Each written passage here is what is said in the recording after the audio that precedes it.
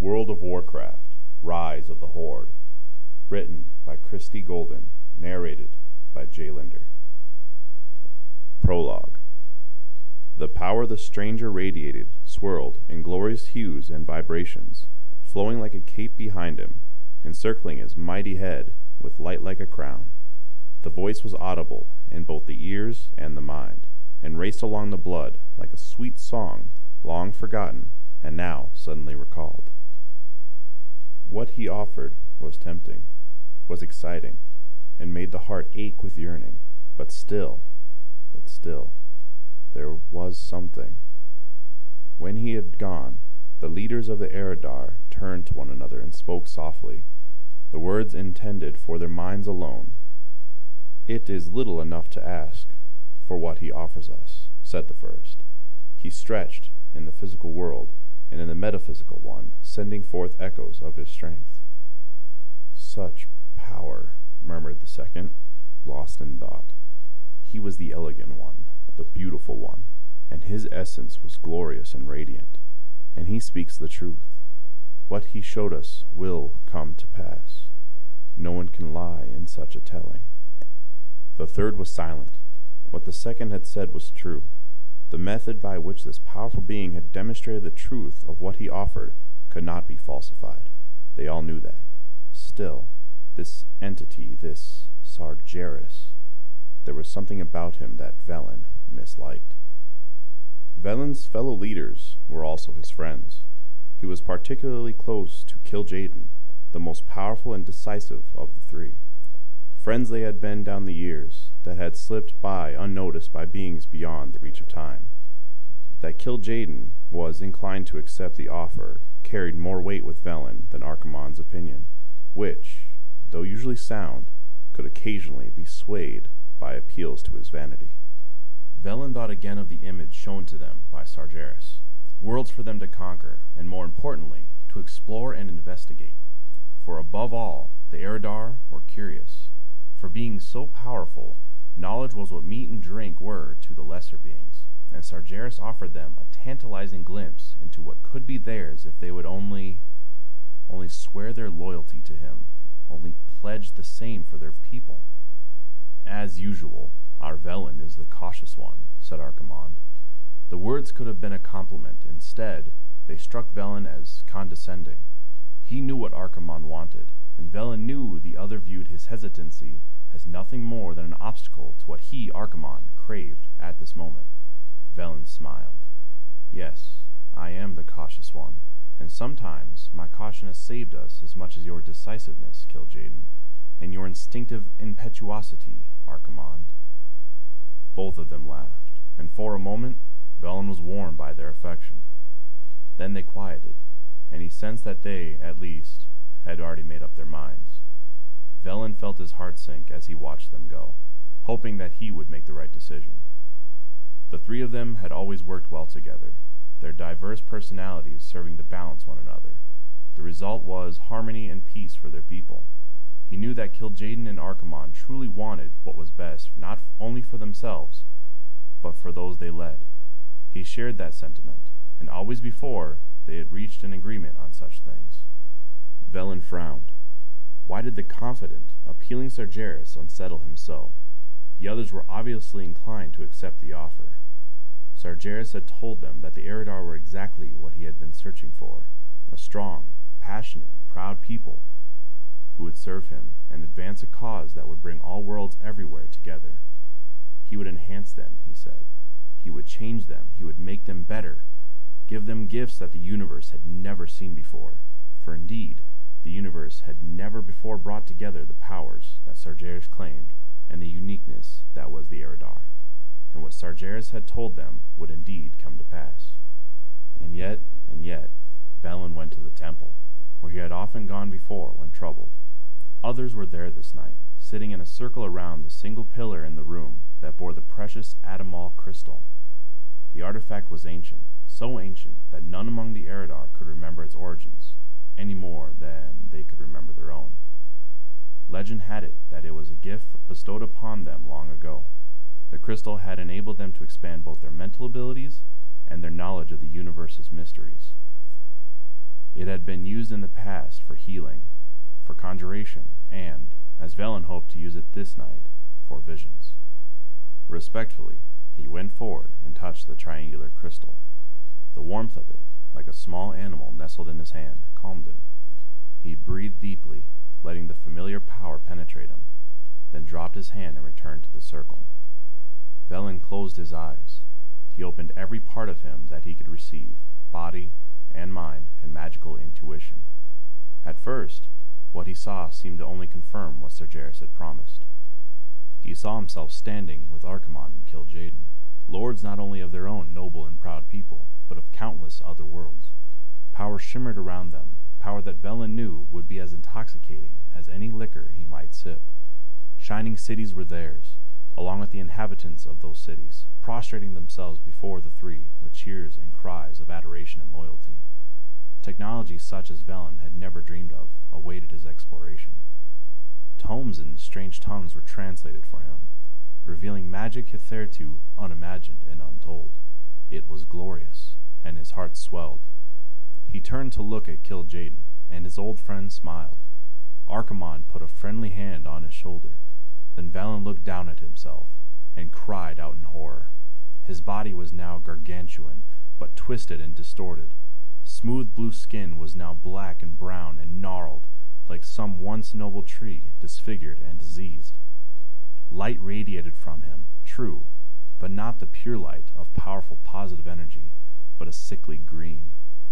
Frantically, he turned to behold his friends, his fellow leaders of the Eredar. They, too, had been transformed. They, too, retained nothing of what they had been, but were now Minari. The Eredar word for something horrifically wrong, something twisted and unnatural and defiled slammed into his mind with the force of a shining sword. He cried out again, and his knees buckled. Velen pulled his gaze away from his tormented body, searching for the peace and prosperity and knowledge Sargeras had promised him.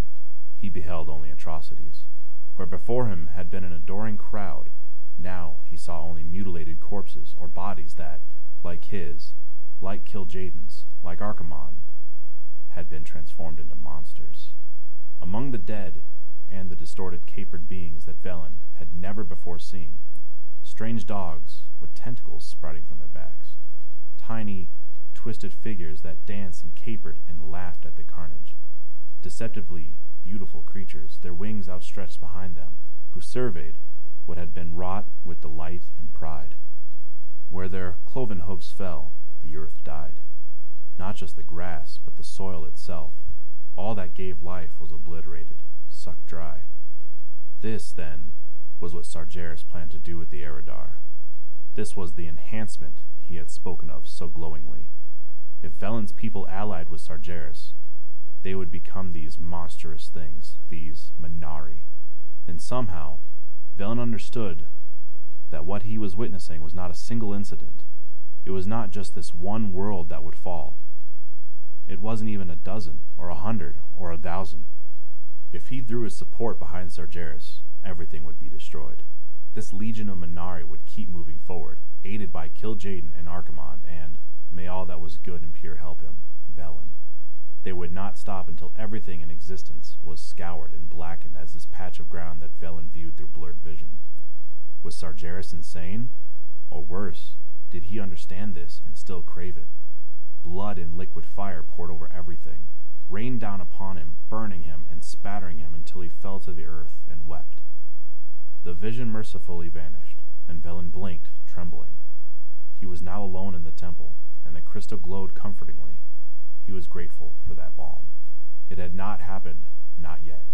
What Sargeras had told them was indeed true. The Eredar would be transformed, and their three leaders would be offered power, knowledge, domination, near godhood. And they would lose everything they held dear, would betray those that they had vowed to protect, to do it. Velen ran a hand across his face, relieved to find it damp only with sweat and tears and not the fire and blood of his vision. Not yet, anyway. Was it even possible to halt this, or to mitigate the destruction the Legion wrought in any way? The answer floated back to him, as reviving and sweet as a draught of dear water in a desert. Yes. They came at once, responding to the emotion and his mental plea. It was but the matter of a few moments to brush their minds and let them see what he had seen, feel what he had felt. For a brief instant, he knew they shared his sentiments, and hope swelled within him. There was yet a chance. Archimonde frowned.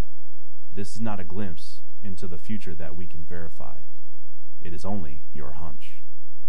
Velen stared at his old friend, then turned his eyes to Kil'jaeden.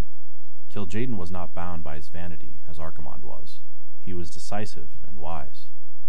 Archimonde is right, Kil'jaeden said smoothly. There is no veracity here, only an image in your own mind. Velen looked at him, pain welling inside him. Gently, sorrowfully, he detached his thoughts from theirs. Now, what was in his mind and heart stayed there. He would never again share it with these two who had once been like extensions of his own soul. Kil'jaeden took the withdrawal as surrender, which was as Velen intended, and smiled as he placed a hand on Velen's shoulder. I do not want to give up what I know to be positive, and good, and true for what I fear might be unpleasant, he said. Nor, I think, do you. Velen could not risk a lie. He merely looked down inside. Once, Kil'jaeden and even Archimonde would have seen through such a feeble facade, but now their thoughts were not on him. They were thinking about the apparently limitless power about to be bestowed upon them. It was too late to sway them.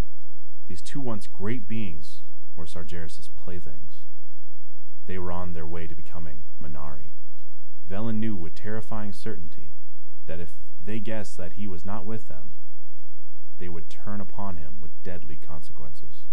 He had to survive, if only to do what precious little he could to save his people from damnation and destruction.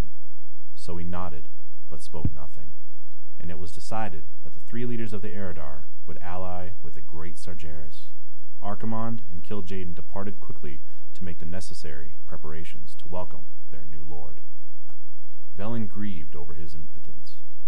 He wanted to save all of his people, as he had sworn to do, but he knew that was impossible. Most would trust in Kil'jaeden and Archimonde, and follow them to their doom. But there were a few who thought, as he did, who would forsake everything merely upon his word. They would need to. Their home of Argus would shortly be destroyed, devoured by the madness of a demonic legion. Those who would survive would have to flee. But flee where? Velen stared at the Ata'mal crystal, despair flooding through him. Sargeras was coming. There was no place on this world to hide from such a being. How, then, would he escape? Tears blurred his vision as he gazed at the crystal. Surely it was his tears that made it seem to shimmer and pulse. Velen blinked. No, it was no trick of the light seen through tears. The crystal was glowing, and before his shocked gaze it rose slowly from its pedestal and floated until it was directly before him.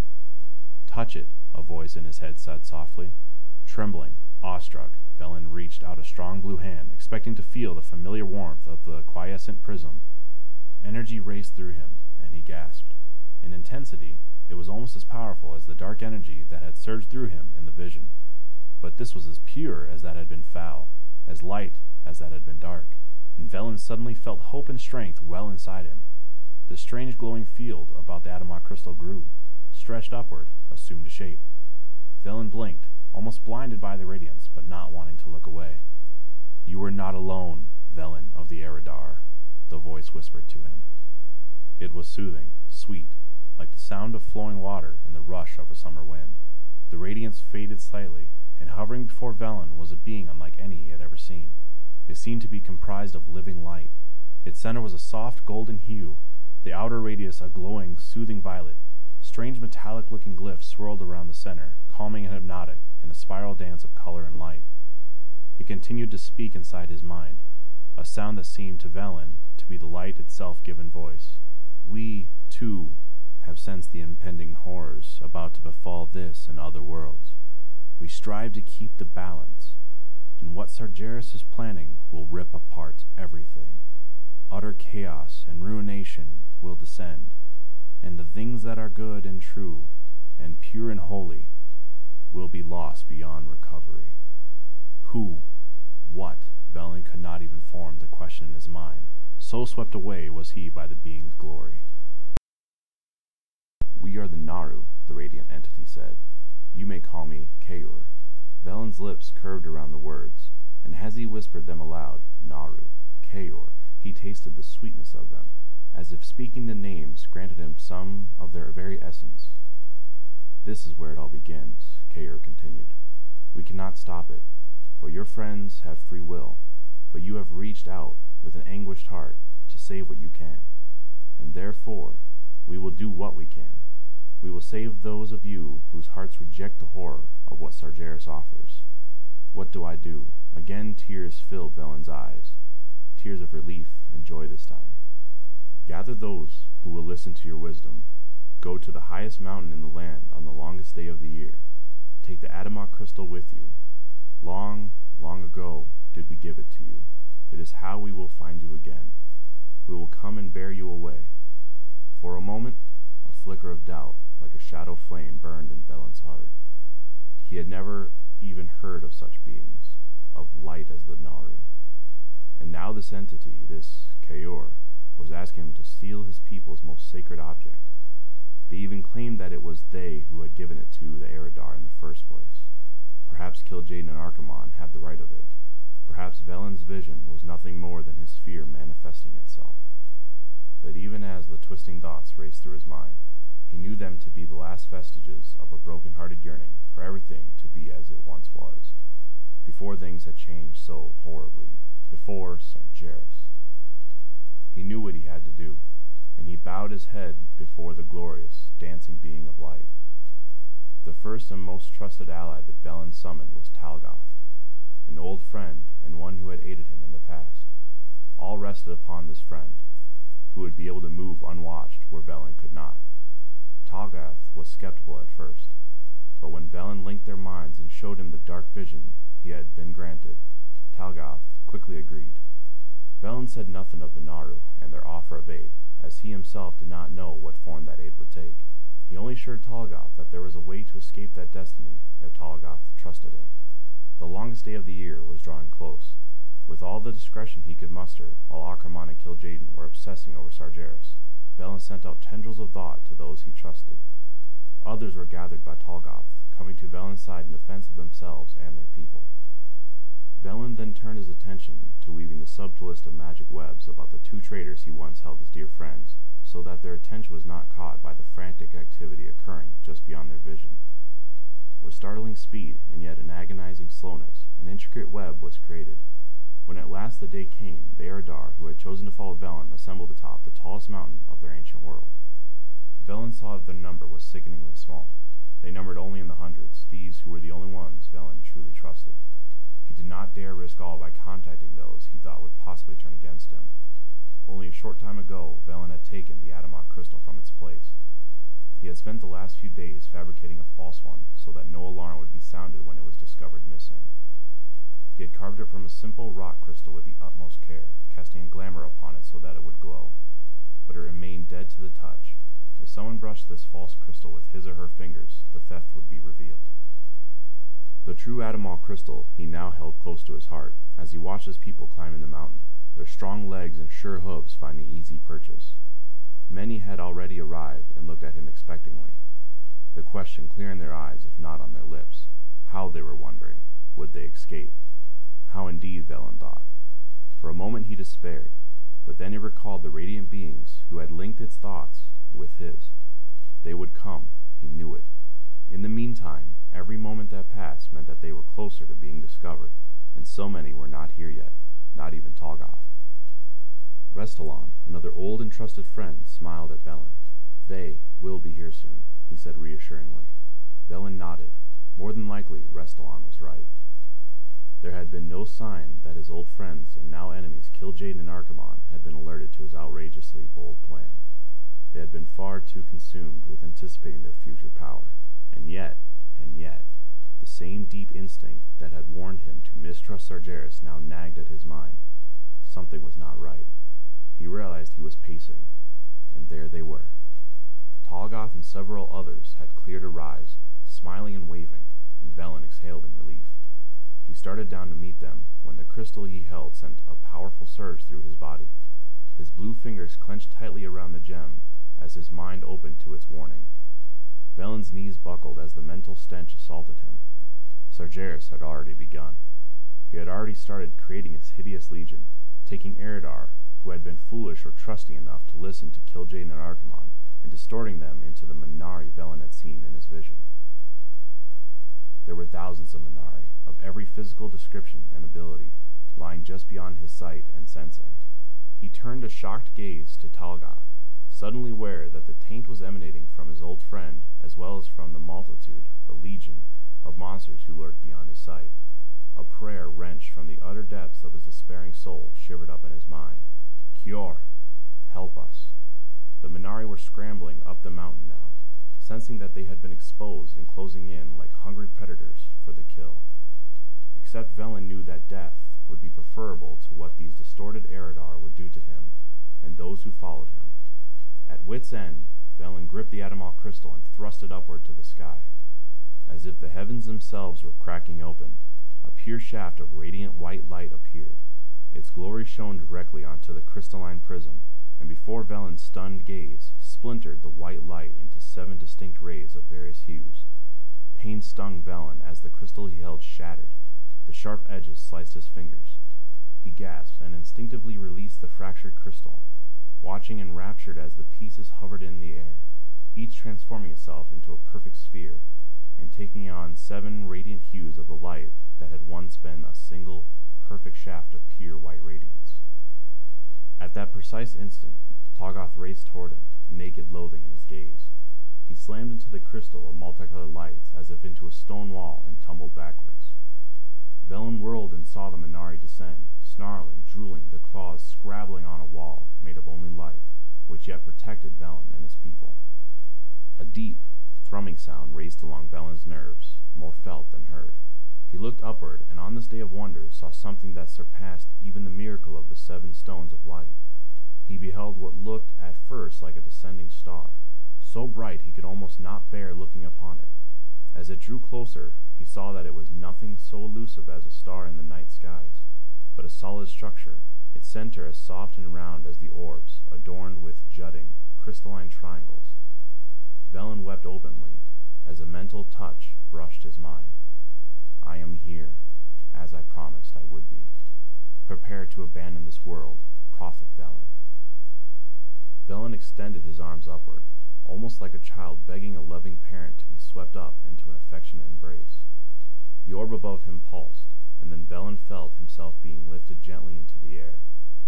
He floated upward, and saw that the others too were rising toward the vessel, for such Velen now understood it to be, though it also vibrated with a living essence that he could not yet comprehend. In the midst of the quiet joy, Velen heard the shrieks and screams and bellows of the Minari as their prey escaped. The base of the ship opened, and a few seconds later Velen found himself standing on something solid. He knelt on the floor, if such it could be called, and watched as the rest of his people floated toward safety. When the last one had arrived, Velen expected the door to close and the ship, the ship that was made of metal that was not metal, flesh that was not flesh, and what Velen suspected was the very essence of K'ure, to depart. Instead, he felt a whisper in his mind. The crystals, where there was one, there are seven. Recover them, for you will need them. Velen leaned over the opening and extended his hands. With shocking speed, the seven crystals surged upward toward him, striking his palm so hard he gasped. He gathered them close, ignoring the incredible heat they emanated, and threw himself backward. At once, the door disappeared as if it had never been present. Clutching the seven Adamant crystals, his mind stretched so far he felt as he was brushing the edge of madness.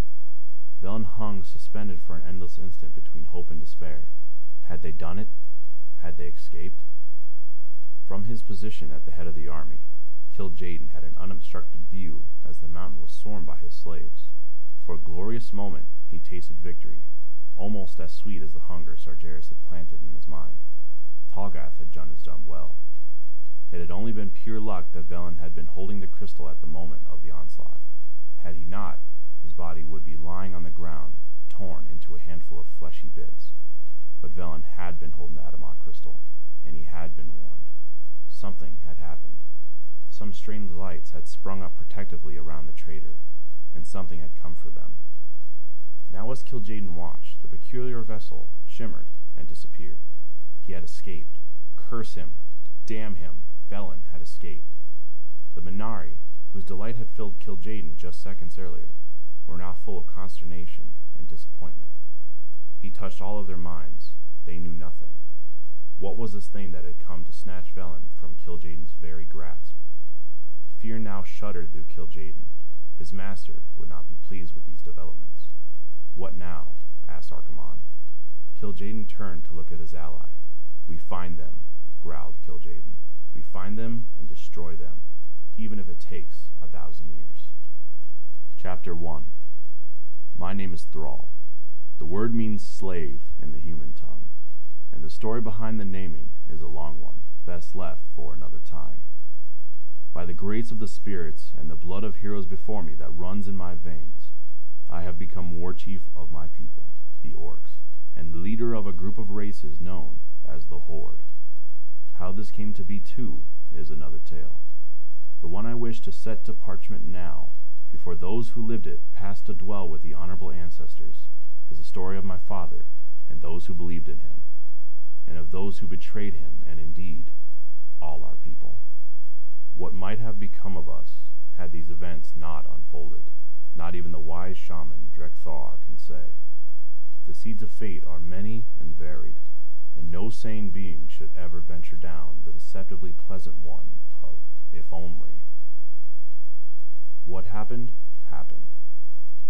My people must shoulder both the shame and glories of our choices. This is the tale not of the Horde as it exists today, a loose organization of Orc, Tauren, Forsaken, Troll, and Blood Elf, but of the rise of the very first Horde, its birth, like that of any infant, was marked by blood and pain, and its harsh cries for life meant death to its enemies. For such a grim and violent tale, it begins peacefully enough, amid the rolling hills and valleys of the verdant land called Draenor. The heartbeat rhythm of the drums lulled the younger orcs to sleep, but Durotan of the Frostwolf clan was wide awake. He lay with the others on the hard-packed dirt floor of the sleeping tent. A generous padding of straw and a thick cleft of pelt protected him from the chill of the bone-cold earth. Even so, he felt the vibrations of the drumming travel up through the earth and into his own body as his ears were caressed by the ancient sound how he longed to go out and join them. Durotan would have another summer before he would be able to participate in the Olm Regor, the rite of adulthood. Until that much anticipated event, he would have to accept being shunted off with the children into this large group tent, while the adults sat around the fire and talked of things that were doubtless mysteries and significant. He sighed and shifted on the pelt. It was not fair. The orcs did not fight among themselves, but neither were they particularly sociable. Each clan kept to itself, with its own traditions, styles, and manner of dress, stories, and shaman. There were even variations of dialect that differed so much that some of the Orc could not understand one another unless they spoke in the common tongue. They almost seemed as different to one another as the other Sentinel race who shared the bounty of the field, forest, and streams, the blue-skinned mysterious Draenei. Only twice a year, spring and autumn, did all the Orc clans come together as they were doing now, to honor that time when day and night were the same length. The festival had officially started last night at moonrise. The orcs had been gathering at the spot for several days now. The Kosh'harg celebration had been held on this sacred spot in the land of the orcs called Nagrand, Land of Winds, which lie in die benevolent shadow of the mountain of spirits, Oshu'gun, for as long as anyone could remember. While ritual challenges in combat were not unusual during the festival, true anger or violence had never erupted here.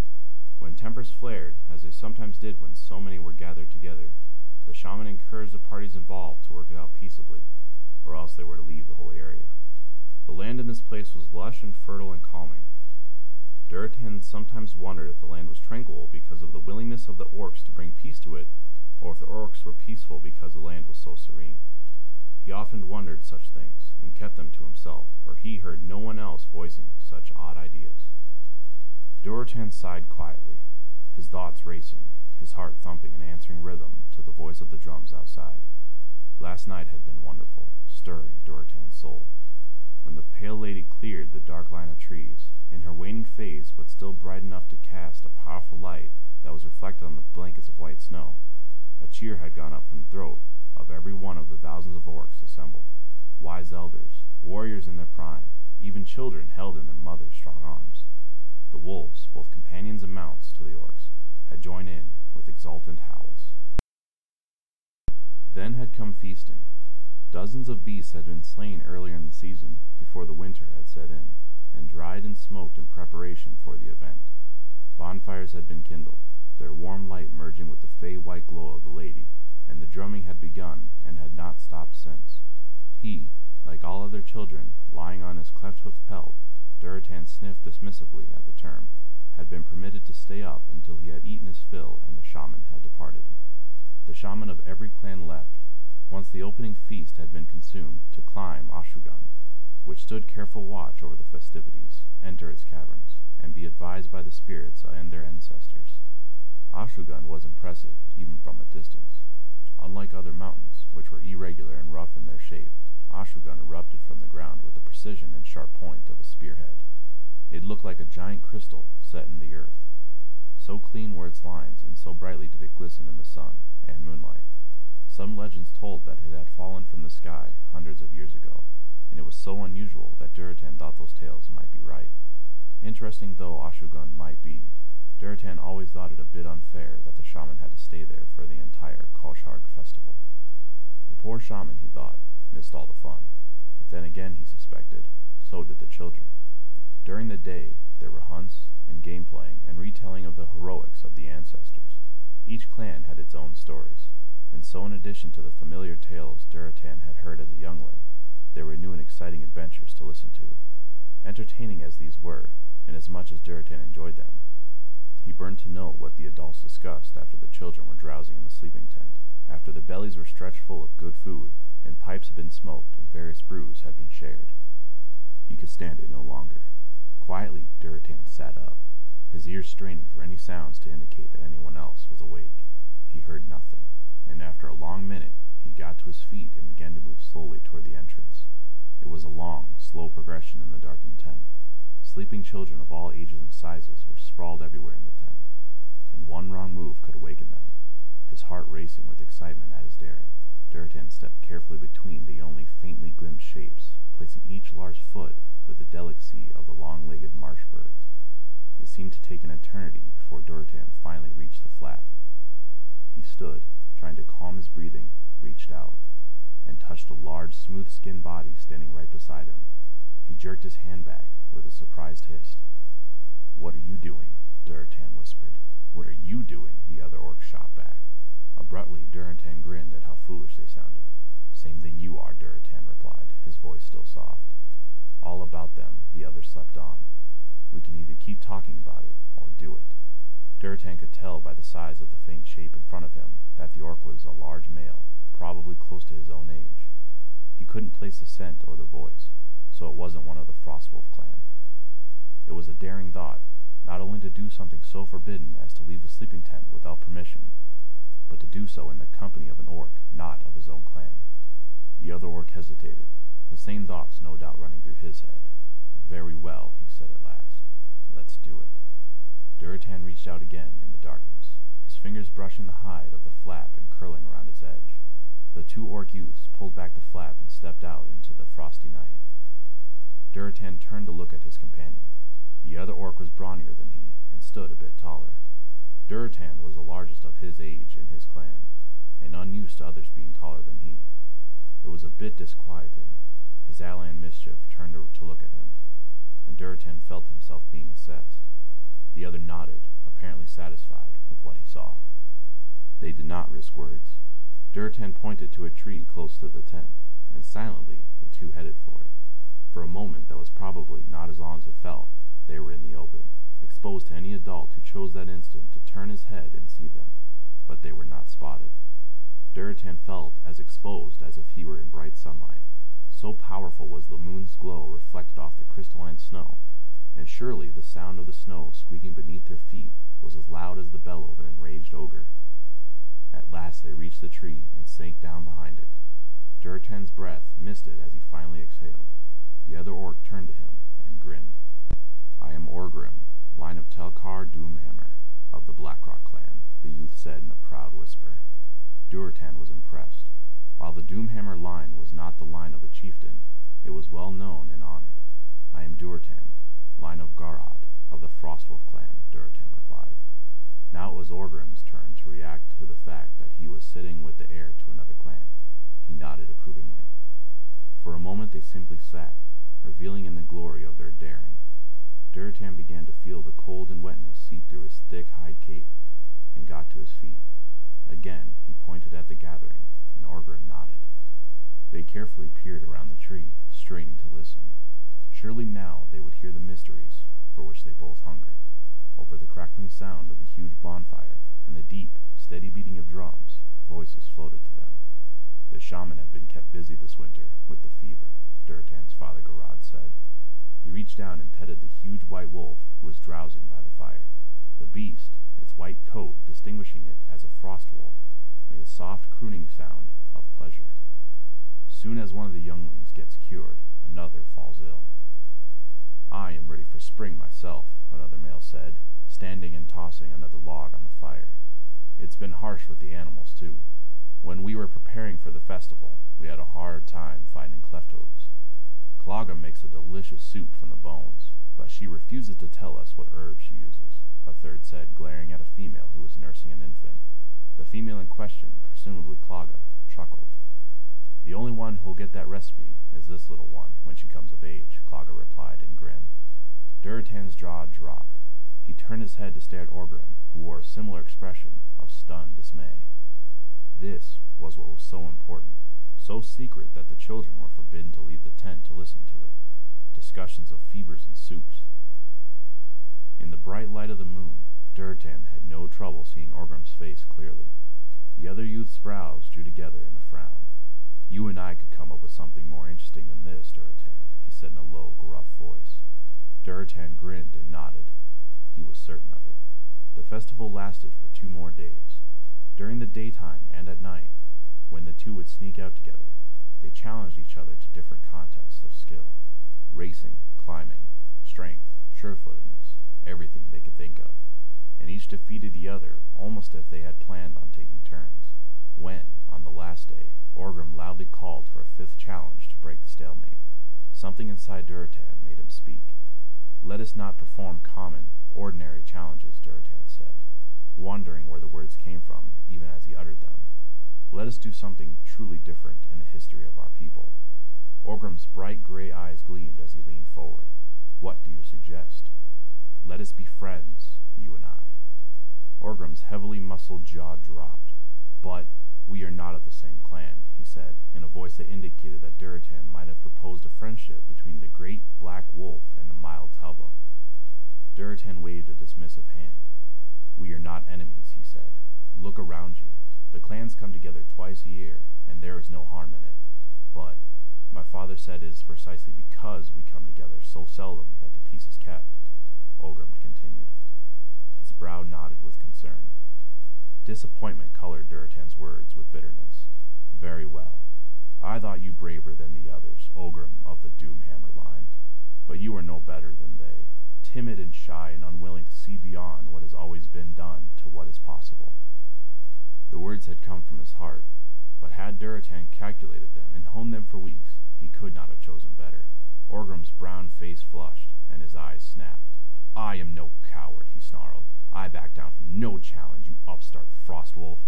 He sprang on Durotan then, knocking the smaller orc off his feet, and the two pummeled each other until the shaman needed to be brought in for healing and lecturing on the inappropriateness of fighting in a sacred space. Impetuous boy, scolded the head shaman of the Frostwolves, an ancient orc female they called Mother Kashur. You are not too old to be beaten as a disobedient child, young Durotan. The shaman who tended Orgrim muttered similar displeased sounds, but even as blood streamed freely from his nose, and as he watched the shaman heal a wicked gash on Orgrim's brown torso, Durotan grinned. Orgrim caught his gaze and grinned back. The challenge had begun. The final challenge, so much more important than races or lifting stones, and neither was willing to admit defeat. To say that a friendship between two youths of different clans was strong. Durotan had a feeling that this particular challenge would end only when one of them was dead, and perhaps not even then. Chapter 2 I remember when we first encountered the Tauren. I remember Cairne Bloodhoof's deep voice and calm face. I remember sitting on the ground in a tent that could be broken down and erected with startling speed, and feeling oddly at home. We smoked pipes, shared food and drink, felt the drumming in our bones, and talked.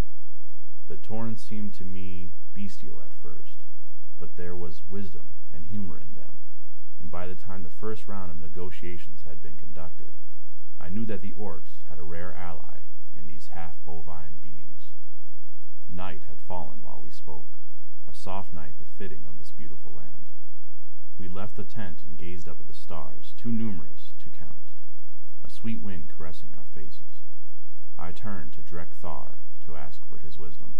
To my astonishment, I saw tears on his face glinting in the moon's light. This is how we used to be, my chieftain, he said in a broken voice. He lifted his arms and tilted his head back, calling the wind to embrace him and dry the tears on his strong green face. Close to the earth, close to the spirits, strong in the hunt, gentle with the younglings, knowing our place in the world to be right and just, understanding the balance of taking and giving. The only magic that Tauren practice is the good, clean magic of the earth, and the land reflects that, the way Draenor once reflected our connection. I thought of the Tauren's request for aid in fighting their enemy, the vile, filthy centaur. Yes, I feel for them. It will be good to be able to help them, I said. Drek'Thar laughed, turning his blind eyes to me and seeing more clearly than anyone with sight could. Oh, my young thrall, he said, chuckling still, you do not yet understand. They will help us. Durotan ran as fast as his powerful legs could carry him. His breath came fast, and sweat dappled his reddish-brown skin, but he forced himself to keep going. It was summer, and his large, flat feet were bare. The grass was soft beneath him as he ran, and occasionally he would step on the bright purple blossom of a dasan flower. The scent from the bruised plant, traditionally cultivated for healing, wafted up like a blessing, inspiring him to run even further and faster. Now he was on the fringe of the Terokkar forest, pushing forward into its cool, gray-green depths. He had to watch out for the twining roots of the elegant trees, lest he trip over them, and his pace perforce slowed. Soft lights glowed in the green heart of this forest, and the calm it exuded was at a sharp odds with Durotan's need for triumph. He increased his pace, leaping over fallen tree trunks covered with moss, ducking under low-slung branches with the grace of a talbuk. His black hair, long and thick and spilling all the way into the middle of his back, flew behind him. His lungs burned and his legs cried out for him to cease, but he ground his teeth and ignored the pleas from his body. He was a frost wolf, the heir to clan chieftaincy, and no Blackrock would possibly. Durotan heard a fair approximation of a war cry behind him, and his heart sank.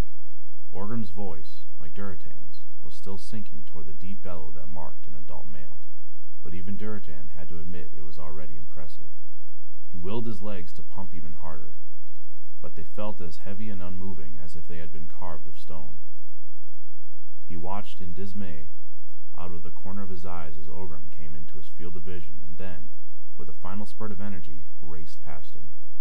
The Blackrock orc extended his arm and lunged, managing to hit the tree trunk in the clearing that they had decided represented the goal of the race right before Durotan did. Orgrim kept going for several more strides, as if his powerful legs, once put into motion, were reluctant to stop. Durotan's legs had no such problems, and the heir to the Frostwolf clan fell forward, barely catching himself. He lay face down in the cool, sweet-smelling mossy earth, gasping for air, knowing he should sit up, knowing he should challenge Orgrim again, but too exhausted to do anything other than lie on the forest floor and recover. Beside him, he heard Orgrim doing likewise, and then the other orc youth rolled over on his back and began to laugh. Durotan joined in. The birds and small animals that inhabited the Terokkar forest were silent as the two orcs muttered sounds of mirth that, Durotan thought as his lips curled past his still-forming tusks, probably sounded more than a little like the fierce war cries that presaged a hunt. Ha! grunted Orgrim. sitting up and punching Durotan in a playful manner. It is little effort to beat a stripling like you, Durotan. You have so much muscle, your brain is starved, Durotan retorted. Skill as is important as power, but the Blackrock clan wouldn't know about such things. There was no malice in their banter. Their clans had been troubled at first by the friendship between the two youths, but Durotan's stubborn argument that just because something had never been done before did not mean it could not be done amused and impressed the leaders of both clans. It helped that both the Frostwolves and the Blackrocks were traditionally even-tempered orc clans.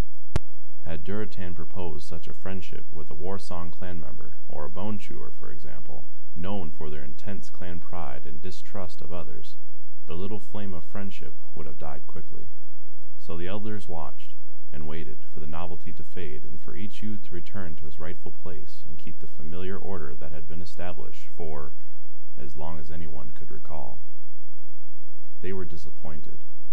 The frost of late winter had given way to spring, and now the full blousy warmth of summer, and the friendship continued. Durotan knew that they were watched, but as long as no one interfered, he did not object. Durotan closed his eyes and let his fingers spread over the moss.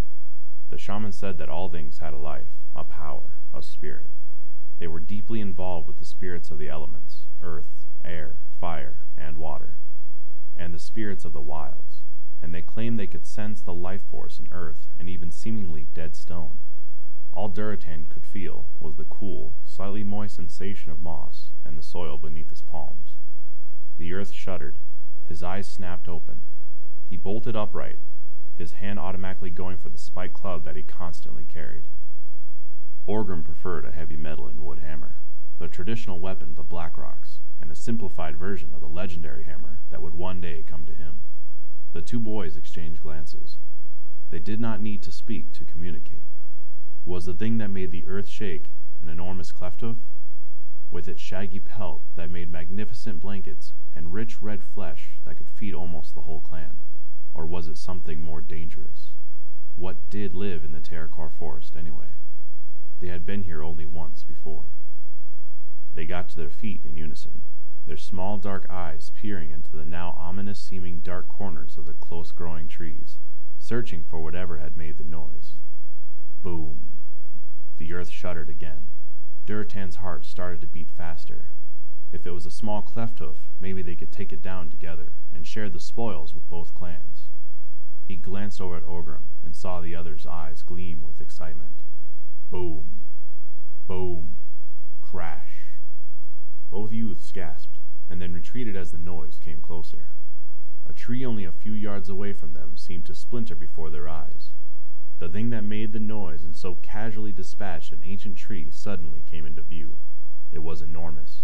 It carried a club as big as they were, and it was most definitely not a clefthoof. And it had seen them. It opened its mouth and bellowed something that was vaguely intelligible, but Durotan wasn't about to waste time figuring out what it had said.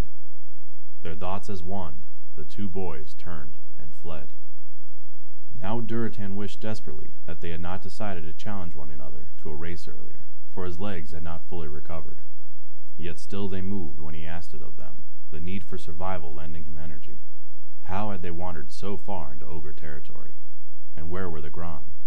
Durotan imagined one of the ogre's masters forcing its way through the trees as the ogre had, towering over ordinary ogres as ogres towered over the orcs, even more hideous than an ogre, more of the earth than of flesh, and yet so terribly wrong.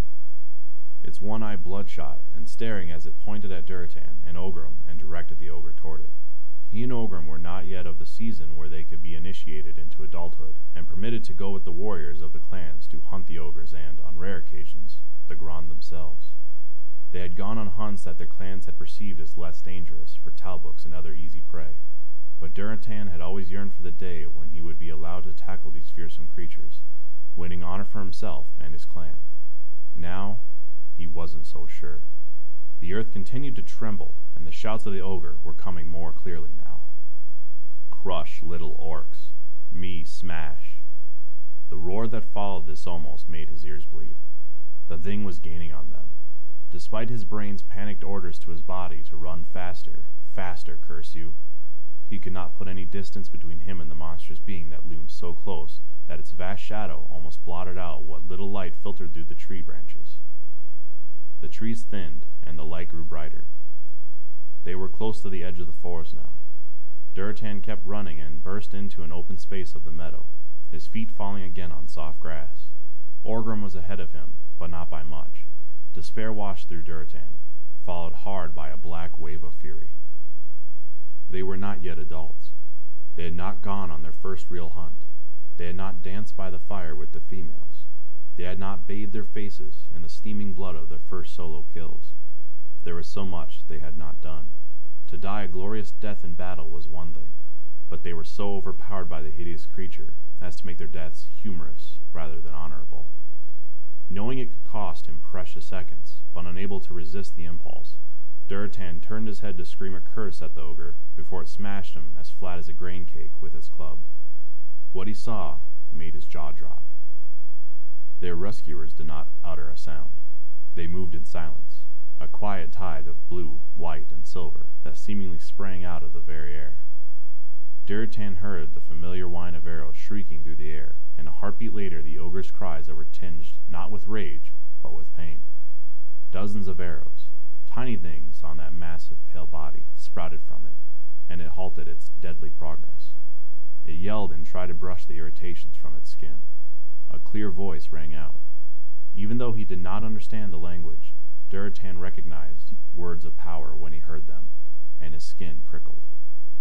Suddenly the sky was filled with lightning, but this was unlike any lightning Durotan had seen, invoked by a shaman. Blue and white and silver energy crackled around the ogre, swirling about it and closing in on it like a net. The monster bellowed again and fell. The earth shook.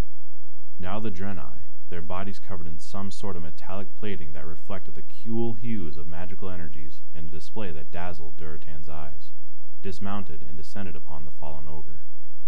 Blades flashed, more words of power and command were uttered, and Durotan was forced to shut his eyes or be driven mad by the display. At last silence fell. Durotan opened his eyes again to see that the ogre was dead. Its eyes still stared, its tongue protruded from its parted lips, and its body was covered with red blood and black burn marks. So great was the silence that Durotan could hear his own ragged breathing and that of Orgrim. The two looked at each other, stunned by what they had just witnessed. Both had seen the Draenei before, of course, but only at a distance. They came now and then to each clan, ready to trade their carefully crafted tools and weapons, and decorative pieces of carved stone in exchange for the thick pelts of forest animals, brightly woven blankets, and raw materials the orcs culled from the land and stone. It had always been an occasion of interest in the clans, but the exchanges only lasted a few hours. The Draenei, blue-skinned, soft-spoken, eerily arresting, did not invite closeness, and no clan leader had ever asked them to stay and share their hospitality. Relationships are cordial, but aloof, and everyone involved seemed to want it that way. Now the leader of the group that had arrived so unexpectedly strode over to Durotan. From his position on the earth, Durotan saw what he had never noticed when he had regarded the Draenei from a distance. Their legs did not go straight from their torsos to the earth. They curved backward like, like a talbuk's, and ended in cloven hooves that were encased in metal from the shiny blue hoof upward. And, yes, it was most definitely a thick, hairless tail that swished back and forth. Now their owner was bending over him, offering a strong blue hand. Durotan blinked, staring a moment longer at the unexpected shape of the Draenei's feet and the reptilian tail, then got to his feet, unaided. He looked into a face that bore strange plating on its head, like armor that had grown there. Black hair and a beard flowed over a colorful tabard, and the piercing, glowing eyes were the color of a winter lake. You are injured? The Draenei asked in halting common Orcish, his tongue obviously having trouble wrapping itself around the guttural syllables. Only my pride, Durotan heard Orgrim mutter in his clan dialect. He, too, was somewhat stung. The Draenei had obviously saved both their lives, and he was grateful, of course. But they had seen two proud Orc youths running from danger. Granted, that danger had been very real. One blow from that gigantic club would have squashed him and Orgrim into two small, crumpled piles. But still, the Draenei may or may not have heard or understood Orgrim. Durotan thought he saw the lips curve in a smile. The Draenei glanced skyward, and to his dismay, Durotan realized that the sun was low on the horizon. You too have wandered far from home, and the sun settles to sleep, he said. Which clan do you hail from? I am Durotan of the Frostwolf clan, and this is Orgrim of the Blackrock clan. The Draenei looked startled. Two different clans. Were you challenging one another, that you wandered so far from your respective homes? Durotan and Orgrim exchanged glances. Yes and no, Durotan said. We are friends. The Draenei's eyes widened. Friends? From two different clans? Orgrim nodded. Yes, he added, somewhat defensively. It is not traditional, but it is not forbidden. The Draenei nodded, but still looked surprised. He regarded both of them for a moment, then turned to two of his companions and murmured something in his native tongue. Durotan thought the language profoundly musical, like the sound of a stream meandering over stone, or a bird's call. The two Draenei listened intently, then nodded. One took a water skin from his belt, drank deeply, and then began to run with a gait nearly as smooth and swift as a Talbuk's, heading southwest where the Frostwolf clans were. The second raced toward the east, to the Blackrock clan. The Draenei who had been speaking with them turned. They will notify your families that you are well and safe. You will return home tomorrow. In the meantime, I am happy to offer you the hospitality of the Draenei. My name is Restalaan. I am the leader of the Guards of Telmor, the town with which both your clans regularly trade. I regret to say I do not remember either of you. But then, the orc younglings seem a bit leery of us when we come to your territory. Orgrim bristled. I am afraid of no one, and nothing. Restalaan smiled a bit. You ran from the ogre. Orgrim's brown face darkened, and his eyes glinted angrily. Durotan lowered his head slightly. As he had feared, Restalaan and the others had borne witness to their shame, and now they would be mocked. That, Restalaan continued calmly, as if he had not noticed the effects of his words had had on the two, is wisdom.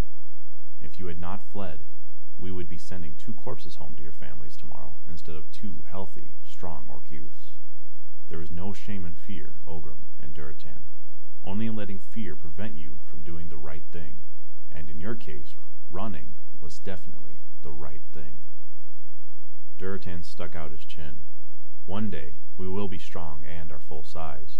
Then, it will be the ogres who will fear us. Restalaan turned a mild face toward him and to Durotan's surprise, he nodded. I completely agree, he said. Orcs are powerful hunters. Orgrim narrowed his eyes, looking for the taunt, but there was none. Come, Restalaan said.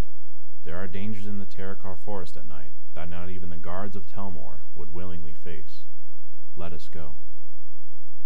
Though exhausted, Durotan found the strength to keep up a steady running pace. He would not twice be shamed in one day. They ran for some time, and the sun eventually dipped below the horizon in a glorious display of crimson, gold, and finally purple. He glanced up now and then, trying not to appear rude, but curious indeed at seeing these strangers at more than just several yards' distance. Kept waiting for the signs of a city, roads made by countless feet traveling the same path, fire cairns lighting a path, the shadow of buildings against the darkening sky. He saw nothing and as they continued, he felt a quick stab of fear. What if the Draenei were not planning to help him and Orgrim after all? What if they were going to capture them, to hold them for ransom? What if they were going to do something worse, sacrifice them to some dark god, or...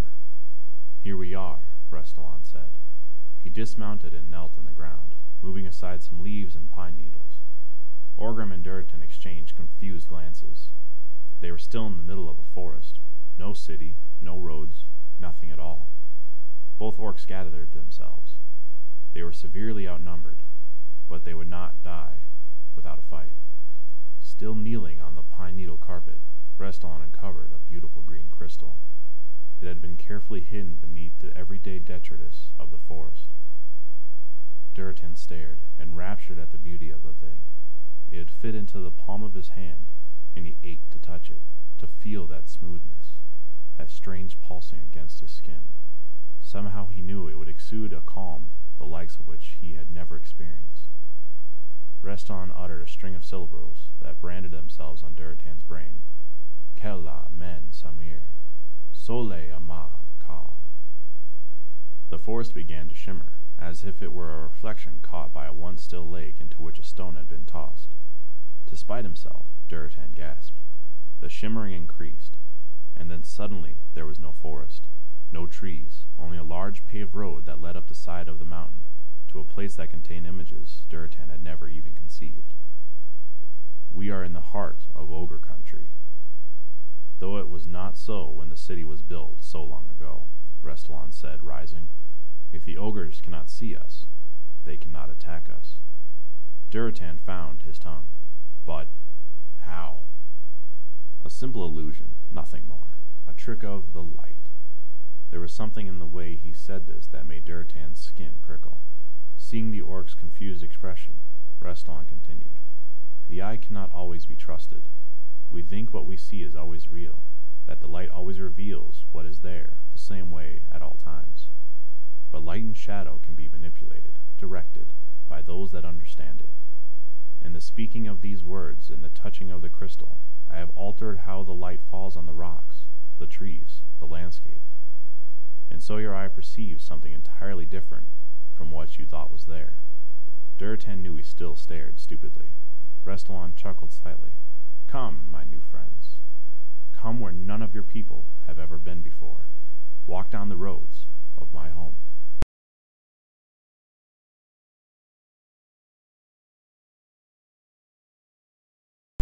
Chapter 3 Drek'Thar had not seen the cities of the Draenei when they were at peace. He only saw them when, well, I am getting ahead of myself. But he told me that my father had walked the shining roads of the Draenei, had eaten their food, slept in their buildings, spoken with them fairly, had caught a glimpse of a world so unlike our own that even today it is hard to wrap one's mind around it. Even the lands of the Kaldorei are not so alien to me as what I have learned of the Draenei. Drek'Thar said that Durotan did not have the words to describe what he saw. Perhaps today, living in this land that bears his name, and seeing what I have seen, he would. Regret is a bitter taste. Durotan couldn't move. It was as if the mysterious net of shining energy had flung itself about him as it had the ogre, and he was as helpless to resist. He stared, his mouth slightly open, trying to make sense of what his eyes showed him. The Draenei city was glorious, woven into the side of the mountain as if it had sprung from it. To Durotan's eyes, it was a union of stone and metal, of nature and artifice. He did not know exactly what he was seeing, but he knew it to be harmonious. With its concealing spell dissolved, the city was revealed in its tranquil magnificence. Everything he saw drew the eye upward. Massive stone steps, wide and blunt at the base and tapering toward the top, led to spherical dwellings. One reminded Durotan of a snail shell, another of a mushroom. The combination was striking. Bathed in the hues of the setting sun, the bold lines of the steps were softened, and the dome seemed even more invitingly rounded. He turned to see a similar expression of awe on Orgrim's face, and then saw the slight smile curving Restalaan's blue lips. You are welcome here, Durotan and Orgrim, Restalaan said. The words seemed to break the spell, and Durotan moved forward awkwardly. The stone of the roads had been smoothed, by time or Draenei hands, he could not say. As they drew closer, Durotan could see the city continued up the mountain. The architectural pattern of a wide, bold steps leading to a softly curved structure was repeated here. There were long roads, made of the same white stone that somehow did not seem to get dirty, although at least ten generations of orcs had lived and died since the Draenei had arrived. Instead of the skins and horns of animals slain in the hunt, the seemingly utilized the gifts of the earth. Gleaming gems were everywhere, and there was that curious overabundance of light brown metal unlike Durotan had ever seen. The orcs knew metal. They worked it to serve them. Durotan himself had helped in the hunt with axe and sword. But this... What is your city made of? Orgrim asked. It was the first thing he had said since the two begun their odd journey in the company of the Draenei. Many things, Restalaan said amiably. They were passing through the gates now, and receiving curious, but not hostile looks from the denizens of this place. We are travelers, fairly new to your world. New, Durotan said. It was over two hundred summers ago that your people came here. We were not as we are now. No, you are not, Reston agreed smoothly. We have watched the orcs grow in strength, and skill, and talent. You have impressed us. Durotan knew it was meant as a compliment, but somehow the comment stung, as if, as if the Draenei thought they were somehow better than the orcs. The thought came and went, fleeting as a brush from a butterfly's wing. He kept looking around, and to his shame, wondered if that was not indeed the case. No orc dwelling was this ornate, this complicated, but then, the orcs were not Draenei. They did not need or choose to live like the Draenei. To answer your question, Orgrim, when we arrived here, we utilized everything we had brought with us. I know your people build boats to travel the rivers and lakes.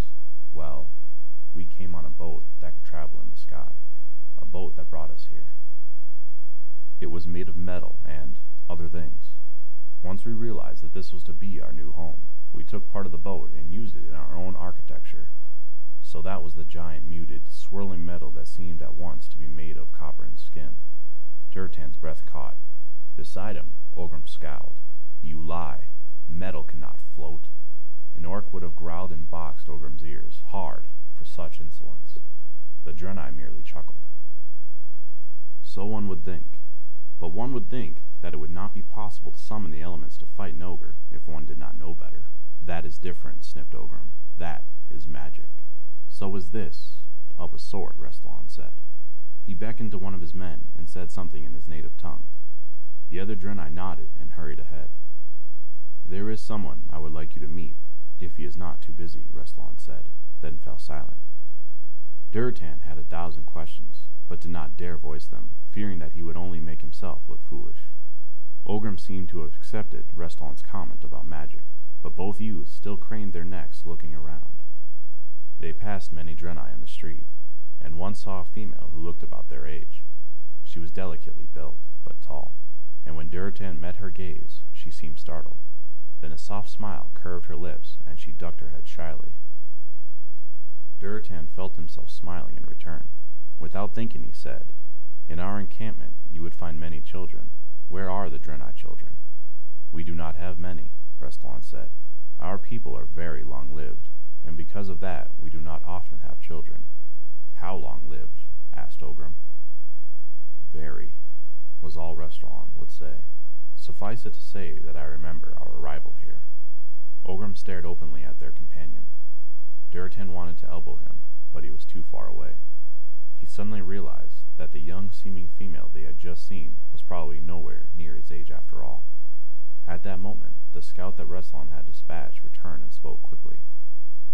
Restalaan looked pleased at whatever the scout had to say, then turned, smiling, to the two orcs. The one who brought us to this world, our prophet, Velen, is staying here for several days. I thought he might wish to see you. It is not often we get such visitors. Restalaan's smile widened. I am very pleased to say that not only has Velen agreed to meet you, he has invited you to stay with him this evening. You are to dine with him and sleep in the Magister's house. This is a very high honor indeed. Both boys were struck dumb. Dinner with the prophet, the leader of all the Draenei. Durotan was beginning to think it might have been better if he had been squashed flat by the ogre's club. They followed dutifully, as Restalaan led them down the winding climbing streets, up through the foothills, and to the large building that sat highest on the mountain.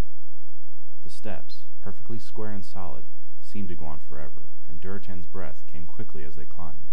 He reached the top and was regarding the snail-shell structure with interest when Restalaan said, Look back. Durotan and Orgrim obeyed, and Durotan's breath was caught in his throat. Below them, spread out like jewels on a meadow, was the Draenei city. The last bit of sunset painted them in flaming colors. Then the sun settled over the horizon, and all was bathed in shades of purple and gray. Lights came on in the houses, and Durotan thought of the stars in the sky settling on the earth. I do not mean to brag, but I am proud of my people and our city, Restalaan said. We have worked hard here. We love Draenor, and I never thought to have the chance to share it with an orc. The ways of destiny are strange indeed. As he said this, a deep, almost ancient sorrow seemed to settle on his strong blue features.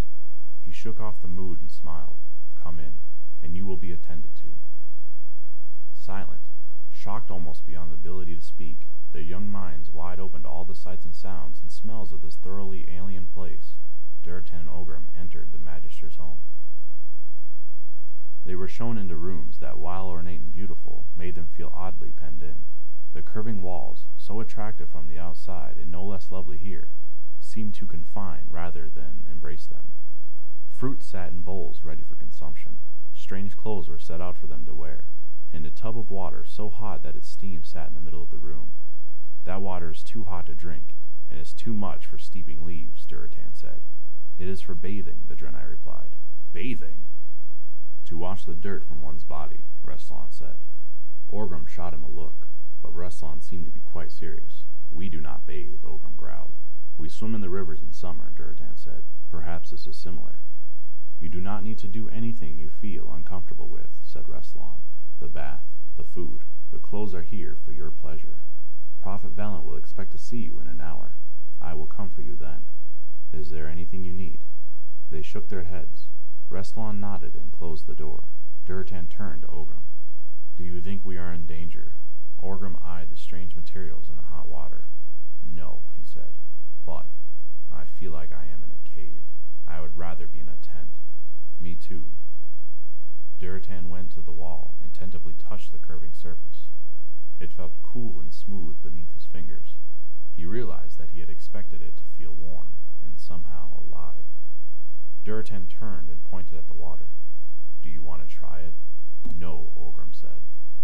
Both orcs started laughing, and both eventually splashed their faces and found the warm water to be more pleasant than anticipated. They ate the fruit, drank the water, and decided that the cloth vests laid out for their use were acceptable to wear in place of their soiled, sweat-stiff tunics, but that they would keep their leather breeches. The time passed more swiftly than they had anticipated, and they were engaged in a challenge to bend one of the metal legs of a chair when there came a soft knock on the door. They jumped guiltily. Orgrim had managed to twist the chair leg somewhat, and it stood a bit crookedly now. The prophet is ready to see you now, said Restalaan. He is an elder, was the first thing Durotan thought as his eyes met those of Prophet Velen. Seeing the other Draenei up close had been startling enough. To behold Velen was something else again. The Draenei prophet was half a head taller than the tallest of the city guards Durotan had seen, but not as powerful seeming physically.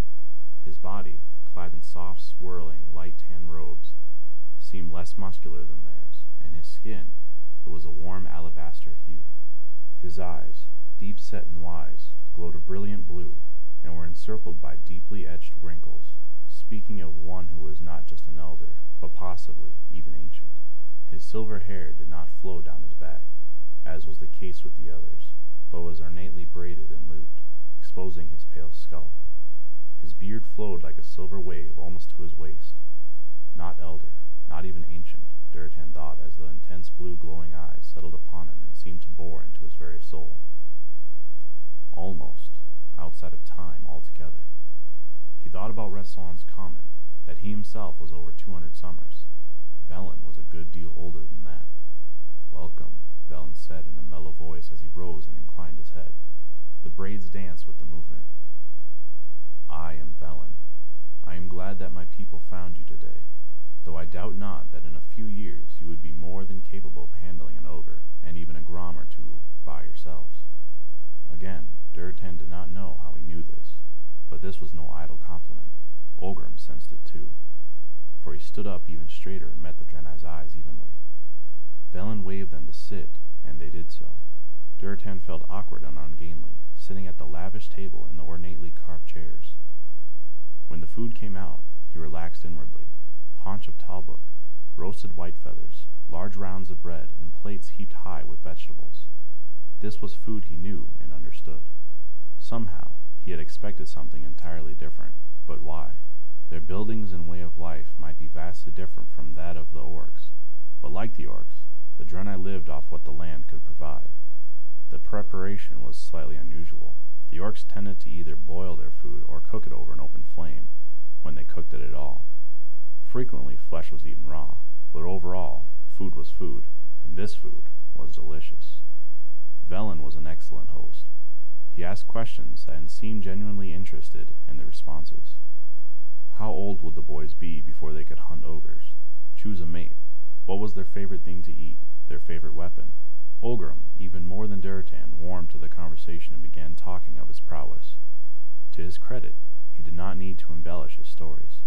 When my father passes, I will inherit the Doomhammer, Orgrim said proudly. It is an old and honorable weapon, passed down from father to eldest child. You will swing it well, Orgrim, said Velen, but I trust that it will be many years before you take on the name of Doomhammer. The fact that his father would have to die before he would become Orgrim Doomhammer seemed to have momentarily escaped the young orc, and he abruptly grew solemn. Velen smiled with, Durotan thought, a hint of sorrow. At the moment, fine cracks appeared in Velen's face, the subtlest of spiderwebs on that smooth white surface. But describe this hammer to me. It must be a mighty weapon. Orgrim brightened again. It is enormous. The stone is black and blunt and powerful, and the shaft is made of carefully crafted wood. Over the years the shaft has had to be replaced, but the stone itself has not a chip on it. It is called the Doom Hammer, because when its owner takes it into battle, it spells doom for the enemy. I see, said Velen, still smiling. Orgrim was warming to his task. But there is also another prophecy, he continued. It is said that the last of the Doomhammer line will use it to bring first salvation and then doom to the Orc people. Then it will pass into the hands of the one who is not of the Blackrock clan. All will change again, and it will once again be used in the cause of justice. That is a powerful prophecy, said Velen. He said no more, but Durotan felt a shiver. This man was dubbed prophet by his people. Did he know if the Doomhammer prophecy would come true? Did Durotan dare to ask? Orgrim continued, describing the Doomhammer in loving detail. Durotan, who had seen the weapon in question, ceased listening to Orgrim's chatter and focused on Velen. Why was this being so interested in them? Durotan was a sensitive youth, he knew. He had overheard some snippets of conversation from his parents, who worried about such sensitivity, and from Mother Kashur, who scoffed at them and told them not to worry about important things and to leave the boy to his fate. Durotan knew feigned interest when he saw it, and felt that he recognized it even in a Draenei. But Velen's brilliant blue eyes were bright and focused, his kind if ugly face open, his questions sincere. He wanted to hear about the orcs, and the more he heard, the sadder he seemed to become. I wish Mother Kashur could be here instead of me, Durotan thought suddenly. She would appreciate this opportunity more than Orgrim or I could. When Orgrim had finished describing the Doomhammer, Durotan asked, Can you tell us of your people, Prophet? We know so little.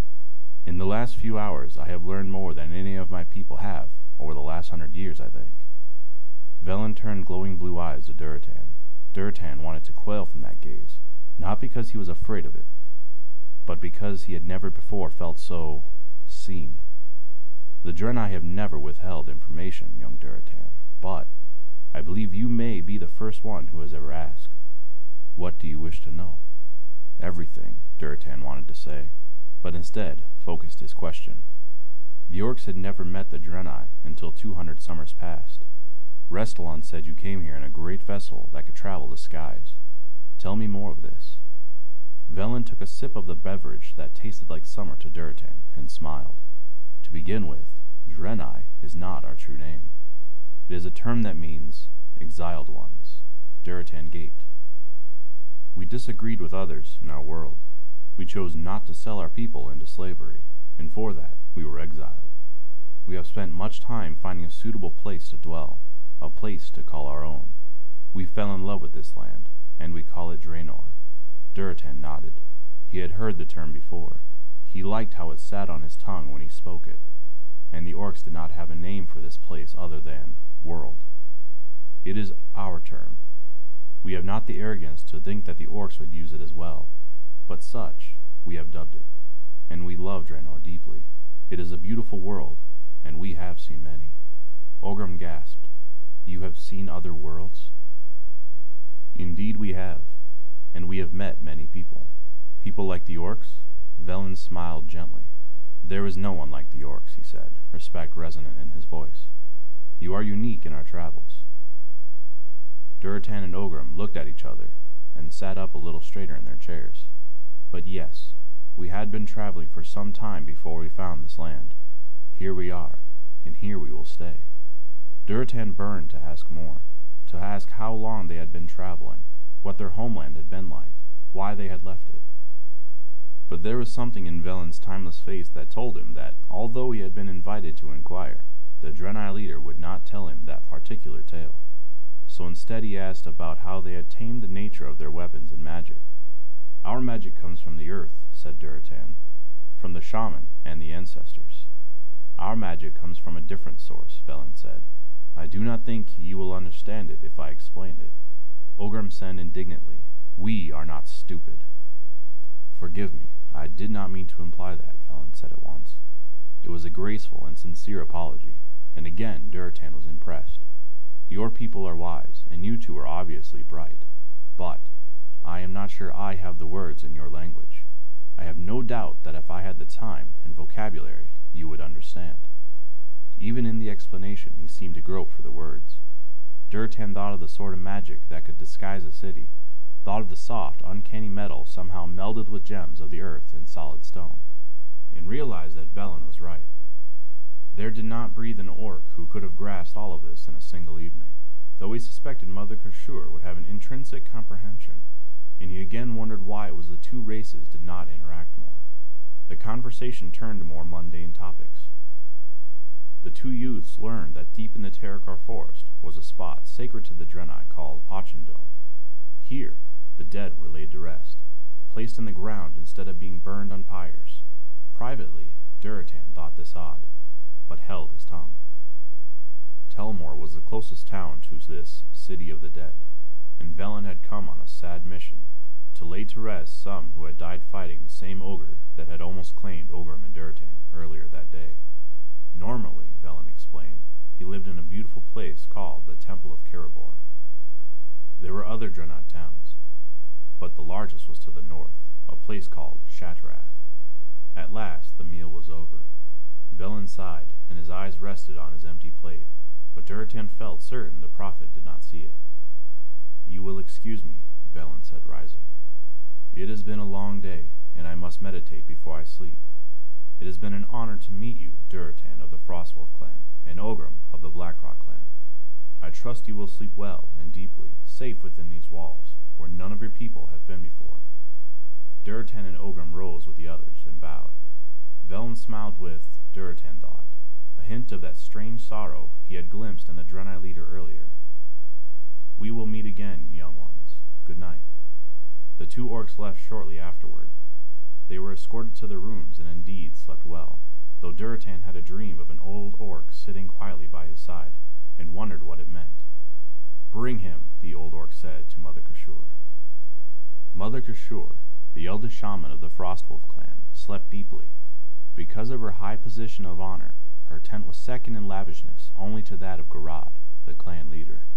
Thick rugs of clefthoof fur kept her old bones from the cold earth, and a loyal and loving granddaughter tended to her needs, cooking and cleaning and keeping the fire stoked on cold days for the clan's mother.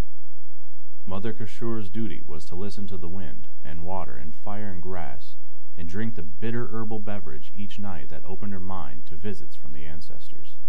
She gathered information for her clan the way the others gathered fruits and firewood, and this gift nourished them as deeply. The old orc was not present, and yet she knew he was real. He was in her dream, and that was enough for her. In this dream state, she was young and vibrant, could see her ruddy skin glowing with health, knew her form to be sleek and knotted with muscle. The old orc was at the age which he had died, the age at which his wisdom had been at its height. His name had been Talcra in life, but now, although he was many generations distant from her, she called him only grandfather. He received the message, grandfather told the young, vibrant dream Kashur. She nodded, her dark hair flowing with the movement. He and the Blackrock boy are with the Draenei, she said. They will be safe. I can feel it. Grandfather Talcron nodded, his thick jowls shaking with the movement. His tusks were yellowed with age, and one had been broken off in a battle long since forgotten. Yes, they are safe. Bring him. It was the second time he had said this, and Kashur was not certain as to what he meant. He will come to the mountain in a few months. When the trees shed their leaves asleep, she said, so yes, I will bring him. Tallcross shook his head fiercely. His brown eyes narrowed in annoyance. Kashur smothered a smile. Of all the spirits that honored her with their presence, Grandfather Talcraw was one of the least patient. No, no, Talcraw growled. Bring him to us. Bring him to the caverns of Oshu'gun. I would look upon him there. Kashur inhaled swiftly. You wish me to take him to meet the ancestors? Is that not what I just said? Foolish girl. What has happened to the shaman these days? It was a rant he went on frequently, and it troubled Kashur not in the slightest. She was too stunned by the import of what he had just said. Sometimes the ancestors had wanted to see a child before. It was infrequent, but it had occurred. Usually it meant that the child in question was destined for the shamanic path. She had not thought Durotan's feet would walk that road. It was rare that a shaman led a clan. There would be too much pulling him in each direction for him to be an effective leader, to both listen to and honor the spirits and to guide one's people well, or more than most orcs could manage. One who could do both would be a remarkable orc indeed. When Kashur did not reply, Grandfather growled and slammed his staff on the ground. Kashur jumped slightly. I will bring him on his initiation day, Kashur assured her ancestor. At last you understand, Talcraw said, shaking his staff at her. And if you fail me, I will take my staff to your head instead of the innocent earth. He could not completely hide a smile as he said it, and Kashur smiled back as her dream self closed her eyes. For all his bluster and short temper, Talcraw was wise and kind, and loved her deeply.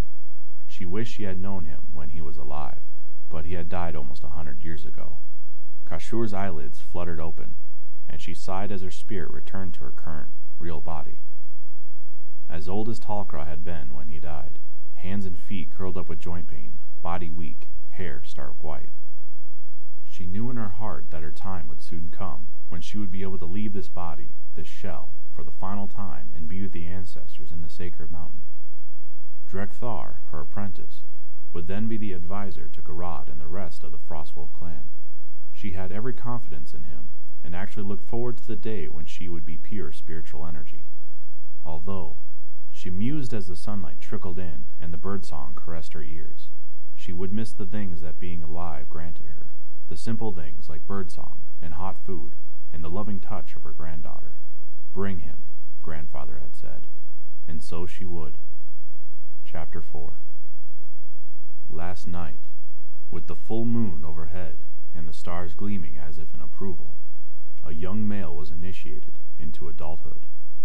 It was the first time I have had the chance to be a part of this ritual, the Om'riggor. In my earlier years, I was cut off from the rites and traditions of my people, and truth be told, all orcs had been cut off from such rites for too long. And once I had set my feet on my destiny's path, I had become embroiled in battle. War consumed me. Ironically, the need to protect my people from the burning legion and to give them a place where our traditions could again flourish took me far away from these things. But now, Durotar and Orgrimmar are established. Now there is a peace, tenuous though it might be. Now there are shamans reclaiming the ancient ways, young males and females coming of age who, if the spirits will, may never know the ashy taste of war. Last night, I participated in a timeless ritual that had been denied an entire generation. Last night, my heart was filled with joy and the sense of connection for which I had always longed. Durotan's heart hammered in his chest as he stared at the Talbuk. It was a mighty beast, worthy prey. Its horns were not mere decoration, but sharp and dangerous. Durotan had seen at least one warrior gored to death, impaled upon the twelve prongs as surely as if upon a spear and he was to take it down with only a single weapon and no armor. There had been whispers, of course. Any mature Talbuk would do to satisfy the needs of the ritual, he had heard someone murmur in his ear as he sat blindfolded in the waiting tent. They are all fierce fighters, but at this season the males have shed their horns. Other whispers. You may only carry one weapon, Durotan, son of Garad, but you could hide armor in the wilderness where no one would know. And, most shameful of all, the shaman will determine if you are successful by tasting the blood upon your face. The blood from a long dead Talbuk tastes exactly like that of one freshly slain. He ignored all the temptations. Perhaps there had been other orcs who had succumbed to them, but he would not be among them. Durotan would seek out a female, who was quite well equipped with horns at this time of the year. He would take the one weapon he was permitted, and it would be the blood of a beast he killed, steaming in the cold air, that would anoint his cheeks. And now, standing in the early, unexpected fall of snow, his axe growing ever heavier in his hand, Durotan shivered, but he never faltered. He had been tracking the Talbuk herd for two days now, surviving only on what he could gather, creating meager fires in the twilight that bathed the snow in a rich lavender hue, and sleeping in what shelter he stumbled upon. Orgrim had already completed his rite of passage. Durotan envied the fact that his friend had been born in summer. He had thought it would still not be too difficult in early autumn, but winter had decided to come ahead of time, and the weather was bitter. It seemed as if the Talbuk herd, too, was taunting him. He could come upon their tracks and droppings easily enough, see where they had scraped the snow for dried grass or pulled bark from the trees, but they always seemed to elude him. It was late afternoon on the third day when it appeared as though the ancestors had decided to reward his determination. Twilight was coming, and Durotan had thought with a sinking heart that he would have to again seek shelter to mark the end of a fruitless day. Then he realized that the small pellets of dung were not frozen hard, but fresh. They were close. He began to run, the snow squeaking beneath his fur boots, a new warmth filling him. He followed the tracks as he had been taught, cleared a rise, and beheld a herd of the glorious creatures. Immediately, he crouched behind a large boulder and peered around to gaze at the beasts. They were still dark brown against the white snow, their winter coats not yet upon them. There were at least two dozen, maybe more, mostly females. It was good that he had found the herd, but now he had another problem. How would he take down just one? Talbuk, unlike many prey animals, would protect others in their herd. If he attacked one, the rest would come to defend it. Shaman accompanied the hunters in order to distract the animals. Durotan was alone, and suddenly he felt very vulnerable. He frowned and rallied himself. He had been searching for these creatures for almost three days, and now here they were.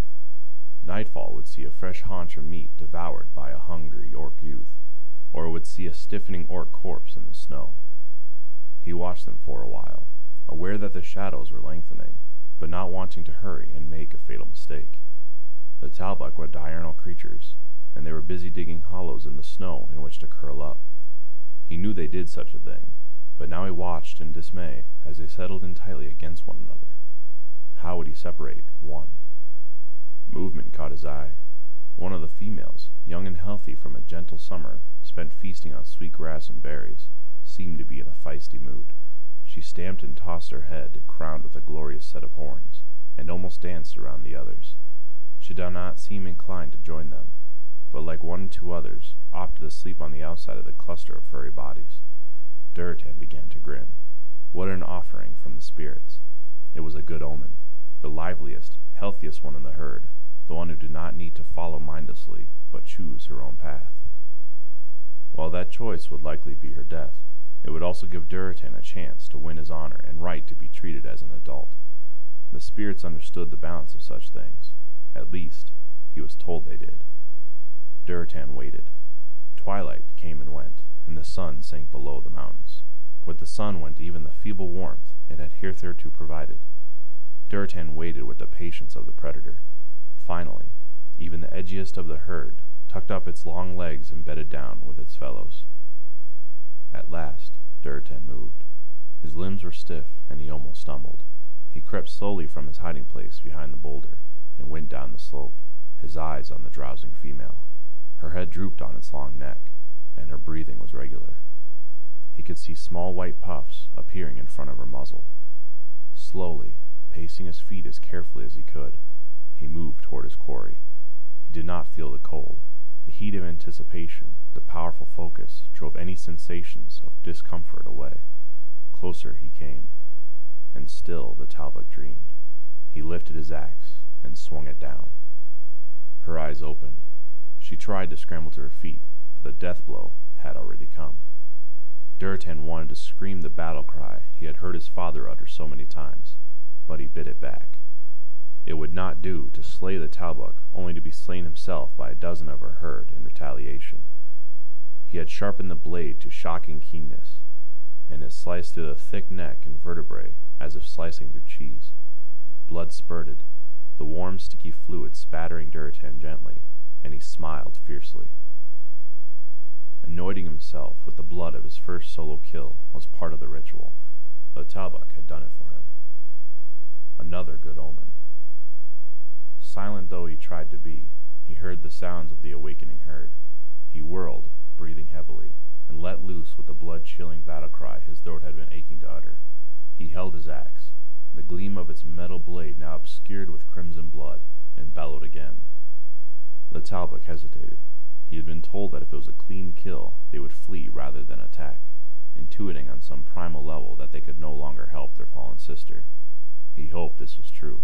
He might be able to take down one or two, but would fall beneath the padded feet if they chose to attack. Moving as one, they began to back away, and then finally whirled and turned to run.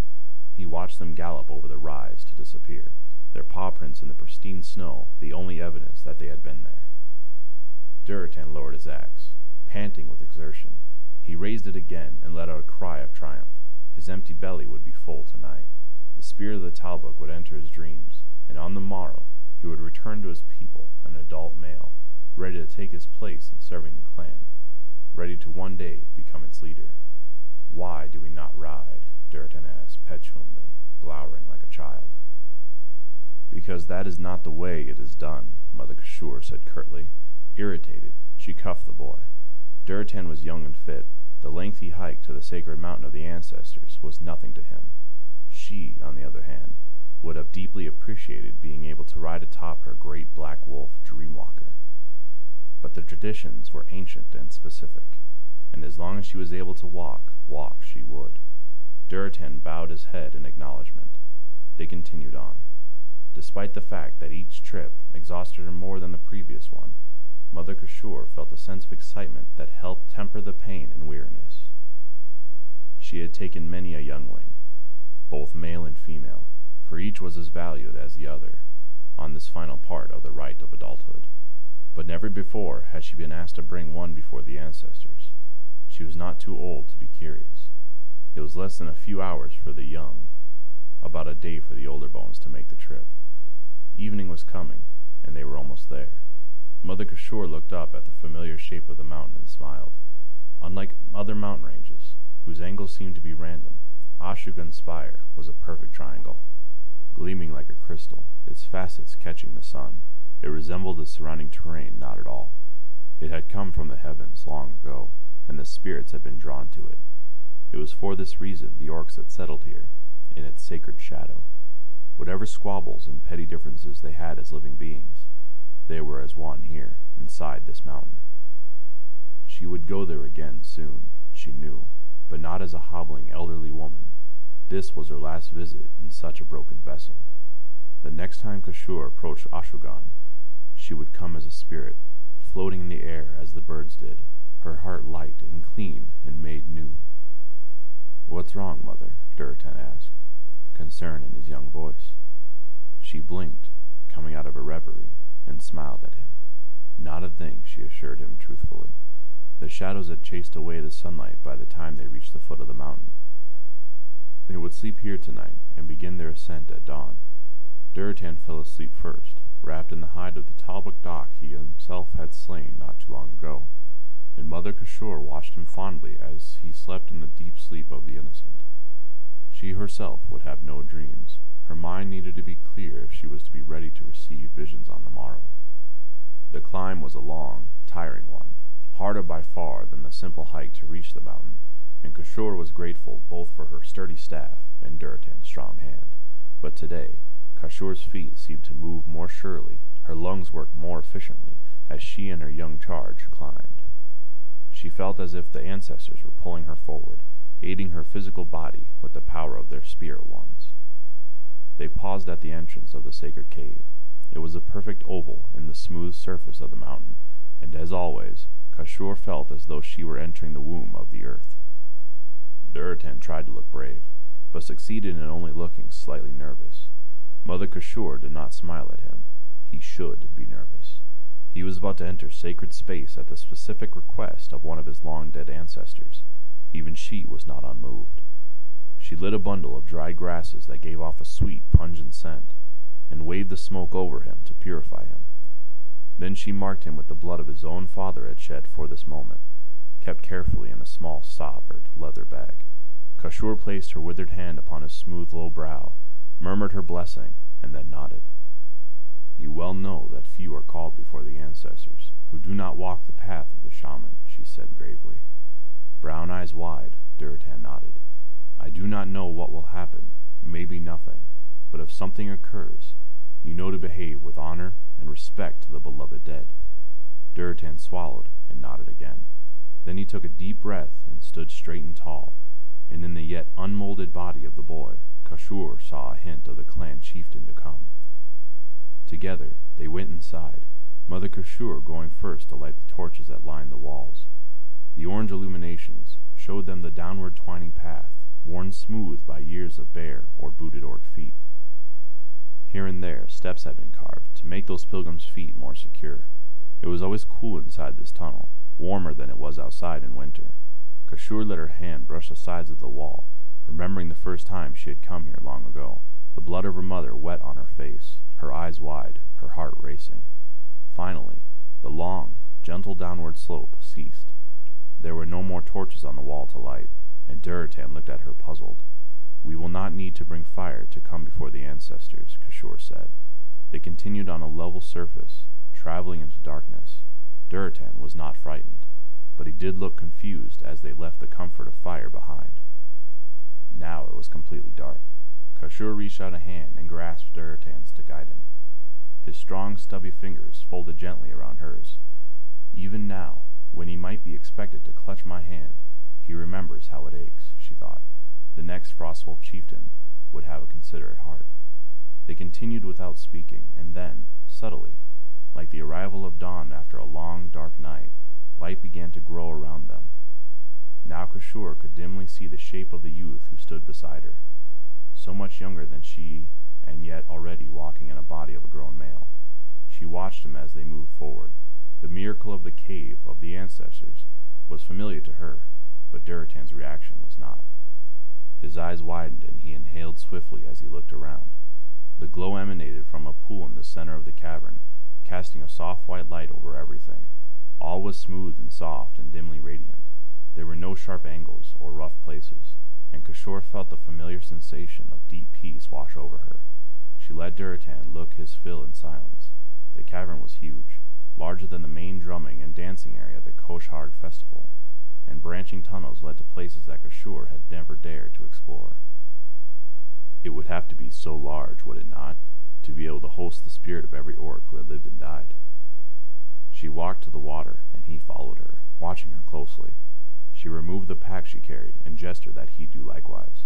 Carefully, Kashur removed several water skins, opened them, and with a soft prayer added their water to the glowing liquid. You asked about the water skins as we departed, she said quietly to Durotan.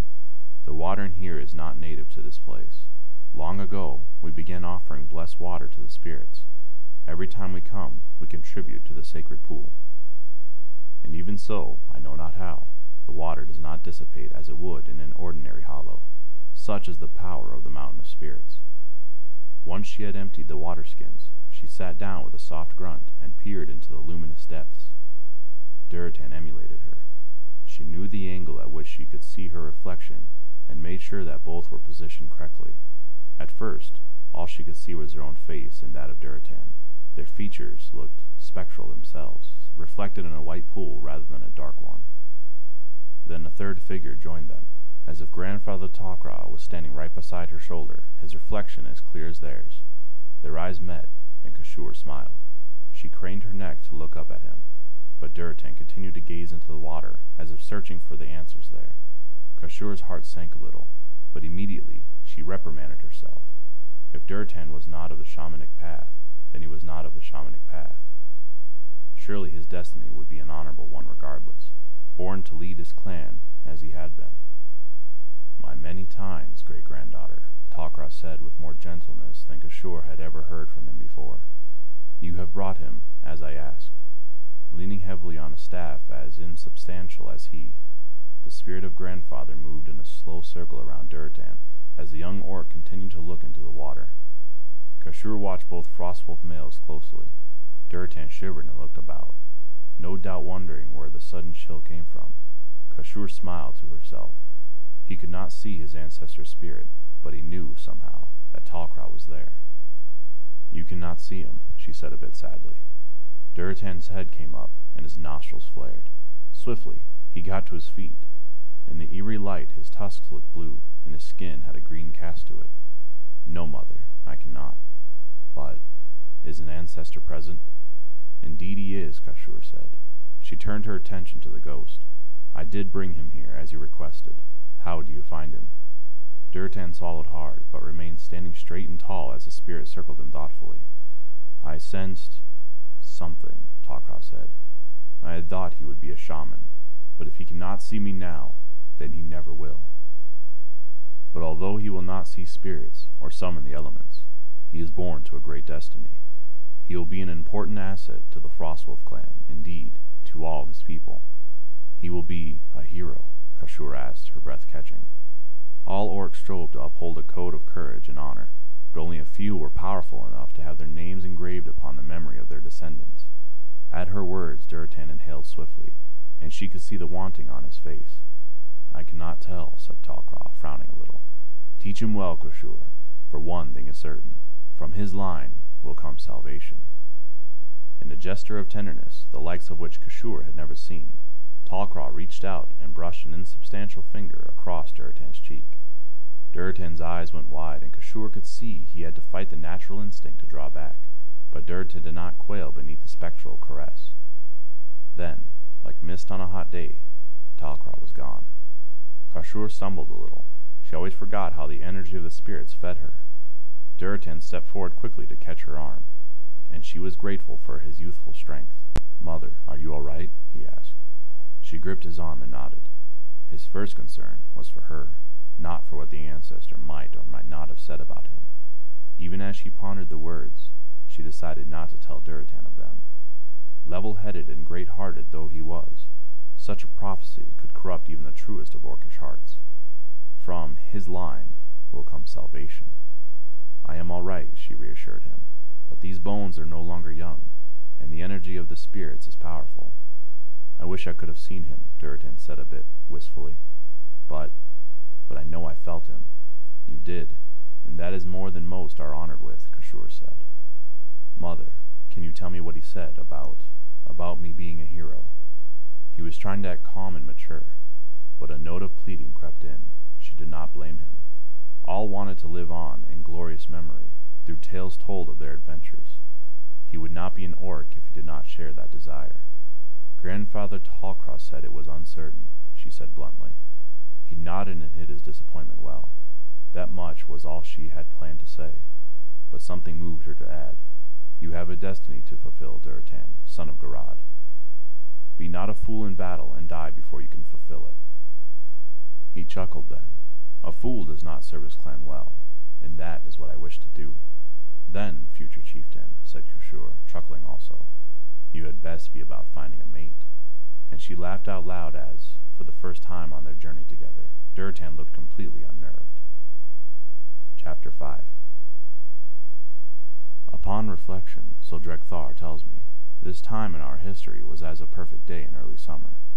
We orcs had everything we truly needed. A hospitable world, the ancestors to guide us, the elements to aid us as they saw fit. Food was plentiful. Our enemies were fierce but not invincible, and we were rich with blessings. If the Draenei were not necessarily our allies, neither were they foe.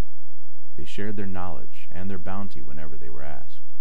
It was we, the orcs, who always held back, and it is we, the orcs, who would unwittingly be twisted to serve another's end. Hate is powerful. Hate can be internal. Hate can be manipulated. And hate can be created. In the darkness visible, ageless, timeless, Kil'jaeden dwelt. The power surged and throbbed through him, better than blood now, more nourishing than meat or drink, heating and calming at the same time. He was not omnipotent, not yet, or else worlds would fall before him with a thought rather than through battle and destruction, and on the whole he was content with this. But they yet lived, die exiles. Kil'jaeden could sense them, though centuries had passed according to those whom time still mattered.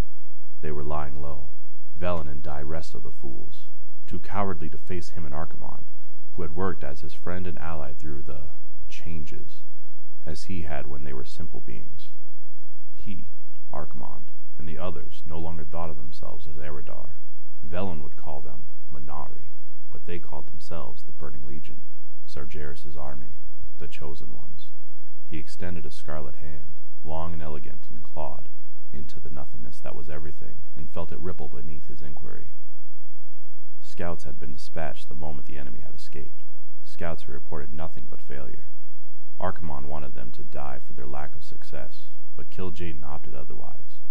Those who feared, fled. He had good cause to know. Those who sniffed reward and their lord's approval stayed, hungering for it. So while Kil'jaeden made his disapproval known, those who had failed him usually got a second chance, or third, if he believed them to be doing all they could and not simply coasting on his goodwill. Archimonde disagreed on this obsession that occupied Kil'jaeden. There are worlds aplenty to conquer and devour, in service to our master Sargeras, Archimonde rumbled. The blackness glowed around them as his voice pierced it. Let the fool go. We would sense it if he used his talents on any level that would pose a threat. Let him rot in some world, bereft of everything that mattered to him. Kil'jaeden slowly turned his massive head to regard the other demon lord. It is not about rendering him powerless, Kil'jaeden hissed. It is about destroying him and those foolish enough to have followed him. It is about crushing him for his lack of faith, for his stubbornness, for his refusal to think about what was best for all of us. The large, clawed hand turned into a fist, and the sharp nails dug into the palm. Molten fire poured forth, then the flow stopped as it hit what passed for air, leaving a thick ridge like a scar. Kil'jaeden's body was covered with many such welts. He took pride in them. Archimonde was powerful, elegant, smooth, intelligent, but he lacked the burning desire for utter obliteration that Kil'jaeden nursed. He had explained it time and again, and now simply sighed and opted not to discuss the matter further. For centuries now, they had had this argument. No doubt they would continue to have it for centuries more, or until Kil'jaeden succeeded in the destruction of the being who had once been his closest friend. Archimonde had never had particular feelings for Velen, other than as a fellow leader of the Eredar. Kil'jaeden had loved Velen as a brother, closer than that, loved him almost as another aspect of himself, and then... Again the huge hand clenched, and again unholy fire poured forth in lieu of blood. No, it would not be enough to think of Velen sitting on some backwater world, nursing his hurt pride, living off the land in some cave. Kil'jaeden once would have said he wanted blood, but blood, powerful in its own ways as it was, would not satisfy him now. He wanted the essence of shame, of utter and complete humiliation. That would be even sweeter than the coppery taste of life flowing from Velen and his stupid followers. Archimonde tilted his head, a gesture Kil'jaeden recognized. One of his own servants was speaking to him. Archimonde had his own schemes and machinations, all, like Kil'jaeden's, in service to their dark master and his ultimate conquest. Without a word, Archimonde rose to his full imposing height and departed, his movements lithe and sleek, belying his size. At that moment as well, Kil'jaeden felt a slight scratching inside his head. He recognized it at once. It was Talgath, ever his right hand, seeking contact, and the sensation emanating from the thought was one of a cautious hope. What is it, my friend? Speak, Kil'jaeden commanded in his mind. My great lord, I do not wish to plant false hope, but I may have found them. Tempered delight rose inside Kil'jaeden. Like the being he haunted, Talgath was ever the cautious one of his minions. Only a little lower in rank than Kil'jaeden himself, he had proven his loyalty over the centuries. He would not say even this guarded statement without good cause. Where, and what makes you sense this? There is a small world, primitive and insignificant, and I have sensed there a peculiar brand of magic minting the area. It is possible that they may have come and gone. Such, alas, has happened before. Kil'jaeden nodded, even though Talgath was not present to see the gesture. Some things from his past yet lingered, he thought, smiling a little at the ancient movement that betokened agreement in nearly every sentinel species he had encountered. You speak truly, he acknowledged. Many times before, Kil'jaeden's forces had arrived in some world or other, lured by the sweet essence of Eredar magic, only to find that somehow Velen and his wretched followers had gotten wind of the approach and escaped. But I remain hopeful. I will find them and twist them to my purposes, and I have eternity in which to do so. A thought occurred to him. So often before, Kil'jaeden's forces had descended upon a world where Velen was thought to be, only to have him escape. Kil'jaeden had nourished his insulted pride by destroying such worlds, but the slaughter of primitive races, though pleasant, did not slake his demonic thirst for complete and total revenge. He would not behave that way this time. He would not send Talgath at the head of the Burning Legion. Velen had once been the strongest of them, the wisest, the most attuned to magic and science. Kil'jaeden could not imagine that his old friend would have dropped his guard, not after such a relatively brief time. Velen would be constantly on the alert, ready to flee in the face of so obvious of a threat. But what about a less obvious threat? Talgath, I want you to investigate this world for me, my lord. Talgath's mental voice was smooth and poised, but puzzled. We have descended upon worlds in force before, and to no avail.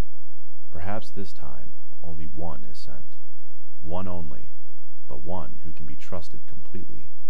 Kil'jaeden sensed unease and pride warring in Talgath's thoughts. There are many ways to destroy one's enemy than with an army. Sometimes those ways are better. You, you wish me to find such a better way then? Precisely. Visit this place on your own, learn about it, investigate. Tell me if the exiles are truly there, and if so, what their state is. Tell me what they live on, if they are fat and settled like tame livestock, or lean and edgy, like prey animals. Tell me what their world is like, what other peoples live there, what creatures, what seasons. Investigate, Talgath. Do nothing without express orders from me. Of course, my lord. I shall prepare at once. Still puzzled, but obedient and intelligent, Talgath had served the Man'ari master well in the past. Now he would serve well again. Kil'jaeden's face, though it little resembled what it had been before he had cast his lot with the great Lord Sargeras, was still able to twist into the facsimile of a smile. Durotan, like all his people, had been ready to begin training with weapons at the age of six. His body was already tall and filling out, and the usage of weaponry came naturally to his people. At twelve, he had gone with the hunting parties, and now, after the rite that marked him as an adult, he had been able to join them in the hunt for ogres and their obscene, twisted masters, the Gronn. This year, as the autumn Kosh'harg came, he joined the adults in the circle after the children had been sent to bed, and as he and Orgrim had learned years before, being an adult and being able to attend the fireside circle was not very interesting. However, the one thing he did find interesting, as he watched with observant brown eyes, was interacting with those whose names he had known for many years, but who never spoke much to him because of his youth. Mother Kashur, of course, was from his own dam. He knew she had high standings among the shaman of the other clans, and he took pride in that fact. He noticed her huddled by the fire on his first night, a woven blanket wrapped around a frame that seemed to him little more than bone and skin. He knew, without knowing how he knew, that this would be her last Kosh'harg celebration, and the thought saddened him more than he had expected. Next to her, younger than she but older than Durotan's parents, was Kashur's apprentice, Drek'Thar.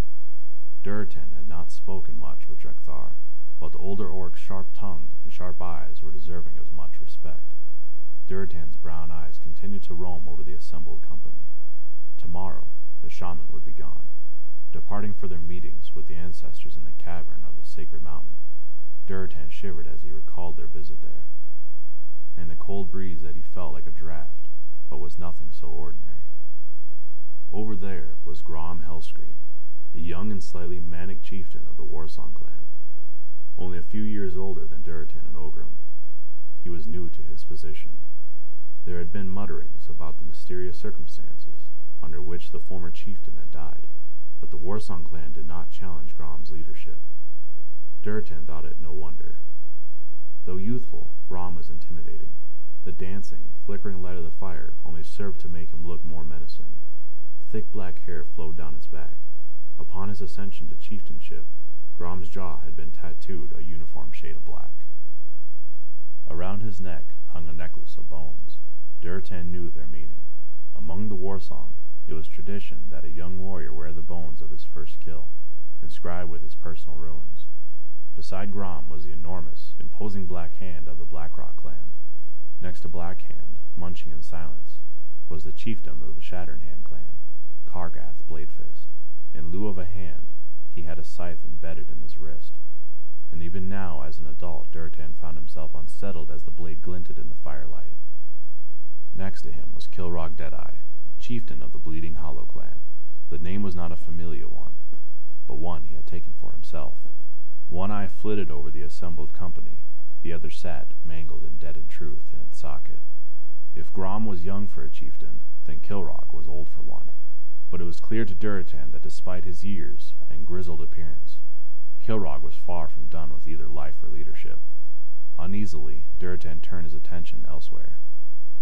On Drek'Thar's left was the famous Ner'zhul of the Shadowmoon clan. For as long as Durotan could remember, Ner'zhul had led the shaman. Once, Durotan had been permitted to attend a hunt at which Ner'zhul had been present, and the mastery this shaman had over his skills was shocking.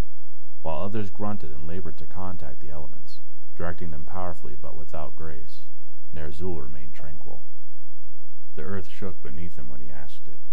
Lightning came down from the skies to strike where he directed. Fire, air, water, earth, and the elusive spirits of the wilds all called him companion and friend. He had not seen Ner'zhul interact with the ancestors, of course. No one but shaman were witness to such things. But it was clear to Durotan that if the ancestors had not favored Ner'zhul, he would not have serenely carried power all this time. Ner'zhul's apprentice, however, Durotan did not like. Orgrim was sitting next to his boyhood friend, and, seeing where Durotan's gaze led, leaned over and whispered, I think that Gul'dan would better serve his people if he were set out as bait. Durotan looked away so that no one else would see him smile.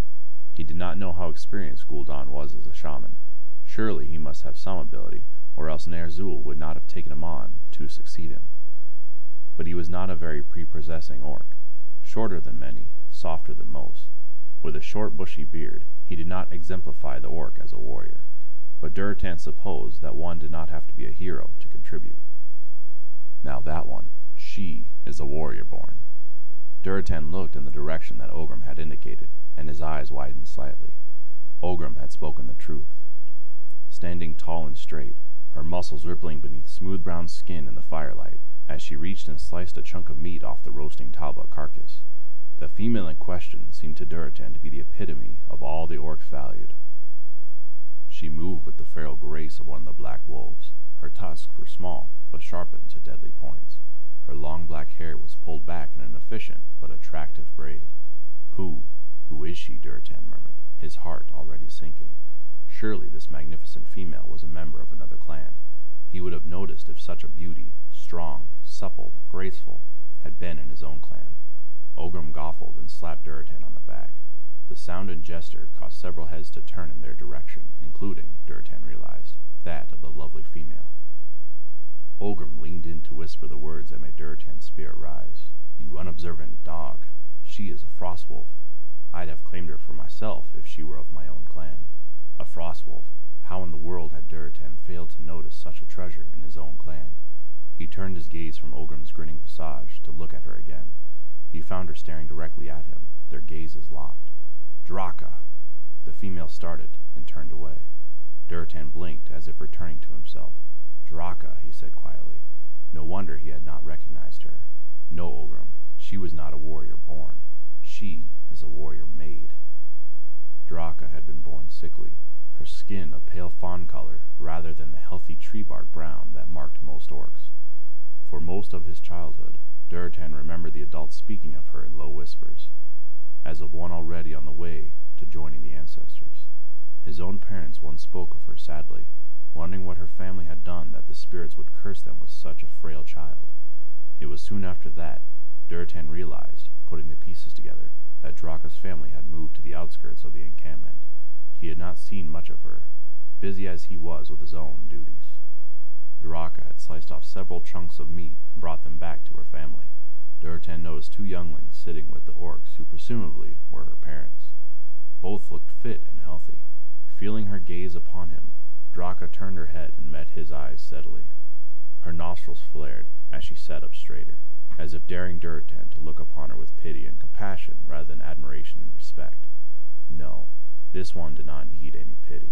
By the grace of the spirits, the healing of the shaman, and the power of the will he could see burning in her brown eyes, she had cast off her childhood frailty to mature into this, this vision of female orc perfection. His breath escaped him in a whoosh as Orgrim elbowed him. Durotan glared at his childhood friend. Stop gaping. It makes me want to put something in your mouth to shut it, Orgrim grumbled. Durotan realized he had indeed been gaping, and that more than one knowing, grinning glance was coming his way. He returned his attention to the feast, and did not glance at Draka again for the rest of the night. But he dreamed of her, and when he awoke, he knew that she would be his. He was the heir to chieftaincy, and one of the proudest of the Orc clans. What female could deny him? No, Draka said. Durotan was stunned. He had approached Draka the next morning and invited her to go hunting with him the following day, alone. Both knew what that meant. Male and female hunting in a pair was a courtship ritual, and she had rebuffed him. It was so unexpected he did not know how to react. She watched him almost contemptuously, her lips curving around her perfect tusks in a smirk. Why not? Durotan managed. I am not yet of age, she replied. The way she phrased it made it sound more like an excuse than a reason. But Durotan would not be put off so easily. I had intended this to be a courting hunt. That much is true, he said bluntly. But if you are not of age, I will respect that. Still, I would like your company. Let this be a hunt shared by two proud warriors, nothing more. Now it was her turn to be startled. Durotan guessed that Draka had expected him to either push the point or leave in anger. She paused, her eyes wide. Then she grinned. I will come on such a hunt, Durotan, son of Garad, leader of the Frostwolf clan. Durotan thought he had never been happier. This was vastly different from the usual hunt. He and Draka had set a brisk, loping pace. All his challenges with Orgrim had given Durotan stamina, and for a moment he worried he was going too fast. But Draka, born so fragile and now so strong, kept up with him. They did not speak much. There was little to say. They were on a hunt. They would find prey, kill it, and bring it back to their clan. The silence was easy and comfortable. He slowed as they moved into open territory and began to scan the ground. There was no snow on the earth, so tracking was not the simple job it was in the winter months. But Durotan knew what to look for.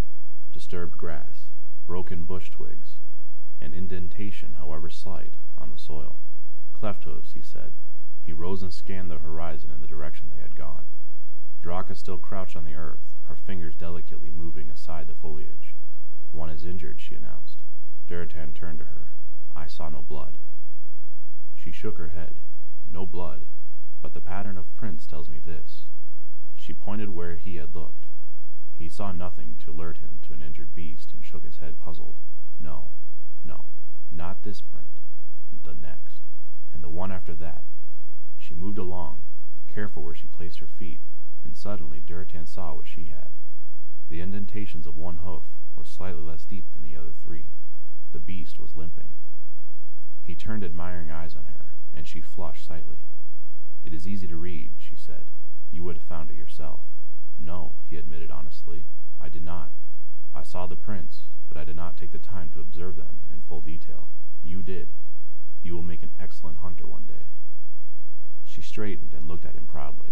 Something warm and simultaneously strengthening and weakening rushed through him. He was not one to pray, but now as he looked at Draka standing before him, he sent a quick prayer to the spirits. Let this female look agreeably upon me. They followed the trail like wolves on the scent. Durotan had stopped leading. This female was his equal in tracking. They complemented one another well. He had the sharper eyes, but she looked more deeply at what he found. He wondered what it would be like to fight beside her. Their eyes on the earth before them, they loped around a sharp turn. He wondered what it would be like to... The great black wolf, crouched, snarling over the same animal they had been tracking, whirled. For an endless instant, three predators regarded one another. But even before the mighty beast had gathered itself to spring, Durotan had charged. The axe felt as nothing in his arms as he lifted and struck. It sank deep into the creature's torso, but Durotan felt the retaliatory bite from yellow teeth crunch down on his arm. Pain, white hot and shocking, coursed through him. He tore his arm free. It was harder this time to lift the axe with his arm pumping blood, but he did. The wolf had turned its attention fully upon Durotan, its yellow eyes boring into his, its mouth open in a roar. Its hot breath stank of rancid meat. At that instant, before the great jaws closed upon his face, Durotan heard a war cry. There was a flurry of movement in the corner of his eye. Draka sprang upon the beast, her long, ornamented spear preceding her. The wolf's head snapped back as the spear pierced its midsection. In the instant of inattention, Durotan hefted his axe again and brought it down as hard as he could. He felt it cut through the animal's body, down, down, striking earth, going deep, lodging so firmly he could not pull it out immediately. He stepped back, panting. Draka stood beside him. He felt her warmth, her energy, her passion for the hunt as powerful as his. Together they stared at the mighty beast they had slain. They had been taken unawares by an animal that usually requires several seasoned orcs to bring it down, and they were still alive. Their foe lay dead, blood pooling beneath it, sliced in two by Durotan's axe, Draka's spear protruding from its heart. Durotan realized he would never be able to tell which of them had struck the true killing blow, and the thought made him ridiculously happy. He sat down hard. Draka was there, quickly washing the blood from his lacerated arm, only to mutter under her breath as one more came. She tended him with healing salves and tightly wrapped bandages, along with some bitter-tasting herbs she added to the water, and ordered him to drink. After a few moments, the dizziness went away. Thank you, he said quietly. She nodded, not looking at him. Then a smile quirked one corner of her mouth. What is so funny? That I was not able to stand? His voice was harsher than he had intended, and she looked up quickly, surprised at his tone. Not at all. You fought well, Durotan. Many would have dropped their axe after such a blow. He felt oddly pleased by her comment, delivered as a factual statement rather than flattery. Then, what amuses you? She grinned, meeting his eyes evenly. I know something, and you do not know it. But, after this, I think I will tell you. He felt himself smiling too. I am honored. I told you yesterday I was not of age for a courtship hunt. True? Well, when I said that, I knew I would soon come of age. I see, he said, though he didn't, not quite. Well, when will you come of age? Her smile broadened. Today, she said simply. He looked at her for a long moment, then, with no word, pulled her to him and kissed her. Talgath had been observing the orcs for some time. Now he withdrew from them, their bestial nature offending him. Being a Man'ari was better, except for the female creatures with the leathery wings and tail. Man'ari slaked their lust with violence, not coupling. He preferred it that way. He would, in fact, have preferred to have slain the two on the spot, but his master had been quite clear about intervening. There would be questions asked if these two did not return to their clan, and though they were as unimportant as flies to him, flies could become a nuisance. Kil'jaeden wanted him to only observe and report back, nothing more, and so Talgath would. Revenge, mused Kil'jaeden, like fruit on a tree, was sweetest when allowed to fully ripen. There had been moments over a long stretch of years when he had harbored doubts about being able to locate the renegade Eredar.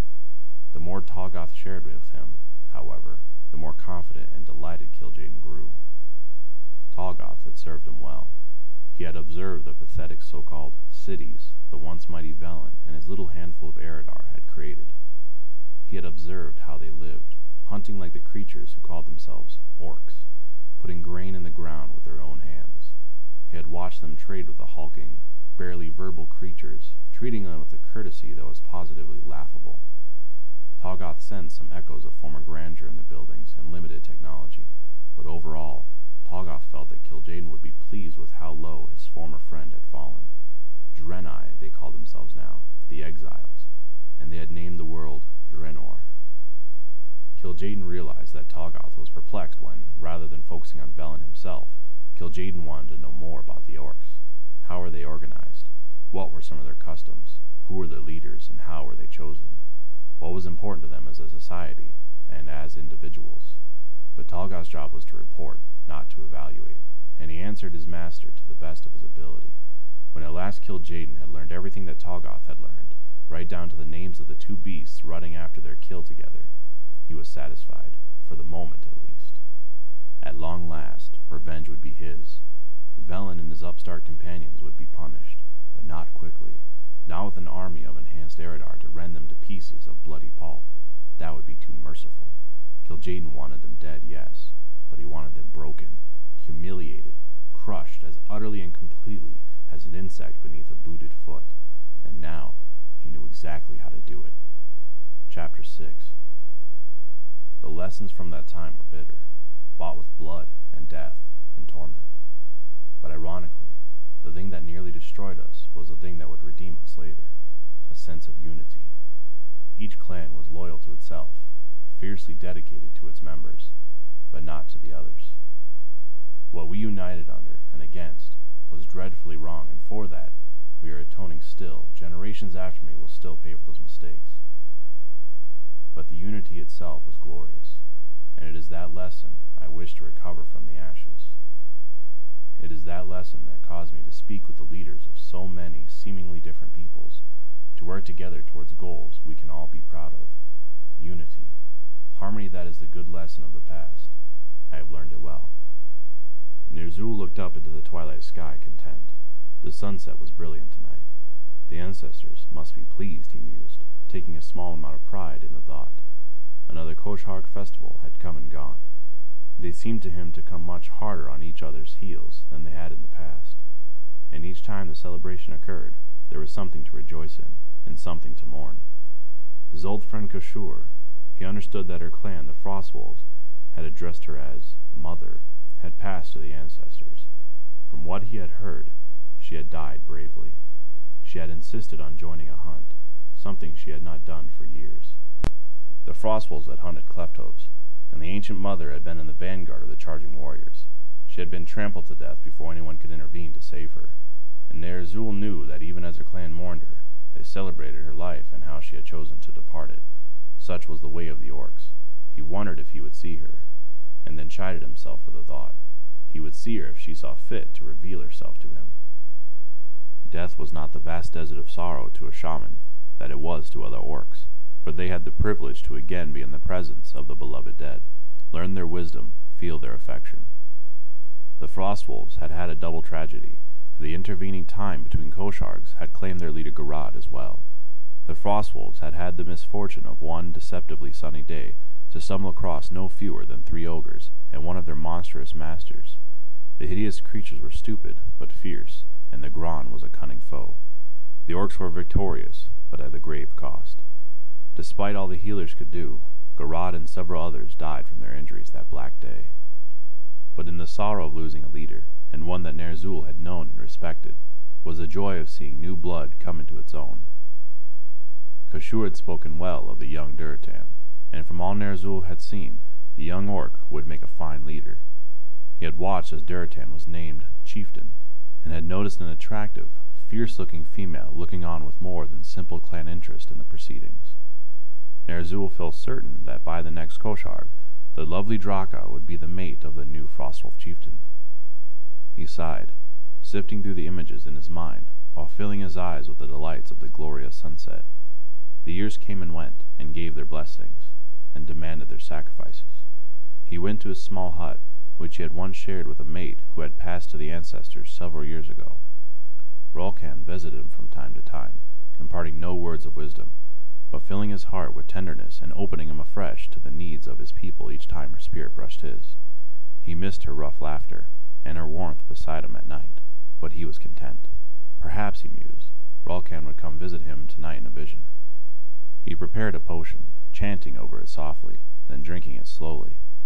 It would not actually cause a vision. Nothing would unless the ancestors willed it, and sometimes visions came upon him when he least expected them.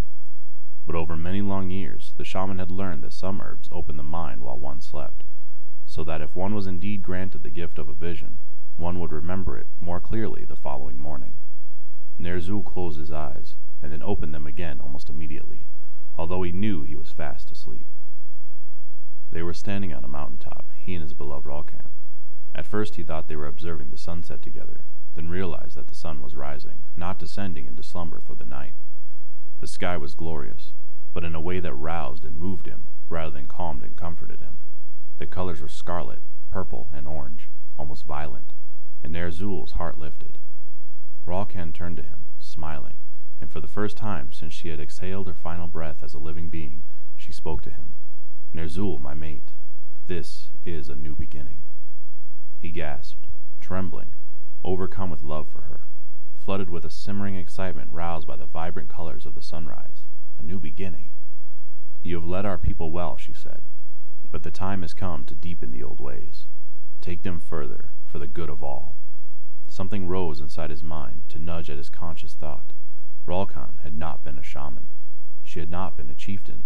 She had only been her wonderful self, which had been more than enough for Ner'zhul. But she had held no position in life that would make it likely that she would speak so authoritatively. Annoyed at his lack of faith, Ner'zhul pushed the voice down. He was not a spirit. He was only flesh and blood, and though he understood the spirit ways more than most, he also knew that there was much he would never understand until he stood with them. Why wouldn't Rulkan speak for the ancestors? I am listening, he said. She smiled. I knew you would, she said. There are dark and dangerous times ahead of us for the orcs.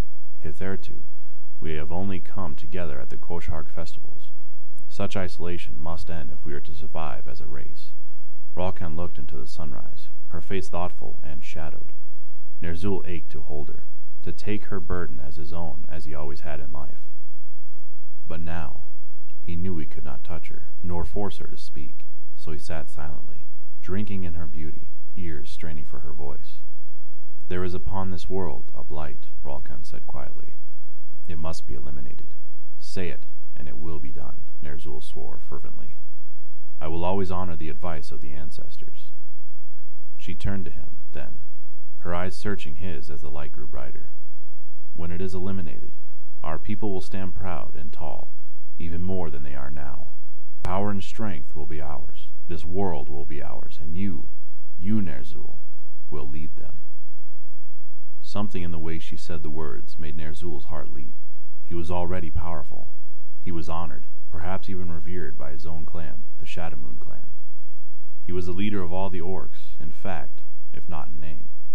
But now, desire stirred in his heart for more, and fear stirred in him too, dark and unpleasant, but something that must be faced.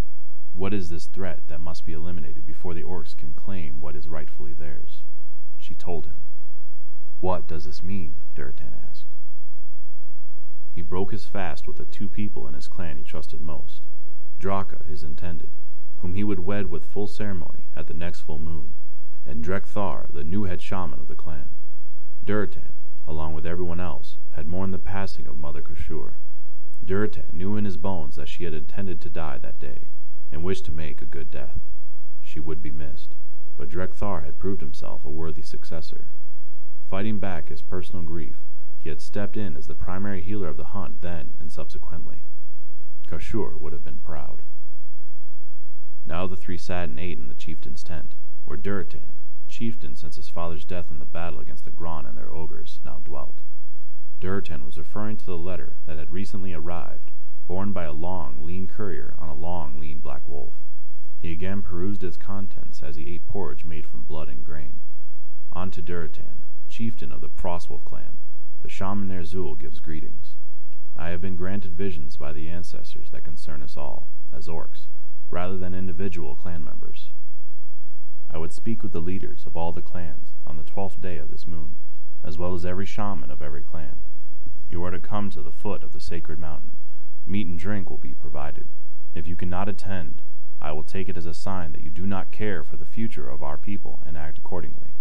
Forgive my brusqueness, but this matter is of utmost urgency. Please respond via my courier. Durotan had made the courier wait while he discussed the matter. The courier seemed quite put out, but agreed to stay out for a brief time. The aromatic smell of the porridge, wafting from a large cauldron, perhaps helped convince him. I do not know, Other than that, obviously, Ner'zhul feels this is of extreme importance, Drek'Thar admitted. Such a thing has never happened outside of the Kosh'harg ceremonies. Always a shaman have a meeting then, in the presence of the ancestors who wish to attend, but never outside of that. And I have never heard of anyone summoning the chieftains. But I have known Ner'zhul all my life. He is a wise and great shaman. If the spirits were to speak to any of us about something that threatens us all, they would speak through him.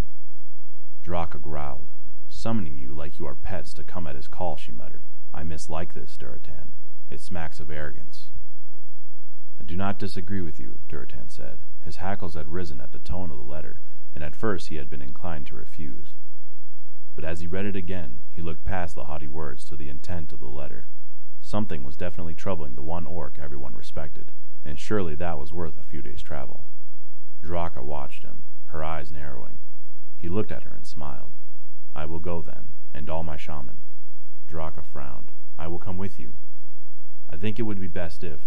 Draka snarled. I am Draka, daughter of Kelkar, son of Rakish. I am your intended, soon to be your life partner. You will not forbid me to accompany you. Durotan threw back his head and laughed, warm inside at the display of Draka's spirit. He had chosen well, all right. From one born weak had come strength and fire. The Frostwolf clan would flourish with her by his side. Call in the courier, then, if he has finished his meal, Durotan said, humor still lacing his deep voice. Tell him that we will come to this strange meeting of Ner'zhul's, but we had best be assured of its necessity when we are there. The Frostwolf leader and shaman were among the first to arrive. Ner'zhul himself greeted them, and the moment Durotan laid eyes on the shaman, he knew that he had been right to come.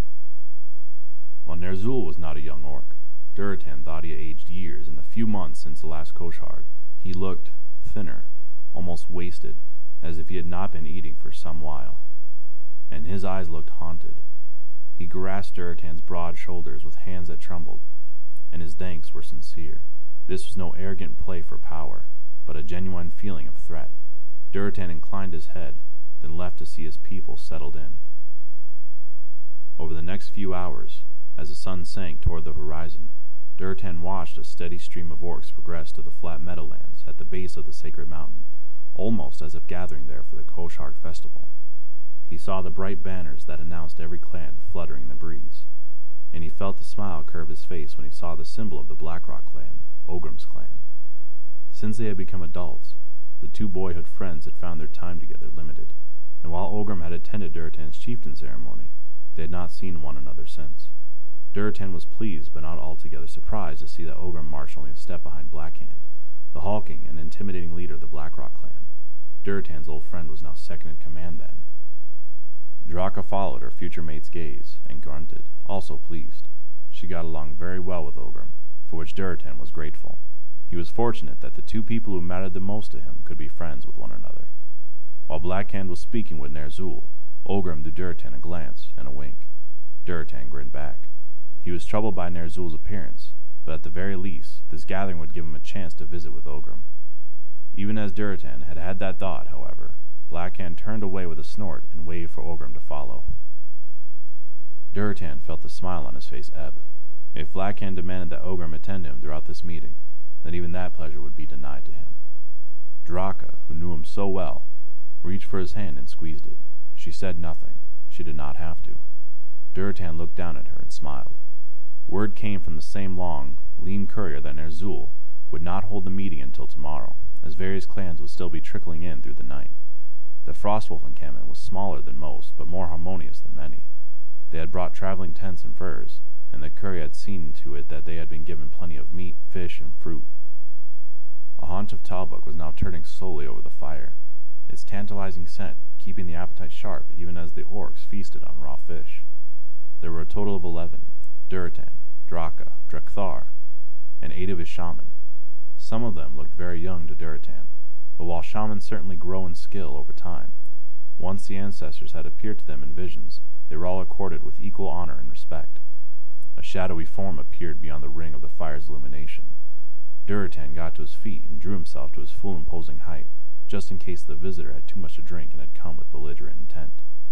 Then the wind shifted, and he laughed as he caught Orgrim's scent.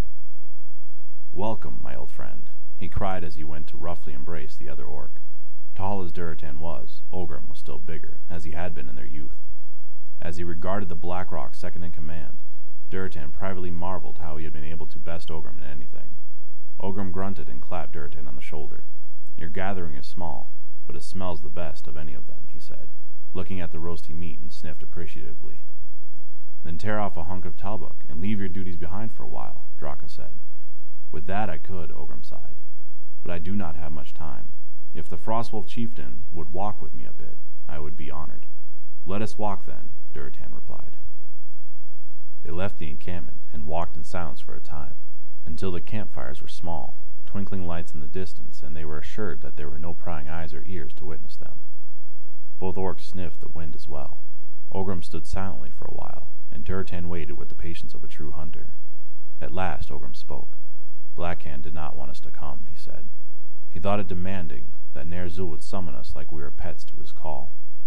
Draka and I had that same reaction as well, but I am glad we did. You saw Ner'zhul's face. One look at him was all I needed to determine that we had been right to come. Orgrim snorted derisively, for myself as well, but when I left the camp, Blackhand was still raging against the shaman. He does not see what you and I do. It was not Durotan's place to speak ill of another clan leader, but neither was it any secret what most orcs thought of Blackhand. He was certainly a powerful orc, fully in his prime, bigger and stronger than any orc Durotan had ever seen, and he was also certainly not stupid. But there was an air about him that raised Durotan's hackles. Durotan decided to hold his tongue. I see your struggle, even in the darkness, my old friend, Orgrim said quietly. You do not have to speak for me to know what you would say. He is my chieftain. I have sworn loyalty to him, and I will not break that oath. But even I have my misgivings. The admission startled Durotan. You do. Orgrim nodded. I am torn, Durotan. Torn between my loyalties and what my mind and heart tell me. May you never be put in such a position. A second, I can help moderate him somewhat, but not much. He is clan leader, and he has the power. I can only hope that he will listen to others tomorrow, and not stubbornly sit on his wounded pride. Durotan fervently shared that hope. If things were indeed as bad as Ner'zhul's expression seemed to indicate, the last thing he wanted to see was the leader of one of the most powerful clans behaving like a spoiled child. His eye fell upon a dark shape on Orgrim's back. Pride and sorrow both flooded him as he spoke. You carry the Doomhammer now. I did not know of your father's passing. He died bravely and well, Orgrim said. He hesitated, then said, Do you remember that day long ago when we ran afoul of the ogre, and the Draenei saved us? I can never forget it, Durotan said. Their prophet spoke of a time when I would receive the Doomhammer, Orgrim said. I was so excited at the thought of wielding it in a hunt. That was the first time I understood, I mean really understood, that the day it became my weapon would be the day I would be fatherless. He unstrapped the weapon from his back and hoisted it. It was like watching a dancer, Durotan thought, a balance of power and grace. The moon shone down upon Orgrim's strong body as he moved, crouched, sprang, swung. Finally, breathing heavily and sweating, Orgrim replaced the legendary weapon. It is a glorious thing, Orgrim said quietly, a weapon of power, a weapon of prophecy, the pride of my lineage, and I would shatter it into a thousand pieces with my own hands if it would bring my father back.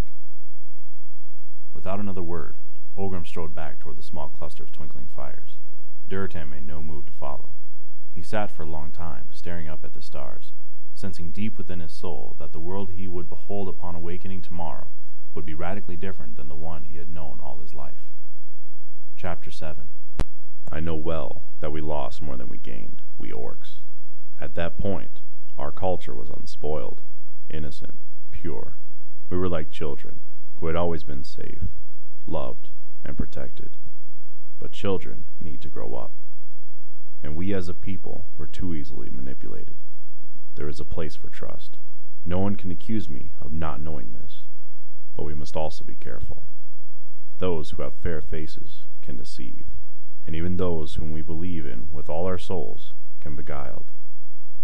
It is the loss of our innocence that I am lament when I think back to what those days must have been like, and it was our innocence that led to our downfall. It was a long line of solemn faces that turned to look at die-gathered leaders of the Orclans. Durotan stood next to Draka, his arm about her waist in a protective gesture, although he was not sure why he felt she needed defending. His eyes widened as they met Drek'Thar's, and he saw in his friend and advisor's face something that chilled him to the bone. He wished he could stand with Orgrim. They were of different clans and different traditions, but other than his intended, there was no one Durotan trusted more. But Orgrim, of course, stood beside his chieftain Blackhand, who looked around at the gathered shaman with thinly concealed annoyance. He has been too long away from the hunt, that one, Draka murmured, nodding in Blackhand's direction. He is spoiling for a fight. Durotan sighed. He may well get it. Look at their faces. I have never seen Drek'Thar so, not even when Mother Kashur's body was broken, Draka said. Durotan did not reply, merely nodded and continued to observe. Ner'zhul strode forward into the center of the gathered crowd. Everyone moved back to give him more room. He began to walk sunwise in a circle, murmuring. Then he paused and lifted his hands. Fire burst forth in front of him, leaping skyward in a display that brought soft sounds of appreciation even from those who had seen such things many times before. It stood, towering over them for a long moment, then subsided, settling down to become a traditional bonfire, albeit a magical one. As the darkness falls, in more ways than one, sit you beside the fire, Ner'zhul commanded. Let each clan sit to itself, with each its own shaman, and I will call you forth to speak when the time is right. Perhaps you wish us to fetch a slain beast for you, too, came a fierce, angry voice, and lie obediently at your feet at night. Durotan knew that voice. He had heard it raised often enough at the Kosh'harg festivals in his youth, and had heard its owner utter cries to chill the bone during hunts. It was distinctive and unmistakable. He turned to look at Grom Hellscream, the youthful leader of the Warsong clan, and hoped that the outburst would not overly delay whatever it was Ner'zhul had to tell them all. Hellscream stood in front of his clan, more slender than most orcs, but still tall and imposing.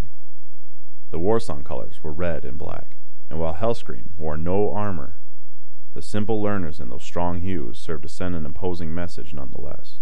He folded his arms and glared at Ner'zhul.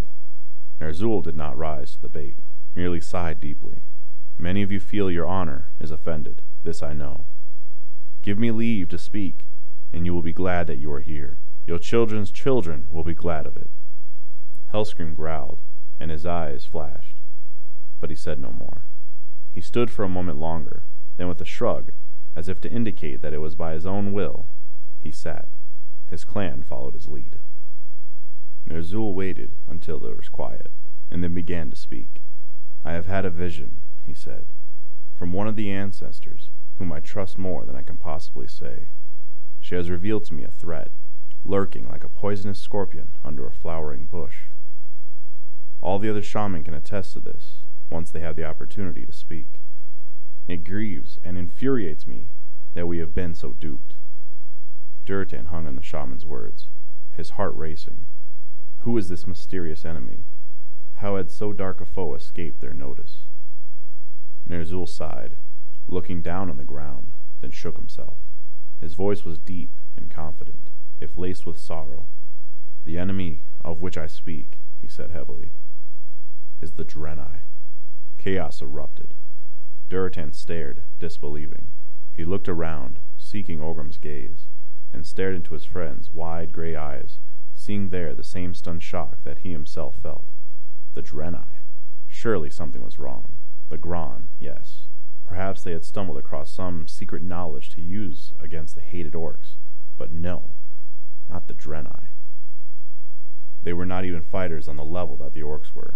They hunted, yes, that was true, but they needed meat as much as any orc in order to survive.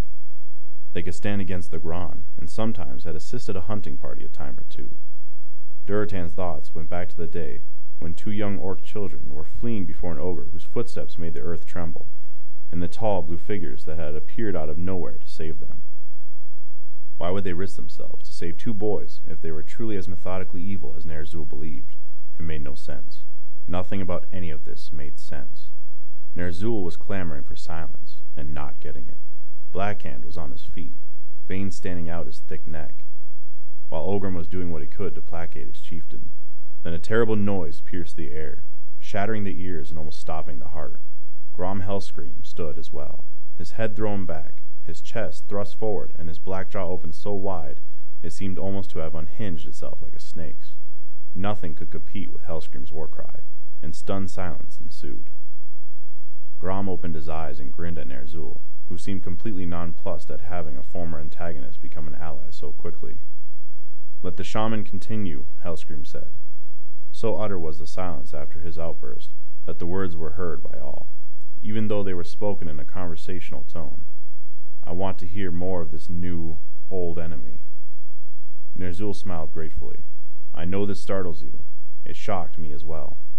But the ancestors do not lie. These seemingly benevolent people have been waiting for years until the time is right to attack us. They sit safely behind their strange buildings, made of materials we do not understand, and they harbor secrets that could benefit us greatly. But why? Durotan spoke, even before he himself realized he had. Heads turned to look at him, but he did not back down. Why do they want to attack us? If they harbor such vast secrets, what do they need from us? And how could we possibly defeat them if this is true? Ner'zhul looked discomforted. That I do not know, but I do know the ancestors are concerned. We outnumber them, Blackhand growled. Not by that much, Durotan shot back. Not against their superior knowledge. They came here on a ship that sails between worlds. Blackhand, think you they will fall to arrows and axes? Blackhand's heavy brows drew together. He opened his mouth to retort. This has been simmering like a stew on a fire for many decades. Ner'zhul interrupted, forestalling the argument. Resolution and eventual victory will not come overnight. I do not ask you to go to war at this moment, but simply to be aware, to prepare, to discuss with your shaman the right course of action, and to open your minds and hearts to a union that will ensure triumph. He spread his hands imploringly. We are separate clans, yes, each with its own traditions and heritage. I am not asking you to give up that proud history, merely asking you to open your minds to a unity that takes the clans that are strong alone and turns them into an unstoppable force. We are all orcs, Blackrock, Warsong, Thunderlord, Dragonmaw. Don't you see how little those distinctions matter? We are the same people. In the end, we want safe homes for our young, success in the hunt, mates who will love us, honor amongst the ancestors. We are more alike than different. Durotan knew this to be true, and glanced over at his friend. Orgrim stood behind his chieftain, tall and imposing and solemn. Yet when he felt Durotan's gaze on him, he met that gaze and nodded.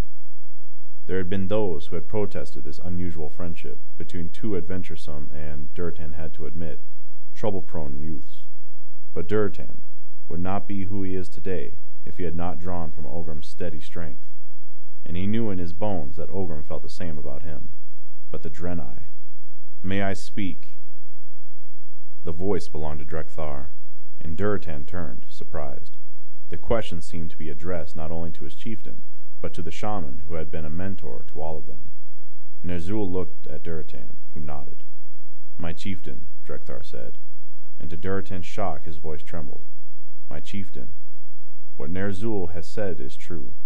Mother Kashur confirmed it. The other Frostwolf shaman nodded. Durotan stared at them. Mother Kashur. If there was anyone Durotan trusted, it was that wise old orc. His mind went back to the moment when he stood in the cavern, feeling the cold air that was not air on his face, listening and watching with every fiber of his being as Mother Kashur spoke to someone he could not see, but who he knew was there. Mother Kashur said the Draenei are our enemies? he asked, hardly able to believe his ears. Drek'Thar nodded. It is time for the clan chieftains to listen to their own shaman, as Durotan has, said Ner'zhul. We will reconvene at twilight, and the chieftains will tell me their thoughts. These are the people you know and trust. Ask them what they have seen. The gathered crowd began to disperse. Slowly, looking at one another cautiously, the Frostwolf clan wandered back to their own encampment. As one, they sat in a circle and turned their attention to Drek'Thar, who began to speak slowly and carefully. The Draenei are not our friends, he said. My chieftain, I know you and the Doomhammer Blackrock stayed with them one night. I know that you spoke well of them. I know that it appears they saved your life, But let me ask you, did nothing strike you amiss? Durotan recalled the ogre bearing down on them, bellowing in fury, its club swinging. And with an uncomfortable sensation, he recalled how very, very quickly the Draenei appeared to rescue him and Ogre, how they could not return home as it was so conveniently close to twilight. He frowned. It was an uncharitable thought, and yet... Your brow furrows, my chieftain. I take it, then, that your youthful faith in them is now starting to wane. Durotan did not answer, nor did he look at his clan's head shaman. He stared down at the earth, not wanting to feel this way, but unable to stop the doubt from creeping into his heart, like the cold fingers of a frosty morning. In his memory he again spoke to Restalaan, telling the tall blue Draenei, we were not as we are now. No, you are not, Restalaan had said. We have watched the orcs grow in strength, and skill, and talent. You have impressed us. He felt again a sharp sting, as if the compliment were a carefully crafted insult, as if the Draenei thought they were superior, even with their strange, unnatural blue skin, their legs shaped like those of a common talbuk, with long reptilian tails, and shiny blue hooves instead of decent feet like the orcs had. Speak, my chieftain. What do you recall? Durotan told him in a rough and heavy voice of the fortuitous arrival of the Draenei, of Restalaan's near arrogance, and, and Velen, their prophet, asked many questions about us. He was not making idle conversation. He truly seemed to want to know about the orcs. Of course he did, Drek'Thar said. What an opportunity. They have been plotting against us since they arrived, and to find two, forgive me, Durotan, but two young and naive children to tell them everything they wanted to know. It must have been quite an event. The ancestors would not lie to them, especially about something so important. Durotan knew this. And now that he recalled the events of that day and night in this new light of knowledge, it was obvious how suspicious Velen's actions were, and yet was Velen such a master of deceit that the sensation of trust both Orgrim and Durotan had felt had all been a lie. Durotan bowed his head. There is a part of me that doubts yet, my friends, he said quietly, and yet I cannot stake the future of our people on such thin ice as my own personal doubts. Ner'zhul did not propose an assault tomorrow. He asked for us to train, and watch, and prepare, and draw closer as a people. This I will do, for the good of the Frostwolves and the good of the Orcs. He looked at each worried face in turn, some merely friends, some, like Drek'Thar and Draka, known and loved. The Frostwolf clan will prepare for war. Chapter 8 How easily the mind can be turned to hate from a place of fear, an instinctive, natural, protective response. Instead of focusing on the things that unite us, we focus on what divides us. My skin is green, yours is pink. I have tusks, you have long ears. My skin is bare, yours is covered with fur. I breathe air, you do not. If we had done such things, the Burning Legion would not have been defeated, for I would never have wished to ally with Jaina Proudmoore, or fight alongside elves. My people would not have survived to befriend the Tauren or the Forsaken. So it was with the Draenei. Our skin was reddish-brown then, theirs was blue. We had feet, they had hooves and a tail. We lived mostly in the open, they lived in enclosed spaces. We had a fairly short lifespan, no one knew how long-lived they were. Never mind that they had shown us nothing but courtesy and openness, that they had traded with us, taught us, shared whatever they were asked to share. They had no bearing now. We had heard from the ancestors, and we saw with our own eyes how different they were. My prayer, every day, is for wisdom to guide my people, and in that prayer is couched a plea, never to be blinded by such trivial differences. The training began. It had always been custom among nearly every clan to begin training the younglings once they celebrated their sixth year, but previously the training had been serious but relaxed. Weapons were for hunting animals, not sentient beings who had their own weapons and skill and technological advantages, and there were plenty of hunters who could easily bring down prey. A young orc learned at his or her own pace, and there was plenty of time for play and enjoying simply being young, no longer. The plea for unity among the orcs was answered. The couriers exhausted their beasts riding to and fro between clans carrying messages. At one point, some bright fellow came up with the idea of training bloodhawks to carry the letters, It took some doing, and did not happen overnight, but gradually Durotan grew used to seeing the scarlet birds fluttering to Drek'Thar and others in the clan. He approved of the idea.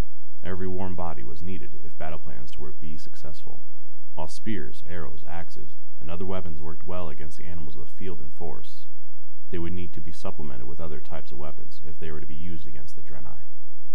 Protection would be vital, and whereas before the smiths and leathercrafters focused on armor that would blunt attacks from claws and teeth, now they had to create things that would save the wearer if you were impaled or slashed by a sword.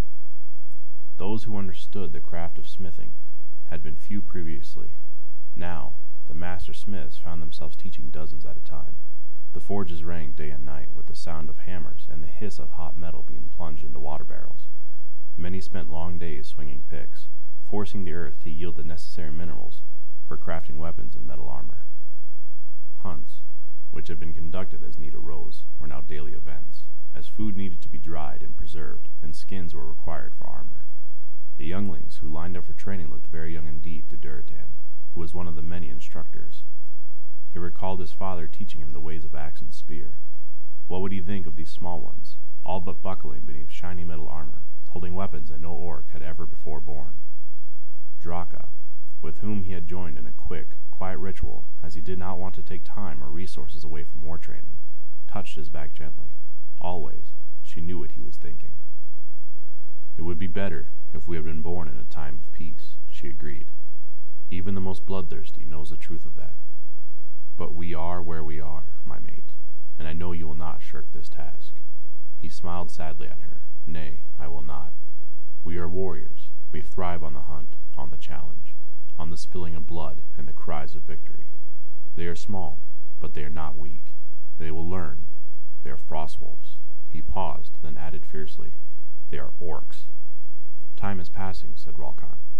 I know, but you would not have our people go into battle unprepared, Ner'zhul replied. The Draenei are vastly superior as it stands now.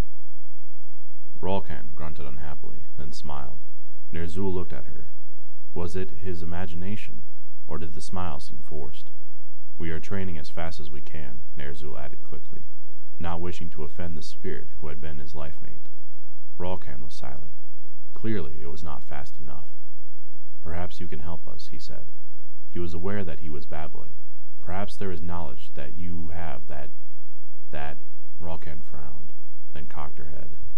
I have told you all I know, she said. But there are other powers, other beings, that the living do not know of. Ner'zhul almost stumbled at her words. There are the elements, and there are the ancestral spirits, he managed. What other beings are there? She smiled at him. You yet breathe, my mate. You are not ready to treat with them. They are the ones who have been aiding us, so that we may aid you, the beloved ones we left behind. No, Ner'zhul replied. He was pleading. But he could not help it. Please, we need aid if we are to protect the future generations from the Draenei's insidious plots. He did not say that he was enjoying being the center of attention from every single orc in every single clan.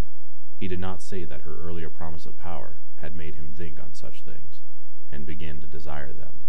But even more than that, she had instilled such terror of the monstrous Draenei that the sudden holding back on her part unnerved him totally. Rulkan looked at him appraisingly. Perhaps you are right, she said. I will see if they will speak to you. There is one whom I trust the most, whose concern for our people is deep and abiding. I will ask him. He nodded, almost ridiculously pleased at her words, then blinked awake. A smile stretched his lips. Soon, he would see this mysterious spirit, this benefactor, very soon. Gul'dan smiled at him as he brought in fruit and fish to break his master's fast. Another vision, my master. He bowed low as he presented the food and cup of steaming herbal tea.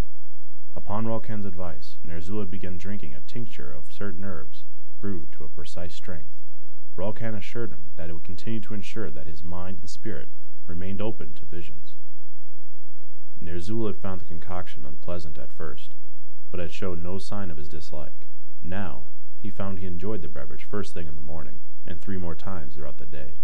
He accepted the cup, and sipped it as he nodded in response to Gul'dan's question. Indeed, and I have learned something important. Gul'dan, for as long as there have been orcs, there have been shaman. And the shaman work with the elements, and with the ancestors. Gul'dan's face wore an expression of puzzlement. Yes, of course. Ner'zhul couldn't stifle a grin that stretched his lips wide over his tusks. And that is still true. But there is more than we know of. More that the ancestors can see, but we as living beings cannot. Rulkan has told me she has been in contact with such beings. They have wisdom and knowledge even beyond that of the ancestors, and they will come to aid us. Rulkan says there is one in particular who has chosen to take the orcs under his wing, and soon, soon he will show himself to me. Gul'dan's eyes sparkled, and to me too, perhaps, master. Ner'zhul smiled. You are a strong one, Gul'dan, he said. I would not have chosen you as my apprentice if that were not the case. Yes, I think so. When he has deemed you worthy, as he has deemed me. Gul'dan lowered his head. May it be so, he said. I am so honored to serve. This is a time of great glory for the orcs. We are blessed to live to see it. The Blackrock clan, with Blackhand himself in the vanguard, had begged for the honor of being first to strike. There had been some resentment and grumbling, but the hunting skills of the Blackrock were legendary. And they were a logical first choice, as they also lived fairly near Telmor, one of the smaller, more isolated cities. They had been given the first efforts at armor, swords, metal-tipped arrows, and other weapons of war that would bring down the Draenei. Orgrim, the Doomhammer strapped across his back, and clad from head to foot in metal that made him chafe and feel confined, rode at his chieftain's side.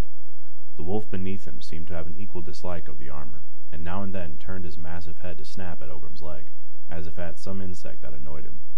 He also seemed to be laboring a bit as he bore his rider across the soft meadow grass, panting more than usual, pink tongue lolling. Orgrim muttered under his breath. It had sounded so simple. Go to war against this new, insidious foe.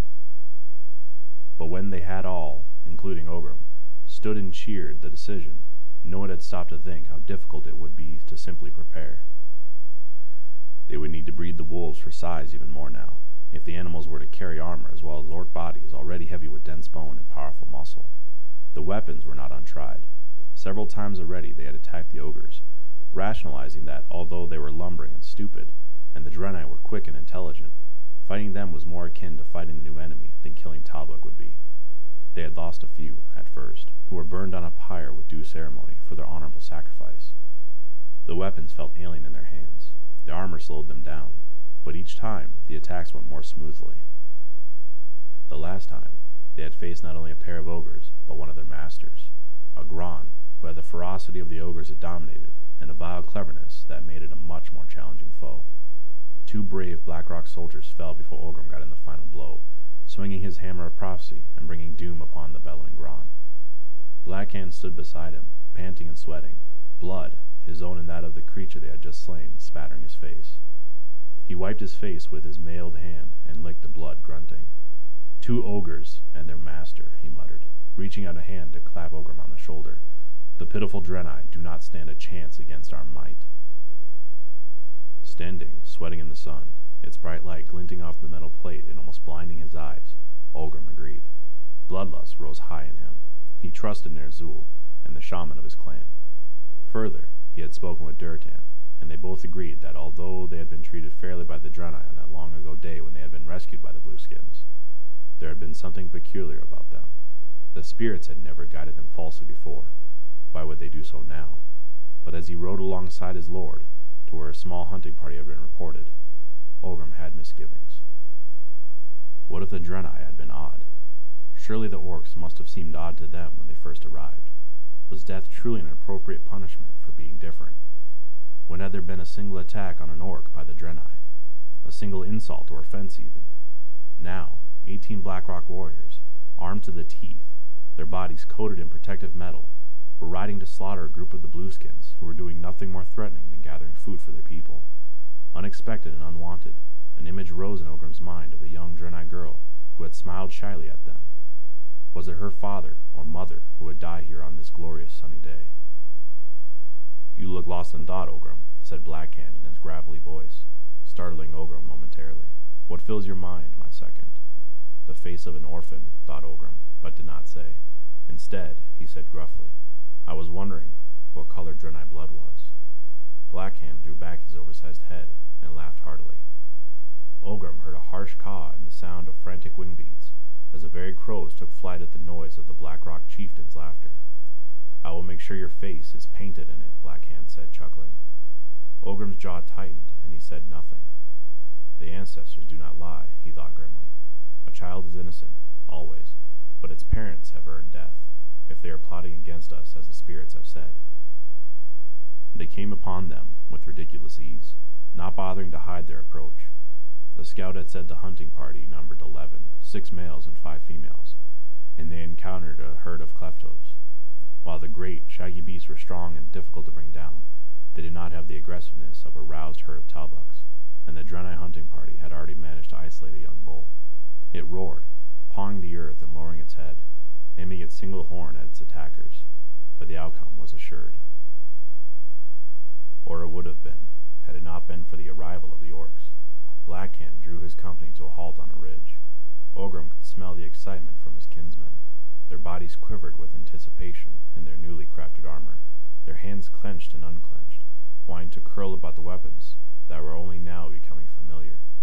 Blackhand held up a mailed fist, his small eyes fastened on the activity below, waiting for the right moment to swoop down like a hawk on a meadow rat. The Blackrock chieftain turned to his shaman, who were in the back. They, too, wore armor, but carried no weapons. They did not need to. They would heal their brethren as they fell, and also direct the immense power of the elements towards their foe. You are ready? he asked. The eldest among them nodded. His eyes glowed fiercely, and his lips were curved in a smile. He too wanted to see Draenei blood shed this day. Blackhand grunted and brought his fist down. The Blackrock warriors charged. They uttered their battle cries as they came, and the blueskins turned startled. At first, only surprise registered on those faces. No doubt they merely wondered why such a great number of mounted orc warriors were coming to aid them in a kill. It was only when Blackhand, atop his monstrous wolf, brought his two-handed broadsword down in a smooth blow that severed their leader in half that the Draenei realized that the orcs had come not for the clefthoof, but for them. To their credit, they did not stare in stunned horror at the sight, but sprang immediately into action. Voices that held only the faintest tremor of fear uttered words in a liquid-sounding alien tongue. Although Orgrim did not recognize the words, Durotan had the gift of recall for such things. Not he, the sound was familiar. He knew what to expect from that long ago day when the Draenei had rescued him and Durotan, and had prepared his kinsmen. So when the sky crackled with an unnatural blue and silver lightning, the shaman were ready. They blasted the strange bolts of light with lightning of their own. The brightness was almost blinding, and Orgrim looked down quickly, his focus on the Draenei warrior in front of him, wielding a staff that glowed and sparked. He roared and lifted the Doomhammer over his head, and brought it crashing down upon his enemy. The armor the Draenei warrior wore could not withstand such an attack, and crumpled like a thin tin bracelet. Blood and brains spattered the ground. Orgrim looked up, searching for his next target. Some of the black rocks were held in the magical netting created by one of the Draenei's foul, unnatural lightning. They were proud and strong warriors, but they screamed in agony as the netting burned its way into their skin. The acrid odor of burning flesh mixed with the wreck of blood and fear in Orgrim's nostrils. It was an intoxicating smell. He felt a wind brush his face, chasing away the sense of battle and infusing his lungs with energy. Orgrim selected the one he would next kill and raced towards the warrior, a female who had no weapon, but who was wreathed in a pulsating blue energy.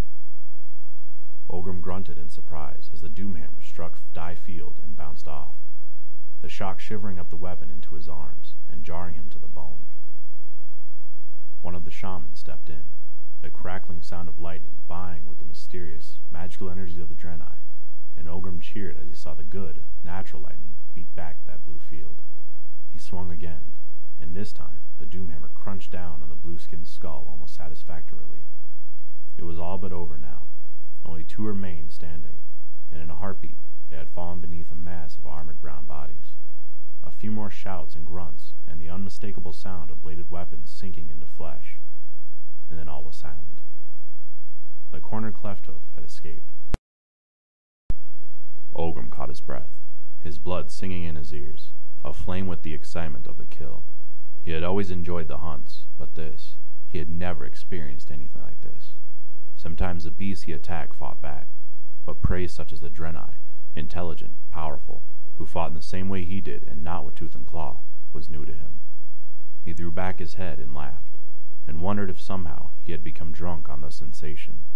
The cheers and rough, deep bellows of laughter from the victorious orcs were the only sound in the glade.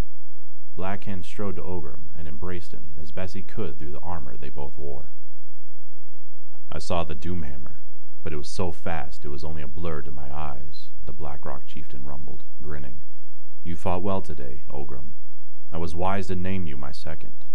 He stooped over the mage that had been Orgrim's last kill and removed his mailed gloves. The skull had been completely shattered, and blue blood was everywhere. Blackhand dipped his fingers in the slain Draenei's life fluid and carefully painted Orgrim's face with it. Deep inside, something shifted in the orc. He remembered doing this himself at his first kill, the blood red and warm. He remembered having this done to him when he went to the sacred mountain as part of the Om'riggor ritual, with his father's blood on his face. And now, his leader had anointed him again, with the blood of the beings that were their enemy.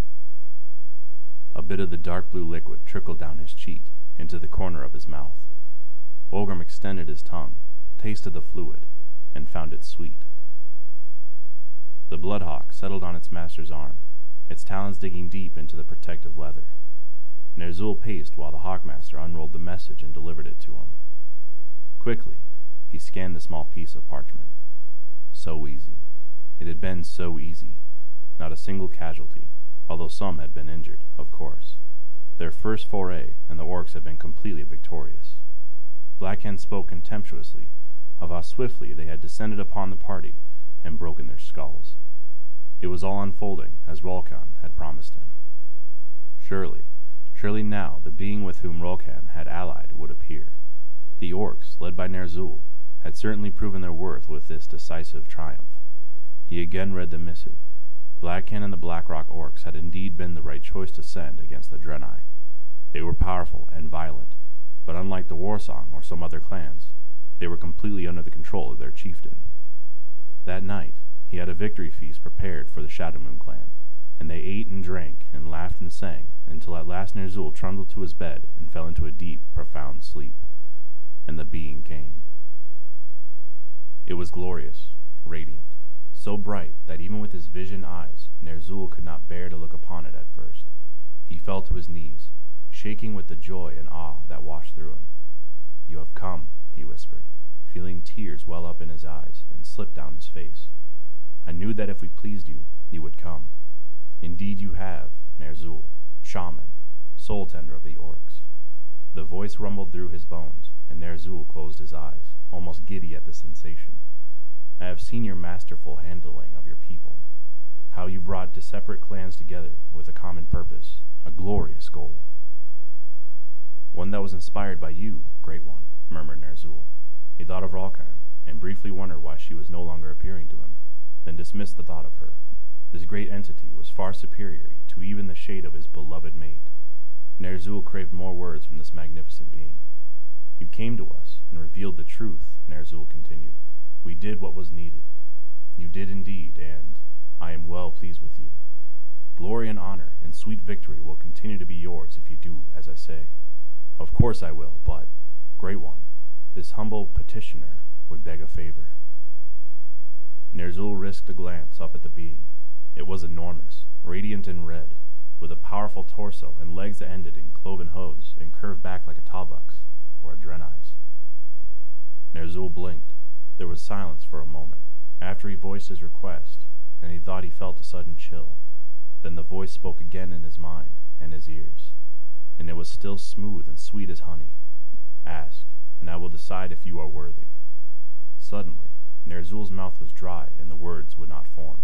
With an effort he spoke, Great One, do you have a name by which we may call you?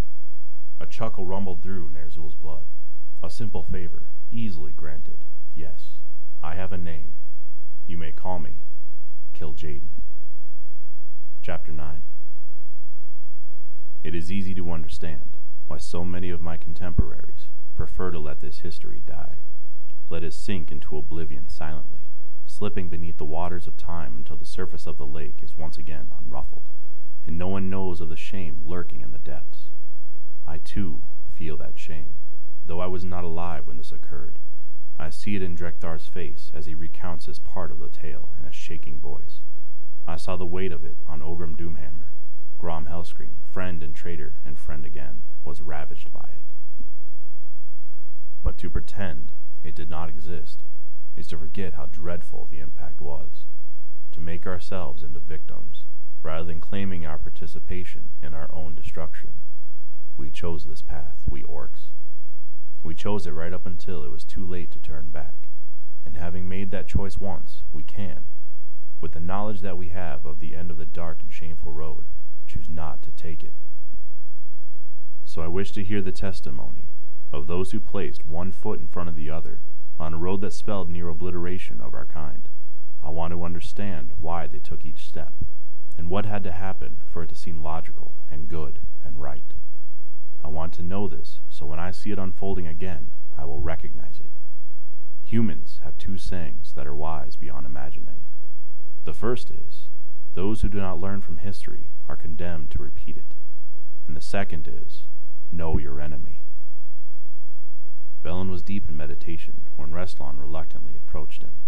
He sat in the central courtyard of the Temple of Karabor, not on the comfortable benches that flanked the rectangular pool, but on the hard stone. The air was filled with the scent of the flowering bushes of the lush garden, and the water murmured softly as it circulated. Trees, their leaves moving in the wind, added their own quiet sounds. It was a tranquil scene, but Velen's attention was inward. Long, long had the Draenei and the Naaru trusted one another. The luminous beings who so seldom opted to take solid form had been first caretakers of the exiled Eredar, then teachers, and then friends. They had traveled together and beheld many worlds. Each time the Naaru, particularly the one that called itself K'ure, had been instrumental in helping the Draenei flee when the Man'ari uncovered their hiding place, and each time Kil'jaeden and the monstrous creatures who had once been Eredar had come closer to capturing them. Velen grieved every time he and his people had to depart a world to save themselves, knowing that any beings they left behind would be as changed as the Eredar had been. Kil'jaeden, always eager for more to join the legion he was creating for his dark master Sargeras, would overlook no possible recruit. K'ure, as sorrowful as Velen, grieved with him, but it spoke in Velen's mind with the unalterable logic that Kil'jaeden, Archimonde, and Sargeras would have destroyed another world in the same amount of time. All worlds, all beings, all races were horrifically equal in Sargeras' eyes.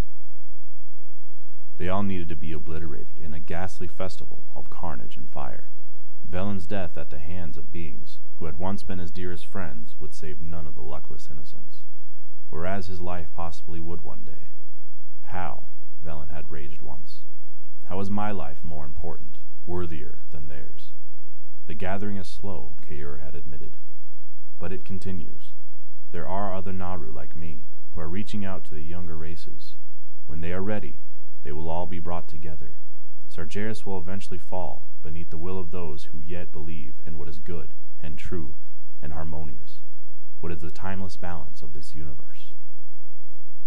Velen had no choice but to either believe this being who had become his friend, or to turn his back on those who had trusted him and be twisted into a Man'ari. He chose to believe. Now, though, he was confused.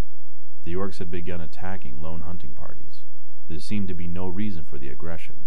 None of the shaken guards, to whom Velen had spoken, reported anything out of the ordinary. And yet, three hunting parties had been killed down to the last Draenei.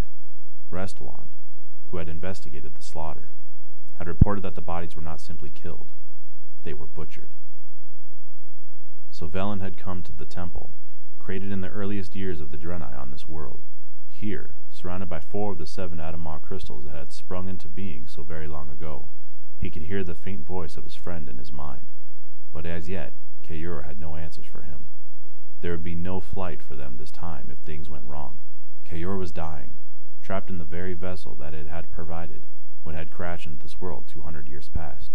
Great prophet, said Restalaan, his voice soft and weary sounding. There has been another attack. Slowly, Velen opened his ancient eyes and regarded his friend sorrowfully. I know, he said. I felt it. Restalaan ran a thick-fingered hand through his black hair. What do we do? Each attack seems more violent than the last. Examination of the inquiries done to the bodies seemed to indicate that they were improving their weapons. Velen sighed deeply and shook his head. The white braid swung gently with the movement. I cannot hear K'ure, he said quietly. At least, not as well as I used to. I fear its time is not much longer. Restalaan lowered his gaze, pain evident on his face.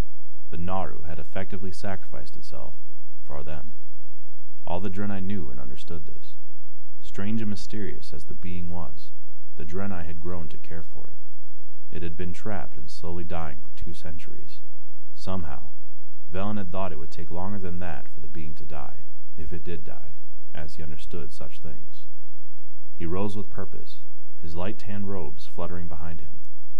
It yet has wisdom to impart to me, but I have not the skill to hear it any more. I must go to it. Perhaps proximity will help it communicate better. You... you mean go to the ship? Restalaan asked. Velen nodded. I must. Great Prophet, I do not mean to question your wisdom, but... But you do anyways, Velen said, laughing, his startling blue eyes crinkling at the corners with genuine good humor. Continue, my old friend. Your questioning always has value to me. Restalaan sighed. The orcs have adopted the vessel as their sacred mountain, he said. I know this, Velen replied. Then why antagonize them by venturing there? Restalaan asked. They would surely see this as an act of aggression at any time, particularly now. You would be giving them reason to continue their attacks against us. Velen nodded. I have thought of this, thought long and hard on it, but perhaps it is time to reveal who we are and what their sacred mountain is. They believe their ancestors dwell there, and they may very well be right. If K'ure does not have much longer, should we not utilize its wisdom and powers while we can? If anyone or anything can broker peace between the orcs and ourselves, this being, greater far than any of us, has that ability. This may be our only hope. K'ure spoke of finding other races, other beings, to join it in its quest for balance and harmony. To stand against Sargeras and this vast, unholy force he has created. Velen placed a white hand on his friend's armor-plated shoulder. One thing for certain has been revealed to me in my meditations, and that is that things can no longer continue as they used to. Orc and Draenei can no longer live in distant familiarity with one another. There's no returning to that, my old friend. There is either war or peace. They will either become our allies or our enemies, and I would never forgive myself if I did not explore every avenue to peace I could. Do you understand now? Restalaan searched Velen's face unhappily, then nodded. Yes. Yes, I suppose I do. But I like it not. At least let me send you with an armored guard, for I know they will attack before they will listen. Velen shook his head. No, no weapons, nothing to provoke them.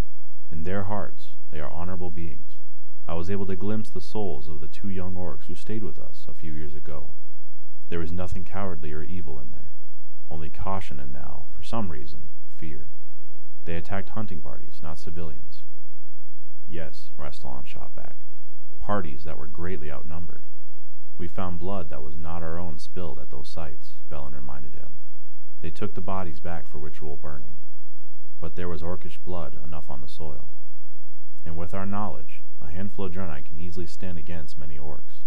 No, I will risk all on this. They will not slay me where I stand if I state my intentions honorably, and I come without the blatant ability to defend myself. I wish I had your confidence, my prophet, said Restalaan resigningly, bowing deeply. I will assemble a small escort party then, and they will not be armed. The Great One, Kil'jaeden, began to visit Ner'zhul with more frequency. First it was only in the dream state, as with the ancestors. He would come in the night while Ner'zhul slept deeply, his body heavy with the drug that opened his mind to Kil'jaeden's voice, and whisper his praise and congratulations and plans for further orc victory. Ner'zhul was in ecstasy. Each letter that arrived by Bloodhawk from the various clans was read with eagerness and delight. We came across two scouts far from aid. The Shattered Hand clan chieftain wrote, It was ease itself to dispatch them, outnumbered as they were.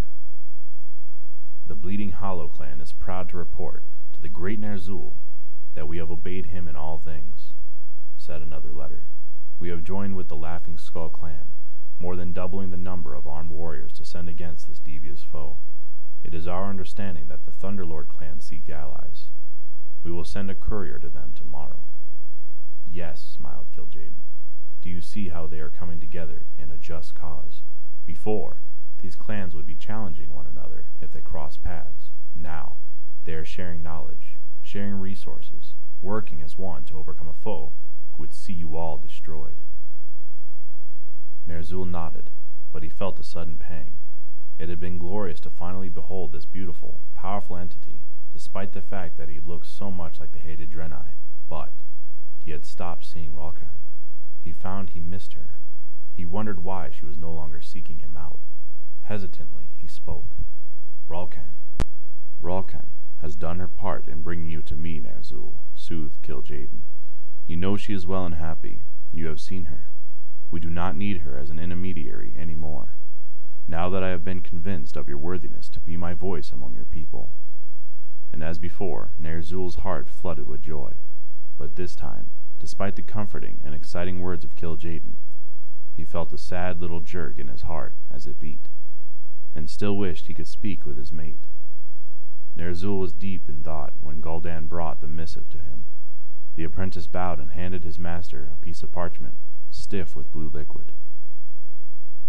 What is this? Ner'zhul asked, taking the parchment. It was taken off a Draenei approaching from the south, Gul'dan replied. A party? A single courier, no arms, not even a mount. The fool was walking. Gul'dan's lips twisted into a smile, and he chuckled. Ner'zhul looked down at the parchment, realizing now that the blue stains were the courier's blood. What had possessed the idiot, walking alone, unarmed, into the heart of Shadowmoon territory? He unfolded it carefully, trying not to tear it, and quickly began to read.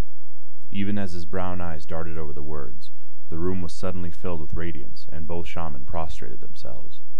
Read it out loud, great Ner'zhul, came Kil'jaeden's smooth voice. Share it with me and your loyal apprentice. Yes, please, my master, said Gul'dan eagerly. As he read it, for the first time since he had spoken with his beloved Rulkan, Ner'zhul tasted doubt.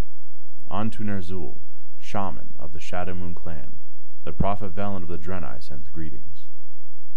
Recently, many of our people have come under attack from the orcs. I do not understand why this is. For generations, your people and mine have lived in peace and tolerance, a state that has benefited us both. We have never lifted a weapon toward an orc, and indeed, once we were instrumental in saving the lives of two young orcs who unwittingly placed themselves in danger. Ah, Gul'dan interrupted, I remember. Durotan, who is currently the Frostwolf chieftain, and Orgrim Doomhammer. Ner'zhul nodded absently, his thoughts distracted for a moment, then resumed reading. We can only assume there is a terrible misunderstanding, and wish to speak with you so that no more lives, orc or Draenei, are lost in such a tragic fashion. It is my understanding that the mountain you call Oshu'gun is sacred to your people, that this is where the wise spirits of your ancestors dwell. While this place has long had deep meaning for the Draenei as well, we have always respected your decision to claim it as your holy site. However, the time has come for us to recognize that there is far more that we share than that divides us. I am called the prophet among my people, because at times I am granted wisdom and insight. I seek to lead well and peacefully, as I am sure you and the leaders of the various clans do your own people. Let us meet peaceably at the place that holds so much meaning for both our races. On the third day of the fifth month, I and a small party will be moving in pilgrimage to enter the heart of the mountain.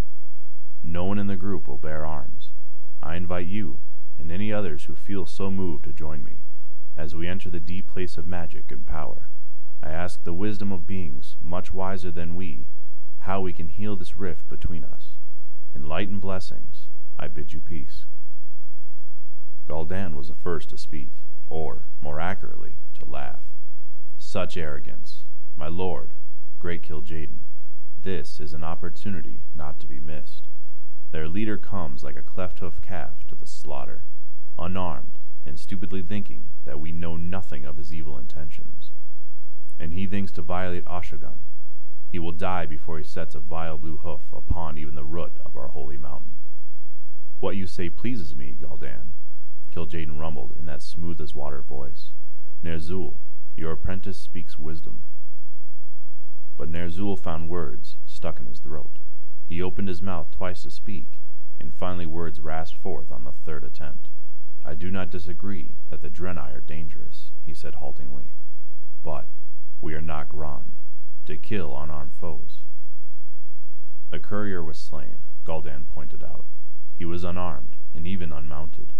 And I regret that, Ner'zhul snapped. He should have been taken into custody and brought to me at once, not killed.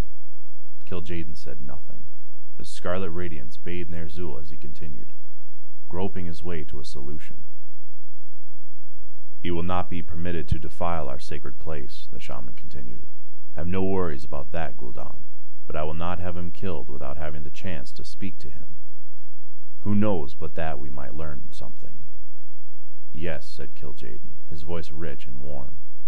When one is in pain, one will reveal all he knows. The word startled Ner'zhul, but he did not reveal his surprise. This magnificent being wanted him to torture Velen. Something inside him was excited at the prospect. But something else inside him recoiled. Not yet.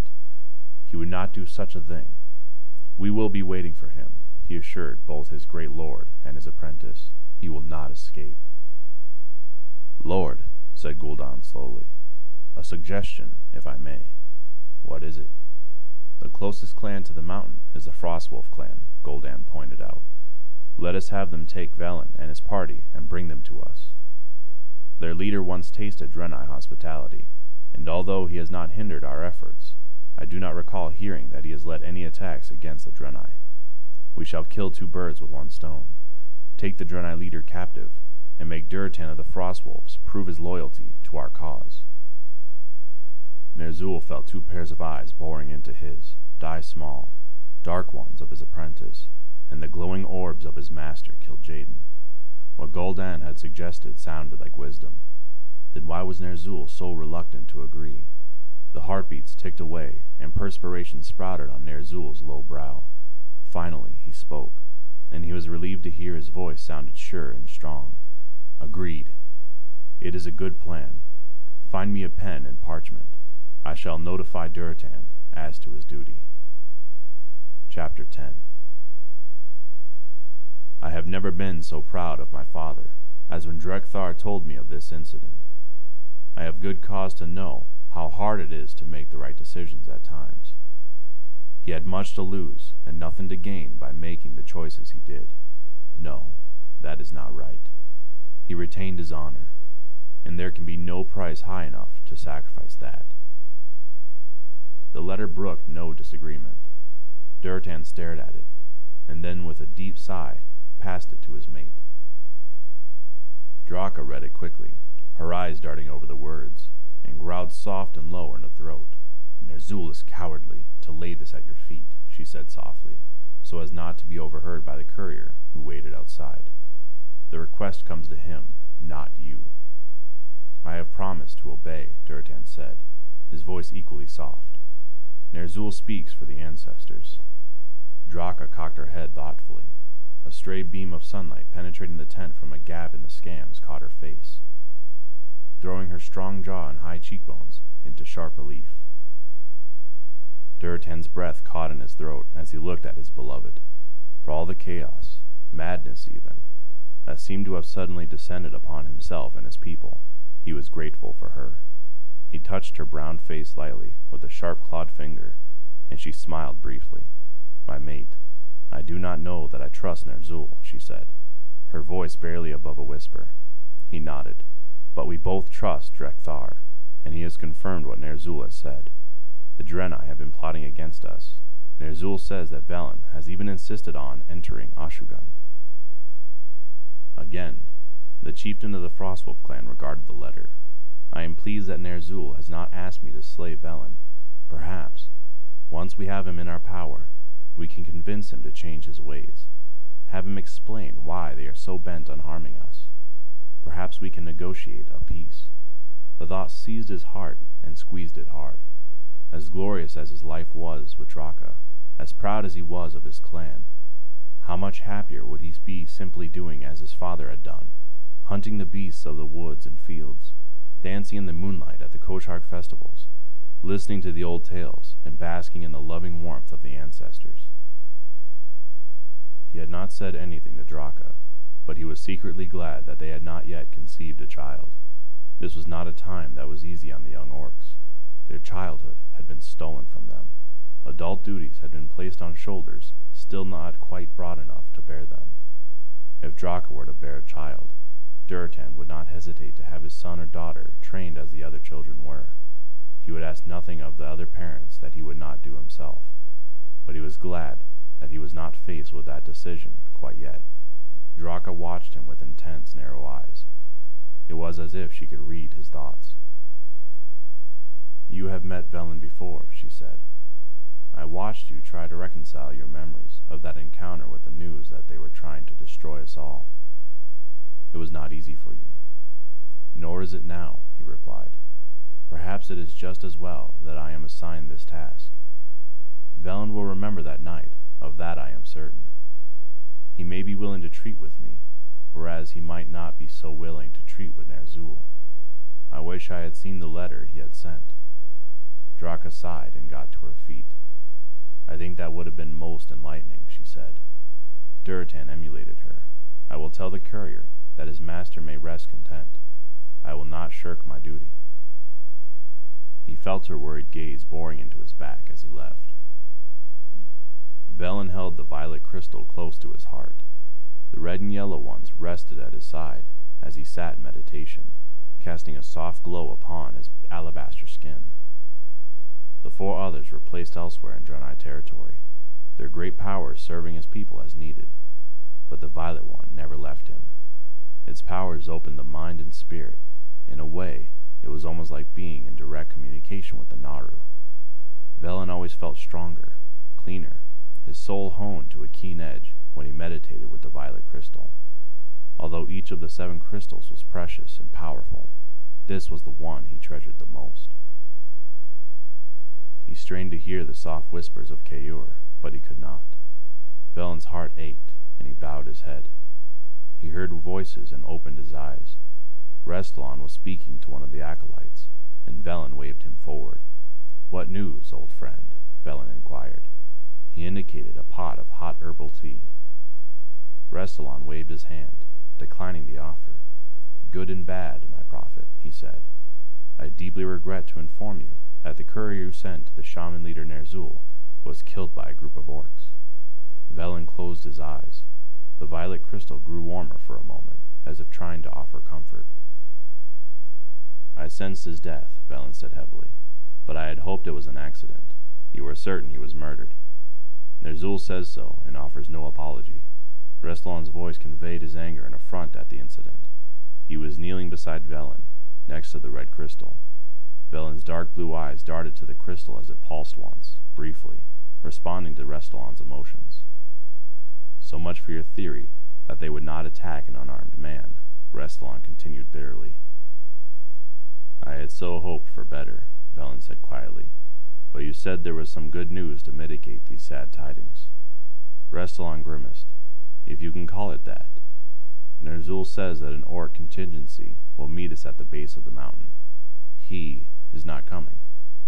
Restalaan dropped his gaze and shook his head. No, my prophet, he said quietly. Who does he send in his stead? The letter does not say. Give it to me. Velen stretched out a white hand, and Restalaan placed the parchment in his palm. Velen uncurled the parchment and read the letter quickly. Your courier is dead. It is fortunate that those who slew him thought to search the body for his missive. I have read it, and I will agree to send a contingency of orcs to speak with you. I guarantee nothing, not your safety, not a truce, nothing. But we will hear you out. Velen sighed deeply. This was not the response his soul had longed for. What had happened to the orcs? Why in this world or any other were they suddenly so bent on harming the Draenei, who had never opposed them in any fashion. I guarantee nothing, Ner'zhul had said, writing in a strong, bold hand. Very well, said Velen quietly. Then nothing is guaranteed. He smiled at Restalaan. Rather like life. The day was inappropriately bright and cheerful, Durotan thought, squinting against the bright early summer light that danced down. Surely, on a day when his soul felt so bleak and unhappy, the weather ought to reflect it, clouds at the very least, more appropriately, a cold, drizzling rain. But the sun did not care about an orc's heavy heart, or even the fate of an entire race of people. It shone down as merrily as if all was right every place its rays touched. Oshu'gun almost seemed to be on fire, so bright was the light that reflected off its multifaceted crystalline surface. Durotan had chosen a position of strength. From where he had positioned his warriors, he would be able to see Velen's traveling party long before they spotted the orcs. He had decided to wait and let the prophet of the Draenei come to him directly. Although he had strategically positioned his warriors so that if the Draenei attempted to flee, no avenue of flight would be open to them. And all the orcs who waited patiently on this offensively glorious day were armed to the teeth, with shaman at the ready. With their sharp eyes and superb fighting skills, Draka was highly useful to him as a scout. He had positioned her as one of the lookouts in the first group of warriors. The instant that Velen was visible, she would send word to her mate via a spell cast by Drek'Thar. Drek'Thar himself, though, was standing beside Durotan. As the most powerful shaman in the clan, his place was to protect the clan's leader. The two stood on a rock outcropping just above the entrance to the gleaming sacred mountain. Dozens of warriors, weighted with arrows, hand axes, and javelins at the ready. Others had spent days maneuvering large boulders into position. At a word from Durotan, a simple movement would send death in the form of huge stones crashing down upon the Draenei. The threat of death, in fact, was everywhere on this lovely mountain, on this beautiful sunny day. A breeze stirred Durotan's black hair, and a bird sang brightly. Drek'Thar looked at his chieftain with concern. My chieftain, you are doing what you have been told to do, Drek'Thar said earnestly. These beings are our enemies. Durotan nodded, and wished he could believe it as easily as every other orc seemed to. The breeze brushed his cheek again, more insistently, and this time he heard words on the wind. Draka's message, borne to him by Drek'Thar's bond with the elements. They are coming, five of them. None of them is wearing armor or carries any visible weapons. They walk serenely. The wind wafted her words away, and he knew it went to touch the ears of all the orcs assembled. When the time was right, Drek'Thar would harness the wind to give orders to Durotan's troops. Durotan straightened, and his heart beat more swiftly. His hand gripped his battle axe tightly. There they are, said Drek'Thar grimly. Durotan followed his gaze. Draka's report had been accurate, right down to her interpretation of the manner in which the Draenei approached. The five Draenei did not wear the strange blue and silvery armor that Durotan remembered from his single encounter with them. They were dressed instead as they had been for the meal, in robes of beautiful hues that caught the breeze and fluttered behind them like banners. Walking at the very front of the little group was Prophet Velen himself. He was unmistakable. His simple tan robes contrasted with those of his entourage, and of course, his strange white skin was unique. Durotan grinned a little despite the direness of the situation. The Draenei were so garishly clad that only a blind orc would have failed to spot them from a great distance. The smile faded at what that had to represent. They wanted to be spotted immediately. They wanted the orcs to be confident that they carried no weapons and were on what Mother Kashur would have called a pilgrimage. Or was it all just an elaborate trick? Shaman needed no spears to destroy. Neither did the Draenei. Durotan remembered the magical nets that scarred and blackened flesh on contact nets of energy, alien to the orcs, that had to come from nowhere. No, even unarmed, the Draenei were far from harmless. He had briefed his warriors and knew they would obey. They understood they were not to fire a warning shot, not to utter even an insult, without Durotan's express command. But they knew how the Draenei fought, and would not be taken unawares. Durotan could smell the tension emanating from those warriors closest to him. He wondered if the Draenei could too. Durotan watched as the groups he had set farthest away came out of hiding to close the ranks behind the Draenei. They were far enough back so that Durotan hoped the Draenei would not notice. If they did, they gave no sign, but merely continued with that steady, confident, serene pace. Durotan and Drek'Thar made no attempt to disguise themselves. After several long minutes, Velen lifted his head and looked up, right into Durotan's eyes. Durotan did not break the gaze, but stood waiting for his enemies to continue their approach. They reached the base of the mountain, but before they could continue farther, dozens of orcs moved purposefully out of hiding to surround them. Velen did not look in the least bit surprised. He glanced around, smiling a little, and then returned his gaze to Durotan. Slowly, Durotan descended until he stood face to face with the Draenei prophet. Long has it been since you and I last stood so, Velen, Durotan said in a calm voice. He deliberately did not use the Draenei's title. Long indeed, Durotan, son of Garad, chieftain of the Frostwolf clan, Velen said in that rich, smooth voice that Durotan remembered. Are you friends with Orgrim still? Indeed I am, Durotan replied. He carries the Doomhammer now, and is second in his own clan. Sorrow flitted across the pale face, a sorrow that was deep and unquestionably genuine. Again, Durotan remembered that night so long ago, when this being had sat with them and talked of orcish ways, of the Doomhammer, and the cost at which Orgrim would buy it. I hope his father and yours passed away with great honor, Velen said. We are not here today to speak of the past, Durotan said, more forcefully than he intended. He did not like to remember that night. We are here because you have informed us that you dare trespass on our most sacred place. There it is, then, he thought. Let us not mince words. Velen held Durotan's gaze and nodded. I had sent a missive to Ner'zhul, not to you, Durotan. He has declined to meet with me. I wonder, did he share this missive with you? There is no need for me to read it, Durotan replied. I was asked to come in his stead, and I have done so. Durotan saw the broad shoulders slump a little. Velen sighed deeply. I see, he said. He may not have told you why I wished to come today. I do not need to know your purpose, Draenei, Durotan said. But you do, or this conversation will be for nothing. The voice was clear and crisp, and there was nothing old or frail about it, despite Velen's obviously ancient age. Durotan raised an eyebrow. That Velen was a wise elder was immediately apparent, but now, for the first time, Durotan caught a glimpse of the sheer strength of will that had buoyed Velen for countless years. This mountain is sacred to your people. We know this, and we have respected it, but it is also sacred to us. Velen took a step forward, his gaze locked on Durotan's.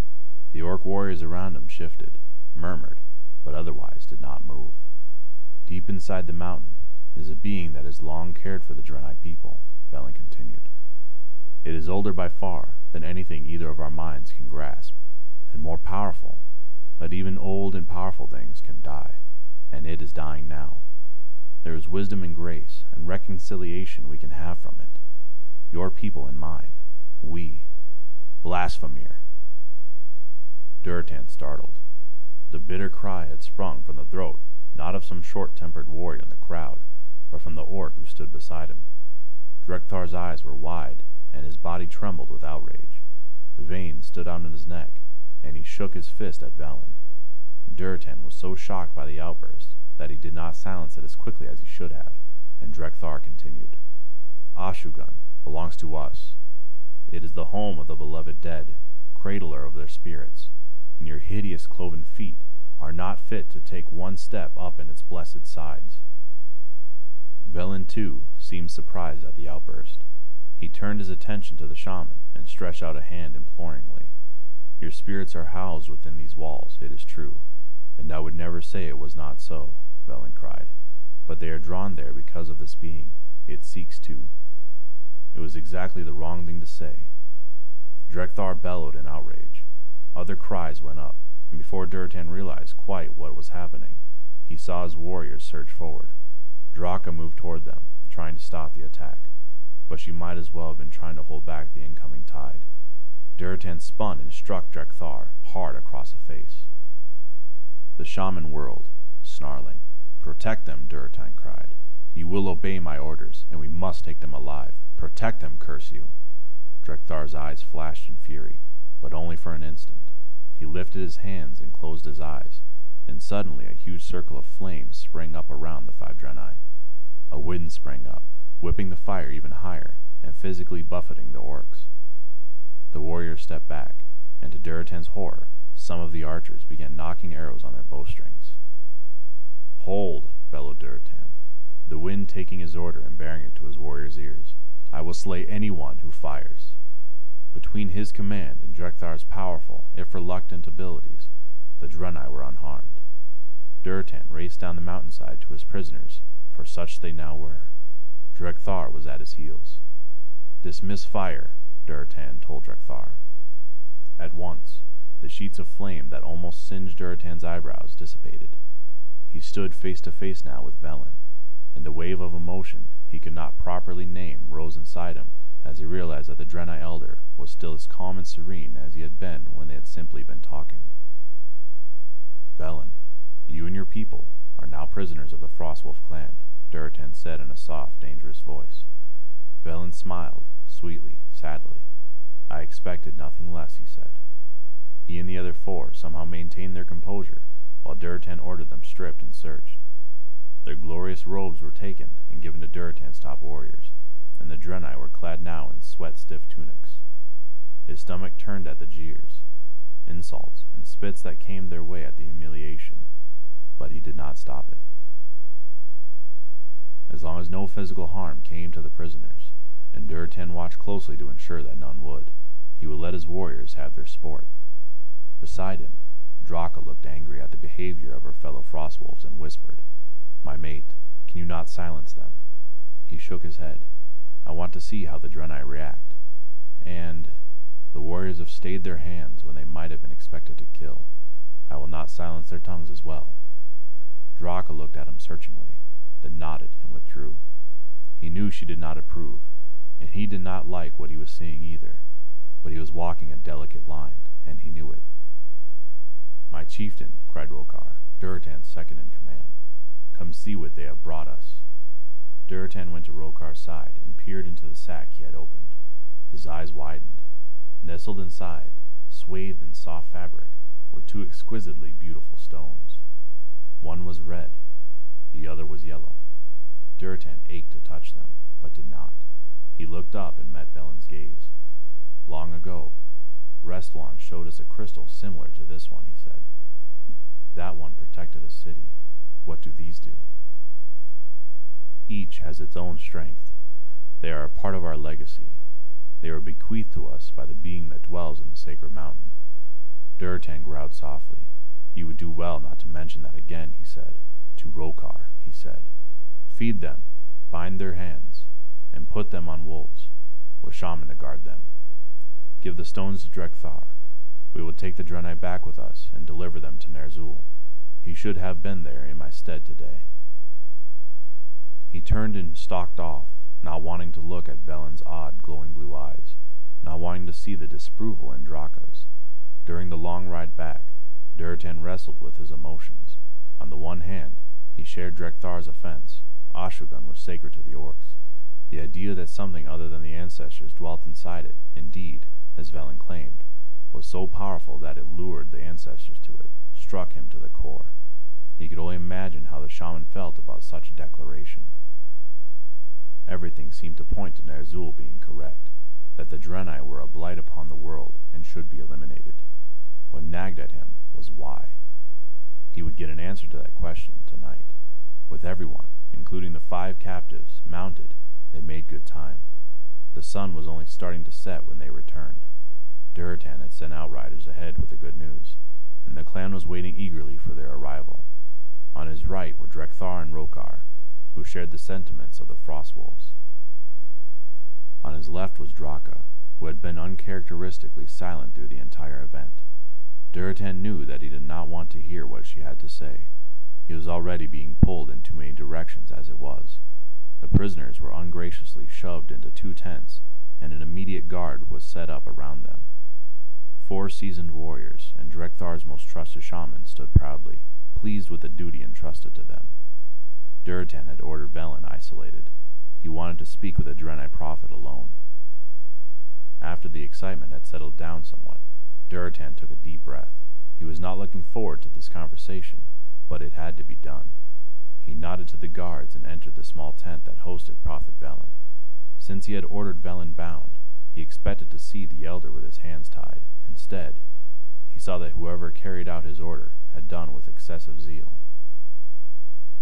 The tent had been erected a sturdy tree, and Velen was bound to the trunk. His arms had been yanked back at an awkward angle, the ropes around the white flesh of his wrists tied so tightly that even in the dim light of the twilight, Durotan could see that they were turning a darker shade. A rope tied, thankfully loosely, around his neck forced him to keep his head up or risk choking. A dirty cloth had been shoved in his mouth. He was on his knees, and his hoofs too were bound behind him. Durotan uttered a deep oath and drew a dagger. Velen gazed at him, with no sign of fear in those deep blue eyes, but Durotan did notice that the Draenei looked surprised when the orc used the weapon to cut the bonds rather than his throat. Velen made no sound, but a flicker of pain passed over his ghostly white face as blood returned to his limbs. I told them to bind you, not truss you up like a talbuk, Durotan muttered. Your people are very eager, it would seem. Durotan passed the elder a water skin and watched him closely while he drank. Sitting before him in filthy clothing, gulping at tepid water, his white flesh raw from the bonds, Velen did not look like much of a threat. How would he feel, he wondered, if he had gotten word of the Draenei treating Mother Kashur so? Everything about this felt so wrong. Yet Mother Kashur herself had assured Drek'Thar that the Draenei were a threat so dire as to be almost unimaginable. There was a bowl of cold porridge on the ground. With his right foot, Durotan shoved it toward the prisoner. Velen eyed it, but did not eat. Not quite the feast you served Orgrim and me when we dined in Telmor, Durotan said, but it is nourishing. Velen's lip curved in a smile. That was a memorable evening. Did you get what you wanted from us that night? Durotan demanded. He was angry, but not with Velen. He was angry that it had come to this, and the one who had showed him nothing but courtesy was now his captive. And so we took it out on the prophet. I do not understand. We merely wish to be good hosts to two adventuresome boys. Durotan got to his feet and kicked over the bowl. Congealed porridge oozed onto the earth. Do you expect me to believe this? Velen did not rise to the bait. He replied calmly, It is the truth. It is your choice as to whether you believe it. Durotan dropped to his knees and shoved his face into Velen's. Why are you trying to destroy us? What have we ever done to you? I might ask you the same thing, said Velen. A flush had come to his white face. We have never lifted a finger to harm you, and now over two dozen Draenei are dead from your attacks. The truth of the comment made Durotan even angrier. The ancestors do not lie to us, he snarled. We have been warned that you are not what you would seem, that you are our enemies. Why did you bring those crystals, if not to attack us? We thought it might help us better communicate with the being in the mountain, Velen spoke quickly, as if trying to get the words out before Durotan could silence him. It is not an enemy to the orcs, nor are we. Durotan, you are intelligent and wise. I saw this in you that night so long ago. You are not one to blindly follow like an animal to slaughter. I know not why your leaders lied to you, but they do. We have ever sought to interact peaceably with you. You are better than this, son of Garad. You are not like the others. Durotan's dark brown eyes narrowed. You are wrong, Draenei, he spat. I am proud to be an orc. I embrace my heritage. Velen looked exasperated. You misunderstand. I do not malign your people. I merely, merely what? Merely tell us that the only reason we are seeing the beloved dead is because of your, your god trapped in the mountain. It is not a god, it is an ally, and would be to your people as well, if you would permit it to be. Durotan swore and rose, stalking about the tent, his hands clenching and unclenching. Then he uttered a deep, long sigh, the anger in him burning down to ashes. Velen, your words are but wood on the fire of our wrath, he said quietly. Your claim is arrogant and offensive. It will support those who are already prepared to slay your people on the word of our ancestors. I do not understand myself, but you are asking to choose between people I trust, traditions I have been raised on, and your word. He turned and faced the Draenei. I will choose my people. You need to know this. If you and I come face to face on the field of battle, I will not stay my hand. Velen looked only curious. You will not take me to Ner'zhul then? Durotan shook his head. No. If he wanted you, he should have come for you himself. He appointed me to treat with you, and I have carried out my duties as I saw fit. You were supposed to deliver a prisoner to him, Velen said. I was to meet with you, and listen to your words, Durotan said. Had I captured you in battle, stricken a weapon from your hands, and wrestled you to the earth, then yes, you would be a prisoner. But there is no honor in binding a foe who extends his hands willingly for the rope. We are at an impasse, you and I. You insist that you have no ill will toward the orcs. My leaders and the ghosts of my ancestors tell me otherwise. Again, Durotan knelt before the Draenei. They call you a prophet. Do you know the future then? If so, then tell me what you and I can do to avert what I fear will unfold. I would not shed innocent life, Velen. Give me something. Anything I can take to Ner'zhul that will prove that what you say is true. He realized he was pleading, but the fact did not distress him. He loved his wife, his clan, his people. He hated what he was seeing. An entire generation rushing headlong to adulthood with only blind hate in their hearts. If begging before this strange being could change this, then beg he would. The strange blue eyes held an unspeakable empathy. Velen extended a pale hand and placed it on Durotan's shoulder. The future is not like a book one can read, he said quietly. It is ever changing, like the rush of water or the swirl of sand. I am granted certain insights, but nothing more. I felt very strongly that I needed to come unarmed, and behold, I am greeted not by the orc's greatest shaman, but by the one who has slept safely under my roof. I do not think this is an accident, Durotan, and if anything can be done to avert this, it lies with the orcs, not with the Draenei. All I can do is tell you what I have already said. The river's course can be changed, but you are the ones who must change it. That is all I know, and I pray it is enough to save my people. The look on his ancient, oddly cracked face, and the tone of his voice told Durotan what his words did not, that Velen did not, indeed, think it would be enough to save his people. Durotan closed his eyes for a moment, then stepped back. We will keep the stones, he said. Whatever power they have, the shaman will learn how to harness. Velen nodded sadly. Such I assumed, he said, but I had to bring them. I had to trust that we could find a way past all of this. Why was it, Durotan wondered, that he felt closer at this moment to one he had been told was an enemy than to the spiritual leader of his own people?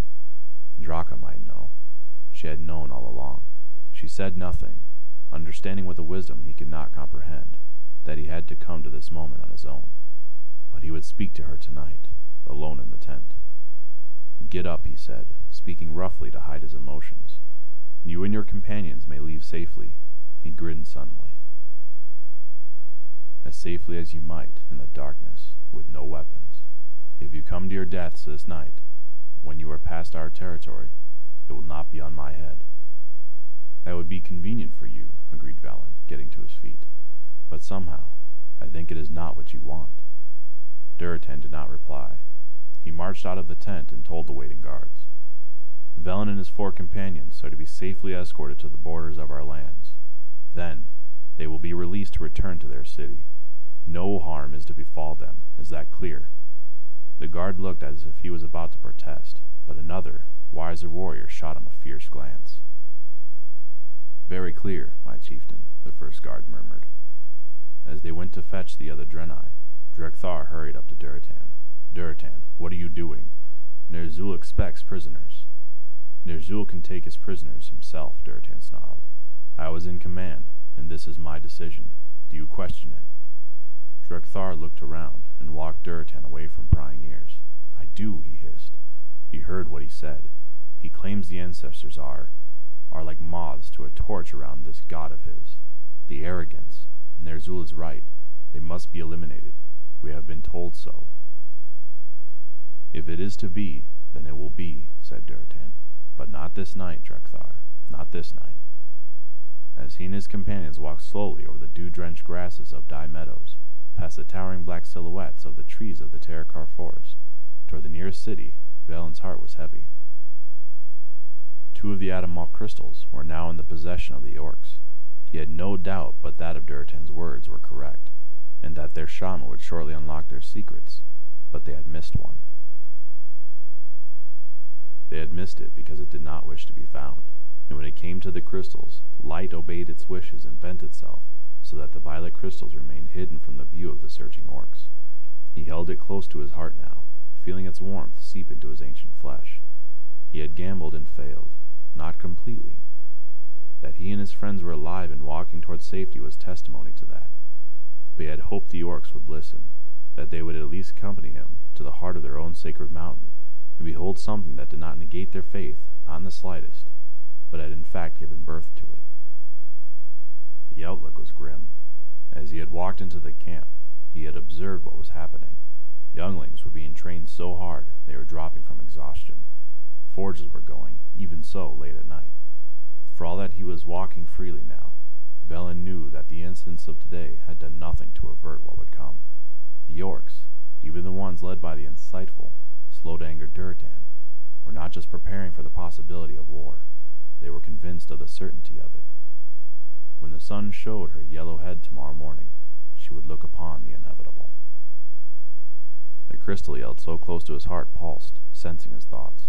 Velen turned to his companions and looked upon them sorrowfully. The orcs will not be dissuaded from this path, he said, and therefore, if we are to survive, we too must walk the path to war.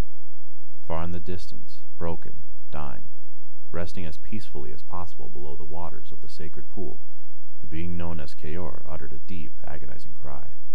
Velen startled, recognizing the voice, and bowed his head. The Frostwolf orcs gasped at the sound and turned to regard the perfect triangle of Oshu'gun. The ancestors are angry with us, a young shaman cried. Angry for letting Velen go. Durotan shook his head. He ought to rebuke the youngster, and on the morrow, if such words were uttered again, he would. But now, his heart was full of sorrow. It was not a cry of anger that came from the sacred mountain. It was the wrenching sound of an ultimate grief. And he shuddered and sighed as he wondered why the ancestors mourned so very, very deeply. Chapter 11 Ner'zhul, Gul'dan, two of the darkest names ever to sully the history of my people. And yet, Drek'Thar tells me that once Ner'zhul was admired, even beloved, and truly cared for the people whose spiritual leader he was. It is hard to reconcile those words with what Ner'zhul has become, but I try. I try because I want to understand, and yet, try as I might, I do not. What? Ner'zhul's shriek of outrage made his apprentice Gul'dan wince. Durotan did not bat an eye. I released the prophet Velen, the chieftain of the Frostwolf clan said calmly. Your orders were to take him and the others prisoner. Ner'zhul's voice climbed with each word. It had been so plain, so easy. What had Durotan been thinking? To toss away this opportunity like bones when the meat had been devoured. How much information could they have extracted from Velen? What kind of bargaining power over the Draenei would he have bought them? But that thought was dwarfed by the overwhelming horror of how Kil'jaeden would react. What would he do when he learned that Velen had not been captured? The beautiful being had been seemingly well pleased at the prospect when Ner'zhul told him of the plan. Flushed with pride at his cleverness, thinking victory already assured. Ner'zhul had even dared to offer Velen to Kil'jaeden as a sort of present. Now what would happen? The realization that he felt fear rather than chagrin at bringing disappointing news was not lost on the shaman. You put me in charge of the capture, and capture them I did, Durotan replied. But there is no honor in a prisoner taken willingly.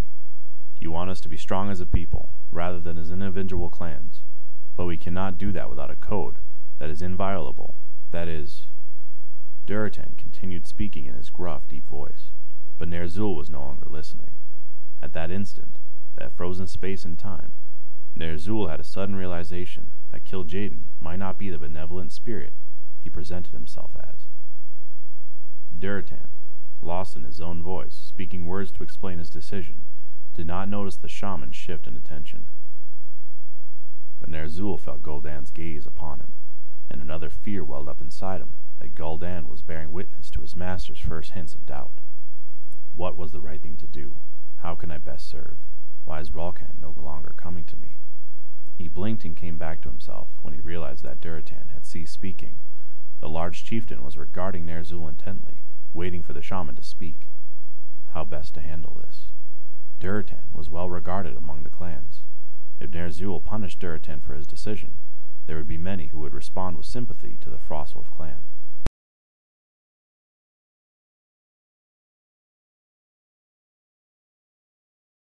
It could cause a rift in the fabric Ner'zhul was trying to weave. The tightly knit fabric of a united Orc nation, a horde, if you will.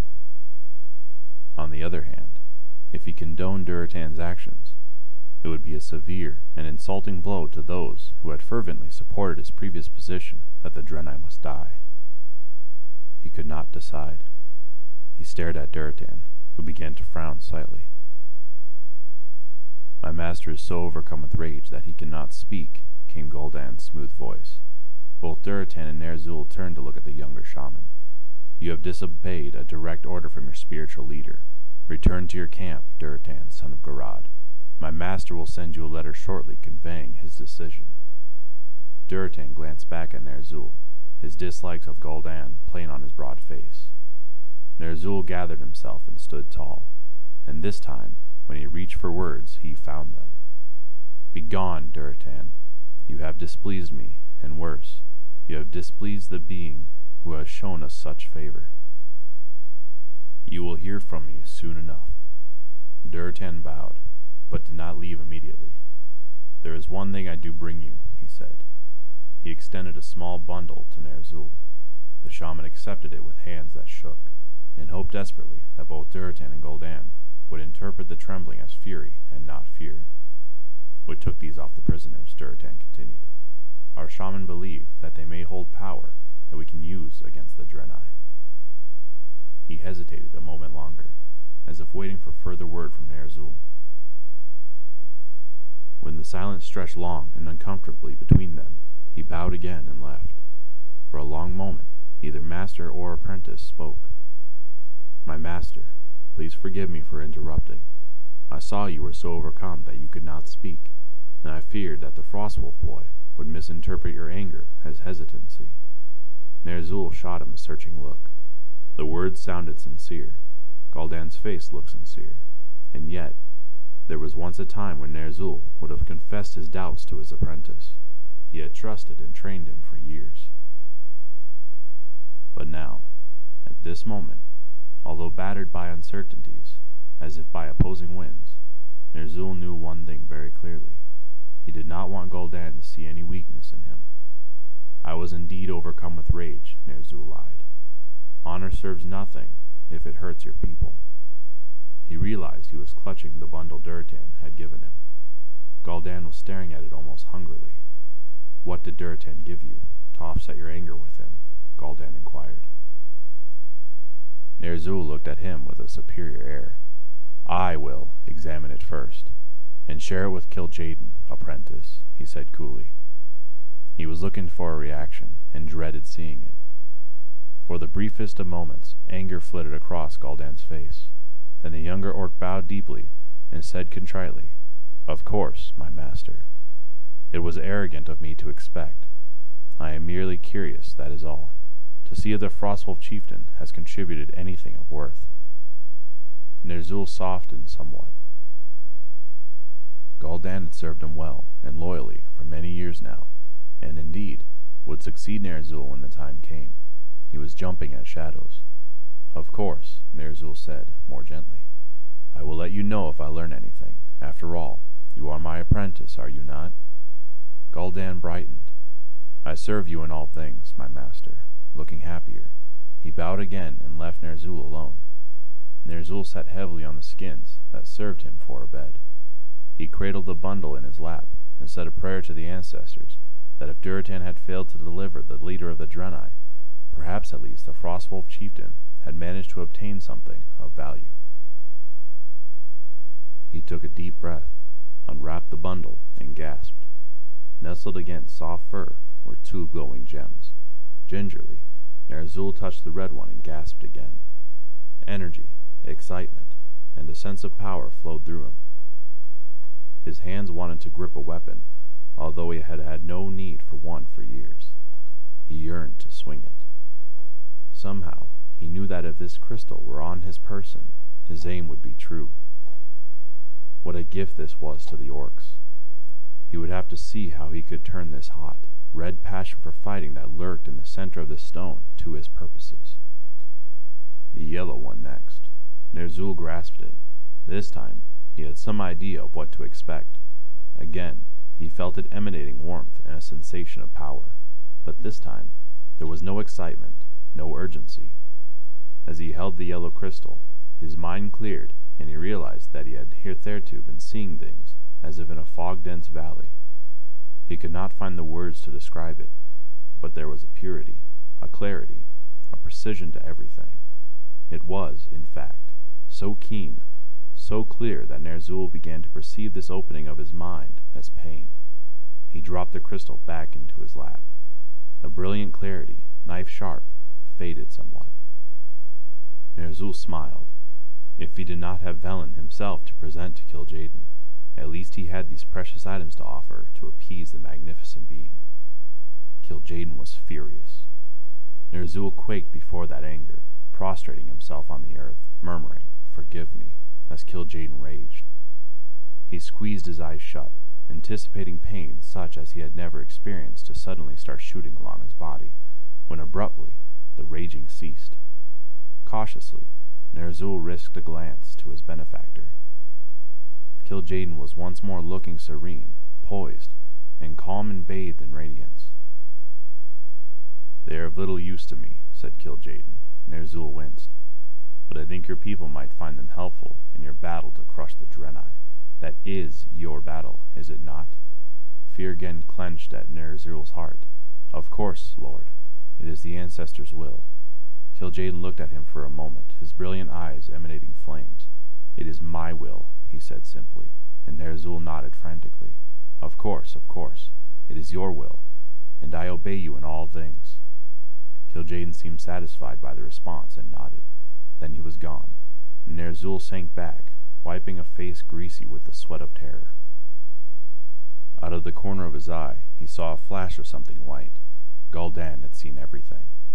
We have been planning an attack for some time now, and last night, when the pale lady did not shine, we descended in force upon the sleeping little town. Not a one was left alive, not even the few children we found. Their supplies, food, armor, weapons, some strange items we know nothing of and shun. This bounty is now shared between the two ununified clans. Their blood, blue and thick, dries now upon our faces, and we dance in celebration. There was more to the missive, but Ner'zhul did not read it. He did not have to. Although the details might be different, the essence of the letters was always the same. A successful attack, glory in the killing, the ecstasy of blood spilled. Ner'zhul glanced at a pile of letters he had received just that morning, seven of them. With each month that passed, even throughout the long, hard winter months, the Yorks grew more skilled at killing Draenei. They had learned much about their foe with each victory. The stones that Durotan had given Ner'zhul proved to be valuable indeed. Ner'zhul worked with them, alone at first, and then in the company of other shaman.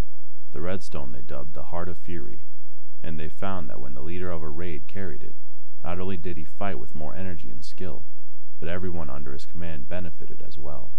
The stone was passed from clan to clan at each new moon, and was highly coveted. Yet Ner'zhul knew no one would dare to steal it for himself. The second stone he called the Brilliant Star, and he found that when a shaman carried the crystal, he or she experienced a profound focus and clarity. While the heart of fury roused the emotions, the Brilliant Star calmed them. The thought process was swifter and more precise, and concentration was not easily broken. The result was powerful magic, precisely controlled, another key to Orcish victory. The delicious irony that they were using the Draenei's own magic against them further improved the morale among the orcs.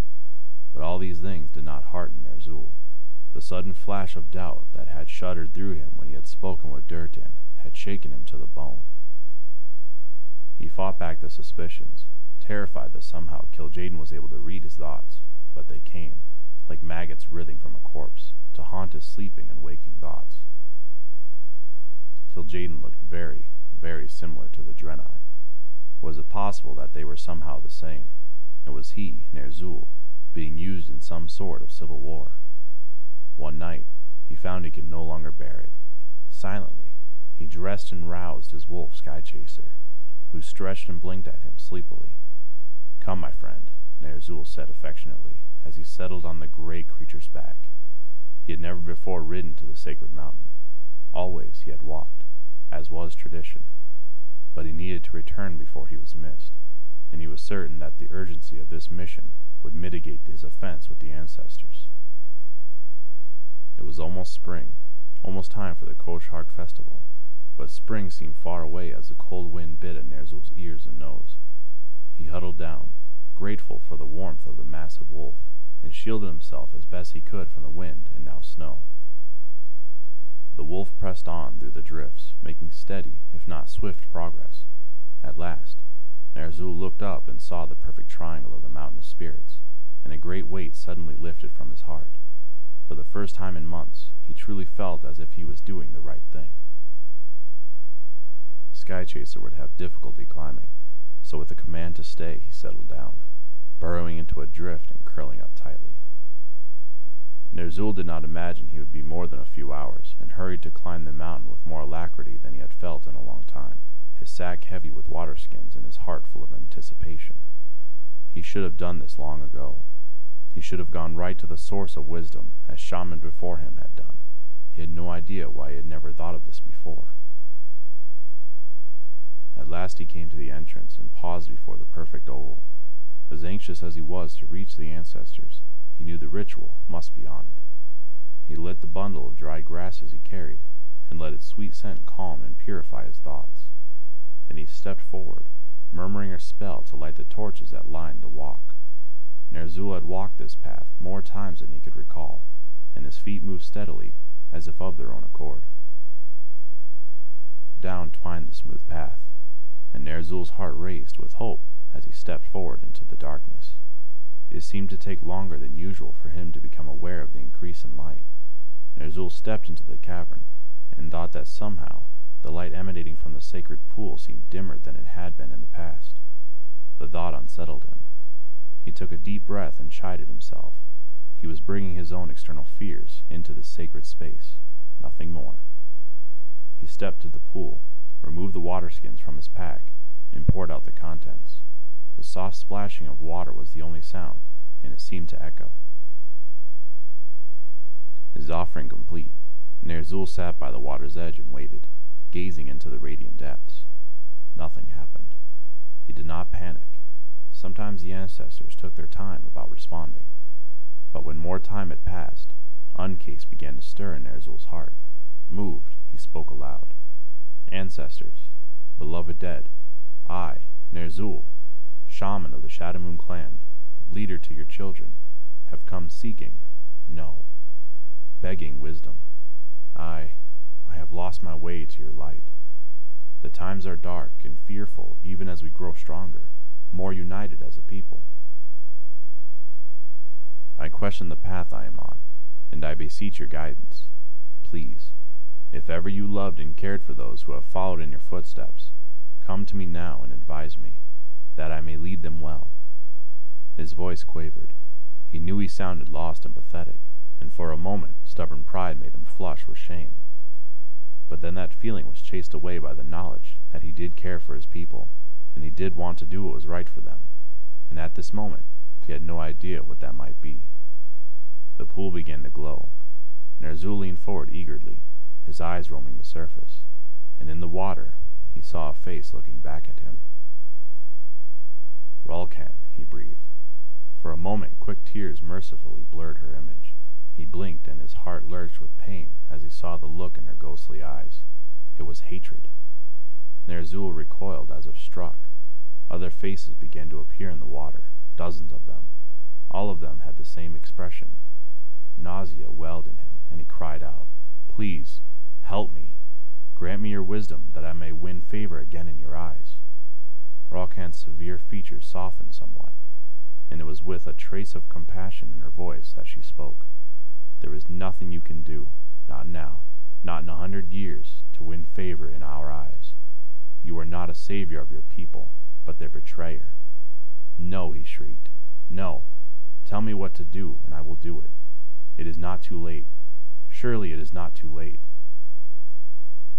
You are not strong enough, said another rumbling voice, this one male. If you were, you would never have walked so far down this path. You would have not been so easily gulled into doing the will of one who bears no love for our people. But I do not understand, Ner'zhul murmured. Rulkan, you came to me. I heard you. You, Grekshar, you advised me. Kil'jaeden was the one you wanted me to embrace, the great friend to all the orcs. She said nothing in response to this. She did not have to. Even as the words tumbled from his lips, he understood now how profoundly he had been misled. The ancestors had never appeared to him at all. It had all been a trick concocted by Kil'jaeden, whoever, whatever he was. They were right not to trust Ner'zhul now. Any shaman who would be so easily deceived could never be trusted to put things right again. All was an elaborate web of lies and deceit and manipulation, and he, Ner'zhul, had been the first foolish insect to become inextricably trapped in it. Nearly a hundred Draenei were dead. There was no turning back, no requesting aid from the ancestors. He could not trust any of his visions ever again, except to understand that they were likely to be lies. Worst of all, he had delivered his people into the hands of one who, despite his fair appearance and honeyed words, did not have their best interests in whatever passed for his heart. Even as he stared into the ghostly eyes of his beloved, she turned away from him. One by one, the myriad faces reflected in the water followed suit. Ner'zhul trembled with the horror of what he had done. There was nothing he could do to make it right. Nothing he could do except continue on this path that Kil'jaeden had so carefully contrived for him to walk, and pray to ancestors who no longer listened to him that somehow, some way, things would turn out all right. He buried his face in his hands and wept. Crouching in the darkness in a bend in the tunnel, Gul'dan listened to the sound of his master sobbing, and smiled to himself. Kil'jaeden would be grateful for the information. Chapter 12 We are all weak, in one way or another. It does not matter the species. Sometimes that weakness is a strength in disguise. Sometimes it is our utter undoing. Sometimes it is both. The wise man understands his weakness and seeks to find a lesson from it. The fool lets it control and destroy him. And sometimes the wise man is a fool. As he rode back atop Skychaser, hands so cold that he wondered if he would ever be able to unclench them entwined in thick black fur, Ner'zhul wished for the dark night to swallow him. How could he return to his people, knowing what he had done to them? On the other hand, how could he flee, and where would he possibly go that Kil'jaeden would not find him? He longed bitterly for the courage to take the ritual knife he carried at all times and drive it into his heart, but he knew he could not. Suicide was not regarded with honor among his people. It was a coward's answer to the problems that came to him. He would not be permitted to live on as a spirit if he took that seductive way to escape the horrors that confronted him. He could continue to pretend that he suspected nothing, and even perhaps subtly undercut Kil'jaeden. Despite his massive powers, there had been no evidence that the so-called Beautiful One had the ability to read thoughts. The thought brightened Ner'zhul somewhat. Yes, he could mitigate the damage this interloper was trying to do to his people. That was how he could continue to serve. Exhausted both physically and emotionally, Ner'zhul stumbled into his tent in that faint hour before dawn, looking forward to simply collapsing on the skins and sleeping in an effort to forget, for at least a brief while, the agony of what he had brought about. Instead, a bright light nearly blinded him, and he fell to his knees. You would betray me, then, said the beautiful one. Ner'zhul threw up his hands, trying vainly to protect his eyes from the awesome radiance. His stomach roiled, and he feared he was about to be sick in his terror. The light dimmed somewhat, and he lowered his hands. Standing beside Kil'jaeden was Ner'zhul's apprentice, grinning darkly. Gul'dan, whispered Ner'zhul sickly, what have you done? I have informed Kil'jaeden of a rodent, Gul'dan said calmly. That dreadful smile never left his face, and he will decide what to do with the vermin who would so turn against him. There was still snow on Gul'dan's shoulders. Dully, Ner'zhul realized what had happened. His apprentice, hungry for power, how was it Ner'zhul had closed his eyes to the obvious for so long, had followed him, had heard the ancestor's words, and still he clung to Kil'jaeden, after hearing the same things Ner'zhul had heard. For a moment, his own fear and selfishness went away, and Ner'zhul felt only a wave of pity for an orc who had fallen so far. It wounds me, Kil'jaeden said. Ner'zhul looked at him, startled. I chose you, Ner'zhul. I gave you my powers. I showed you what you needed to do to advance your people and ensure that they are never second in this world. Ner'zhul spoke without thinking. You have deceived me. You have sent me false visions. You have maligned the ancestors and all they stood for. I don't know why you are doing this, but I know that it is not out of love for my people. And yet they flourish. They are united, for the first time in many centuries. United under a lie, Ner'zhul said. He was giddy in his rebellion. It felt good. Perhaps if he continued, Kil'jaeden would lose patience with him and slay him, and Ner'zhul's problem would be solved. But Kil'jaeden did not respond with deadly fury, as Ner'zhul hoped he would. Instead, the being sighed deeply and shook his head, like a parent disappointed in a wayward child. You may yet regain my favor, Ner'zhul, Kil'jaeden said. I have a task for you. If you complete it, your lapse of faith will be overlooked. Ner'zhul's lips moved. He wanted to shout out his rebellion again, but this time the words would not come. He realized that the moment had passed.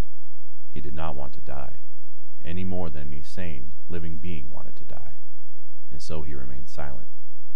What happened with the Frostwolf chieftain troubles me, Kil'jaeden continued, not least because he is not the only one who has murmured against what is happening. There are others. The one who wields the Doomhammer, some among the Blackwind and Redwalker clans as well. It would be one thing if these opposing voices belonged to those of no consequence, but many of them do not. There must be no risk to the success of my plan. Therefore, I will guarantee their obedience. It is not enough for them to swear loyalty, Kil'jaeden continued. He tapped his cheek with one long red finger thoughtfully. Too many seem enamored of changing what honor and oath mean. We must ensure their cooperation, for now and for all time.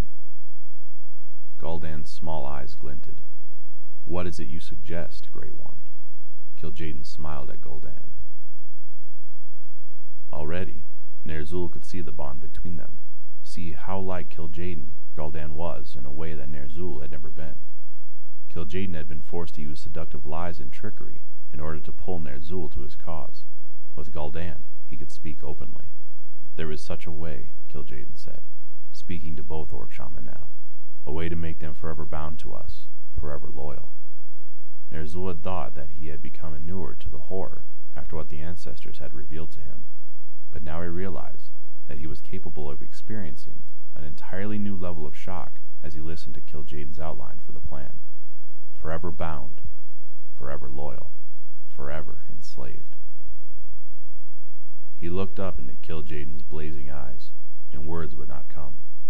A nod would suffice, he knew, but he could not even bring himself to do that. Instead, he simply stared, transfixed like a bird before a snake. Kil'jaeden heaved a deep sigh.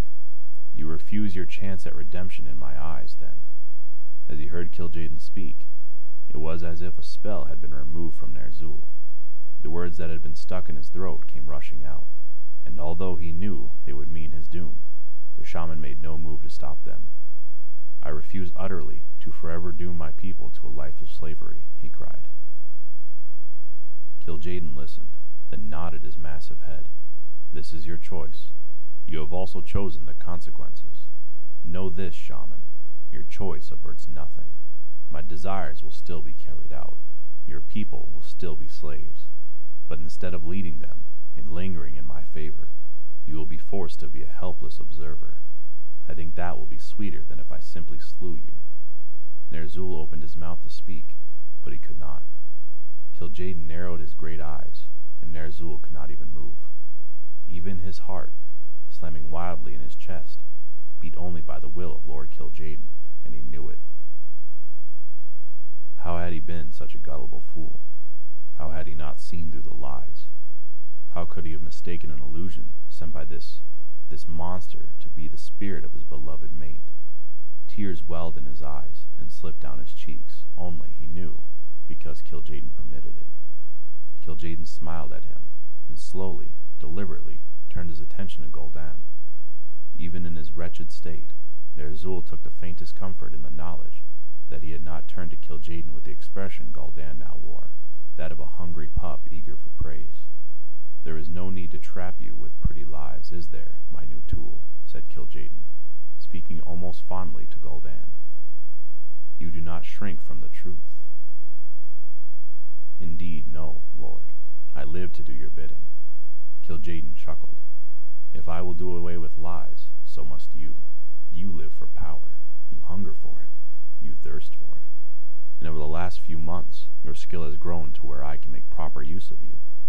Ours is not a partnership of adoration or respect, but one of convenience and selfish benefit, which means that it will likely last.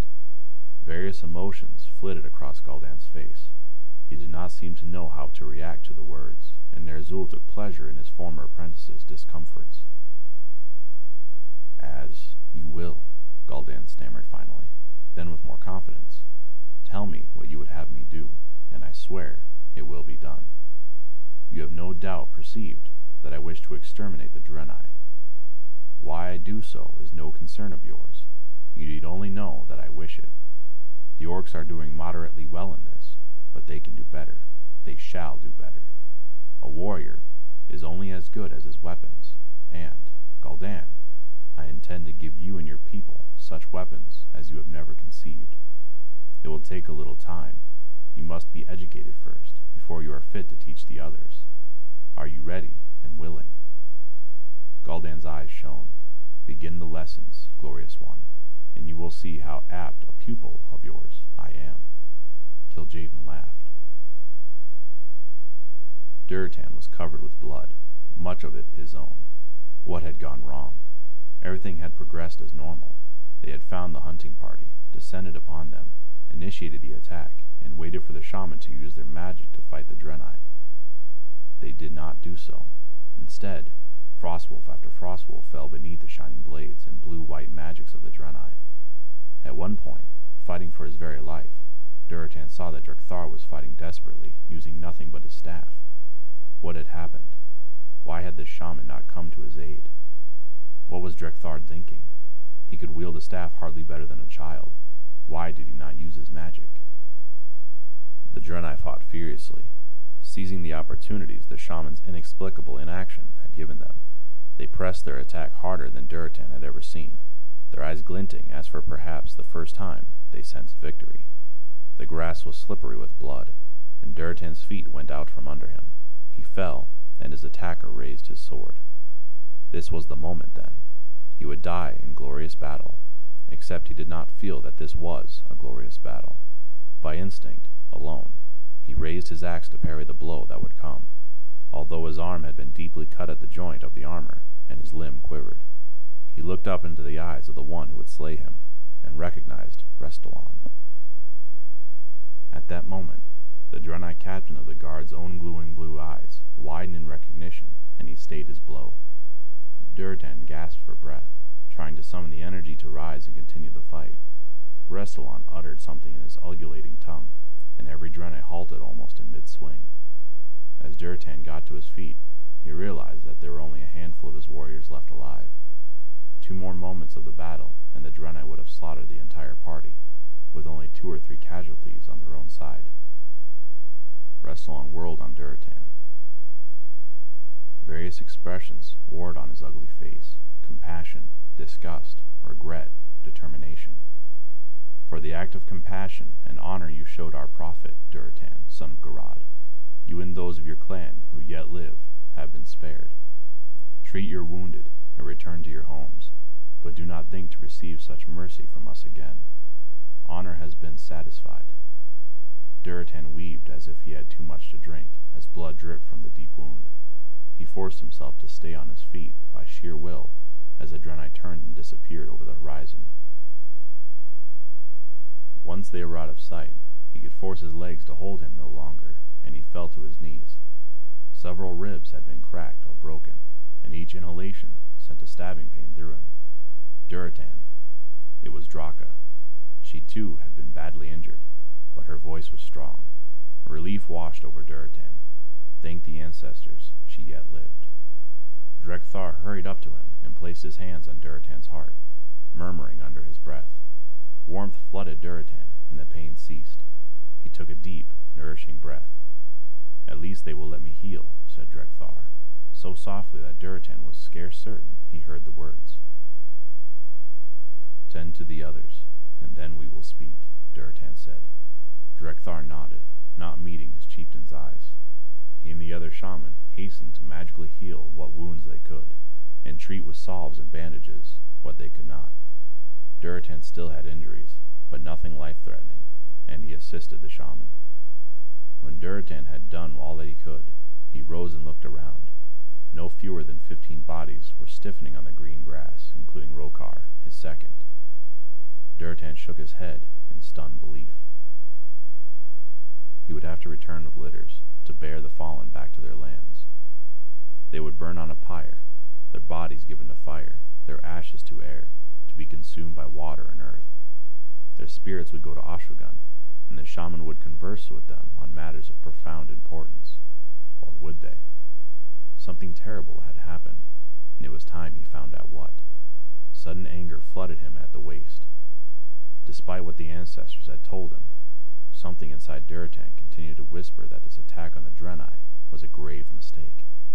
He whirled on Drek'Thar, and with a deep growl, seized the smaller orc where he sat gulping water, and hauled him to his feet. This was a slaughter, Durotan cried, shaking him furiously. Fifteen of our kin lie dead before us. The earth drinks deeply of their blood, and I never saw you or any of the others lend your skill to the fight. For a moment, Drek'Thar could not speak. The meadow was deathly silent as every frostwolf watched the confrontation. Then, in a faint voice, Drek'Thar replied, The elements. They would not come this time. Durotan's eyes narrowed, still clutching Drek'Thar by the front of his leather jerkin. He demanded of the wide-eyed, silent shaman, Is this true? They would not lend their aid to the battle. Looking stunned and sick, the shaman nodded. One said in a quavering voice, It is true, great chieftain.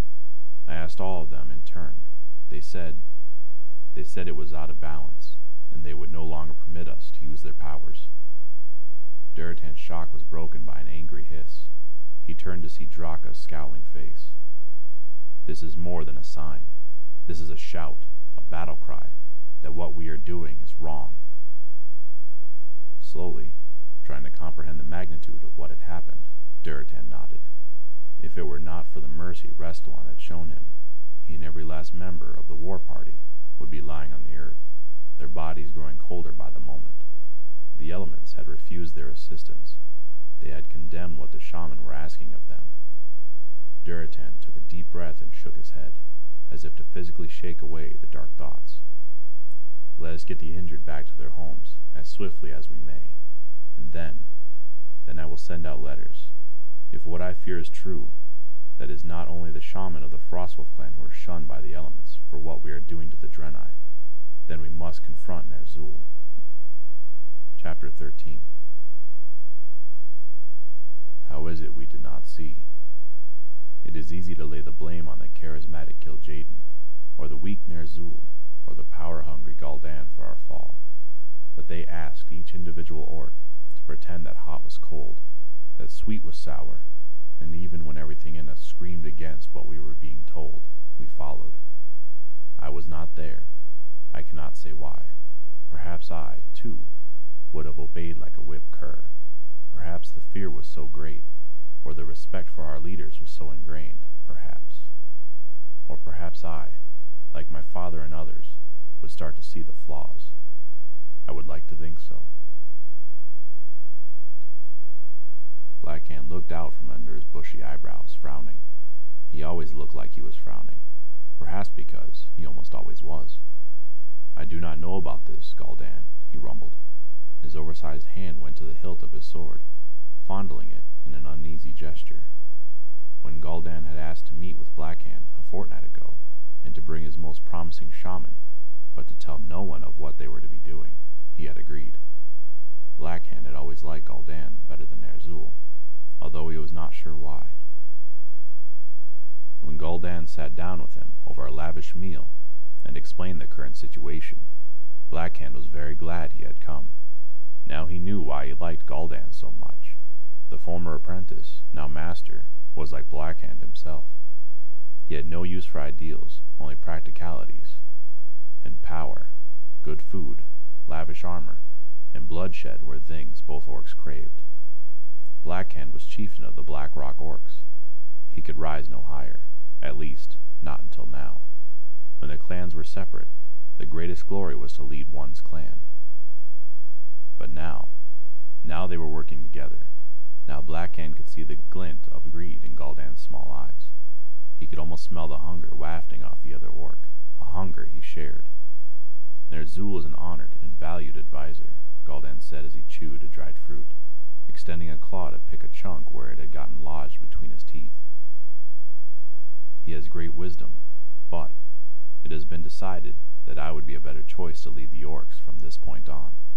Blackhand grinned savagely. Ner'zhul was nowhere to be seen. And a wise leader surrounds himself with trusted allies, Gul'dan continued. Those who are strong and obedient, who will fulfill their obligations, and who, for their loyalty, will be held in high regard and richly rewarded. Blackhand had begun to bridle at the description obedient, but was mollified when Gul'dan mentioned high regard and richly rewarded. He glanced over at the eight shaman he had brought to Gul'dan. They were sitting huddled over a second fire some distance away, being attended to by Gul'dan's servants. They looked wretchedly unhappy, and were conveniently out of earshot. Blackhand said, You asked for the shaman.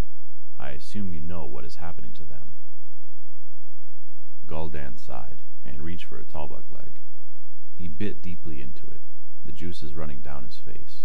He wiped his jutting jaw absently, chewed, swallowed, and answered. Yes, I have heard. The elements are no longer obeying them. Blackhand watched him intently. Some are beginning to mutter that it is because what we are doing is wrong. Do you think that? Blackhand shrugged his massive shoulders. I don't know what to think. This is all new territory. The ancestors say one thing, but the elements won't come. He was harboring a growing suspicion about the ancestors as well, but held his tongue. Blackhand knew that many thought him a fool. He preferred to let them think that he was nothing more than a strong arm and a powerful sword. It gave him distinct advantages. Gul'dan perused him now and Blackhand wondered if the new spiritual leader of the orcs had sensed that there was more to the orc leader than met the eye. We are a proud race, Gul'dan said. It is sometimes painful to admit we do not know everything.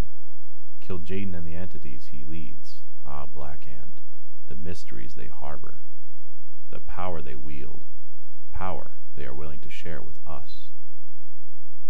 Gul'dan's eyes sparkled now with excitement. Blackhand's own heart began to race. Gul'dan leaned forward and continued to speak in an awed whisper.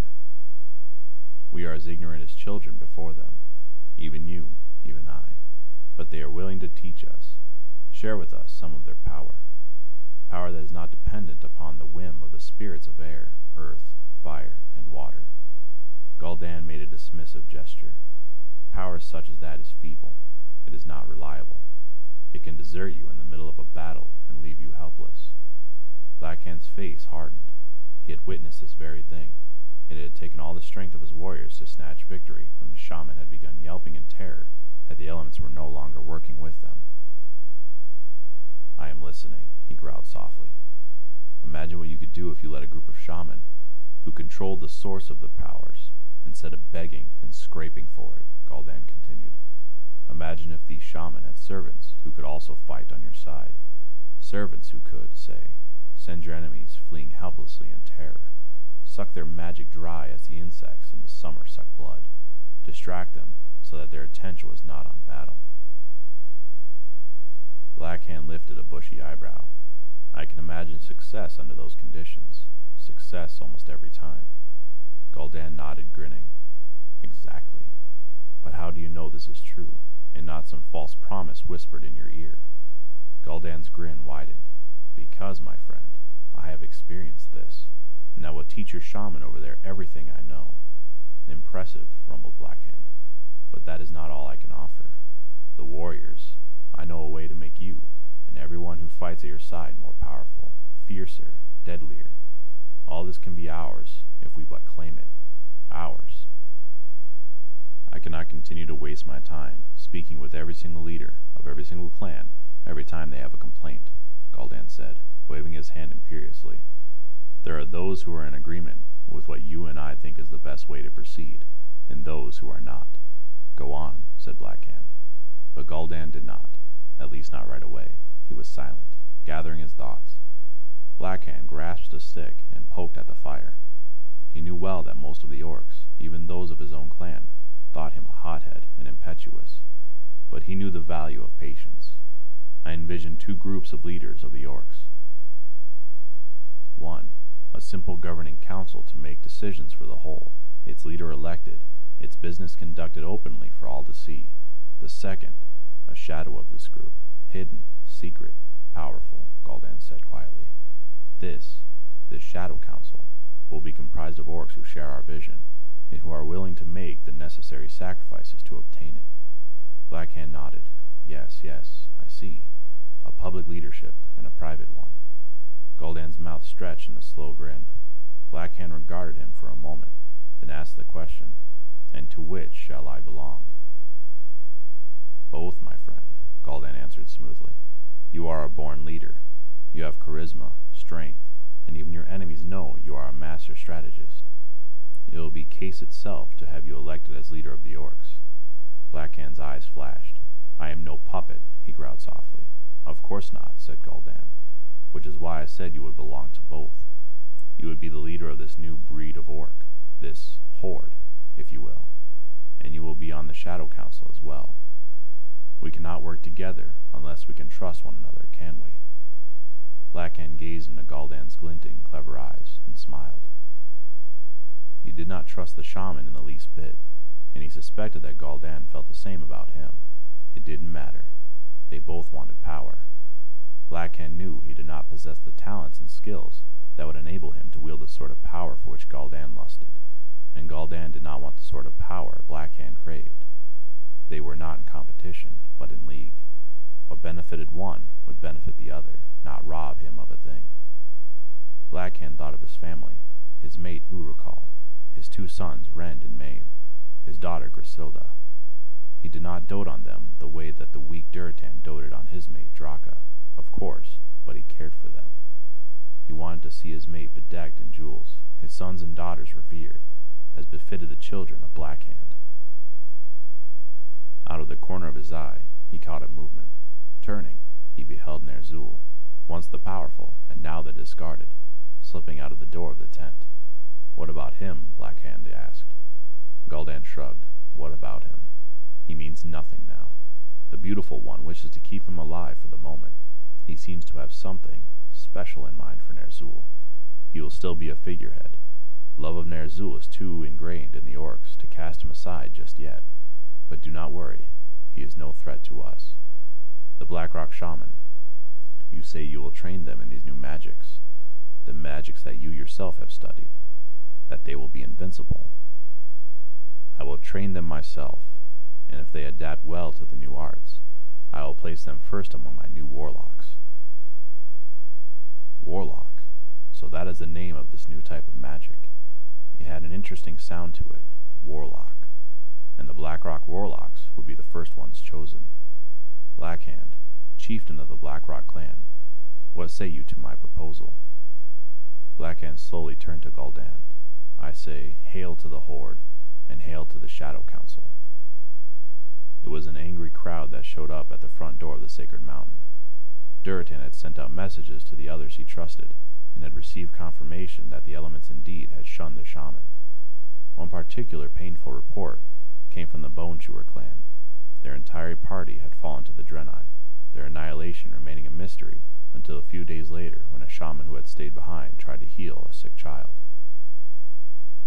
Now they were coming, the clan leaders and their shaman, to meet with Ner'zhul and demand an explanation.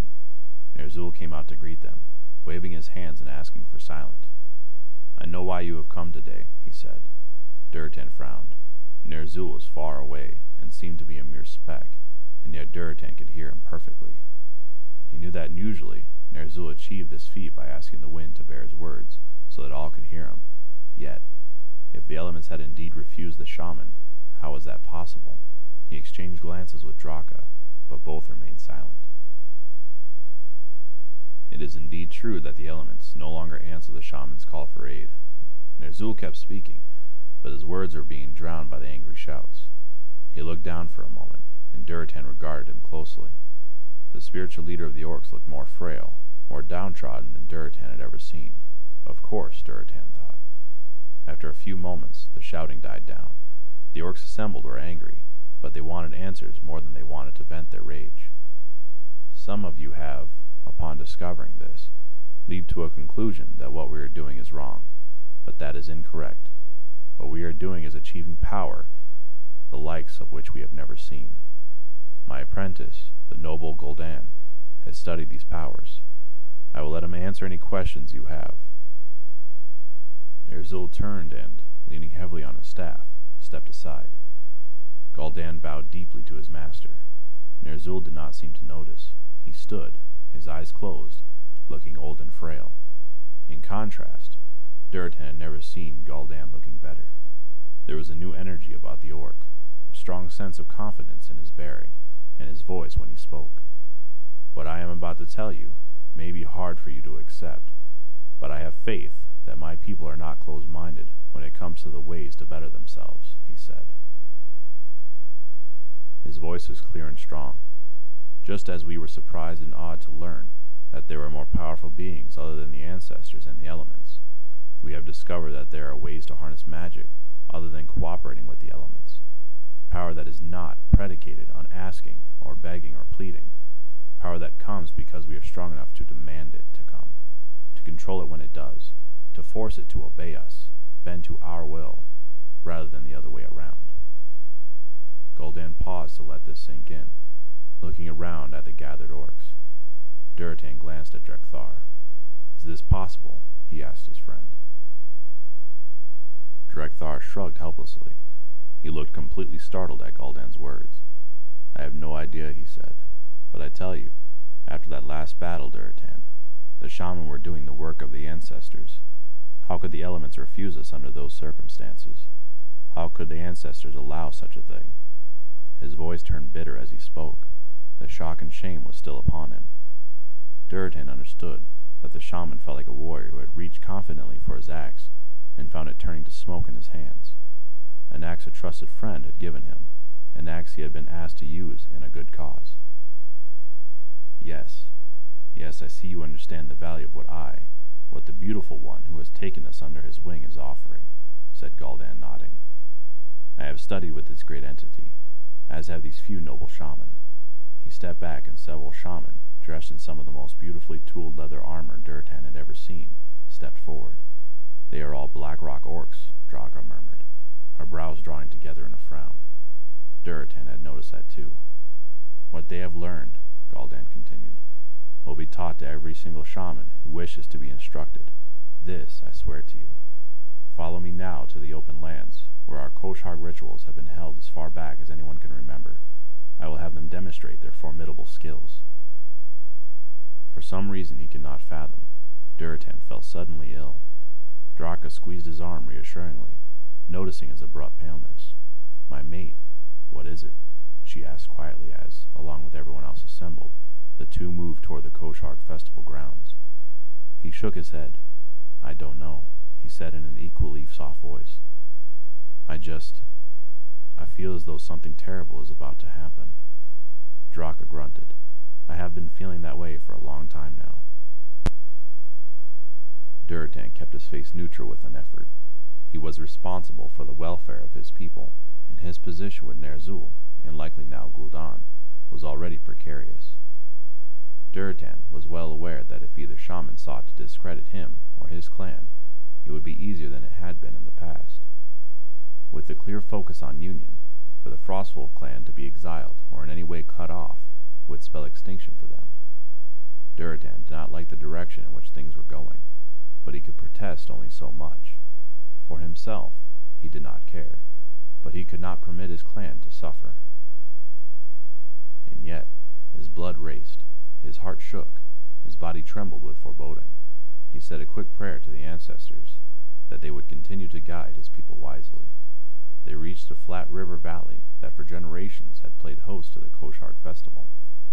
As his feet touched the sacred ground, Durotan felt himself relaxing slightly. Memories came back to him, and he smiled as they brushed his mind. He recalled that fateful night when he and Orgrim had both decided to fly in the face of tradition and dared to spy on the adults as they spoke, and how disappointed both had been at the mundane conversations. Wiser now, he was sure that he and Orgrim, bold though they had thought themselves at the time, had likely not been the first to be so daring, nor were they likely to be the last. He recalled, too, his first real glimpse of the female who would become his life mate, hunting in these lush fields, dancing around the fire to the sound of drums throbbing in his veins, and chanting to the moon. As long as his people still had this, he thought, all would still be well with them. Heartened somewhat, he looked over where the dancing was usually held. A small tent was erected, and he wondered what it was for. He and Draka halted a few yards away from the tent, assuming it was part of the demonstration. The others followed suit. The sun shone brightly as more and more orcs gathered. Durotan saw that most of those who had come today were clan chieftains and their shaman, so the site did not have to accommodate quite as many as it did during the festival time. Gul'dan waited until everyone else was assembled before striding purposefully toward the tent. The shaman trained in this mysterious new magic followed him. They all strode with confidence and pride. Coming to a halt in front of the tent, Gul'dan beckoned to a few of the Black Rock warriors, who stepped forward and stood at attention. At that moment, the wind shifted. Durotan's eyes widened as a familiar scent was carried to his nostrils. Draenei. Low murmurs around him told him that he was not the only one who had caught the scent. At that moment, Gul'dan nodded to the warriors. They disappeared inside the tent for a brief moment. Eight Draenei, their hands tightly bound, emerged from the tent. Their faces were puffy and swollen from beatings. Rags had been shoved in their mouths. Blood was caked on their blue skin and what remained of their clothing. Durotan stared. When the Blackrock clan fought using the magic I'm about to share with you, their victory was so absolute that they were able to take several prisoners, Gul'dan said proudly. These prisoners will help me show you what these new magical abilities can do. Outrage flooded Durotan. Slaying a foe in armed combat was one thing. Slaughtering helpless prisoners was another. He opened his mouth, but a hand on his arm stayed his words. He glanced up angrily into Orgrim Doomhammer's cool gray eyes. You knew about this, Durotan hissed, his words for his old friend's ears alone. Keep your voice down, Orgrim hissed back, glancing about to see if anyone was paying attention to them. No one was. Everyone's attention was riveted on Gul'dan and the Draenei prisoners. Yes, I knew. I was there when we captured them. It is the way of such things, Durotan. It did not used to be the way of the orcs, Durotan replied. It is now, Orgrim said. It is a sad necessity. For what it is worth, I do not believe that this will become a common practice. The goal is to slay the Draenei, not torture them. Durotan stared at his old friend. Orgrim kept the gaze for a moment, then flushed and looked away. Durotan felt his outrage abate somewhat. At least Orgrim understood what a violation this was, even if he supported it. But what else could Orgrim have done? He was second in command to Blackhand. He was oath-bound to support his chieftain. Like Durotan, he had responsibilities to others he simply could not shirk. For the first time in his life, Durotan wished he were a mere clan member. He looked down into his mate's eyes. She stared, aghast, first at him and then at Orgrim, and then he saw the sorrow and resignation flit across her features, and she lowered her head. These beings have worth to us in this moment, Gul'dan was saying. Durotan, his body feeling heavy as lead, dragged his gaze to the shaman. We will use them to demonstrate these new powers. He nodded to the first Blackrock shaman in line, who bowed. Looking slightly nervous, the female closed her eyes and concentrated. A sound like rushing wind filled Durotan's ears. A strange pattern written in purple light appeared at her feet, encircling her. Above her head, a purple cube turned idly. Then, suddenly, a small squawking creature appeared at her feet. It capered, its eyes blazing red. Its small but sharp teeth bared in what looked like a smile. Durotan heard murmurings and some hisses of fear. Other shaman followed suit, summoning the same eerie purple circles and cubes, manifesting creatures seemingly out of thin air. Some were large, shapeless things in hues of blue and purple, hovering ominously. Other beings were fair to look upon, save for the hoofed feet and bat-like wings. Some were large, some small, and all sat or stood quietly beside those who had called them into being. Pretty little pets, to be sure, came the distinctive voice of Grom Hellscream, dripping with sarcasm. But what do they do? Gul'dan smiled indulgently. Patience, Hellscream, he said, almost condescendingly. It is a strength, not a weakness. Hellscream's brows drew together, but he stayed silent. He was as curious as anyone, Durotan assumed. Blackhand stood, smiling a little, looking like a proud father. Only he seemed unsurprised by what was unfolding here, and Durotan realized that he must have already witnessed the powers of the newly trained shaman. Witnessed, and approved. One of the Draenei was cut loose from the rest and shoved forward. His hands still bound, he stumbled a few steps on his cloven feet, then stood erect. His face was impassive. Only his slowly moving tail gave any indication of stress. The first shaman stepped forward, moving her hands and murmuring slightly. The little creature at her side squawked and jumped about. Then suddenly, fire erupted from its clawed hands to slam into the helpless Draenei. At the same moment, a ball of darkness formed at the shaman's fingertips and rushed toward the prisoner. It grunted in pain as its blue flesh was blackened and burned from the small creature's attack, but it dropped to its knees in obvious agony when the shadow ball struck it. Again the shaman muttered something, and flames erupted from the very flesh of the tortured Draenei. Where before he had been stoic and silent, he now screamed in torment, his cries muffled somewhat by the gag in his throat, but not completely. He jerked and spasmed on the earth, flailing like a fish freshly hooked, his eyes rolling wildly. Then he was still. The wreck of burned flesh filled the air. For a moment there was silence. Then came a sound that Durotan had never thought to hear, cries of approval and delight at the sight of a bound foe dying in helpless torment. Durotan stared in horror. Another prisoner was slain for demonstration purposes. This one was beaten with a whip by one of the fair servants of the shaman, standing transfixed while fire rained upon it and darkness pummeled it. A third was brought forward, its magical essence sucked out of it by a monstrous creature that looked like a deformed wolf with tentacles sprouting from its back. Bile rose in Durotan's throat, as blue blood and ashes covered what once had been sacred land, land that had been, and was even now lush and fertile, though its profound sense of tranquility had been brutally violated. Here he had danced, and sung to the moon, had conspired with a boyhood friend, had courted his beloved. Here, generations of orcs had celebrated their unity on a place so holy that any fights that broke out had been halted immediately, the combatants ordered to make peace or to depart. Durotan was no shaman. He could not sense the earth or the spirits, but he did not need to in order to feel their pain as his own. Mother Kashur, surely, surely this is not what you wanted, he thought. The cheering filled his ears. The stench of blood and charred flesh assaulted his nostrils. Worst of all was the sight of his brethren, even some among his own clan, who were caught up in the frenzy of inflicting pain and torment upon beings who were rendered incapable of even spitting on their opponents. He was dimly aware of his hand hurting. Somewhat in a daze, he looked down to see that Draka was clenching it so hard she threatened to break the bones.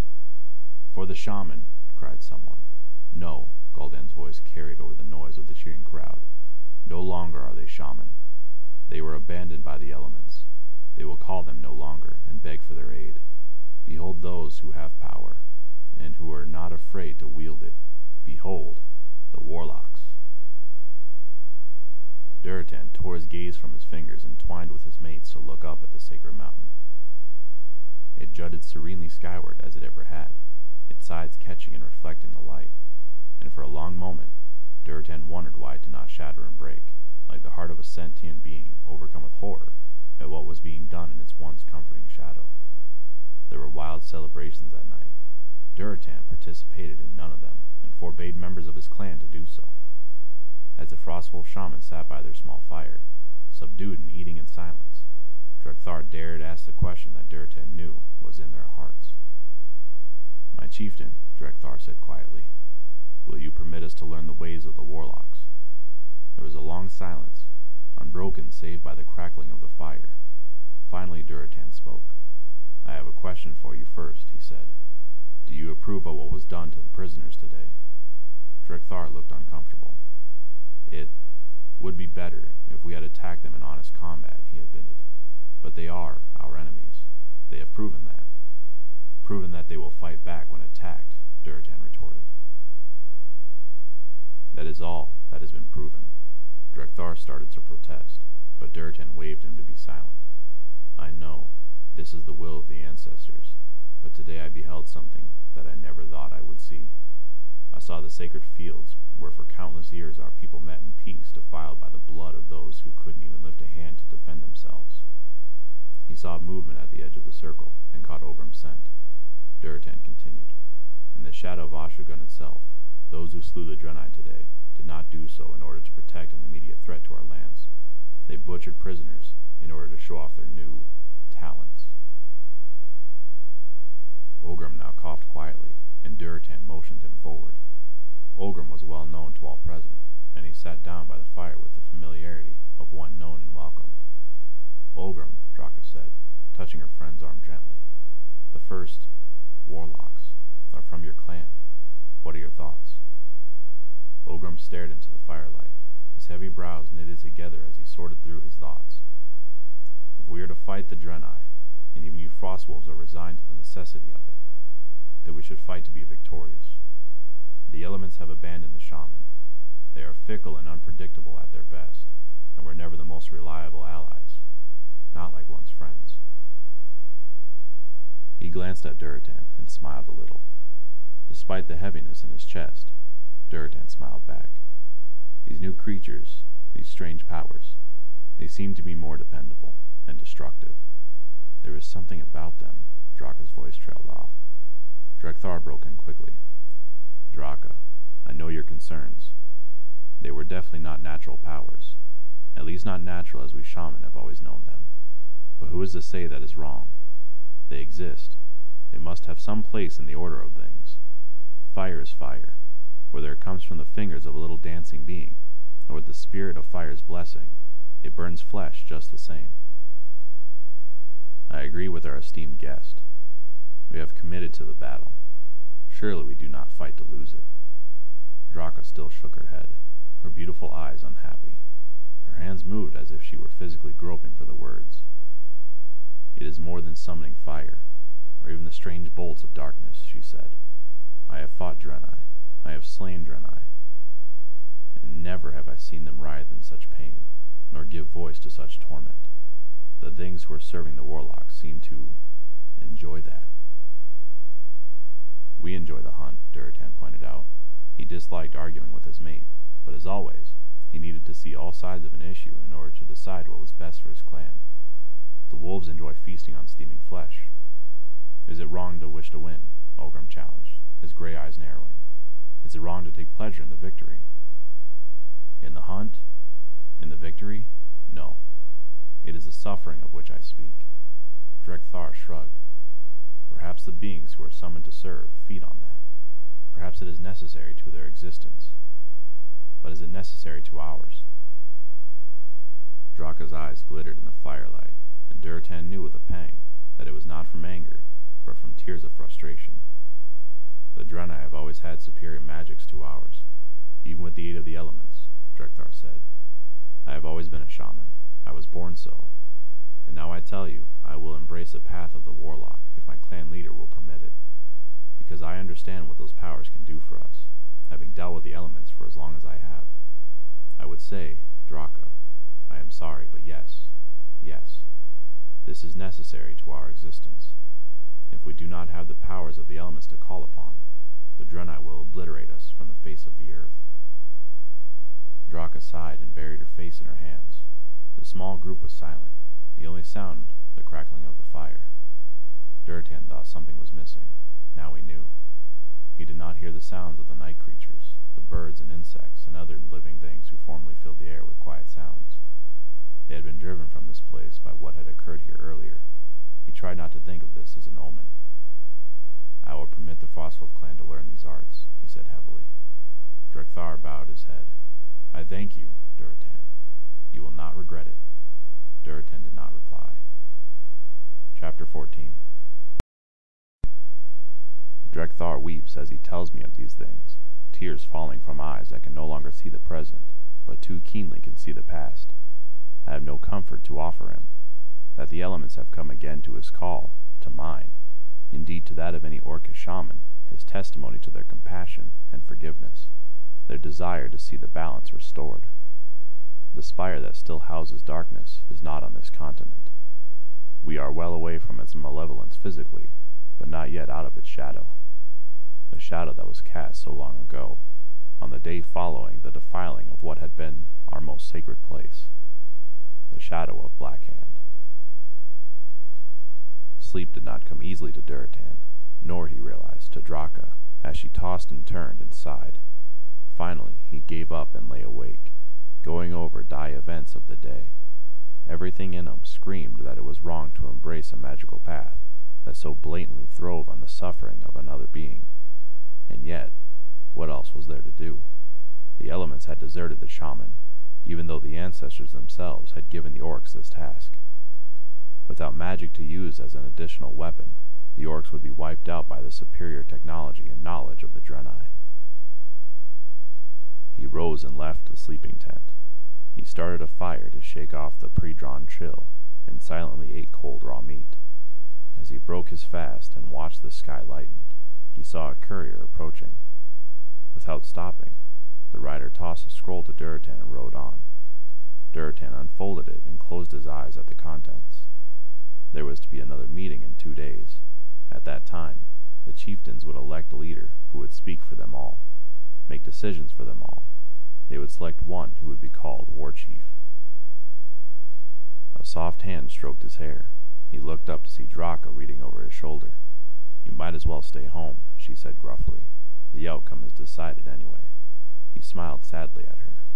You did not used to be so cynical, beloved. I did not used to live in such times, was all she said. In his heart, he knew she was right. There was only one orc who was well known enough, charismatic enough to win sufficient votes to be elected war chief. Grom Hellscream might give Blackhand a bit of a challenge, but Hellscream was too impulsive to be trusted with such a task.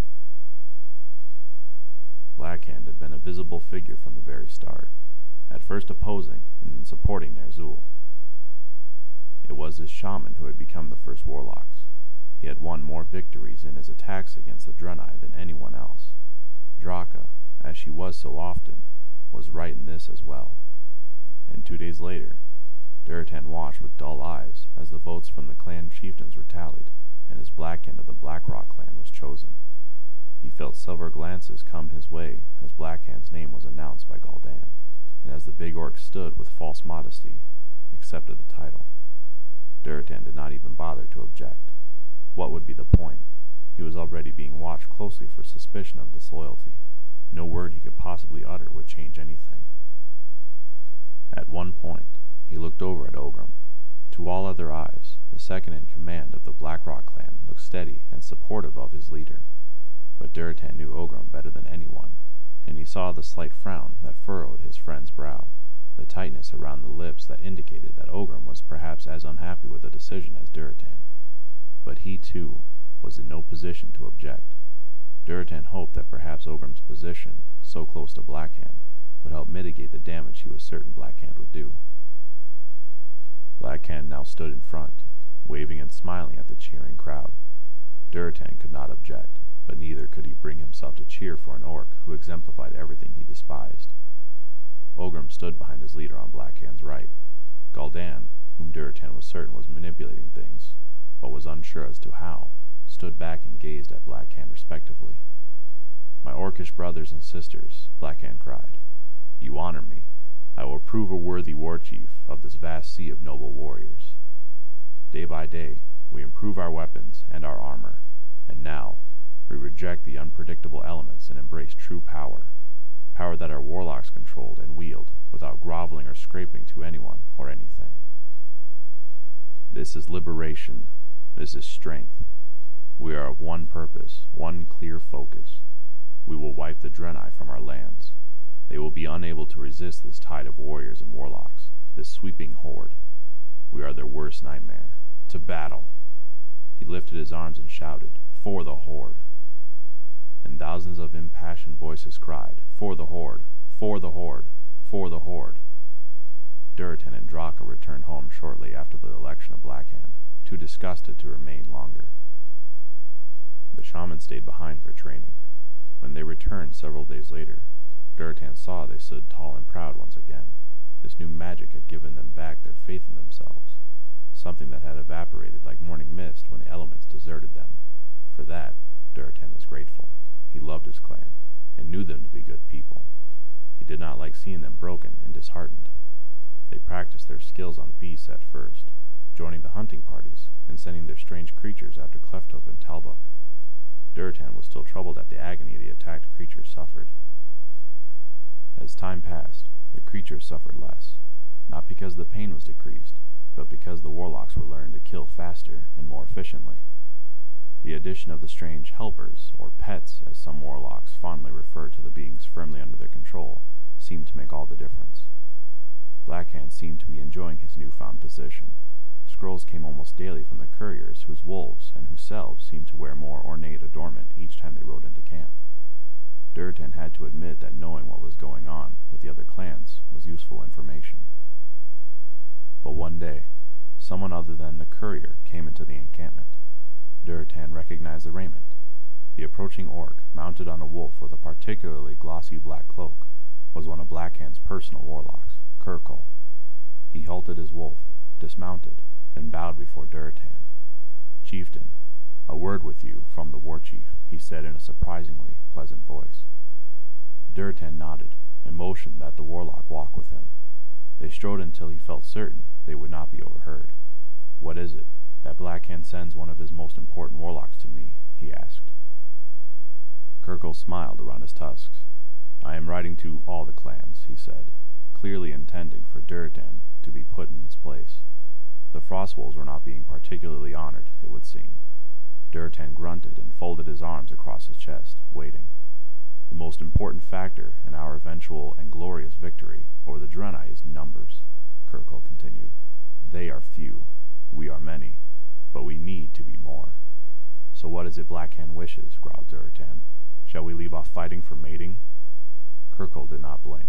Not leave off fighting, but yes, encourage your warriors to procreate. You will receive accolades for each child that is born to your clan. That will help, but unfortunately, we need more warriors right now, not six years from now. Durotan stared, stunned. He had meant the comment as a crude joke. What was going on? Children begin training at age six, Kurkul continued. They are strong enough to fight at age twelve. Summon all your younglings. I do not understand, Durotan said. Summon them for what? Kirkle sighed, as if Durotan were a foolish child. I have the ability to accentuate their growth, he said. We will push them forward a bit. If we take all the children that are between six and twelve now and age them to twelve, we will increase the number of warriors on the field by almost fifty percent. Durotan couldn't believe what he was hearing. Absolutely not. I'm afraid it's not a choice, it's an order. Any clan who refuses will be branded a traitor to the Horde. The clan will be exiled, and their leader and his mate executed. Durotan stared, stunned. Kirkle handed him a scroll. He read it, shaking with anger, and saw that the warlock had spoken truly. He and Draka would be put to death, and the Frostwolf clan exiled. You would rob them of their childhood then, he said stonily. For their future, yes, I will drain a little of their lives, only six years' worth. They will come to no harm. The Blackrock children certainly didn't. Blackhand insisted on his own three young ones be the first to be so honored, and in return, they will be able to fight for the glory of the Horde now, when they can make a difference. Durotan was not in the least surprised that Blackhand had permitted this to be done to his own children. For the first time, Durotan was grateful that there were so few children in his clan. There were only five of them older than six and younger than twelve. He again read the missive, feeling furious and sickened at the same time. These children ought to be able to simply be children. The warlock waited calmly. Finally, Durotan said in a voice he made deliberately harsh to hide his pain, Do what you must do. For the Horde, said Kirkle. Durotan did not reply. What happened next was barbaric.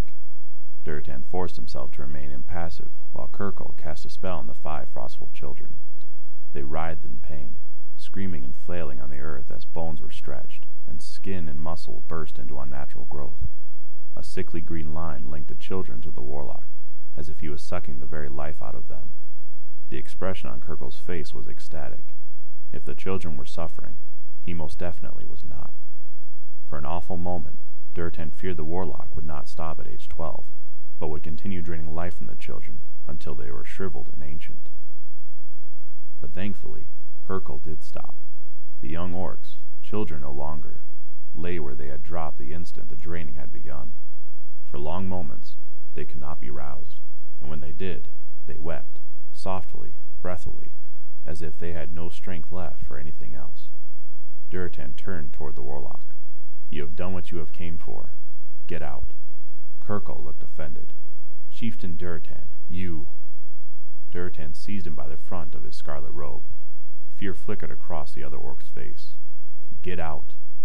Now. Durotan shoved hard, and Kirkle stumbled backward, almost falling. He glowered at Durotan. Blackhand will not be pleased to hear of this, Kirkle growled. Durotan did not dare speak. If any other words came from his mouth, he knew they would doom his clan. Instead he turned away, shaken with rage, and went to the children who were children no longer. For some time after that, nothing was asked of the Frostwolf clan, save more intensive training and reporting back on that training. And Durotan was both relieved and apprehensive. Somehow, he knew that when Blackhand and Gul'dan chose to notice him, the task they would set for him would be a difficult one. He would not be disappointed. Durotan was looking at a new pattern for armor the smith had just drawn up, when the wolf rider leapt into the Frostwolf encampment. Without breaking stride, the rider tossed Durotan a parchment, wheeled his mount around, and departed. Durotan unrolled it and began to read, his eyes widening. He looked up quickly at the departing figure of the rider. It was not the official courier. Old friend, I am sure it comes as no surprise that you are being watched. They will set a task for you, one that they know you can complete. You must do so. I do not know what they will do if you refuse, but I fear the worst. There was no signature. The missive did not need one. Durotan knew Orgrim's bold script. He crumpled the parchment and tossed it into the fire, watching it twist and curl in on itself like a living thing as the flames licked and consumed it. Orgrim had sent the warning just in time. That very afternoon, a rider wearing the official tabard of a courier approached and handed the Frostwolf chieftain a parchment. Durotan nodded as he accepted it and put it aside. He did not want to see it right now. but the courier looked uneasy. She did not dismount, but neither did she turn her wolf and ride back to the Frostwolf lands. I have been instructed to wait for a reply, she said, after an awkward pause. Durotan nodded and unrolled the parchment. The writing was exquisite, and he knew that Blackhand had dictated the missive. The war chief, smart and cunning though he was, was barely literate. It was worse than he had thought. Durotan kept his face carefully neutral, though out of the corner of his eyes he saw that Draka was watching him carefully. On to Durotan, son of Garad, chieftain of the Frostwolf clan. Blackhand, war chief of the Horde, gives greetings. You have now had time to see the skills of our newly trained warlocks in action. It is time to take the attack to our enemies. The Draenei city of Telmor is close to your borders. You are instructed to form a war party and attack them. Orgrim has told me that as boys, the two of you entered that city, that you saw the secret of how the Draenei kept themselves unseen. Orgrim also tells me that you have excellent recall, and that you would remember how to expose the city to our warriors for an assault. I am sure I don't have to tell you what destroying this city would mean to the Horde and to the Frostwolf clan. Reply to this letter immediately, and we will begin preparations for the assault. For the Horde. The signature was an imprint of Blackhand's right hand, stained with ink. Durotan was furious. How could Orgrim have revealed this information? Did he truly follow Blackhand after all? That he would tell the war chief of this incident, and so put Durotan on the spot? The anger ebbed as he realized that the information to which Blackhand referred, their visit there as boys, the way the city was hidden, Durotan's almost uncanny memory, these were things that could have been dropped in conversation at any point over the last few years. Blackhand was intelligent enough to pick up any crumb of information and hoard it until such a time was necessary. Durotan thought about lying, about claiming that he could not recall the words by which Restalaan had dispelled the illusion that kept Dai Draenei City safe and hidden from the eyes of the ogres, and, now the eyes of orcs. It had been a long time, and he had only heard the phrase uttered once. Anyone else would have forgotten it, but the threat in Dai letter was so thinly veiled as to be almost ridiculous. If Durotan agreed to assist with the attack, he would prove his loyalty to the Horde, to Blackhand, and to Gul'dan, at least for the moment. If he refused, even if he claimed to not recall the words Blackhand wanted him to speak, well, like Orgrim, Durotan feared the worst. The courier was waiting. Durotan made the only decision he could make. He looked up at the courier, his face impassive. I will do as the war chief bids, of course, for the Horde. The courier looked both relieved and a little surprised. The war chief will be pleased to hear this. I am instructed to give you the following. She reached into her leather backpack and retrieved a small sack, which she handed to Durotan. Your warriors and your warlocks will need to train with these. Durotan nodded. He knew what they were. The Heart of Fury and the brilliant star that he had ordered taken off Velen. These stones were perhaps the only things that had spared him once before, when he had incurred Ner'zhul's anger. Now, he would use them against the very people he had taken them from. The war chief will contact you soon, the courier said, inclined her head, and turned her wolf. Durotan watched her go. Draka stepped quietly beside him. He handed her the letter and went into their tent. A few moments later she joined him slipping her arms around him from behind while he buried his face in his hands and grieved over the events that led to the terrible decision he had been forced to make. A few days later the war party gathered at the Frostwolf encampment. Most of the warriors and warlocks were from the Blackrock clan, but there were more than a few painted warsong faces in the crowd, and several shattered hand as well. Even the most obtuse among the Frostwolves could sense the mistrust and contempt from the visitors. Durotan knew it was no accident that the other orcs were all from the most martial clans. They were there to make sure the Frostwolves did not falter at any critical point. Durotan idly wondered which among them had the instructions to slit his throat at the first sign of hesitation. He hoped it was not Orgrim. The two old friends exchanged only a few words, and Durotan saw regret in Orgrim's visage. For that, at least, he was glad. A courier had been sent ahead, so there were plenty of bonfires roaring and food and drink for the hungry guests. Many of the Frostwolves gave up their own lodging for the visitors, so that those who would head into battle the following morning would rest as well as possible.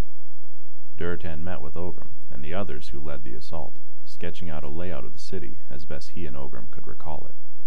By daybreak, the war party, a small army of orcs, was on the move. They passed into the meadows that surrounded the Terokkar forest, where so long ago Orgrim and Durotan had raced as youths and been startled by the appearance of an ogre. No lumbering giants troubled the vast wave of orcs as they moved steadily toward their destination this morning. Durotan was in the front, riding beside Orgrim on Night Stalker. They were silent, but Durotan did not miss the fact that Orgrim's gray eyes lingered on the site where the two boys had been rescued by the Draenei warriors. The years have been long since we passed this way, Durotan said. Orgrim nodded. I am not even sure we have the right direction. The forests and fields have changed and grown, and there were precious few landmarks originally, Durotan said heavily. I remember the way. He wished he did not. A pile of stones here, a strange-shaped outcropping there, was enough to guide him. It looked like nothing to anyone else. Blackhand had told his troops that the Draenei were able to disguise their city. Even so, Durotan's sharp ears caught slight murmurings of concern. He frowned. We are drawing close, he said. We must be quiet. There is an excellent chance that we will have been seen and reported already. The war party grew silent then. With a few gestures, Orgrim dispatched some of his outriders to scout the area. Durotan's mind went back to that twilight, when he, too, was worried about where they were going and what the Draenei had planned for them. He brought his wolf to a halt and dismounted. Nightstalker shook his head and scratched behind his ears absently. It was here, or close to here. Durotan felt a desperate hope that perhaps the Draenei remembered that they had exposed their secret to him, that they had changed the hiding place of the magical stone upon which their protection depended. There was no telltale rock beneath which the green gem was secreted. Durotan's memory would have no aid to him uncovering it. He concentrated, walking slowly, hearing the jangling of tack and the soft clinking of armor as the others watched and waited. He closed his eyes to aid his concentration. Saw again Restalaan kneeling on the ground, moving aside leaves and pine needles to uncover. Durotan opened his eyes and moved a few steps to his left. He said a quick prayer to the ancestors. Whether it was asking for help in finding the stone or not finding it, he was not certain. Mailed hands reached down and brushed away layers of detritus and then touched something cool and hard. There was no turning back now. Durotan closed his fingers around the gem and picked it up. Even in his distraught state of mind, he could sense the stone emanating a comforting energy. It nestled in his palm as if it belonged there. Durotan ran his left index finger over it, drawing out this moment before everything would change irrevocably. You found it, breathed Orgrim, who had silently stepped up to his friend. Durotan was overcome with emotion and could not speak for a moment. He merely nodded, then tore his gaze from the beautiful, pulsating stone and looked up at the awestruck faces gazing at the treasure he held. Orgrim nodded brusquely. Get into position, he said. We have been fortunate that there has been no advance warning. The stone was so calming to hold. Durotan wanted nothing better than to simply stand and look into its depths. But he knew that he had already made his choice. He took a deep breath and spoke the words that Restalaan had spoken so long ago in the same place. Kella men samir, sole ama kal. He wanted to believe that his thick, orcish accent would not activate the stone, that he was able to fulfill his obligation to his people without storming a small city full of civilians. But apparently, the words were understood by whatever force controlled the green gem. The illusion was already dissipating, the trees and boulders shimmering into insubstantiality, and before the orcish war party, a wide, paved road stretched as if an invitation. They needed no urging. The glorious city of the Draenei lay before them, with cries torn from over a hundred throats. The orcs descended upon it. Chapter 15 Drek'Thar speaks in a broken voice of glories ruined, of beauty destroyed, of the slaughter of children. Through his tale runs an unspoken excuse. It seemed so right at the time. I imagine it did seem right. It did seem just. I can only pray to the ancestors that I am never placed in the same position as my father, torn between what I know in my heart is right and the defense of my people. It is why I continue to strive to uphold the tenuous peace between us and the Alliance, because few offenses and insults in this or any other world are sufficient to warrant the slaughter of children. Later, Durotan would wonder how the city of Telmor had received no advance notice of a wave of mounted orcs. he would never be able to speak with a Draenei to find out. He could only assume that the Draenei were so certain in their illusionary camouflage that the idea that it could be breached never occurred to them. The quiet air was rent with the sound of war cries and wolf howls as the riders stormed the streets of the city. Several unarmed Draenei were cut down in the first few seconds of the assault. The white pavement was soon blue with spilled blood, but it did not take very long for the city guards to counterattack. Durotan had shoved the stone into his pack the moment he had finished using it. It would join the red and yellow stones he had taken from Velen. He mounted quickly and rode with grim determination, his axe at the ready. While he had made his own private vow that he would not attack an unarmed foe or child, he had also made his choice, and was prepared to kill or die for it. The first wave flooded the city. A river of orcs forked into streams, pouring into large, spherical public buildings that branched off to either side of the main street, surging up the wide stone steps. The warlocks brought up the rear. Their creatures were silent and obedient, save the small ones that muttered constantly under their breaths. They waited for the right moments to bring down the rain of fire, the bolts of shadow, the various curses of torment. The warriors emerged covered with blood, the boots tracking it down the wide steps as they continued on to the next building, and the next. The Draenei guards were in the streets now, casting their own magics. Durotan turned in his saddle barely in time to deflect a blow from a sword that blazed with blue energy. The sword clanged against the head of his axe and jarred his arm to the bone, but that was nothing compared to the shock he felt at recognizing his attacker. For the second time, he and Restalaan were meeting in battle. Durotan had spared Velen, and in return, Restalaan had spared him when he was helpless before the Draenei warrior. Durotan saw recognition in the other's eyes, then those glowing blue orbs narrowed. All debts between them were paid. This time, there would be no quarter given on either side. Restalaan cried something in his musical tongue. Instead of attacking again, he hauled Durotan from his saddle. Durotan was taken by surprise, and before he knew what was happening, he lay on the ground before his enemy. He reached for his axe as Restalaan swung his sword, thinking even as his fingers closed about the hilt that he would not be swift enough. Nightstalker, however, was trained almost as well as the orc who rode him. The instant the wolf felt his rider leave his back, he whirled on Restalaan. Huge teeth crunched down on the Draenei's arm. Had it not been for the protective armor Restalaan wore, his arm would have been severed instantly. As it was, the pressure was enough to cripple him and make him drop the sword. With a grunt, Durotan swung his axe as hard as he could. It slammed into Restalaan's midsection, its keen edge cleaving through his armor to bite deep into his flesh. Restalaan fell to his knees, his useless arm still held fast by Nightstalker's teeth.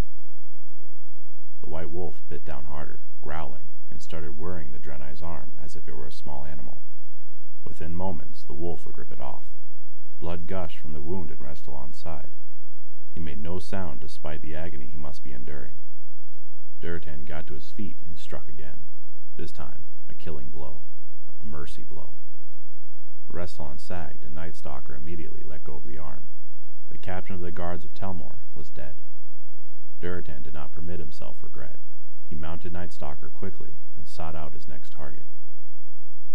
The city was certainly not the size of Shattrath, their capital, but it was big enough. There were Draenei aplenty to slaughter. The air was filled with the cries of bloodlust, of pain and fear, of the clanging of sword on shield and the crackle of spells being cast. Odors assaulted his nostrils, of blood and feces and urine, and the unmistakable, unique wreck of terror. The rage boiling inside him felt good. His senses had never been higher, and he seemed to move without thinking. Over there, another one of the guards fighting Orgrim. Durotan tensed, thinking to rush to his friend's aid, but the Doomhammer swung through the air and crushed the attacker's skull even through his helm. Durotan grinned fiercely. Orgrim needed no aid. He sensed the presence at his side before he heard or smelt it, and turned, bellowing his clan's war cry. He hoisted the gore-covered axe and prepared to bring it down. The child was barely out of puberty, but she screamed in a fury as she tore with bare hands at his armored leg. Tears streamed down her pale blue face, and her teeth were bared. Blue blood, too much of it to be her own, saturated her dress so that it clung to her body. She pounded futilely at him, her tear-filled eyes burning with pain and righteous fury. For a horrible second, she seemed to be the same girl that Durotan and Orgrim had encountered years ago. That could not be. Surely that girl was a woman now. Or was she? But it did not matter. It was a female child who, both bravely and stupidly, was attempting to attack a mounted orc warrior with her bare hands. It was with an enormous effort that Durotan halted the axe in mid-swing. He would not harm a child. That was not the code. That was not the way of the orcs. Suddenly the girl froze.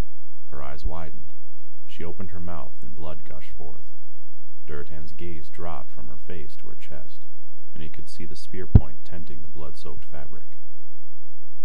Before Durotan could react, shattered hand orc who had slain the girl shoved the spear to the side, forcing the body to the earth. He put one booted foot on her shoulder. Grunting, he pulled loose his spear and grinned up at Durotan. You owe me one, Frostwolf, the orc said, then vanished into the close-pressing crowd of slayers and victims. Durotan threw back his head and cried his agony to the ancestors. On surged the orcs, leaving corpses in their wake. The vast majority of the dead were Draenei, but here and there a brown body of a fallen orc could be seen. Some of the orcs who fell yet lived, crying out for aid, but their pleas fell on deaf ears. Shaman could have healed them with spells, but apparently warlock magics did not embrace the healing arts. So they lay where they had fallen, some wheezing out their last breaths next to the Draenei they had slain, while the unstoppable tide poured forward. They followed the road through the foothills, entering each building as they went, and slaughtering anyone they found.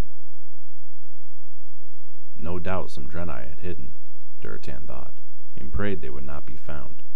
He did not think that prayer would be answered.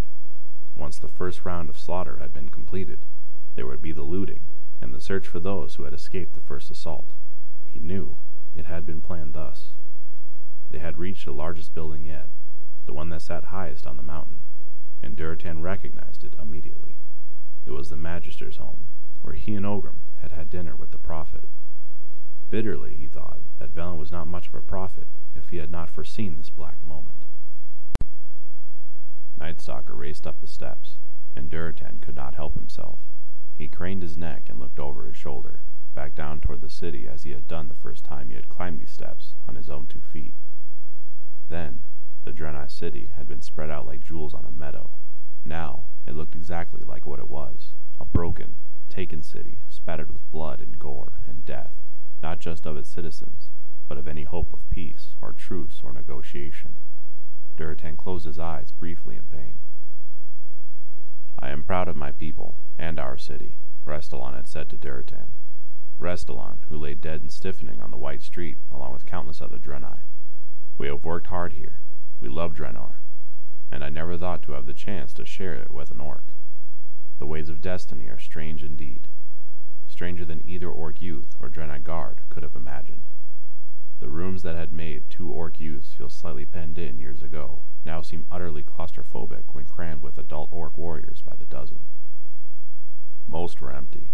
There had been time for an evacuation of all but those who had sworn to die in service of their city, and die they did, the guards who attacked them now. The beautiful, ornate furniture was used as weapons, brought crashing down upon Draenei heads, the breakage adding to the thrill of the fight. Orcs punched holes in the smooth, curving walls for the sheer pleasure of it. Beds were hacked with swords. Bowls of fruit and delicately wrought statuettes swept off furniture that was in turn smashed by axe or hammer. Durotan had had enough. Hold, he cried, but no one listened. The creatures controlled by the warlocks seemed well pleased with this behavior, almost smug. But the time for destruction had passed, and the ruthless savagery would not serve the orcs now that all the inhabitants of Telmor were either slain or had fled. Hold, Durotan yelled again. This time Orgrim heard him, and took up the cry. The warsong representative also shook his head, as if to clear it of something hazy and obscuring. Then he, too, tried to calm his warriors. Drek'Thar, back with the other warlocks, had not become as lost in bloodlust as the others, and he was able to stop the others from casting spells. Listen to me, Durotan roared. Most of them had reached the room where Velen had hosted them at his table. The room was empty, dyed chairs and tables overturned, the wall hangings shredded and cast to the floor. We have taken the city. It is now time to take what we need from it. They were listening now, their breaths coming in pants that filled the room with a raspy sound. But at least they had stopped swinging their weapons at anything that moved, or even anything that didn't. First we attend to the injured, Durotan ordered. We will not leave our brethren to suffer in the streets. Some of them stared guiltily at that. Durotan realized, with disgust, that many of these warriors had completely forgotten that some of their numbers still lay writhing in pain outside, while they enjoyed die wanton destruction of the Magister's estate. He pushed his feelings down and nodded to Drek'Thar. The warlocks might no longer have healing spells, but they had once been shaman, and knew how to tend battle wounds in a more mundane fashion. Drek'Thar motioned to several warlocks, and they hurried back the way they had come. Next, this city has supplies, the likes of which we have never seen. There are foodstuffs aplenty, and weapons, and armor, and other things we know not of. Things that will serve the Horde in its quest to... He could not say the words as he had planned. In its quest to wipe out the Draenei. Instead he added somewhat awkwardly, In its quest, we are an army. An army marches on its stomach. We need to be well fed, well watered, healed, rested, protected. Orgrim, you take a group and start at this end. Guthor, you take a group and head back to the gates. Work your way up the main road until you meet Orgrim's group. Anyone who has any healing knowledge, report to Drek'Thar, and do exactly as he tells you to do. What if any Draenei we find alive? asked someone. What indeed? There was no infrastructure to take care of prisoners, and in truth, the only purpose of a prisoner would be for negotiations. Since it had been made quite clear that the sole purpose of the Horde was total extermination of the Draenei race, there was no reason to host prisoners. Kill them, Durotan said hoarsely. He hoped the raggedness of his voice would be interpreted as raw fury, rather than the agonizing pain it was. Kill them all. As the orcs he commanded hurried to obey his orders, Durotan found himself wishing that Nightstalker had not been so quick to protect him. It would have been easier had he perished by Restalaan's hand this day than speak the words he had just uttered. With any luck, during this horrific campaign to obliterate a species who had never raised a hand to them, death would find Durotan sooner rather than later. Chapter 16 The Shadow Council Even now, so many years on, we know so little about who they were and what they did. Gul'dan carried many, many secrets to his grave. May he rot there in torment. It is difficult enough for me to understand how one or two may become so corrupt they would doom their descendants for power in their lifetimes. That there were so many, the number is not even known for certain, is beyond the scope of my limited imagination. Yet even these numbers would not have mattered had it not been for the demons who held them in their grasp. Their pain I rejoice in. What they did to others who obeyed them because they trusted them, I condemn with every fiber of my being. That was an excellent test, Kil'jaeden approved, smiling at his subjects. Gul'dan bowed, his eyes bright with his master's approval. Ner'zhul hunkered down, his eyes on the floor, but even so he was listening. I confess, I was surprised Durotan was able to carry out our orders, Gul'dan said. I expected him to resist, or at least put shackles on what his orcs could and could not do. But the city lies claimed and broken, my lord. All the Draenei who once lived there are gone, most of them dead. Most is not good enough, Gul'dan. You know that. Gul'dan flinched slightly at the criticism. He wondered, not for the first time, about the connection between Kil'jaeden and the Draenei, and why the Beautiful One so despised them. It was our first attempt at taking the battle to them, rather than attacking lone hunting parties, Great One, the Warlock replied, a little surprised at his own daring. Kil'jaeden cocked his horned red head, considered, then nodded. True, and there is yet time. It had been several days since the fall of Telmor. Gul'dan, impressed with the job Durotan had done, had tried to give the city to the Frostwolf clan as a reward, but Durotan had declined the offer. The Frostwolves, he stated, would continue to live in their ancestral lands. The Blackrocks, however, had not been so foolish. Blackhand and his family now slept in the beds where the magister of the city had once slept. At first, the orcs had not known what to make of the trappings of the Draenei, But now they were beginning to incorporate their victims' way of life into their own. They sat in chairs, ate at tables, analyzed and trained with Draenei weaponry, adapted the armor for bulkier orcish frames. Some of the females, and not a few of the males, of the Blackrock clan had taken to wearing Draenei clothing, incorporating it with traditional orcish tunics, robes, and breeches. Gul'dan knew that many wondered why he or Ner'zhul had not taken the city for themselves. It was tempting, but Gul'dan had been well advised by his master. Creature comforts were pleasant, but power was sweeter, and the less Gul'dan claimed for himself publicly, the greater his reach would be in secret. Kil'jaeden would not let him down, as long as Gul'dan did his master's work well. A few items were brought to his new place he called home. An enormous, circular table carved of wood, inlaid with softly glowing shells and stones, along with several beautiful chairs. Gul'dan stepped forward to the massive table, running his hands over the polished surface, smiling to himself. All that remained was to summon those who Gul'dan had reason to believe would answer. Some names were immediately obvious to him, others came only with extended thought. But he had a list of names now that was long enough to be comprehensive, should enough to be managed. Soon, sooner than he had even hoped, the Shadow Council would form. While on the outside, Gul'dan was advancing the orcs as a race, giving them power and eliminating the enemy that was the Draenei. A handful of orcs, almost as corrupt and power-hungry as he, would pull the strings. It was not about the orcs as a race. It had never been about the orcs as a race. It was about power, getting it, wielding it, and keeping it. Ner'zhul had never understood that. He liked the power, but was not willing to feed it the meat it craved. Deceit, lies, manipulation, even Blackhand, who thought he was initiated into Gul'dan's ultimate schemes, hadn't grasped the vastness of Gul'dan's ambitions. It was as huge as Kil'jaeden's desire to destroy the Draenei. It was as enormous as the sky, as deep as the oceans, and knife-sharp as hunger. Gul'dan looked at Ner'zhul with contempt, as the older orc, who had once been a mentor, sat huddled in a corner. His gaze traveled to the blazing eyes of Kil'jaeden, and the great being nodded. Summon them, Kil'jaeden said, his lips parted in a smile, showing sharp white teeth. They will come when you call, and they will dance to your tune. I will see to that. Allies. They needed allies. Gul'dan wondered how Kil'jaeden had not foreseen this. The orcs were mighty indeed, especially when controlled and directed properly. The long months, over a year now, that this war had stretched, had only made them more so. Their best brains had gotten to work on understanding the technology of the Draenei as best they could. Building had begun on the center fortress, which Gul'dan called the Citadel, where a standing army could be conveniently quartered, trained, and equipped.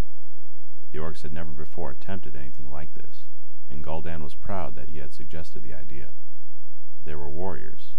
There were shaman. Now, of course, warlocks. There were healers. There were craftsmen. The first three had clear roles and no lack of opportunity to perform their duties. The craftsmen were contributing on a different level, creating the armor and weapons and buildings to support those who had the glory of slaughtering Draenei until their bodies were sticky with spilled blood. Some would call these laborers a lower class of orc. Privately, Gul'dan felt that way himself, but he was wise enough to know that their work, while hardly glamorous or likely to gain them recognition, was as necessary as a warrior's willingness to kill or a warlock's mastery of curses. Those who provided food, shelter, weapons, the warriors and warlocks, would not get very far without them. So Gul'dan had made a show of praising the craftsmen, the pleasant result being that they were inspired to work harder and continually improve. But even though every member of every clan was working as hard as he could, and Gul'dan had spies in each clan to make certain of it, it was not going to be enough.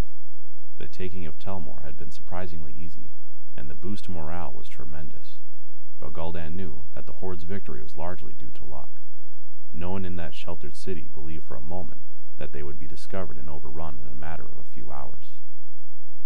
They had thought themselves completely and utterly safe, protected by the magic of the green stone Gul'dan had dubbed Leaf Shadow, which shielded them first from Ogre Eyes and then from Orcish.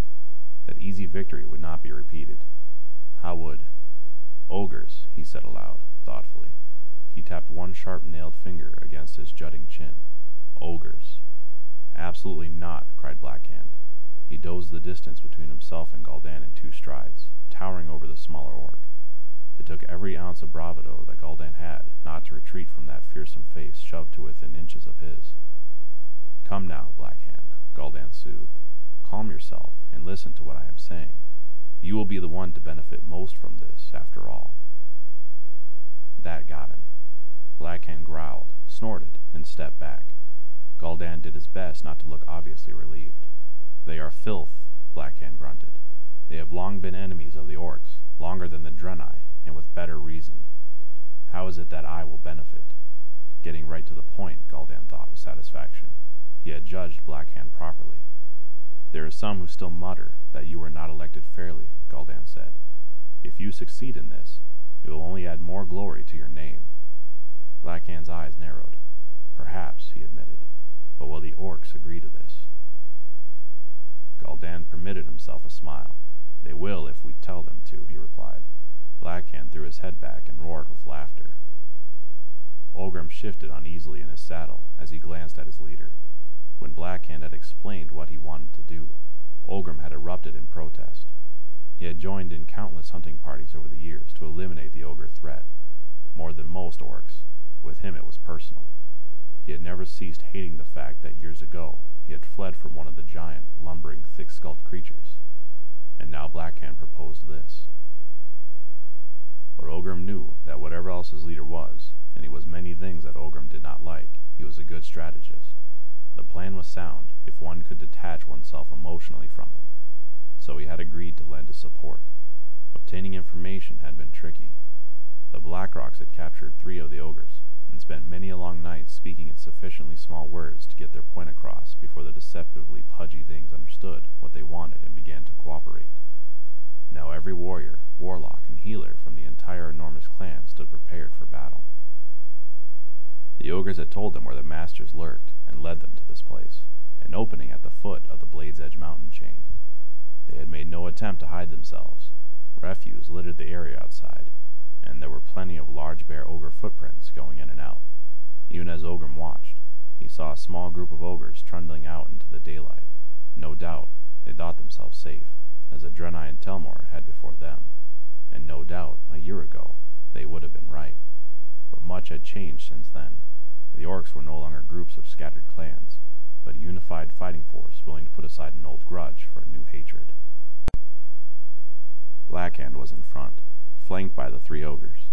Behind him were his sons, Rend and Maim, who spoke to one another in low voices punctuated by the occasional rough giggle. Orgrim had been against allowing the boys to fight at first, but they had proven to be stronger and better than one might think.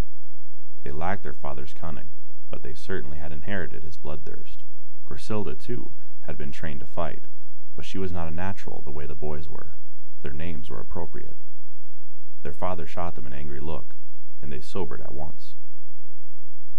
Orgrim wondered if Blackhand would make a speech. He hoped not. Blackhand was at his best in action, not words, and his clan was more than ready to follow him. To his relief, Blackhand looked over the sea of warriors, nodded once, and then gave the orders to attack. The first wave charged, screaming wildly and pouring down the side of the foothills where they had hidden. At first the ogres were so confused at the sight of three of their own allying with the orcs that they simply stood there and let themselves be slaughtered. Then, as their slow brains began to comprehend that they were under attack, they rallied. They still did not attack their fellow ogres, who lumbered through their ranks to talk to the head of the guard stationed somewhere inside Dye Cavern. Orgrim was determined to enjoy the last authorized ogre killing he was likely to taste, and swung the doomhammer with a something akin to glee. His wolf was swift, and darted easily between the tree-trunk thick legs of the ogres who raged impotently and swung his club as fiercely as he could. He recalled how big they had seemed to him as a child. They were still big, but so was he, now, and he wielded a legendary weapon with control and skill. He fractured the shin bone of the ogre, and it roared in agony. Orgrim's wolf danced out of the way as the huge thing fell, making the earth tremble as it landed. It tried to get up, pushing its bulk off the ground with its large, fat hands but by then other Blackrocks had swarmed upon it. Faster even than Orgrim could reckon, the ogre was dead and bleeding from over two dozen wounds. Orgrim wheeled just in time to see one of the orcish warriors hurtling through the air, dead from a single blow from an ogre's massive club. Growling, Orgrim gathered himself to charge the murdering creature when a cry of hold, hold, brought him up short. It was a testament to the power of Blackhand's personality that even now, even when most of the Blackrocks were caught up in the grip of bloodlust and killing an ancient enemy, they stayed their hands. The ogres didn't, at least not at once, and Orgrim found himself riding away from the battle until the slow ogre brains understood what was going on. The thought galled him. It is for the good of all of us, Orgrim, he told himself. He glanced over to see the ogres the Blackrocks had befriended talking to their kind, or rather, bellowing at them and occasionally smacking them. But at least the ogres had been distracted from following the retreating orcs and appeared to be listening.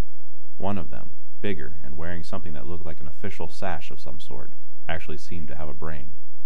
Orgrim could not understand the vile things, and used the pause to catch his breath and gulp some water. Can't wait till we can kill them again, Rend said. Orgrim glanced at his chieftain's eldest son. If we succeed, they'll be fighting alongside us, Orgrim replied. You won't be allowed to kill them. Maim spat. Right. Kill them on the sly. Orgrim grimaced. He himself would like nothing better, but several are dead already, trying to make this plan of your father's work. He wouldn't like you undermining his efforts. Rend sneered at him. Who is going to tell him? I will. If this works, and they listen to us, if any of them turn up dead, yours are the first names I'll mention. Rend glowered. Right now, he was so young that it looked like a childish petulance, but inwardly. Orgrim was touched with foreboding. He had never liked Blackhand, and liked his children, with the exception of little Griselda, even less. He did not know if it was their parentage or their forced growth that was responsible, but there was a darkness in them that Orgrim mistrusted. One day, if they survived and began using their brains in addition to their powerful muscles, Rend and Maim would grow up to be even more dangerous and deadly than their father. I told you he wouldn't listen, Rend, Maim said petulantly. Old man's forgotten what it's like to have a bloodlust running through him. Let's go. With a final sneer, Rend followed his brother. Orgrim sighed. He had bigger problems than two upstart youngsters right now. He turned his attention back to the negotiations, although he doubted the ogres would have understood a word. The attacks appeared to have stopped. Blackhand, who fled the battlefield as he had told all his clan to do, now directed his wolf down to where the ogres were gathered. Orgrim rode to his chieftain's side, arriving just in time to hear the leader of the guards announce, We no like Gronn. Gronn hurt us. He beckoned to one of the other ogres, who turned to show his back to Orgrim and Blackhand. Orgrim saw that there were scars crisscrossing the ogre's back. He felt no twinge of pity for the creature. They had done worse to the orcs for decades. Still, it was useful to know. The captured ogres had also spoken of such things, and now they nodded as if they were terribly wise. What will you give us if we join you? demanded the guard. Blackhand grinned up at the thing. Well, for one thing, we won't beat you. Orgrim thought of Blackhand's own sons, but said nothing. We'll see to it that you're fed, and are given appropriate weapons. Orgrim was relieved that Blackhand had him promised armor. Three orcs could be armored out of the materials that would protect a single ogre, and fortunately, the guard, obviously one of the more intelligent of the ogres, still wasn't smart enough to think of armor himself. You'll have food, and shelter, and the delight of smashing Draenei to small wet stains on the grass. The other ogres had been listening intently, and now one of them literally jumped up and down with delight. Me smash, it roared gleefully, and several others took up the simple but apparently highly entertaining phrase. Blackhand waited for their enthusiasm to die down before continuing. So, are we agreed? The ogre captain nodded. No more hurting of ogres, he growled, then turned to regard those he led. His tiny eyes were shining with tears, and this time, as he looked upon the ogres whose backs were crawling with scars, Orgrim did feel a little sorry for them, a very little. What is your name? Orgrim asked the captain suddenly. It shifted his gaze to him. Kroll, he said. Kroll, then, said Blackhand quickly before his second could say more. When do you think we should lead our combined assault? Now, Kroll said, and before either Orgrim or Blackhand could protest, he bellowed something in his hideous native tongue. The other ogres jumped up and down and they shook the earth as they landed. Then they all turned and purposefully re-entered the cave mouth. Blackhand casted a glance over at Orgrim, who shrugged. He suspected it was easier to stop the tide than this flood of stupid, single-minded giants. Call them, Blackhand said. Orgrim produced a cleft-hoof single horn and blew on it. The orcs cried out in delight and began to again descend in response. There was no time to remind the Blackrock clan of the plan. Orgrim hoped that they would remember it, especially the overzealous Maim and Rend. Slaughter of ogres aplenty awaited them, but they had damned well better be killing the right ogres, because if they didn't, if they gave the ogres any reason to question this sudden and very peculiar alliance, then the babes and old males and females who awaited word at the encampment might be all that remained of the Blackrock clan. Orgrim was not optimistic. The Blackrock clan had ever been fierce in the hunt, Blackhand was a little more than a cunning savage, and Orgrim had not failed to observe that recently a sort of manic fury had begun to creep through all the clans. As he whirled his wolf around to charge into the cave with his fellow clan members, he wondered if perhaps his eyes were playing tricks on him. Surely the greenish tinge on the skins of the orcs next to him was nothing more than a trick of the light. Chapter 17 Home. Whatever race you are, it is a word a concept that makes the heart swell with longing. Home can be ancient ancestral lands, or a new place that one has made one's home. Home can even be found in the eyes of the beloved. But we all need it, yearn for it, know that without a home, of some sort, we are incomplete. For many years, each clan had its own home, its own sacred lands, its own spirit of earth, air, water, fire, and spirit of the wilds. The uprooting began and continued, each more shattering than the last, until we came to Kalimdor.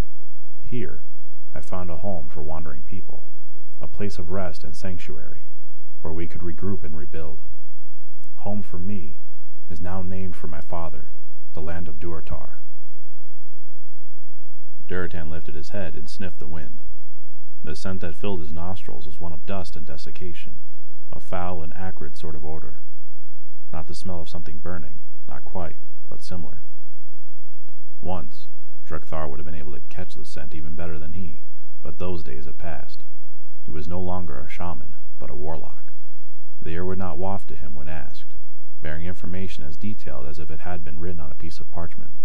And worse, Drek'Thar, along with the other warlocks of the Frostwolf clan, did not particularly seem to care. There had been no rain for some time now and the summer seemed hotter than usual. It was the second summer in a row that rains had come scantily, if at all, and on a whim Durotan knelt and dug his fingers into the soil. Once it had been fertile loam, dark brown and admitting a rich, earthly scent. Now his fingers plunged easily into the dust. Its crust crumbled beneath his fingers, yielding instantly dissolve into sand that would not hold grasses or crops, would not hold anything. It sifted through his fingers like water.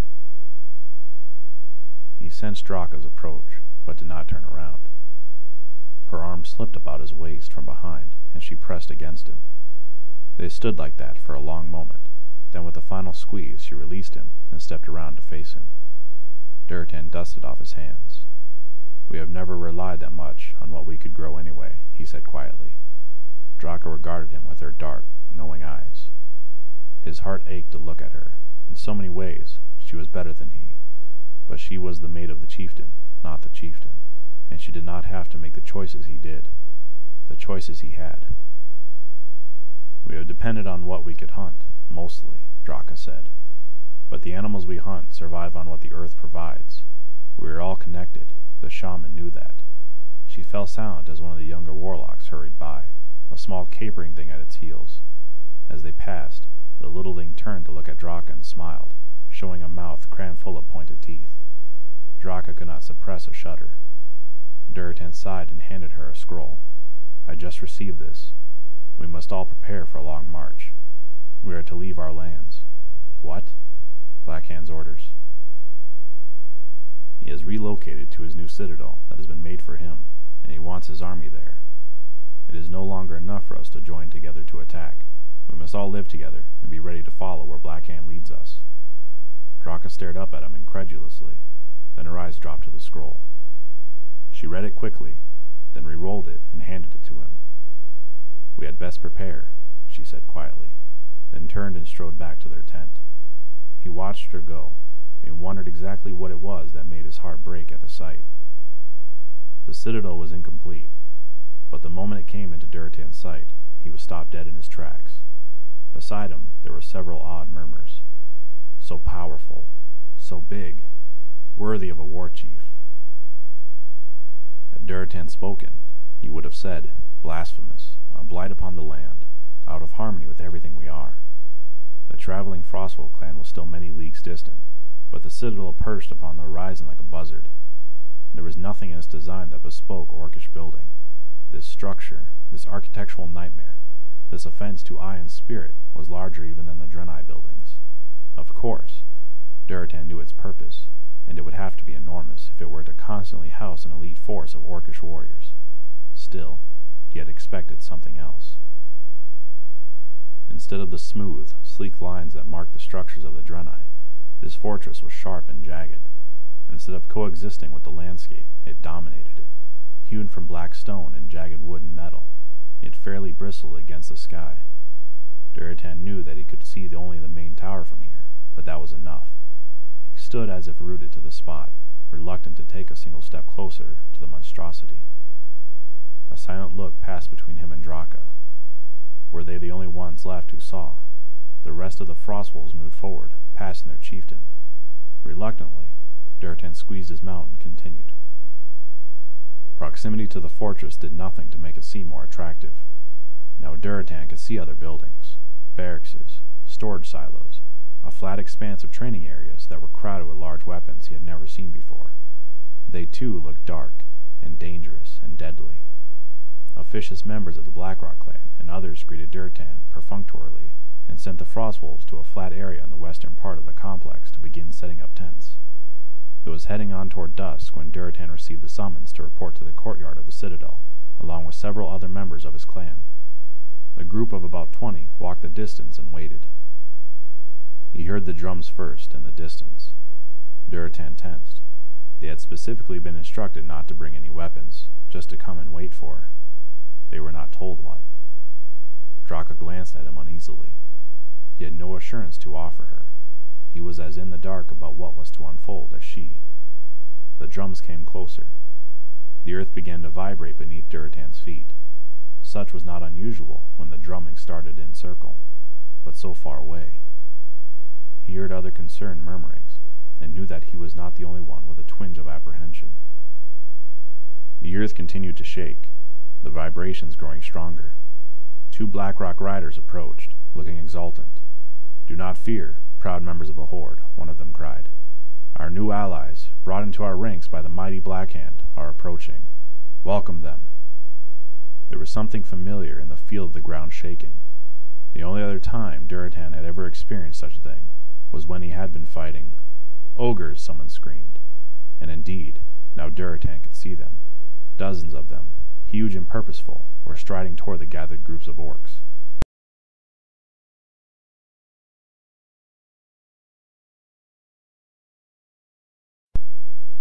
More wolf riders from the Blackrock clan were trotting about, shouting and blowing horns in triumph. The crowd was going insane with delight, yelling and dancing and cheering wildly. These were the new allies. Durotan could scarcely believe it. Even as he stared, unable to find words, the biggest ogre he had ever seen appeared. Blackhand himself strode beside it, his movements as lithe and proud as if the mammoth thing did not make him look like a child's toy.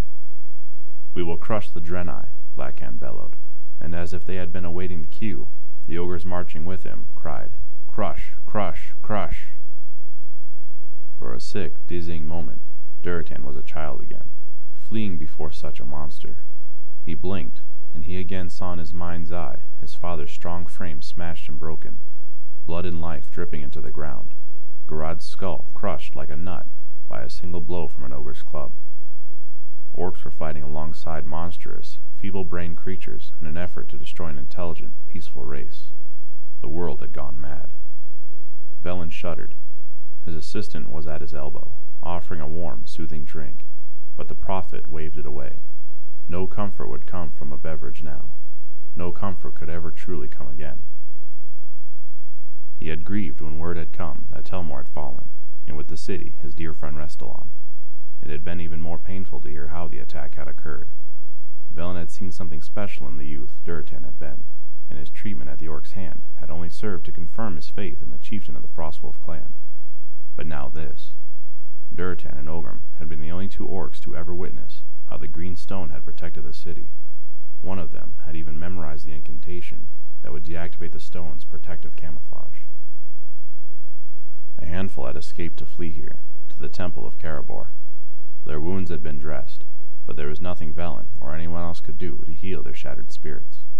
But worse news was to come.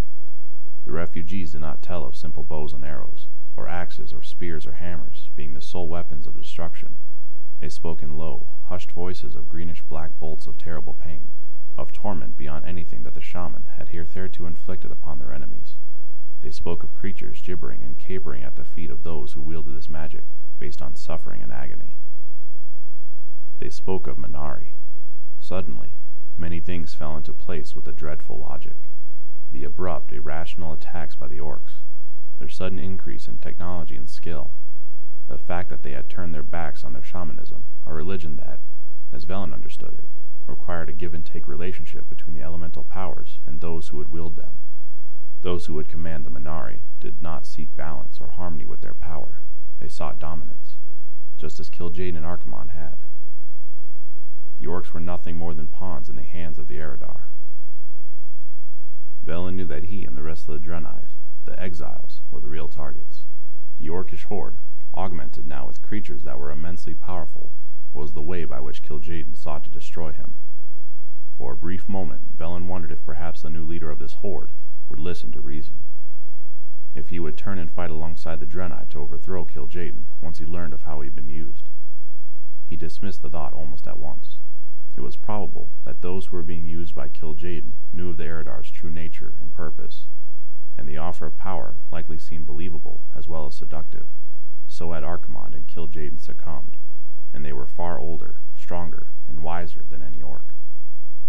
And now, this vision, adding insult to injury, a vision of the lumbering ogres allying with the orcs, something that he once would have dismissed as a dream brought on by a too rich meal. Now he knew it to be the truth. Something had changed the inherent nature of the orcs so drastically, so irrevocably, that they had allied with creatures that they had hated for generations against the Draenei, a people they had been tentative friends with for almost as long. If this had happened elsewhere, the response would have been simple. Velen would gather his people and flee, protected by the Naaru. But the ship had crashed, and K'ure lay dying, and there was no escape other than fighting against this horde and praying that somehow, someway, they would survive. Ah, K'ure, my old friend, how I miss your wisdom now, and how bitter it is that you be in the hands of the enemy, who does not even understand that you exist. He held the stone known as the Spirit Song close to his heart, and felt the faintest flickers of the dying Naaru. Velen closed his eyes and bowed his head. Gul'dan looked around the room with utter satisfaction. Everything was going as planned. The Shadow Council had been meeting for some time now, and thus far, Gul'dan felt confident that he had selected them well. They were all prepared, nay, eager, to turn their backs on their people in order to advance their own aspirations to power. They had accomplished so much already, acting through their puppet that was foolish enough to believe he was a true part of the council rather than simply their mouthpiece. It had been easy to get him elected war chief, and as long as the council smiled and nodded at him for the few moments that he attended the meetings, he did not question his position. But Blackhand always departed before the real meetings began, sent on some mission or another that made his barrel chest swell with pride. Greetings, Gul'dan said as he slipped into his chair at the head of the table. As always, Ner'zhul lurked in a corner, never invited to sit with the others, but permitted to hear their conversations. Kil'jaeden had so instructed, and why Gul'dan was unsure to as why his benefactor desired this, he wanted nothing more than to stay in Kil'jaeden's good graces, and did not demur. The council murmured perfunctory greetings, and Gul'dan got down to business. How are the various clans reacting to the idea of ogres as allies? Kargath, let's start with you. The chieftain of the Shattered Hand clan grinned and grunted. They are primed for bloodshed, and they don't care who helps them slit open Draenei throats. Rough laughter filled the cavern as many of the council nodded in agreement. In the dim light provided by the torches, their eyes seemed to Gul'dan to glow orange. A few, however, scowled and did not join in the merriment. I have heard protests from some in the White Claw clan, one said, and Durotan of the Frostwolves still bears watching, for all that he led the attack on Telmor. Gul'dan held up a hand. Do not fear. I have had Durotan in my mind for some time. Why has he not been eliminated? Kargath growled angrily. It would be easy to replace him with another more in line with our plans. Durotan is becoming well known for disagreeing with Blackhand's position, and yours as well. That is precisely why I still need him alive, Gul'dan said, watching to see who understood without further explanation. He saw comprehension register on a few faces, while others still looked puzzled and angry. Because he is known for a more moderate stance, Gul'dan continued, regretful that he had to spell it out for anyone on the council. When he does finally go along, everyone else who might have doubts goes with him. He speaks for many who do not dare speak for themselves. If Durotan agrees, so goes their logic, then it must be all right. As Kargath mentioned, the Frostwolf clan is not the only one who appears to have their reservations. But what if there comes a time that he does not agree? Some line he is not willing to cross? Gul'dan smiled frostily. Then we will deal with him in a way that best advances our power without placing it at risk, as we always do. Gul'dan decided it was time to change the subject. He leaned forward, placing his hands on the table. Speaking of those who have reservations, I have heard that there are some who continue to attempt to contact the elements and the ancestors. One of the members looked uncomfortable. I have attempted to dissuade them, but I cannot see how I can punish them for it. It was, after all, belief that the ancestors wanted us to attack the Draenei that made this even possible. He sounded a bit defiant. Gul'dan smiled reassuringly. Yes, indeed. That was the bait that hooked them so deeply. He glanced over at Ner'zhul. The older shaman met his eyes and then glanced down quickly. Such had been the bait that hooked Ner'zhul as well. Bait that did not hold the same appeal for Gul'dan. But that is no longer necessary, Gul'dan continued. We must make sure that there is no turning back to the old ways. We have been lucky indeed in our campaign, and with the ogres, success is likely to continue. But if there are any setbacks, any battles that go poorly, then those who still hold shamanism close to their hearts may find an appreciative ear. That won't do it all. He tapped his chin thoughtfully. We must do more than simply encourage warlock practices. We must actively discourage shamanism. It would be unfortunate for some reason the ancestors actually were able to communicate with their descendants. Again he glanced at Ner'zhul. It had only been when Ner'zhul had traveled to the sacred mountain that he had been able to speak with the ancestors and discover what had really been going on. Until that point, even as powerful a shaman as he was, Ner'zhul had been tricked by illusions. The answer, therefore, seemed simple. Deep in the disembodied dreaming floated the beings that were made of light.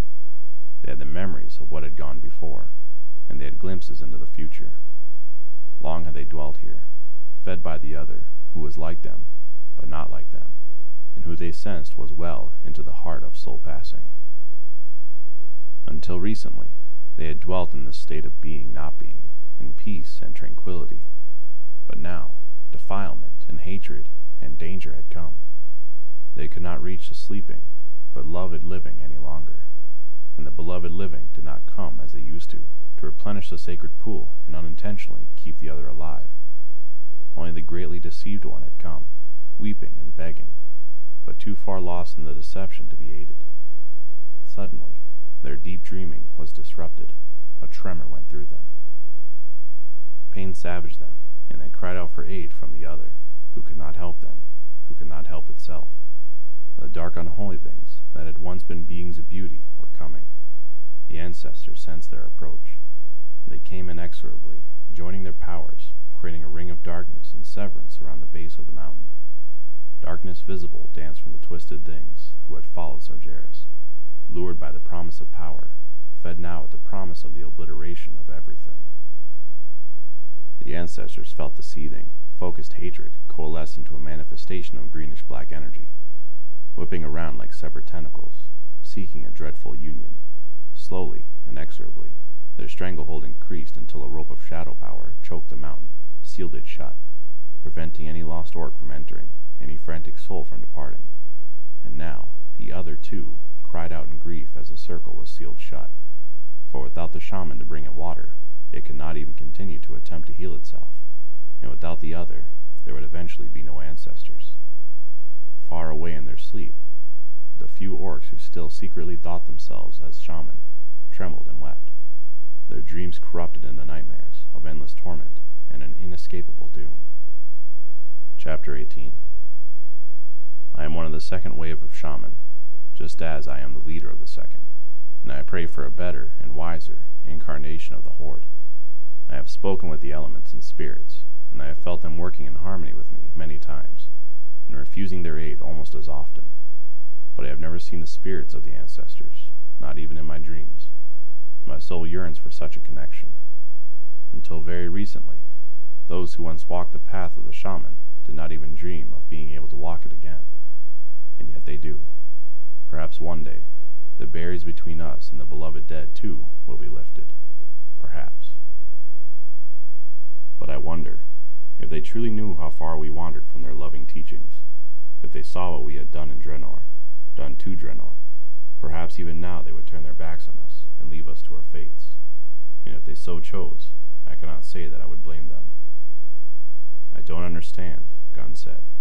He was the youngest of the clan's warlocks, and still, Durotan mused with bitterness, an idealist. He had seen Gunn's nose wrinkle at the strange creatures he was forced to utilize in the battle against the Draenei. He had seen the youth's face filled with regret as his enemy writhed in agony before him. Drek'Thar had brought the boy to Durotan's attention after the declaration from Gul'dan had been issued.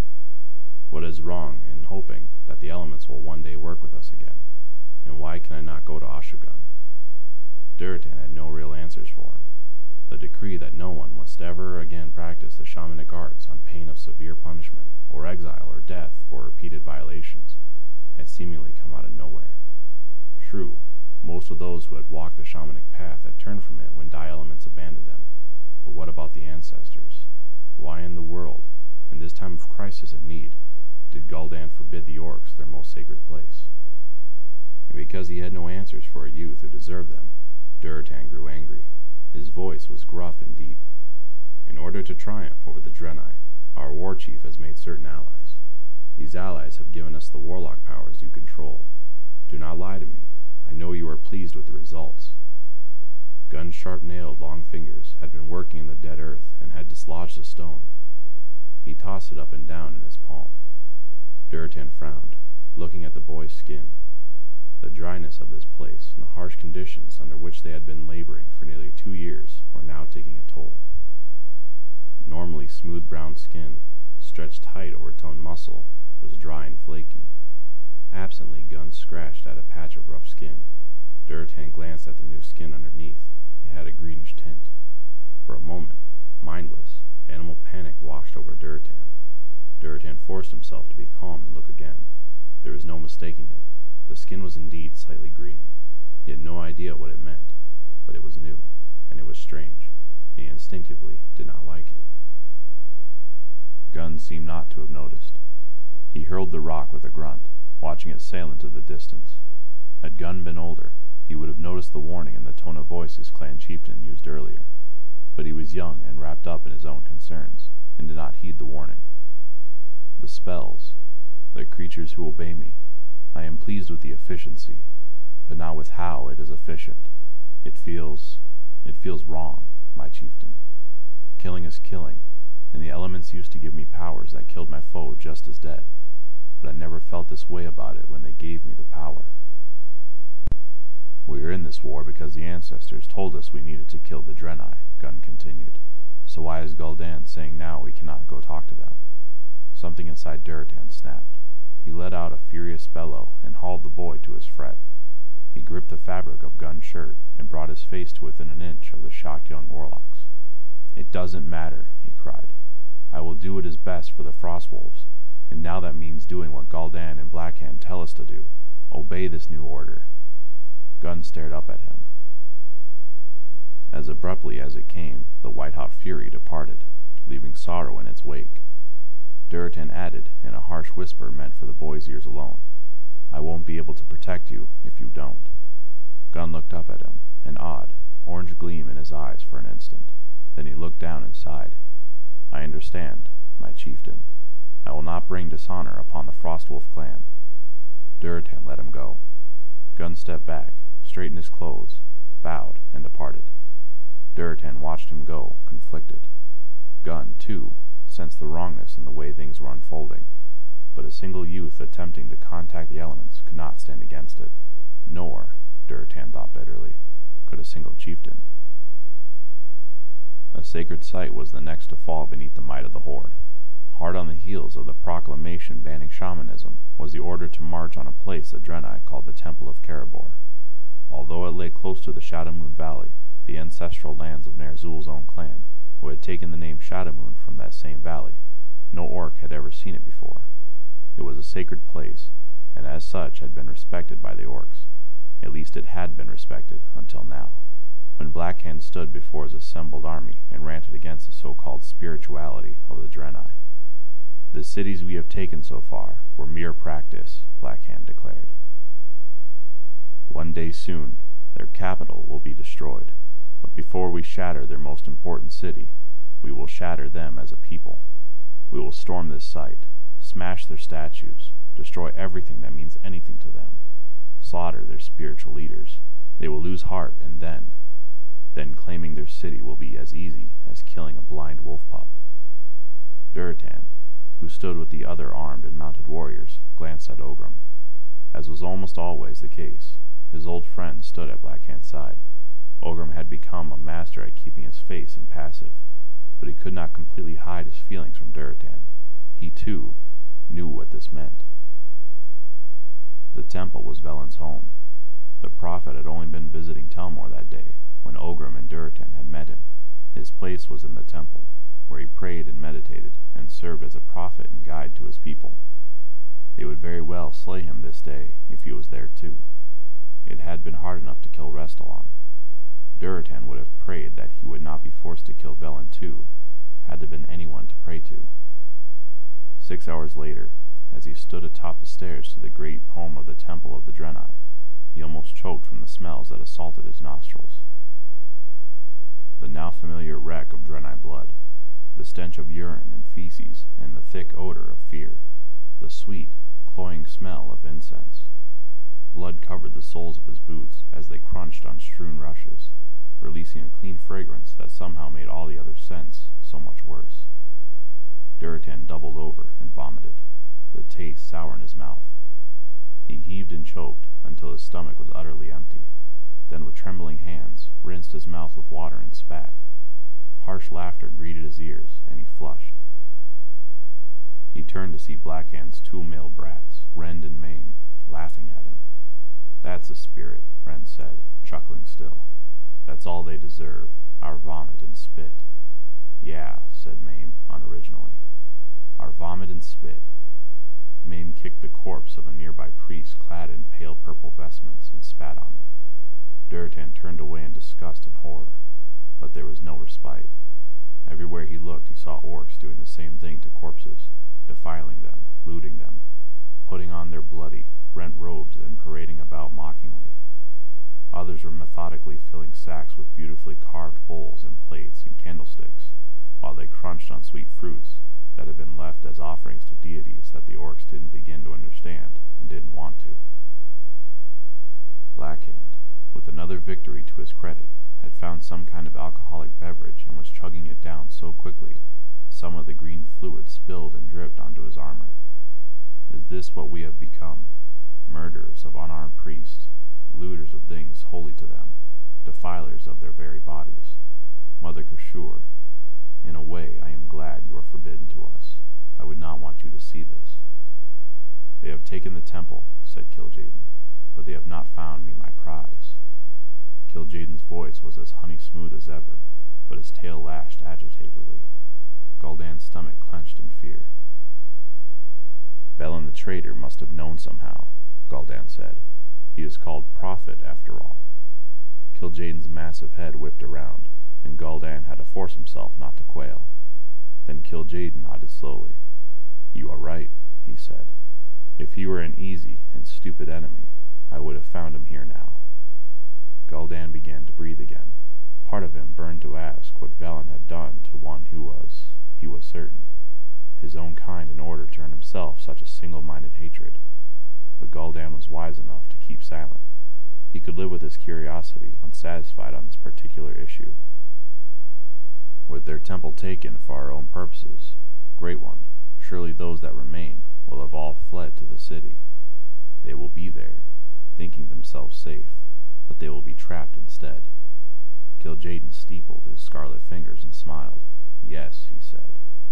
Yes, the temple shall be yours. Blackhand is quite comfortably ensconced in the citadel. But before you order your little puppets to attack the Draenei stronghold, I have a little gift for them. Ner'zhul waited until Gul'dan was finished. He watched beneath half-closed lids as Gul'dan wrote letter after letter, getting ink stains on his stubby fingers, using those same stubby fingers to pop a piece of fruit or a chunk of meat into his mouth. These were important letters, then. Normally, Gul'dan would have one of the unctuous scribes send out missives. The temple had been purged, was the word Gul'dan had used. The priests that lingered to bravely and foolishly stand against the wave of orcs had been killed with ruthless speed and efficiency.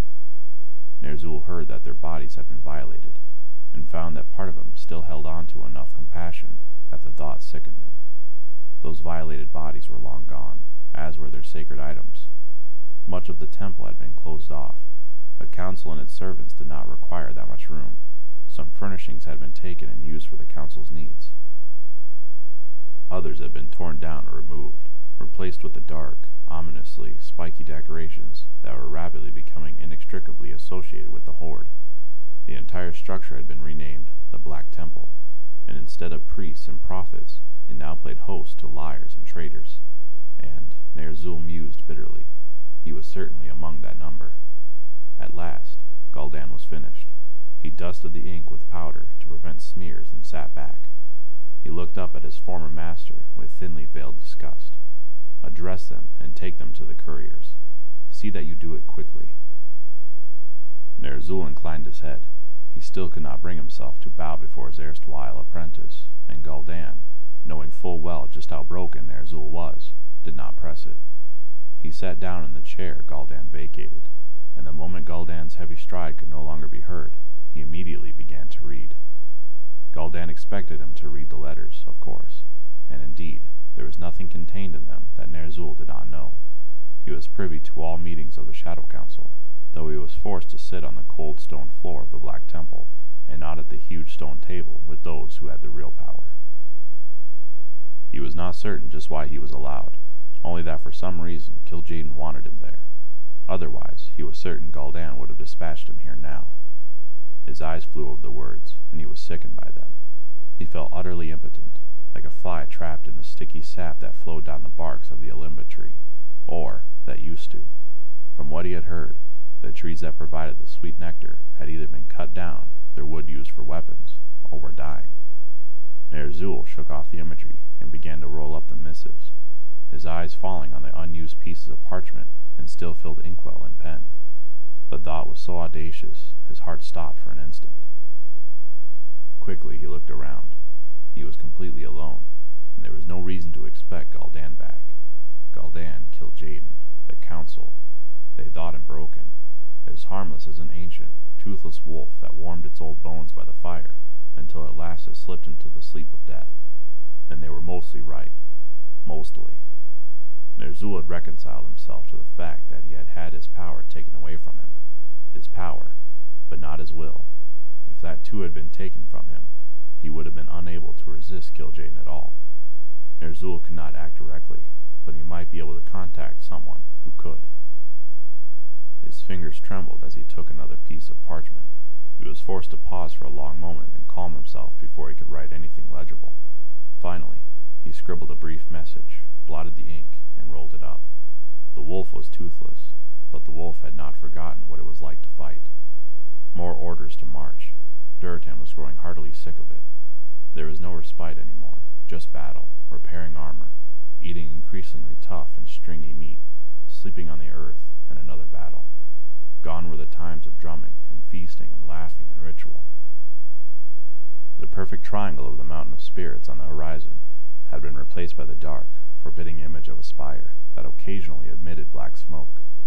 Some said a creature slept deep inside the mountain, and that one day it would awaken. Durotan did not know what to believe anymore. When the courier rode up, Durotan took the missive and began to read it with dull eyes. Those eyes widened as he read, and by the time he had finished it, he was sweating and trembling. He looked up, wondering madly if someone had been able to glean the contents of the letter just by watching him read it. Orc strode past him, dust clinging to their rough, flaky skins and battered armor. No one gave him so much as a disinterested glance. He hurried to Draka, the one person in the world he dared to share this information with.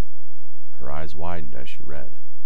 Who else knows of this? she said quietly, fighting to keep her face impassive. Only you, he said, equally softly. Will you tell Orgrim? Durotan shook his head. Pain laced his heart. I dare not. He is oath-bound to tell Blackhand. Do you think Blackhand knows about this? Durotan shrugged. I have no idea who knows what. I only know that I must protect my people, and I will do so. Draka looked at him long and hard. If we as an entire clan do not do this thing, we will attract attention. You risk punishment, maybe even exile, or death. Durotan stabbed a finger at the letter.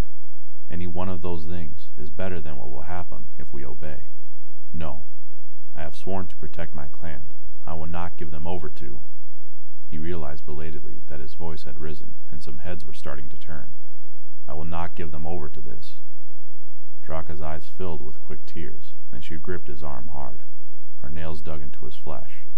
That, she said fiercely, is why I became your mate. I am so proud of you.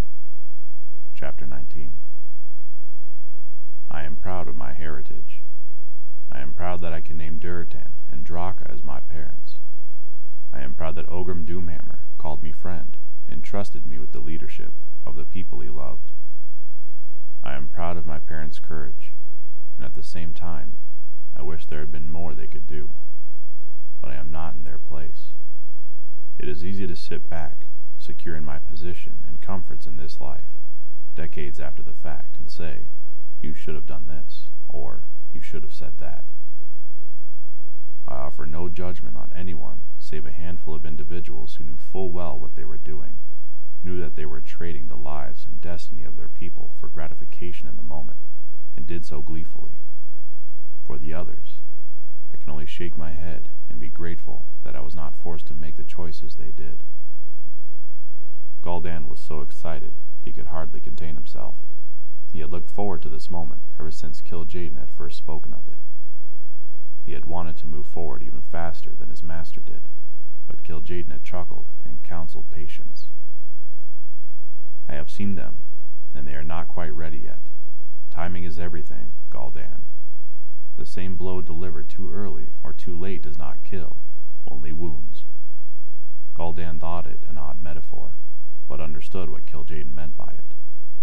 But now, at last, Kil'jaeden thought the orcs ready for the final step. The Black Temple had a central courtyard open to the night sky. When the temple belonged to the Draenei, this area had been a lush garden with a rectangular pool at the center. The conquerors had drunk their fill of the sweet, pure water over the last few weeks with no care about replenishing it, and now the pool was nothing more than an empty space of stone and tiles. The trees and flowering plants that had surrounded it had long since died, withering with astonishing speed. At Kil'jaeden's request, Ner'zhul and Gul'dan now stood beside that empty pool. Neither of them knew what to expect. For long hours they stood in utter silence. Gul'dan wondered if perhaps he had displeased his lord in some way. The thought made him break out in a cold sweat, and he glanced nervously at Ner'zhul. He wondered if perhaps tonight the defiant shaman was going to be slain for his disobedience, and he perked up a bit at the thought. His mind was wandering, considering various torments that might be imposed upon Ner'zhul, when a sudden loud crack of thunder made them both gasp aloud. Gul'dan looked up at the sky, where there had hitherto been a host of stars. Now there was only black emptiness. He swallowed hard, his eyes riveted on the darkness. Suddenly the darkness began to churn. It looked like a thunderhead, black and pulsing. Then it began to swirl in a spiral. The spiraling picked up speed. A wind lifted Gul'dan's hair and stirred his robes, gently at first, then more fiercely, until he felt the wind scouring his skin. The earth beneath his feet rumbled. Out of the corner of his eye he saw Ner'zhul's lips move, but he could not hear what, if anything, was said. The wind was too loud, the trembling of the earth beneath his increasingly unsteady feet too intense. The sky cracked open. Something bright and blazing screamed to earth directly in front of Gul'dan and Ner'zhul. It struck the ground so hard that Gul'dan was knocked off his feet. For a long, terrifying minute, he could not breathe. He simply lay on the earth and gasped like a fish until finally his lungs remembered how to function and he inhaled a great surge of air. He got to his feet, his body shaking uncontrollably, and lost his breath again at what he beheld. It towered over him. Chunks of earth flew as it shook four legs that ended in hooves and flat large, leathery wings in annoyance. Its hair was more of a mane, flowing in green tendrils over its neck and down its back. Green eyes glittering like fiery stars, and its swooping tusks caught the dim light as it opened its mouth. It seemed to have row after row of sharp teeth, and its bellow made Gul'dan want to drop to the earth and weep in utter terror. Somehow, he remained standing and silent before the monstrosity. It raised its clenched fists and shook them fiercely, then lowered its head and looked around at the huddled, quaking orcs. What is that thing? Gul'dan screamed silently. Suddenly, Kil'jaeden appeared, looking down at Gul'dan and grinning fiercely. Behold my lieutenant, Mannoroth. Well has he served me, and well shall he continue to serve. On other worlds, they call him the Destructor, but here he is the Savior. Gul'dan, purred Kil'jaeden, and suddenly Gul'dan felt weak and sick again. You know what I am offering your people. Gul'dan swallowed hard. He did not dare glance at Ner'zhul, whose gaze he felt boring into his back. Yes, he knew well what Kil'jaeden was offering. Power beyond imagining, and slavery for eternity. Kil'jaeden had offered the former to Ner'zhul in exchange for the latter, and Ner'zhul, the coward, had balked. Yet not wanted to doom his people, Gul'dan was untroubled by such scruples. All he could think of was the reward Kil'jaeden had promised. I do know, Great One, Gul'dan said, surprised by the strength and steadiness of his voice. I know, and I accept my lord's most generous offer. Kil'jaeden smiled. Excellent, he said. You are wiser than your predecessor. Confident and elated, Gul'dan turned to gloat at Ner'zhul. The elder shaman stared at his former apprentice imploringly. He did not dare to speak, of course, but he did not need to. Even in the dim light of the stars, his expression was plain to read. Gul'dan's lips curled around his tusks, and he turned back to regard Mannoroth. He was terribly imposing, but Gul'dan's fear had retreated in the face of his overwhelming desire for power.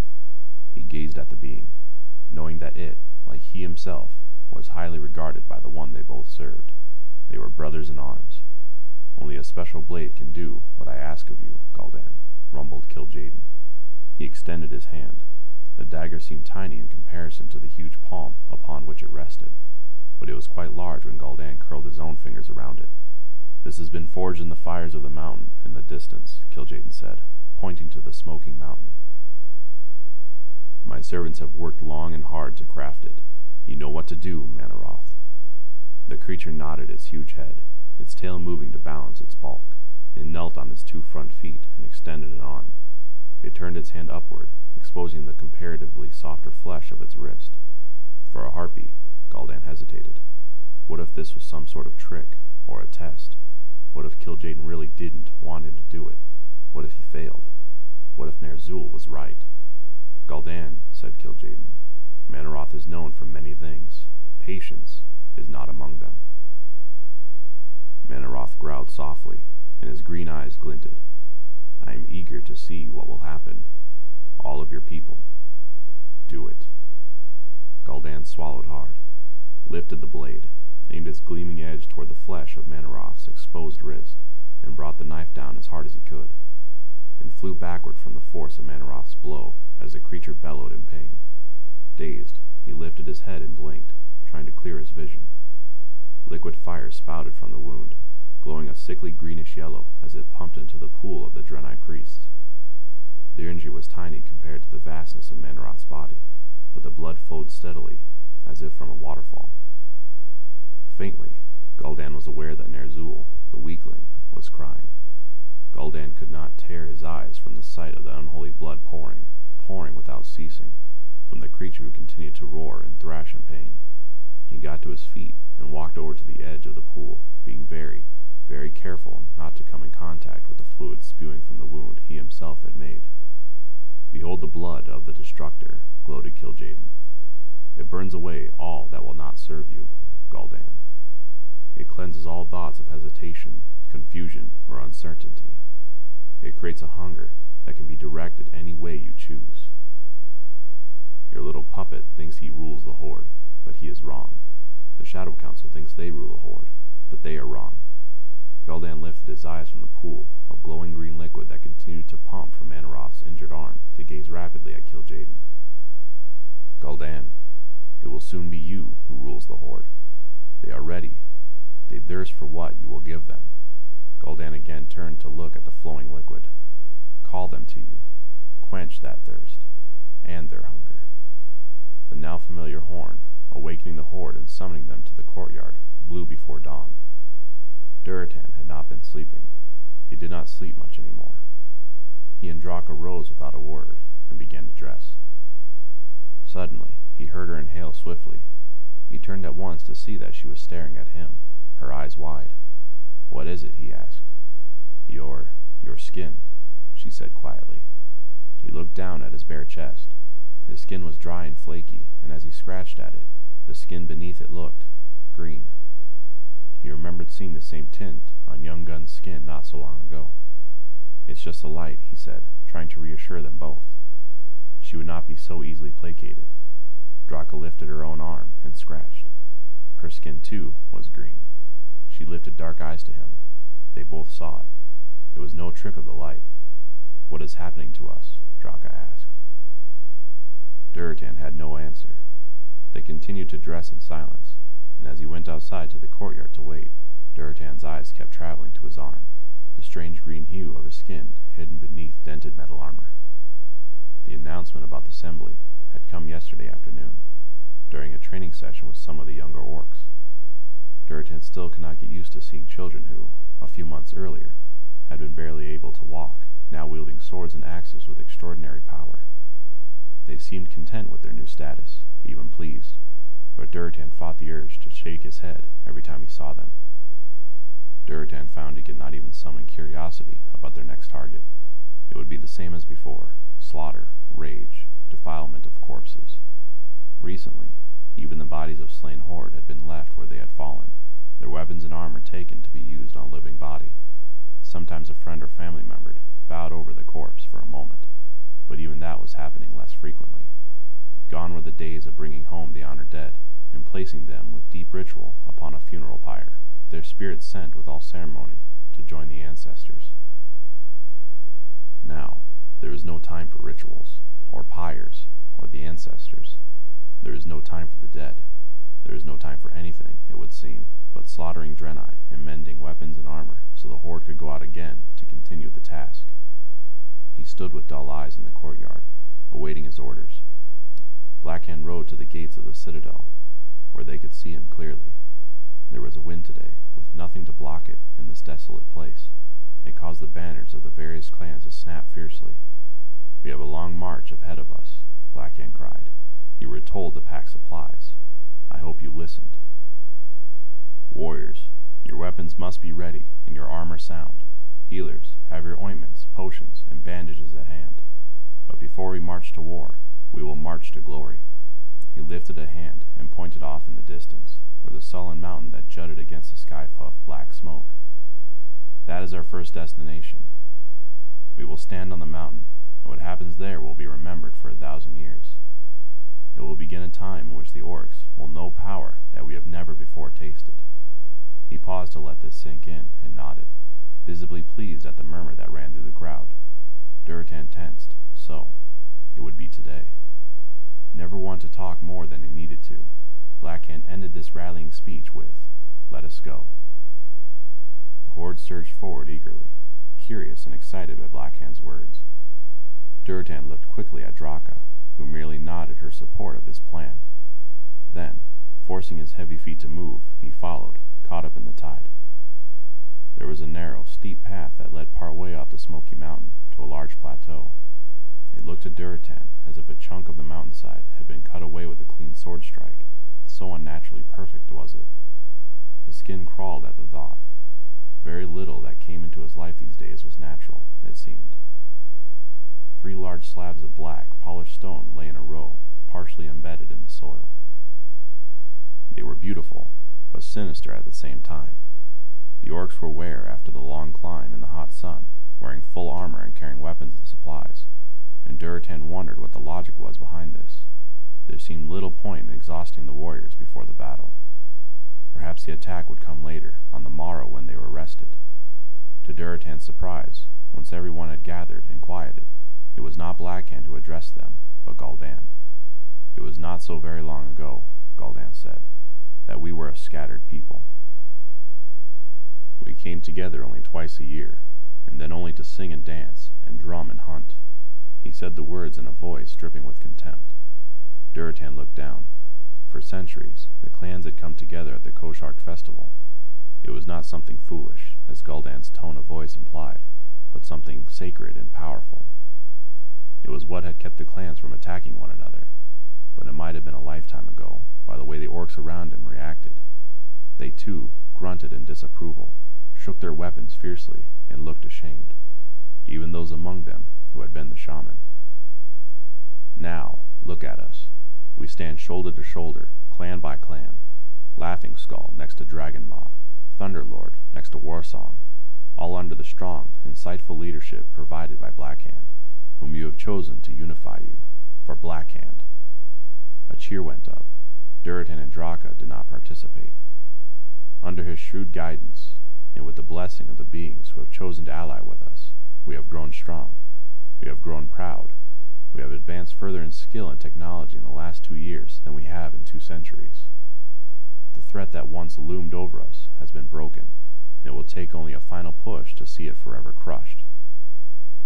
But first, first, we will pledge ourselves to this cause and receive blessings in return. He bent and held up a strange chalice. It looked to be carved from the horn of some creature, but Durotan had never seen a clefthoof sport so large a horn. Too, it was curved and yellowed. Strange glyphs had been inscribed on it, and as the night closed in around them, the inscriptions seemed to glow faintly. Whatever the cup contained glowed as well. As Gul'dan held it before him, an eerie yellow-green light lit up his face from beneath, casting grotesque shadows. This is the cup of unity, Gul'dan said in a reverent voice. This is the chalice of rebirth.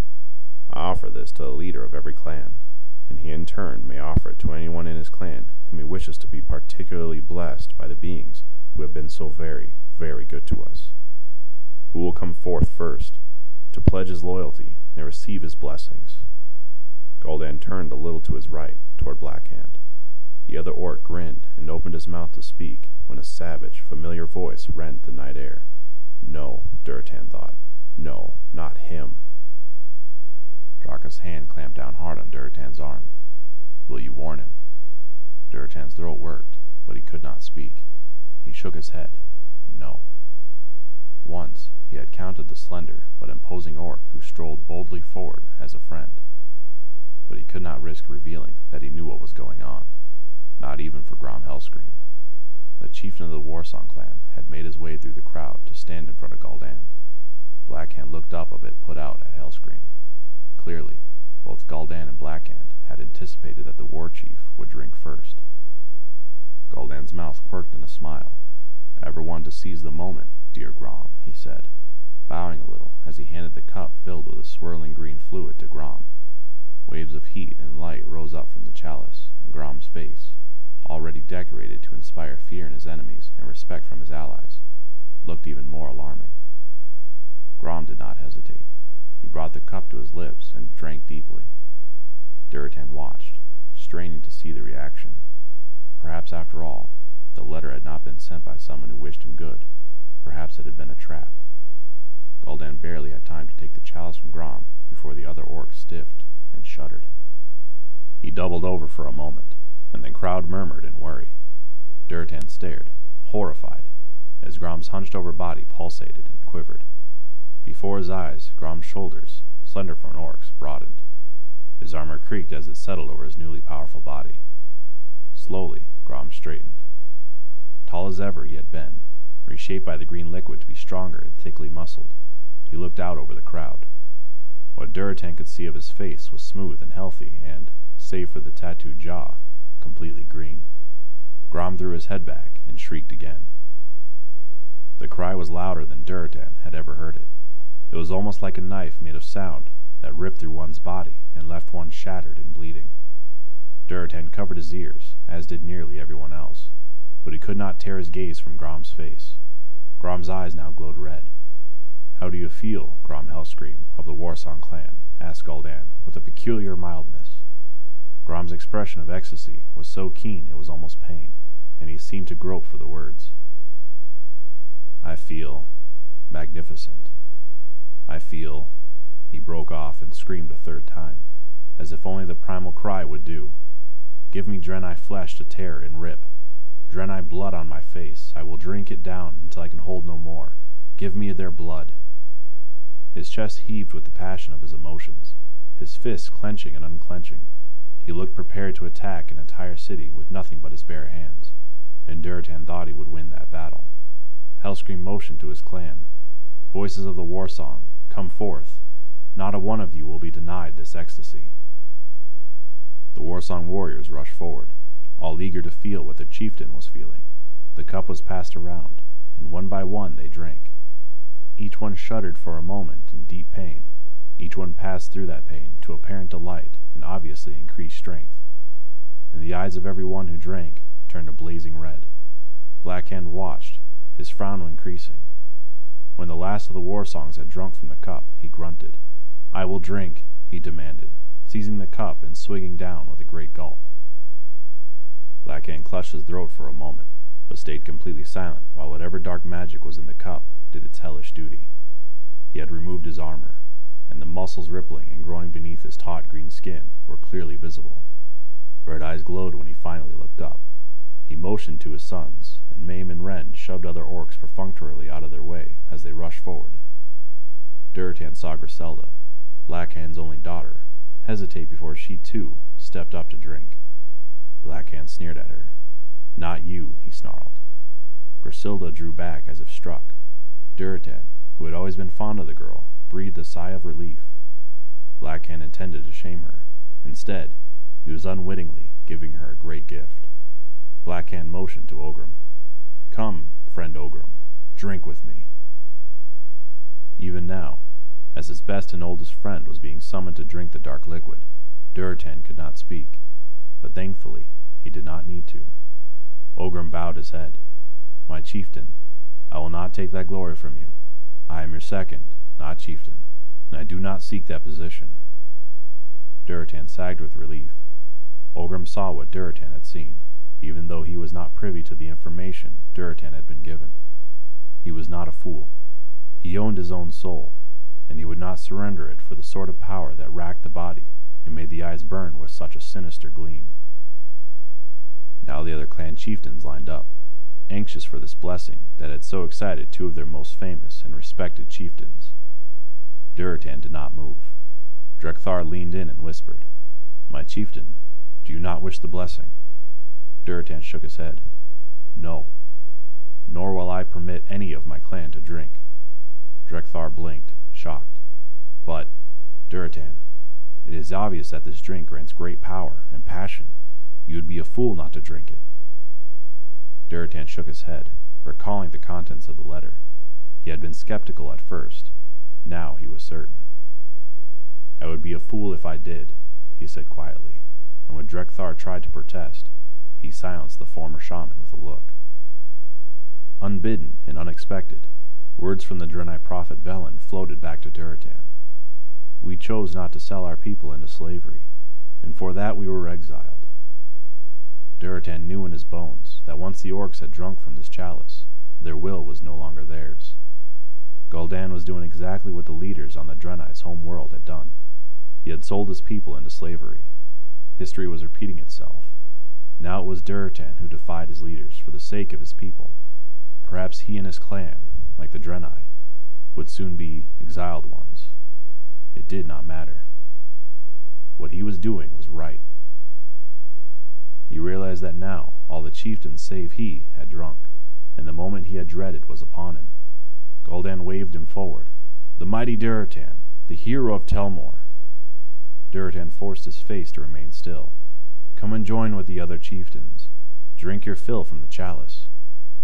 Nay, Gul'dan, I will not do so. In the light of the torches, Durotan could see that muscle twitch near Gul'dan's right eye. You refuse. Do you think you are better than the others? Do you think that you do not need the blessing? The other chieftains were frowning now. Their breathing labored, as if they had been running, their brows glistening with sweat. Durotan did not rise to the bait. It is my choice. Perhaps others in your clan feel differently, Gul'dan said, sweeping his arms to include the Frostwolf clan in his expansiveness. Will you let them drink then? No. I am the chieftain of the Frostwolf clan, and this is what I have chose. Gul'dan stepped down from the obsidian slab and strode to Durotan. He leaned in and whispered in the chieftain's ears. What do you know, and how do you know it? It was no doubt meant to be an intimidating gesture, but instead Durotan was filled with new hope. Gul'dan felt threatened. But instead of sending an assassin in the night to dispatch someone he regarded as an inconvenience, he was trying to bully Durotan into submission. He had just confirmed the truth of the contents of the mysterious letter, and revealed that he had no idea who its author was. Durotan realized he could survive this and still protect his clan. He said, equally quiet, I know enough, and you will never discover how I learned it. Gul'dan pulled back and forced a smile. It is indeed your choice, Durotan, son of Garad, and if you choose to deny yourself such a blessing, then you must bear the consequences. The words were double-edged, but Durotan did not care. Another day, he might need to worry about what Gul'dan had planned for him, but not tonight.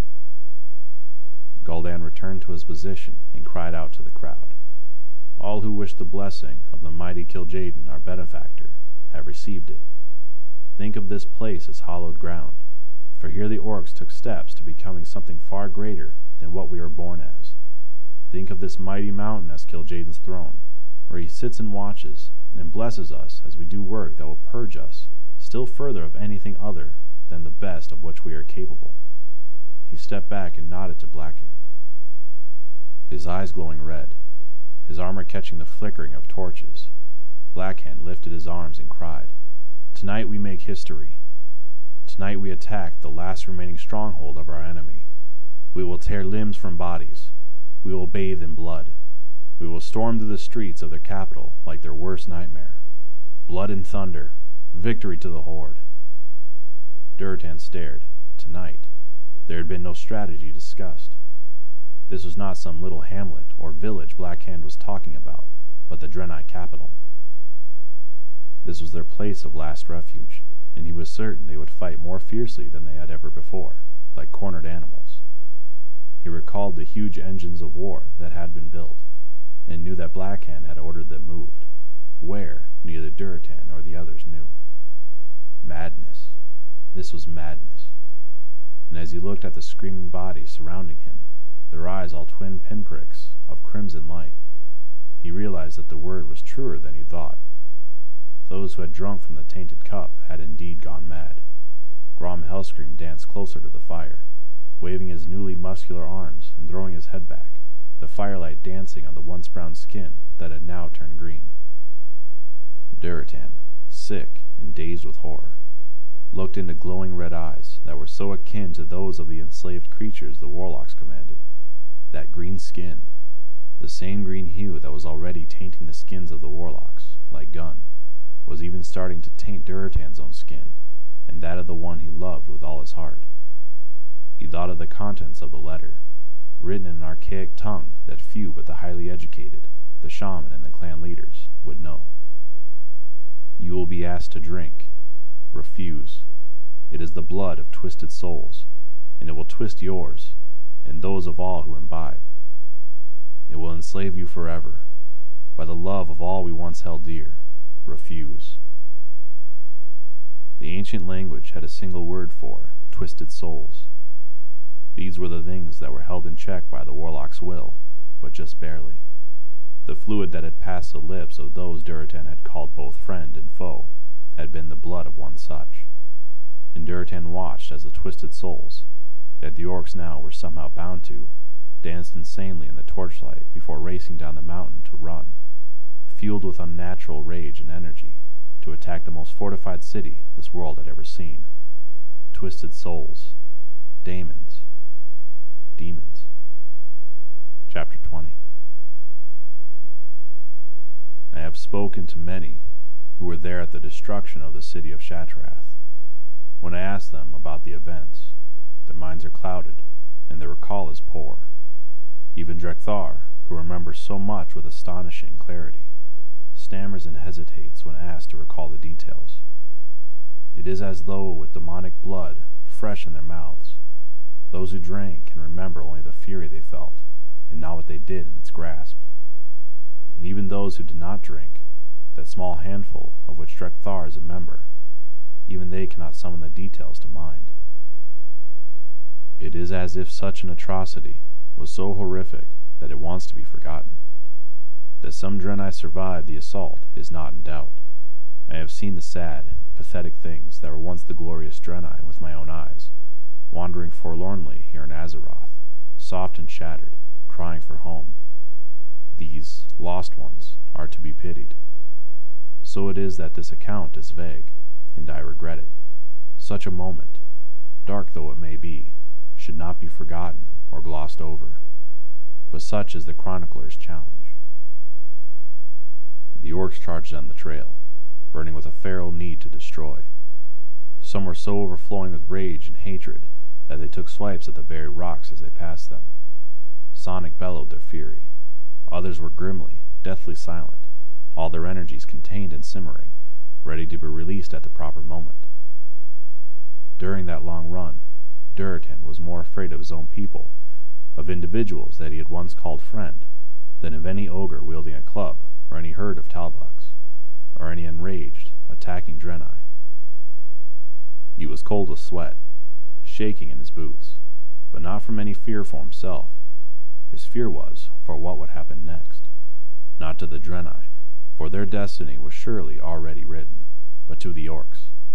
He could not bring himself in those moments as they are running to Shattrath to call them the Horde. At one point, a horrible rumbling knocked them all off their feet. As they clambered upright, they turned and looked back to where they had come. It looked as if the mountain had exploded. Liquid fire was belched into the night sky, hurtling upward, then falling and splattering down the jagged peak. It radiated and glowed like the demon blood that the orcs had just drunk though its hue was orange-yellow and not an eerie green. More and more molten stone was spewed from the mountain. It was a glorious, mesmerizing, and horrific sight.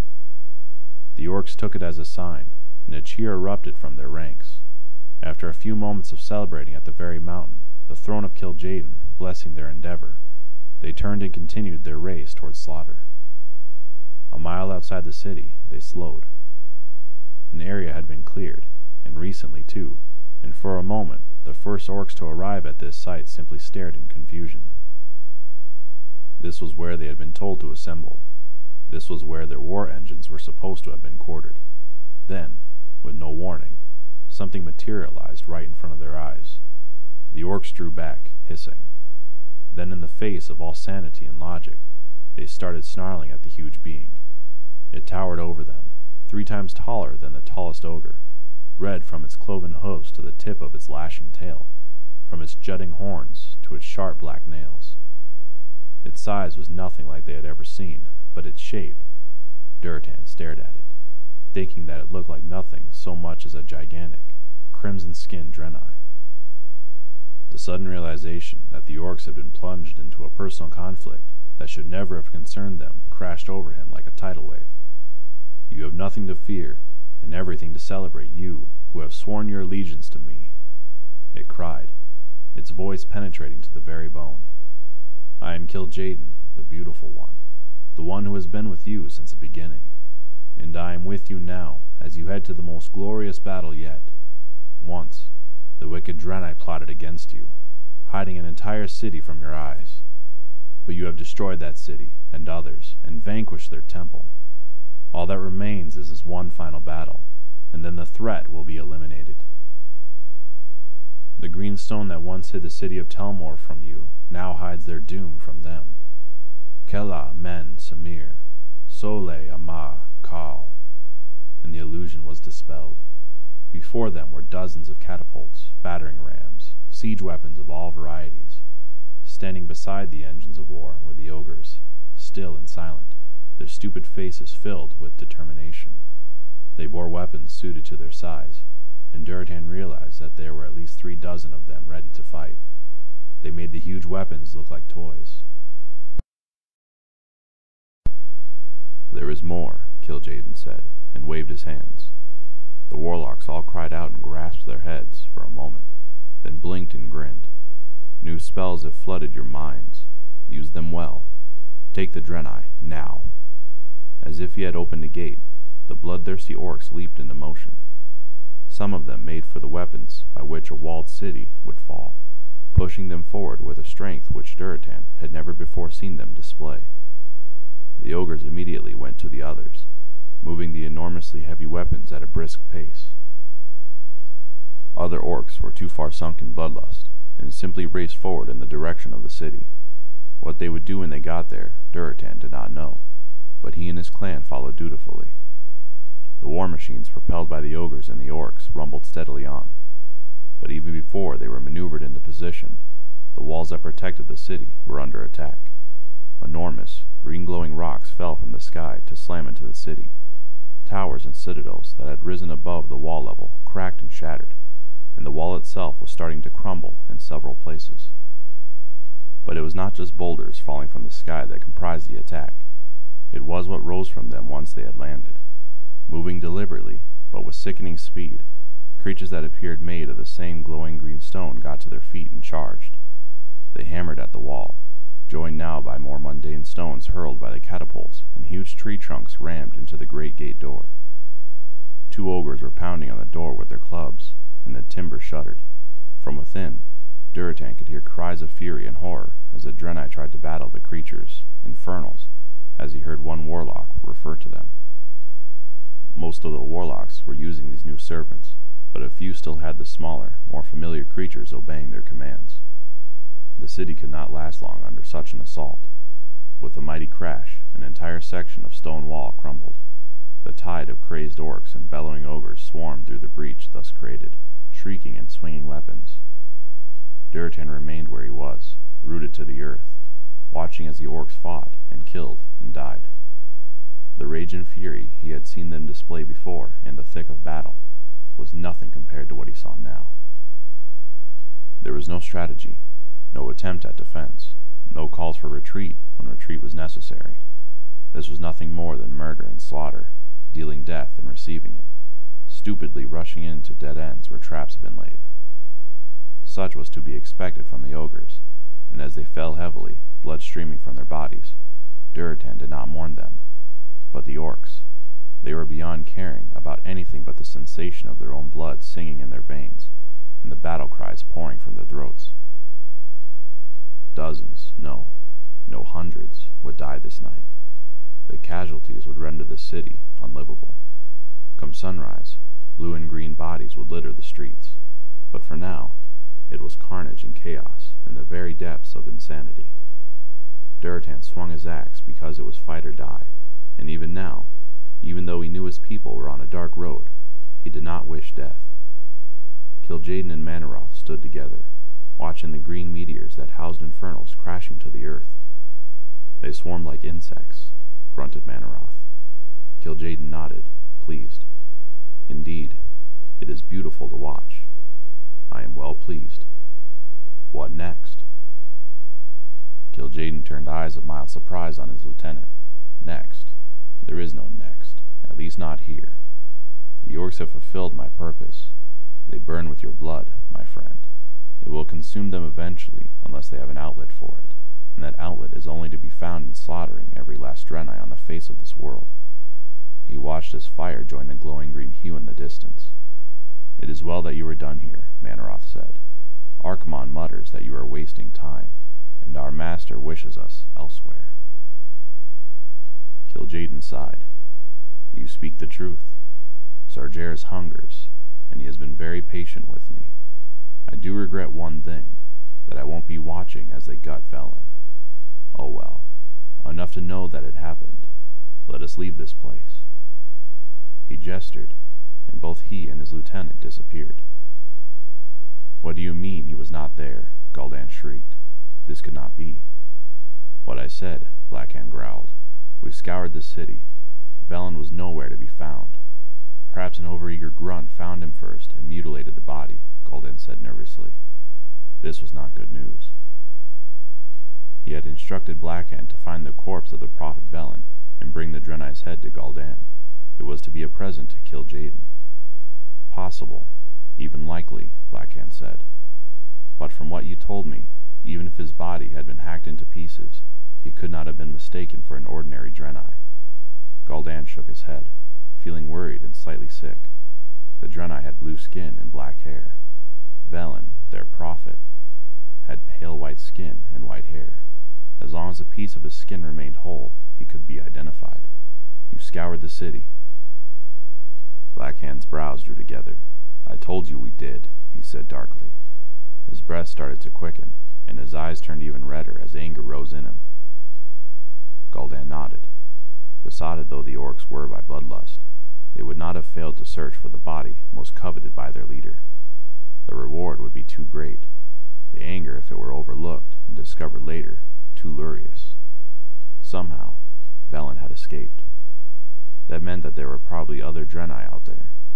In a sudden panic that made his heart race, he wondered just how many he had let slip through his fingers, and where in this wide, wide world they had gone.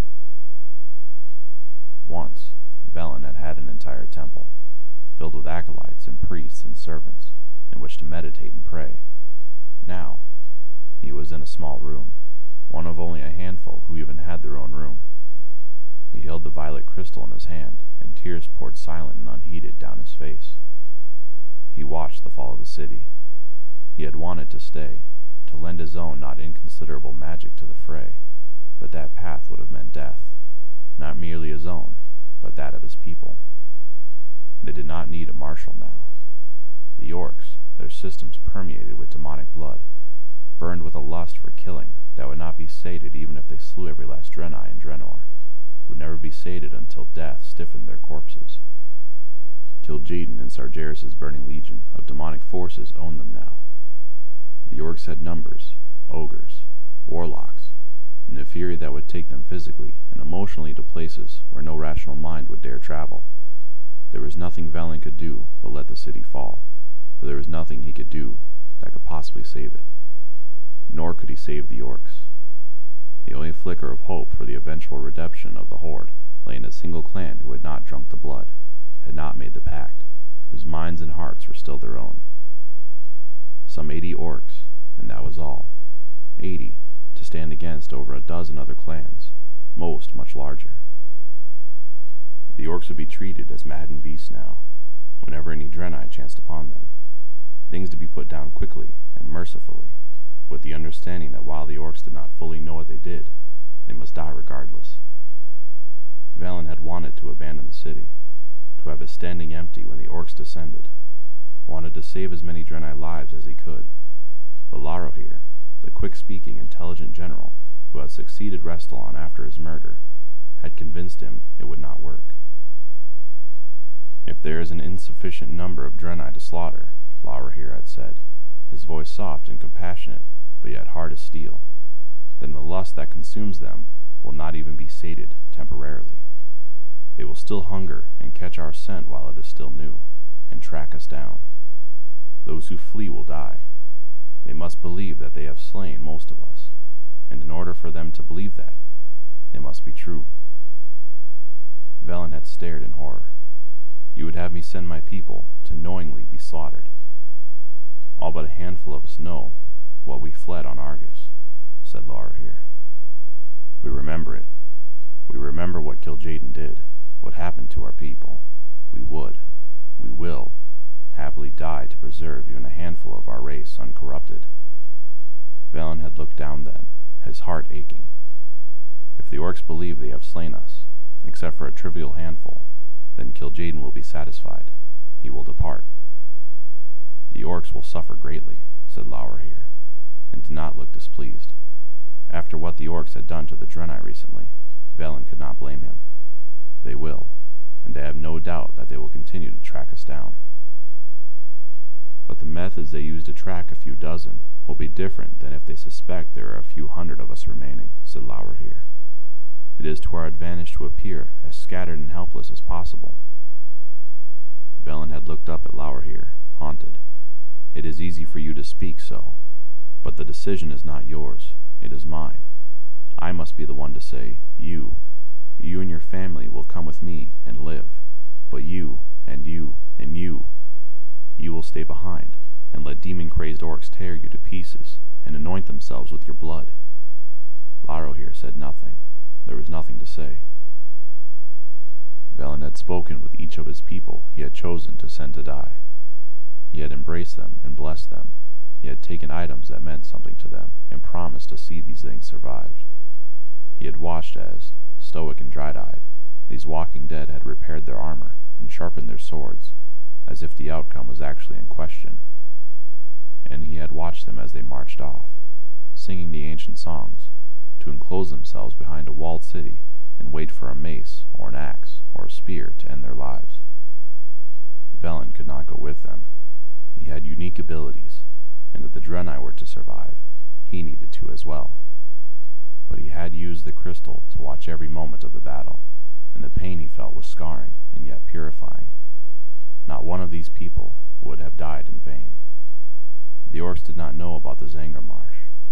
They had not yet sniffed out this hiding place, and if Velen had anything to say about it, they never would. Here, the best Draenei minds would continue to devise ways to harness energies and direct them, to keep safe the handful who had survived. Here, they would regroup and recover, heal and wait and pray they had at last tricked Kil'jaeden the Deceiver and escaped his terrible gaze. The orcs had captured three of the stones, but Velen still had four. Fortune's Smile, Eye of the Storm, Shield of the Naaru, and, of course, Spirit Song. And although his link with the Naaru was tenuous, K'ure yet lived. Even as tears spilled down his white face to drop on the surface of the violet crystal, even as he grieved the utterly tragic loss of so many lives, Velen, prophet of the Draenei, felt hope stirring inside him. Chapter 21 We had lost everything by this point. We had abandoned balance and harmony in our world, and thus the elements had abandoned us. Demons guarded the entrance to Oshu'gun, cutting us off from the ancestors. Our physical bodies and our very souls had become corrupted from the blood that, in their eagerness for power and strength, most of the orcs had gladly imbibed. And then, when we had done all this to ourselves under the guidance of Gul'dan, Kil'jaeden abandoned us. Thus came what has been called the dying time. May its like never visit us again. What do I do? Gul'dan could not believe the words were coming from his own lips, but he was so terrified that advice, any advice, seemed better than this sick fear he lived with. Ner'zhul regarded him with contempt. You made this choice. It's not if you are blameless yourself, Gul'dan snapped. Of course not. I made choices for myself, for my own advancement, but I never threw away the future of my people, my world, for it. Where is the power you were promised now, Gul'dan? The power that you bartered our people for? Gul'dan turned away, trembling. There was no power, and Ner'zhul knew it, which was why his words bit so deeply. Far from rewarding his loyal servant with glories and godhood, Kil'jaeden had simply vanished. All that was left of his presence in this world were the warlocks and their demons, a maddened horde, and a ravaged land. No, he thought. No, that was not all that was left. There was still the Shadow Council. There was still Blackhand, the ideal puppet precisely because he did not realize he was one such. And while the horde was now infused with the blood of demons, and craved violence and destruction more than meat and drink, they had not gotten out of control, at least, not yet. He would summon the council to meet in their beautiful black temple. Doubtless they, too, would be searching for ways to salvage what power was left. Yes, there was still the Shadow Council. The land is dead, Durotan said quietly, as he stood with his old friend surveying what had once been verdant meadows and foothills. Durotan scuffed at the dirt with his boot. Powdery sand and rock were revealed as he kicked away the dead yellow grass. Wind, no longer blocked by trees, whistled past them. Orgrim said nothing for a long time. His eyes told him Durotan was right. He looked to the riverbed where he and Durotan had swum in one of their many challenges, and saw no hint that water had ever flowed in it. What water remained in the land was filthy, clogged with animal corpses and sediment. To drink it was to risk illness. Not to drink was to die. No water, no grasses. Here and there were places that still managed to survive, such as the Terokkar forest. Ancestors knew how. The orcs were growing thin, for no grasses meant no herd animals. The last three years had seen more orcish deaths from starvation and disease than from the battles against the Draenei. More than the land is dead, Orgrim said at last. His voice was thick and heavy. He turned to face Durotan. How is the Frostwolf's grain supply? To his eyes, he and Durotan looked green. Next to others, such as Grom and Blackhand, they still were more brown than green, but the damage was being done. Durotan had theorized that it was the warlock powers that were doing this to them and their world. Certainly those who had directly drunk whatever potion Gul'dan had concocted for them were a more vivid hue than others. Strange, Orgrim thought. There was irony in that while the land turned brown when it should be green, the orcs turned green when they should be brown. Durotan grimaced. Several barrels were stolen in the attacks. Which clan? Shattered Hand. Orgrim nodded. The Frostwolf clan was bearing the brunt of the recent flurry of attacks. After the Horde had taken Shattrath, sightings of the Draenei had dwindled. It had been a full six months since anyone had reported even glimpsing one of the elusive blue-skinned beings, let alone killing one. Durotan had made the Frostwolf clan a clear target when he refused to drink from the chalice the night Shattrath fell. And even before then, his reluctance to attack the Draenei had not gone unnoticed. Now that the Draenei, the only focus the orcs had as an outlet for their vastly increased bloodlust, were becoming scarce, many felt that somehow Durotan was responsible. Never mind that it was quite likely that the Draenei had simply been hunted to extinction, that the initial goal of wiping them off the face of the earth had been achieved. I will bring some next time I see you, Orgrim said. I will not take charity. If my clan were in your position, you would beat me nearly senseless and shove the food down my throat rather than let me refuse it, Orgrim said. Durotan laughed and seemed surprised that he did so. Orgrim let himself grin. For a moment, if he could ignore the dead land around them, the unnatural hue of their skins, it was as if the horrors of the intervening years had not happened. Then Durotan's laughter faded, and the present returned. For the sake of the children, I will accept it. He turned his head, again looking out over the wasteland. New names were cropping up, harsher names, darker names. The citadel was becoming known as the Hellfire Citadel, the entire area the Hellfire Peninsula. The destruction of the Draenei will lead to that of the orcs as well, if something is not done. Durotan said. We are turning against each other, stooping to stealing food from the mouths of children because the land is so wounded it can no longer nourish us. The demons capering at the heels of the warlocks can destroy and torment, but they cannot heal or feed the starving. Orgrim asked in a low voice, Has anyone tried to work with the elements? Such activities were still forbidden, but Orgrim knew that desperation was causing some to rethink the old ways. Durotan nodded. It was a failure. We have been met with stony silence. Demons guard Oshu'gun. We can find no hope there. Then we are finished, Orgrim said quietly. He glanced down at his hammer, its shaft leaning against his leg as they stood. He wondered if the prophecy of the Doomhammer was being fulfilled even now, if he was the last of his line. Had he already brought salvation and then doom by using this weapon to drive the Draenei to extinction?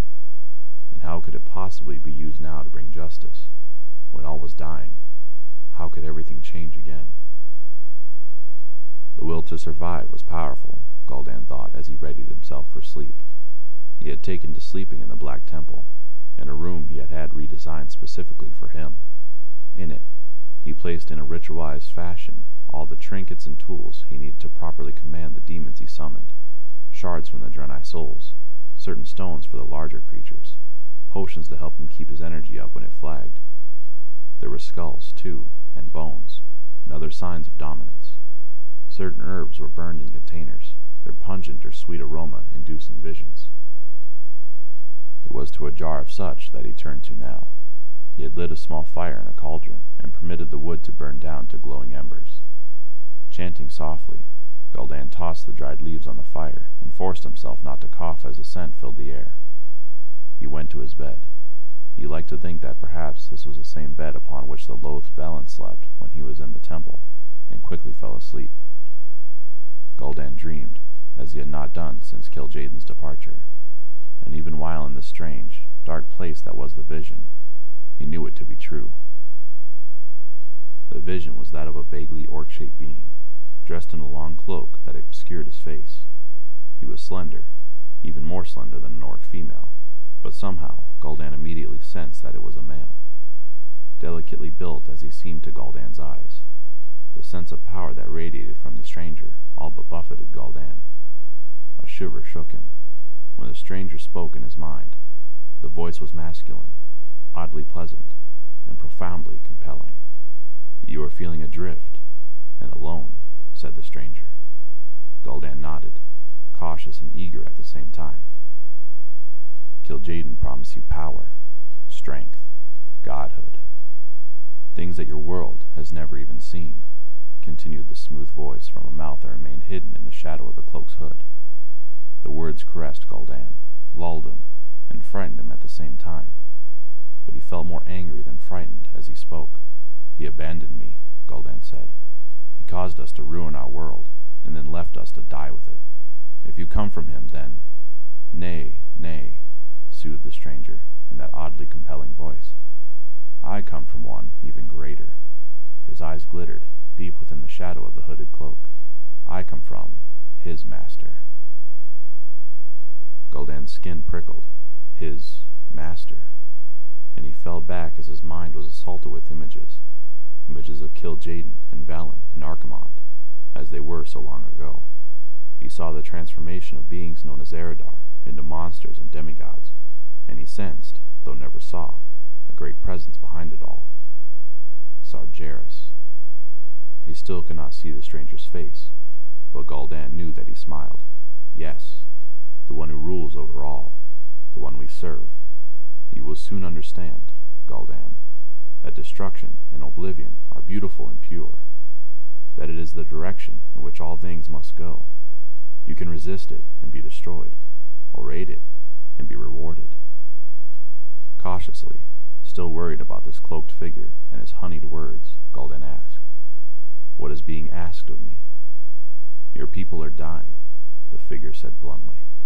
There is nothing left in this world for them to destroy. There is nothing left for them to survive on. They must go elsewhere, where there is ample food and drink, and worthy prey to slaughter. The orcs hunger now for so, so much more than food. Give them the blood they crave. Gul'dan narrowed his eyes. That sounds like a reward, not a task to which I am set, he said. It is both, but that is not the only reward my master offers. You rule the Shadow Council, and you have tasted power.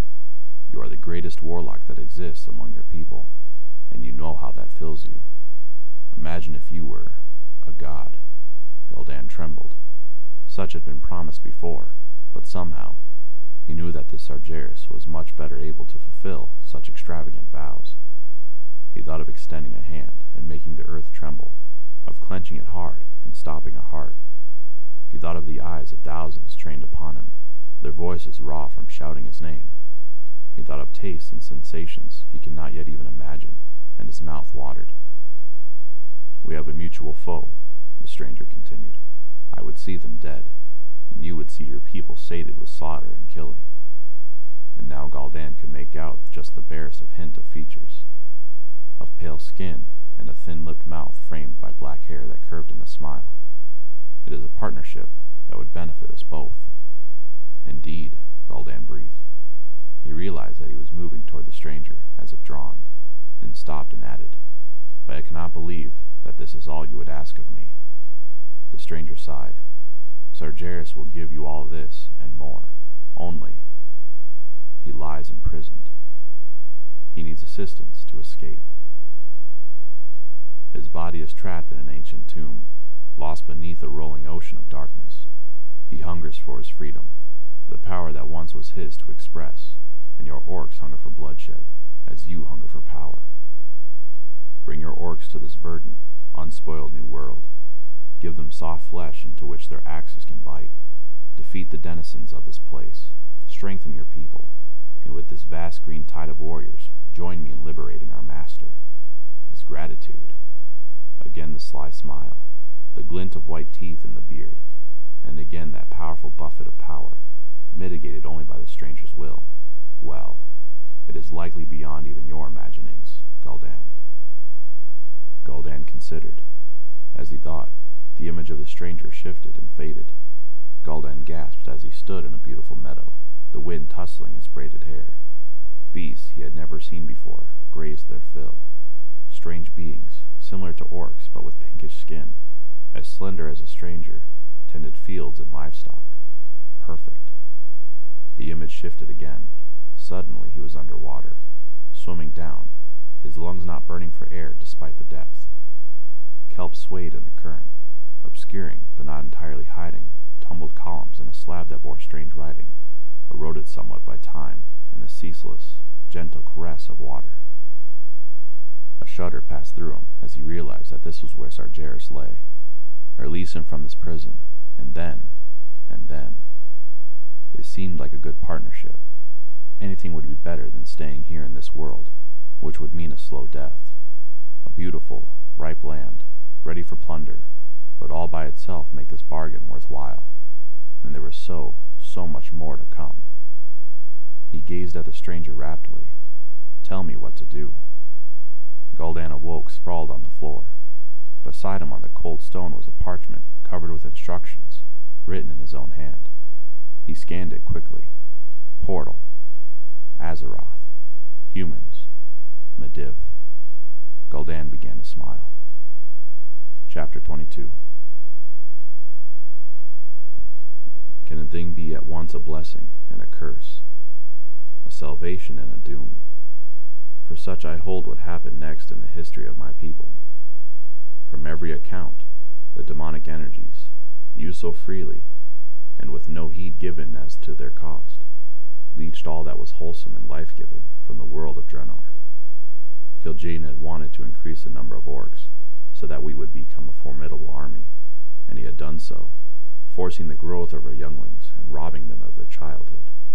Now, the orc population was larger than it had ever been, and there was no way to feed the hungry. It is clear to me, as it must have been clear to those living through those terrible times, that if we had remained on Draenor, our race likely would have died out. But how we left, and why we left this world still bleeds from the wound of that. I do what I can to heal, while still safeguarding the interests of this new horde I have made, but I wonder if these wounds will ever really close. Life for my people, a blessing. How we obtained it, a curse.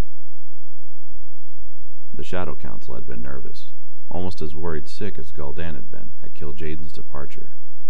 But now they had a direction. He called the council and shared with them the words of the mysterious stranger who called himself Medivh. He spoke of the fertile fields, clean water, healthy, glossy-coated prey animals, and he spoke even more glowingly of the beings called humans, who would fight enough to be a challenge, but who would inevitably fall to the superiority of the horde. Water, food, killing, and power to those who agreed to help bring it about, Gul'dan said, his voice seductive, almost purring. He had gauged them correctly. Their eyes, some red and glowing, some still brown and intense, were focused on him, and he saw hope and greed on their faces. The work began. First, they had to redirect the attention of the starving horde. Gul'dan was well aware that, with decreasing food supplies and a burning thirst for violence that no longer had an outlet, the orcs had started attacking one another. He had Blackhand send out decrees to all the clans, submitting their finest warriors for controlled, one-on-one or small party fights in public display. The winners would receive food from the losing clan and a supply of pure water, as well as honor and fame. Frantic for something, anything, to ease the pain of their dual hunger, for food and for blood. The orcs responded well to the suggestion, and Gul'dan was relieved.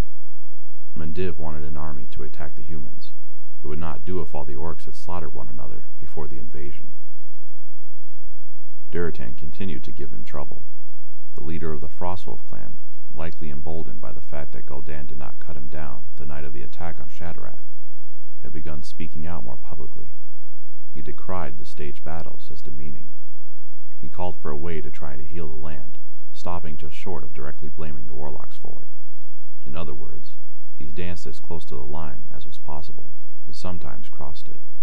And, as had always been the case, some were listening. While the Frostwolf clan was the only one whose leader had not drunk the blood of Mannoroth, there were other orcs in lower positions who had also refused. The one who worried Gul'dan the most was Orgrim Doomhammer. That one could be trouble. Orgrim had never much liked Blackhand. One day, he might do something about that dislike. But for the moment, he did not side publicly with the Frostwolves, and indeed was one of the regular visitors in the champion battles. The visions continued. Medivh had a very clear idea of what he wanted. A portal between the two worlds. One that could be created with the Shadow Council and its warlocks on one side, and Medivh and whatever magics he was controlling on his side. They could not work in secret. The portal would have to be large enough in order for the armies Medivh wanted to pass through. Besides, the Horde was feeling defeated. The excitement and challenge of the arena battles and constructing this portal with high ceremony would give them something to focus on. Medivh was pleased with the idea.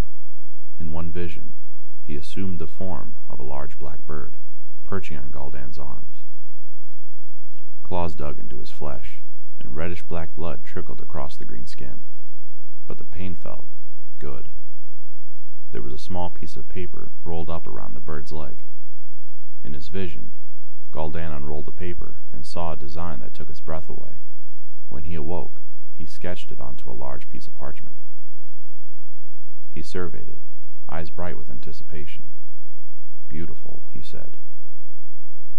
I do not understand your displeasure, Orgrim said one day, as he and Durotan sat atop their mounts to survey the building of what Gul'dan called the portal. Everywhere Durotan looked, orcs were working. The males were bare to the waist, the females nearly so, and their green skins glistened with sweat underneath the sun that scorched the land. Some of them chanted rhythmic war cries as they worked. Others were focused and silent. The road to this plateau, running in an almost straight line from what was starting to become known as the Hellfire Citadel, was already paved so that construction equipment could be easily moved. The shapes of the four large platforms were based on Draenei design. The irony did not escape Durotan. The original design had been modified, crowned with the now familiar spikes and sharp edges that were starting to make orc architecture distinctive. But Durotan could remember walking up similar steps as a boy, and walking up those steps again with the intent of killing all he found atop them.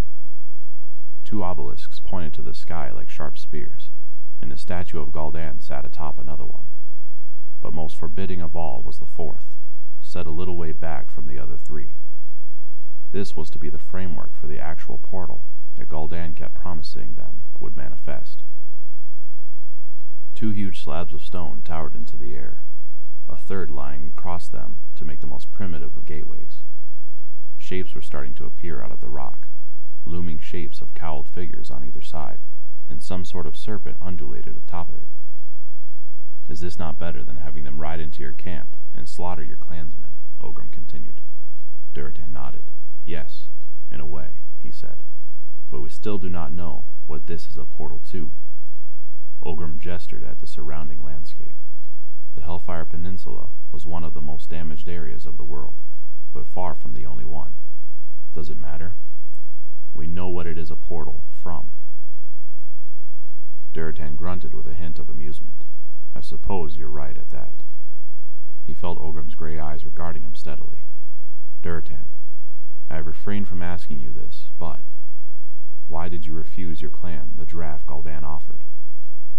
Durotan looked at his friend, answering one question with another. Why did you yourself not drink? he countered. There was something not right, Orgrim said at last. I did not like what I saw it doing to the others.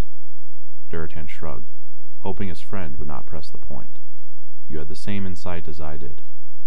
I wonder, said Orgrim, but he did not question further. Durotan saw no need to reveal what he knew. He had managed to protect his people from the horrors of what drinking demonic blood would do to them. He had asserted himself to Gul'dan, and thus far, no repercussions had fallen. And Orgrim, ancestors to be praised, had had wisdom enough to realize that there was something amiss, and had also declined. For now, that was enough for Durotan, son of Garad, chieftain of the Frostwolf clan. I fight today, Orgrim said, changing the subject. Will you come? I know that you do this not for glory, but for your clan, Durotan said. You fight to win them food and water. But I will not show my face at these displays. Orcs should not be fighting orcs, not even in ritualized combat. Orgrim sighed. You have not changed, Durotan. You were ever afraid of me defeating you. There was a hint of mirth in his voice. Durotan turned, and for the first time in many, many long months, grinned with a genuine warmth. The day had come. All night, while a ring of warlocks stood guard lest a curious onlooker witness the dark ritual, several stone masons had been hard at work carving the final seal into the portal's base.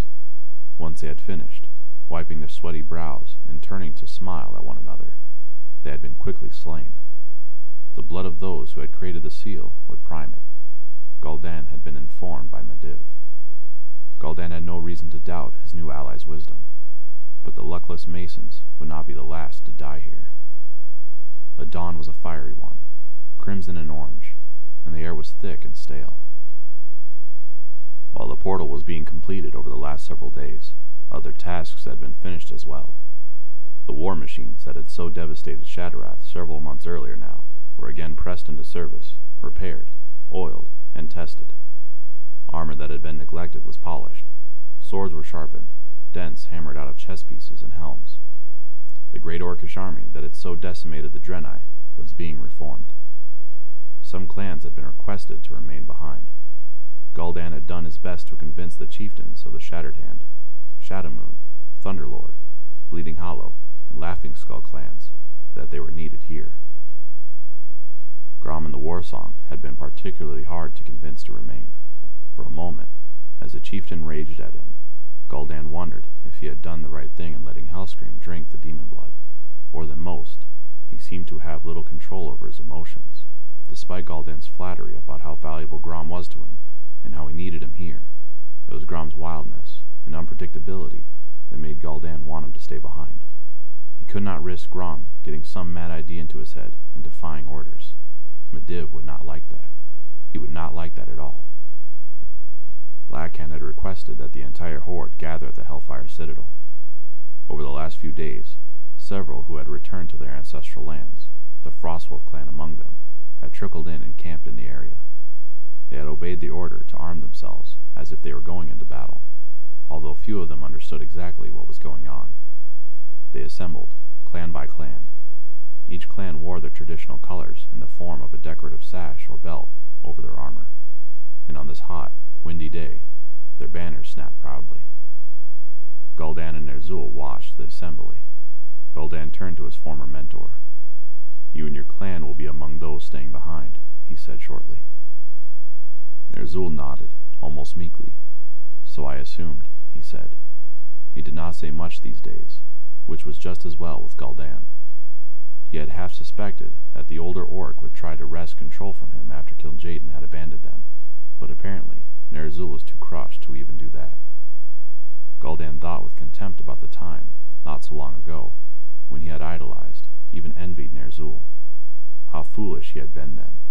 He had grown and learned, even from the bitterness of deception.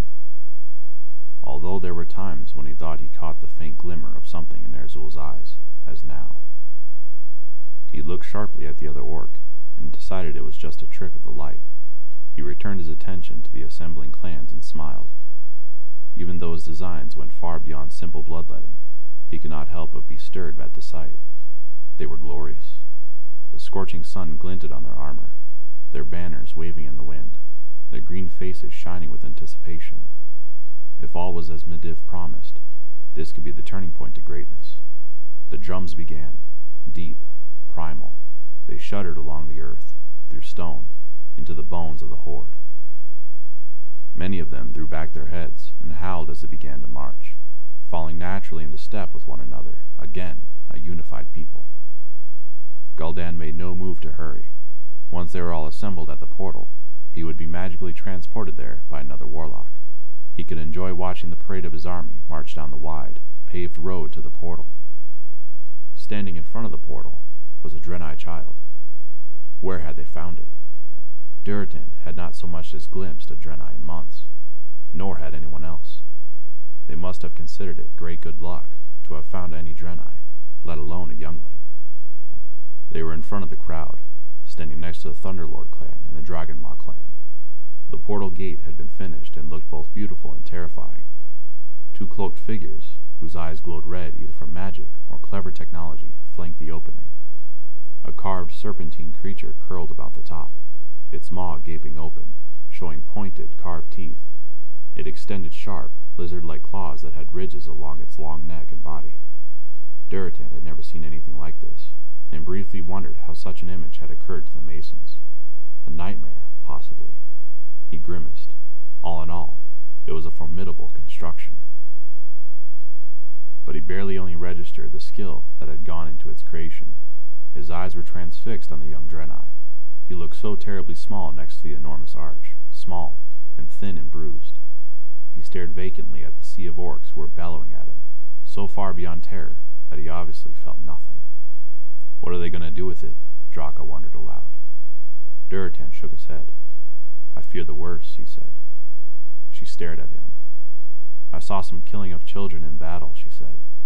The bloodlust was upon them. I could not condone it, but I could see how it could happen. But surely they will not make a ritual sacrifice out of this child. I hope you are right, said Durotan. But he could see no other reason for the small figure to be present. If such were the case, he could not stand by. He did not want to risk harm to his clan, so he prayed he was wrong. The warlocks were chanting something now, and to Durotan's amazement, Gul'dan appeared right before their eyes. The horde murmured, and Gul'dan smiled benevolently at. Today is a glorious day for the orcs, he cried. You have all seen this portal being built, admired the craftsmanship and how it stands as a monument to the glory of the horde. Now, I will reveal to you the visions I have had. He pointed at the gate. Far, far away, in a land called Azeroth, I have an ally. He offers us his land. It is green and lush, filled with pure water and fat creatures to hunt. Best of all, we will continue to exult in the glory of bloodshed. A race called humans, the enemy of our ally, will try to stop us from taking their lands. We will destroy them. Their dark blood will flow freely upon our swords. As we have destroyed the Draenei, so now we will destroy the humans. A cheer went up. Draka shook her head in disbelief. How can they still feel this way? Can they not see this new land will suffer as ours has if we continue on this path? Durotan nodded his agreement, but at the same time, there is no choice. We need food, water. We must go through this portal.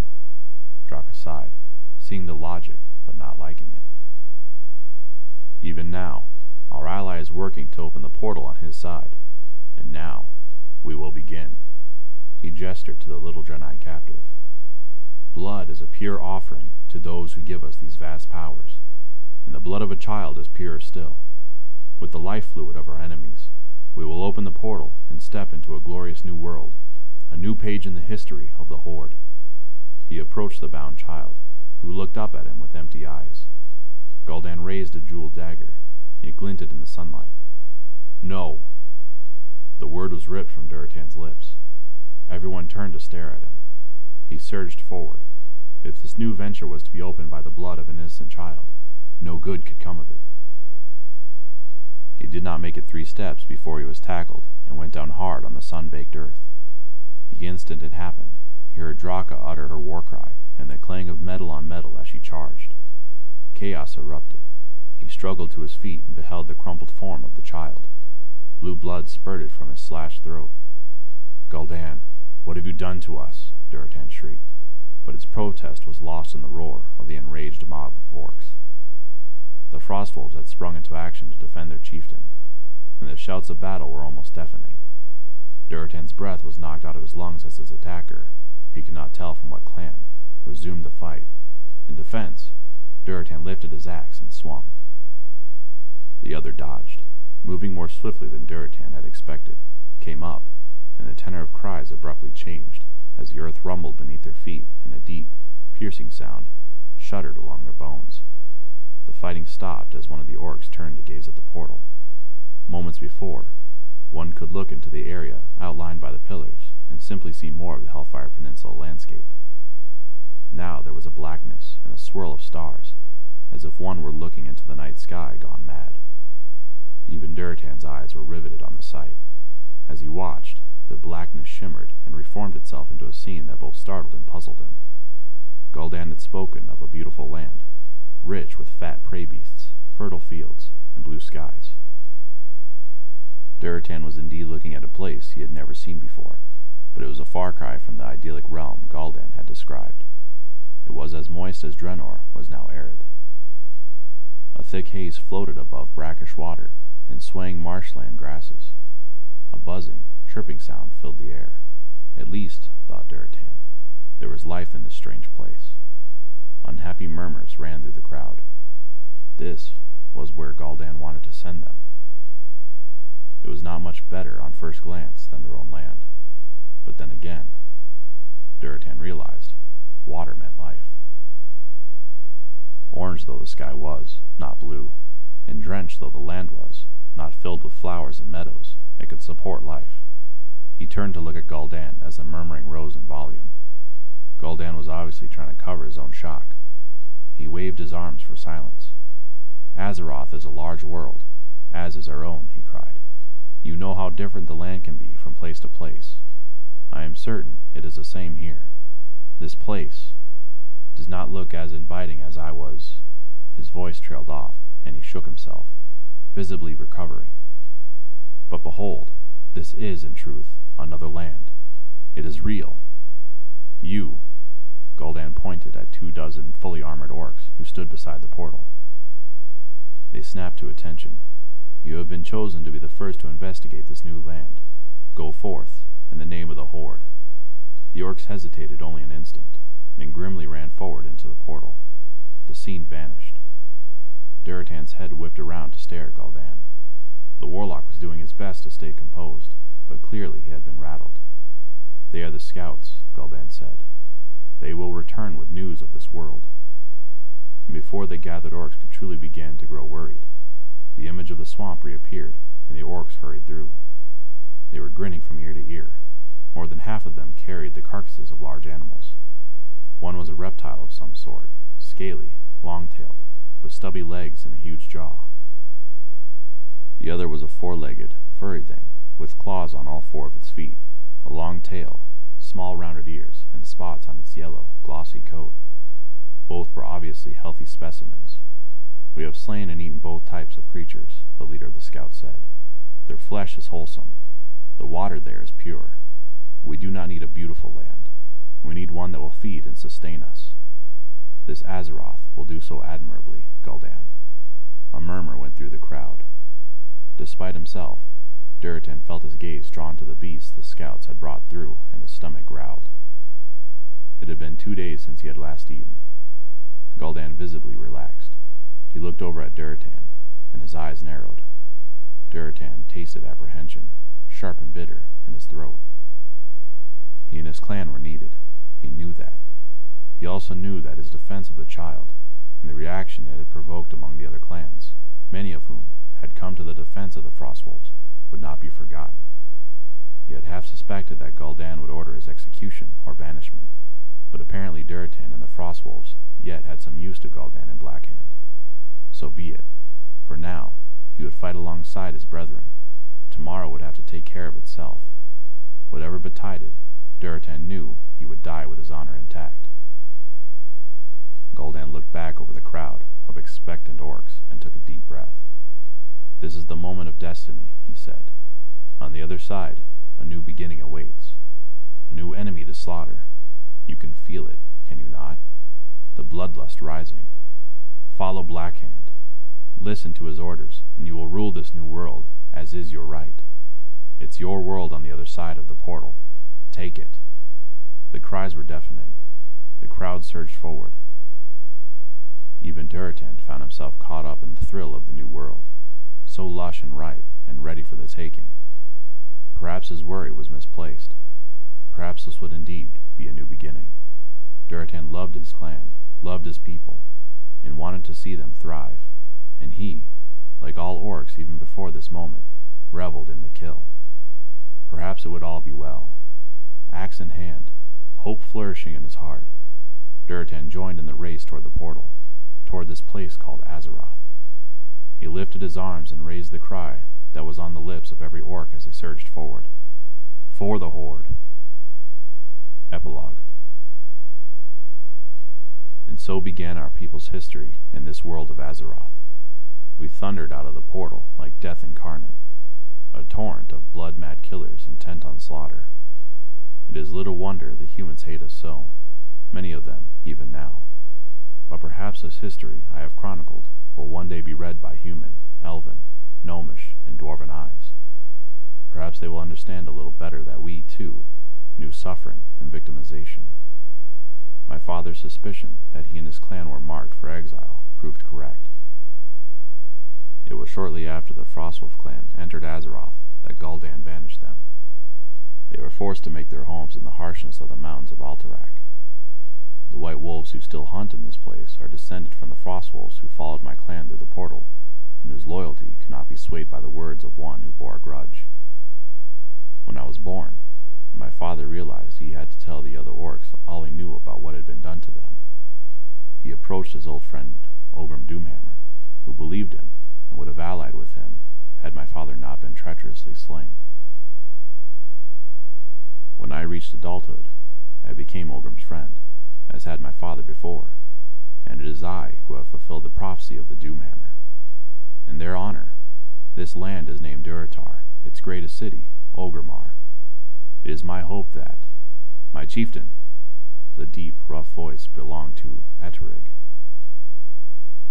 Thrall stopped in mid-sentence, moving the pen so it did not drip on the parchment.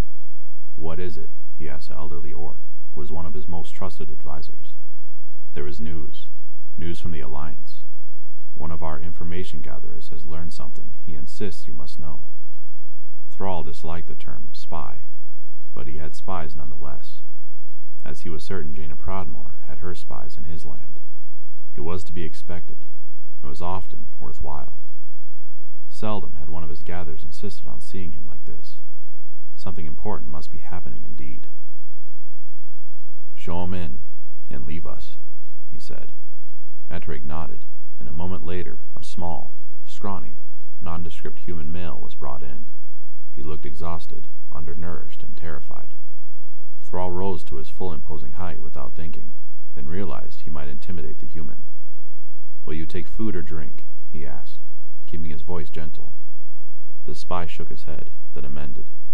Water, if you please, in a voice that cracked. The war chief himself poured a goblet and handed it to the man, who gulped thirstily, then wiped his mouth with the back of his hand. My thanks, war chief, the spy said, sounding a bit calmer. Your news, Thrall said. The man paled. Thrall sighed inwardly. He would never be so brutal, or so foolish as to kill a messenger for bringing bad news. Such behavior merely resulted in no one's wanting to serve as a messenger. He smiled in what he hoped was a reassuring fashion. Do not fear. Your news, good or ill, is welcome if it aids me in protecting my people, he said. The man looked slightly less distressed. He took a deep breath. My lord, he said. He hesitated, then continued grimly. The Draenei have come to Azeroth. Thrall was puzzled. He exchanged glances with Eitrigg, who shrugged. Some Draenei have been in Azeroth for years, he said. They are nicknamed the Lost Ones. We know about them. This is not news, friend. The man looked stricken. You don't understand, he said urgently. Not those pathetic creatures. Draenei. There, there was a ship. From the skies. It crashed like an infernal stone two nights ago. Thrall hailed swiftly. No one had missed seeing that strange object in the night sky, looking like a star crashing to Earth. So, it had not been a star, nor even an infernal. It had been a vessel. The man was still talking. Proudmoore has agreed to aid them. There is one among them, pale, noble, his presence commanding, though he is not physically strong. They call him Velen. Thrall stared. The Draenei, the Prophet Velen, here. He sank slowly in his chair as a full significance struck him. The worst enemy the Orcs had ever known had come to Azeroth, had been welcomed into the Alliance. How could there possibly be peace between the Horde and Alliance now? Ancestors, save us, Thrall whispered.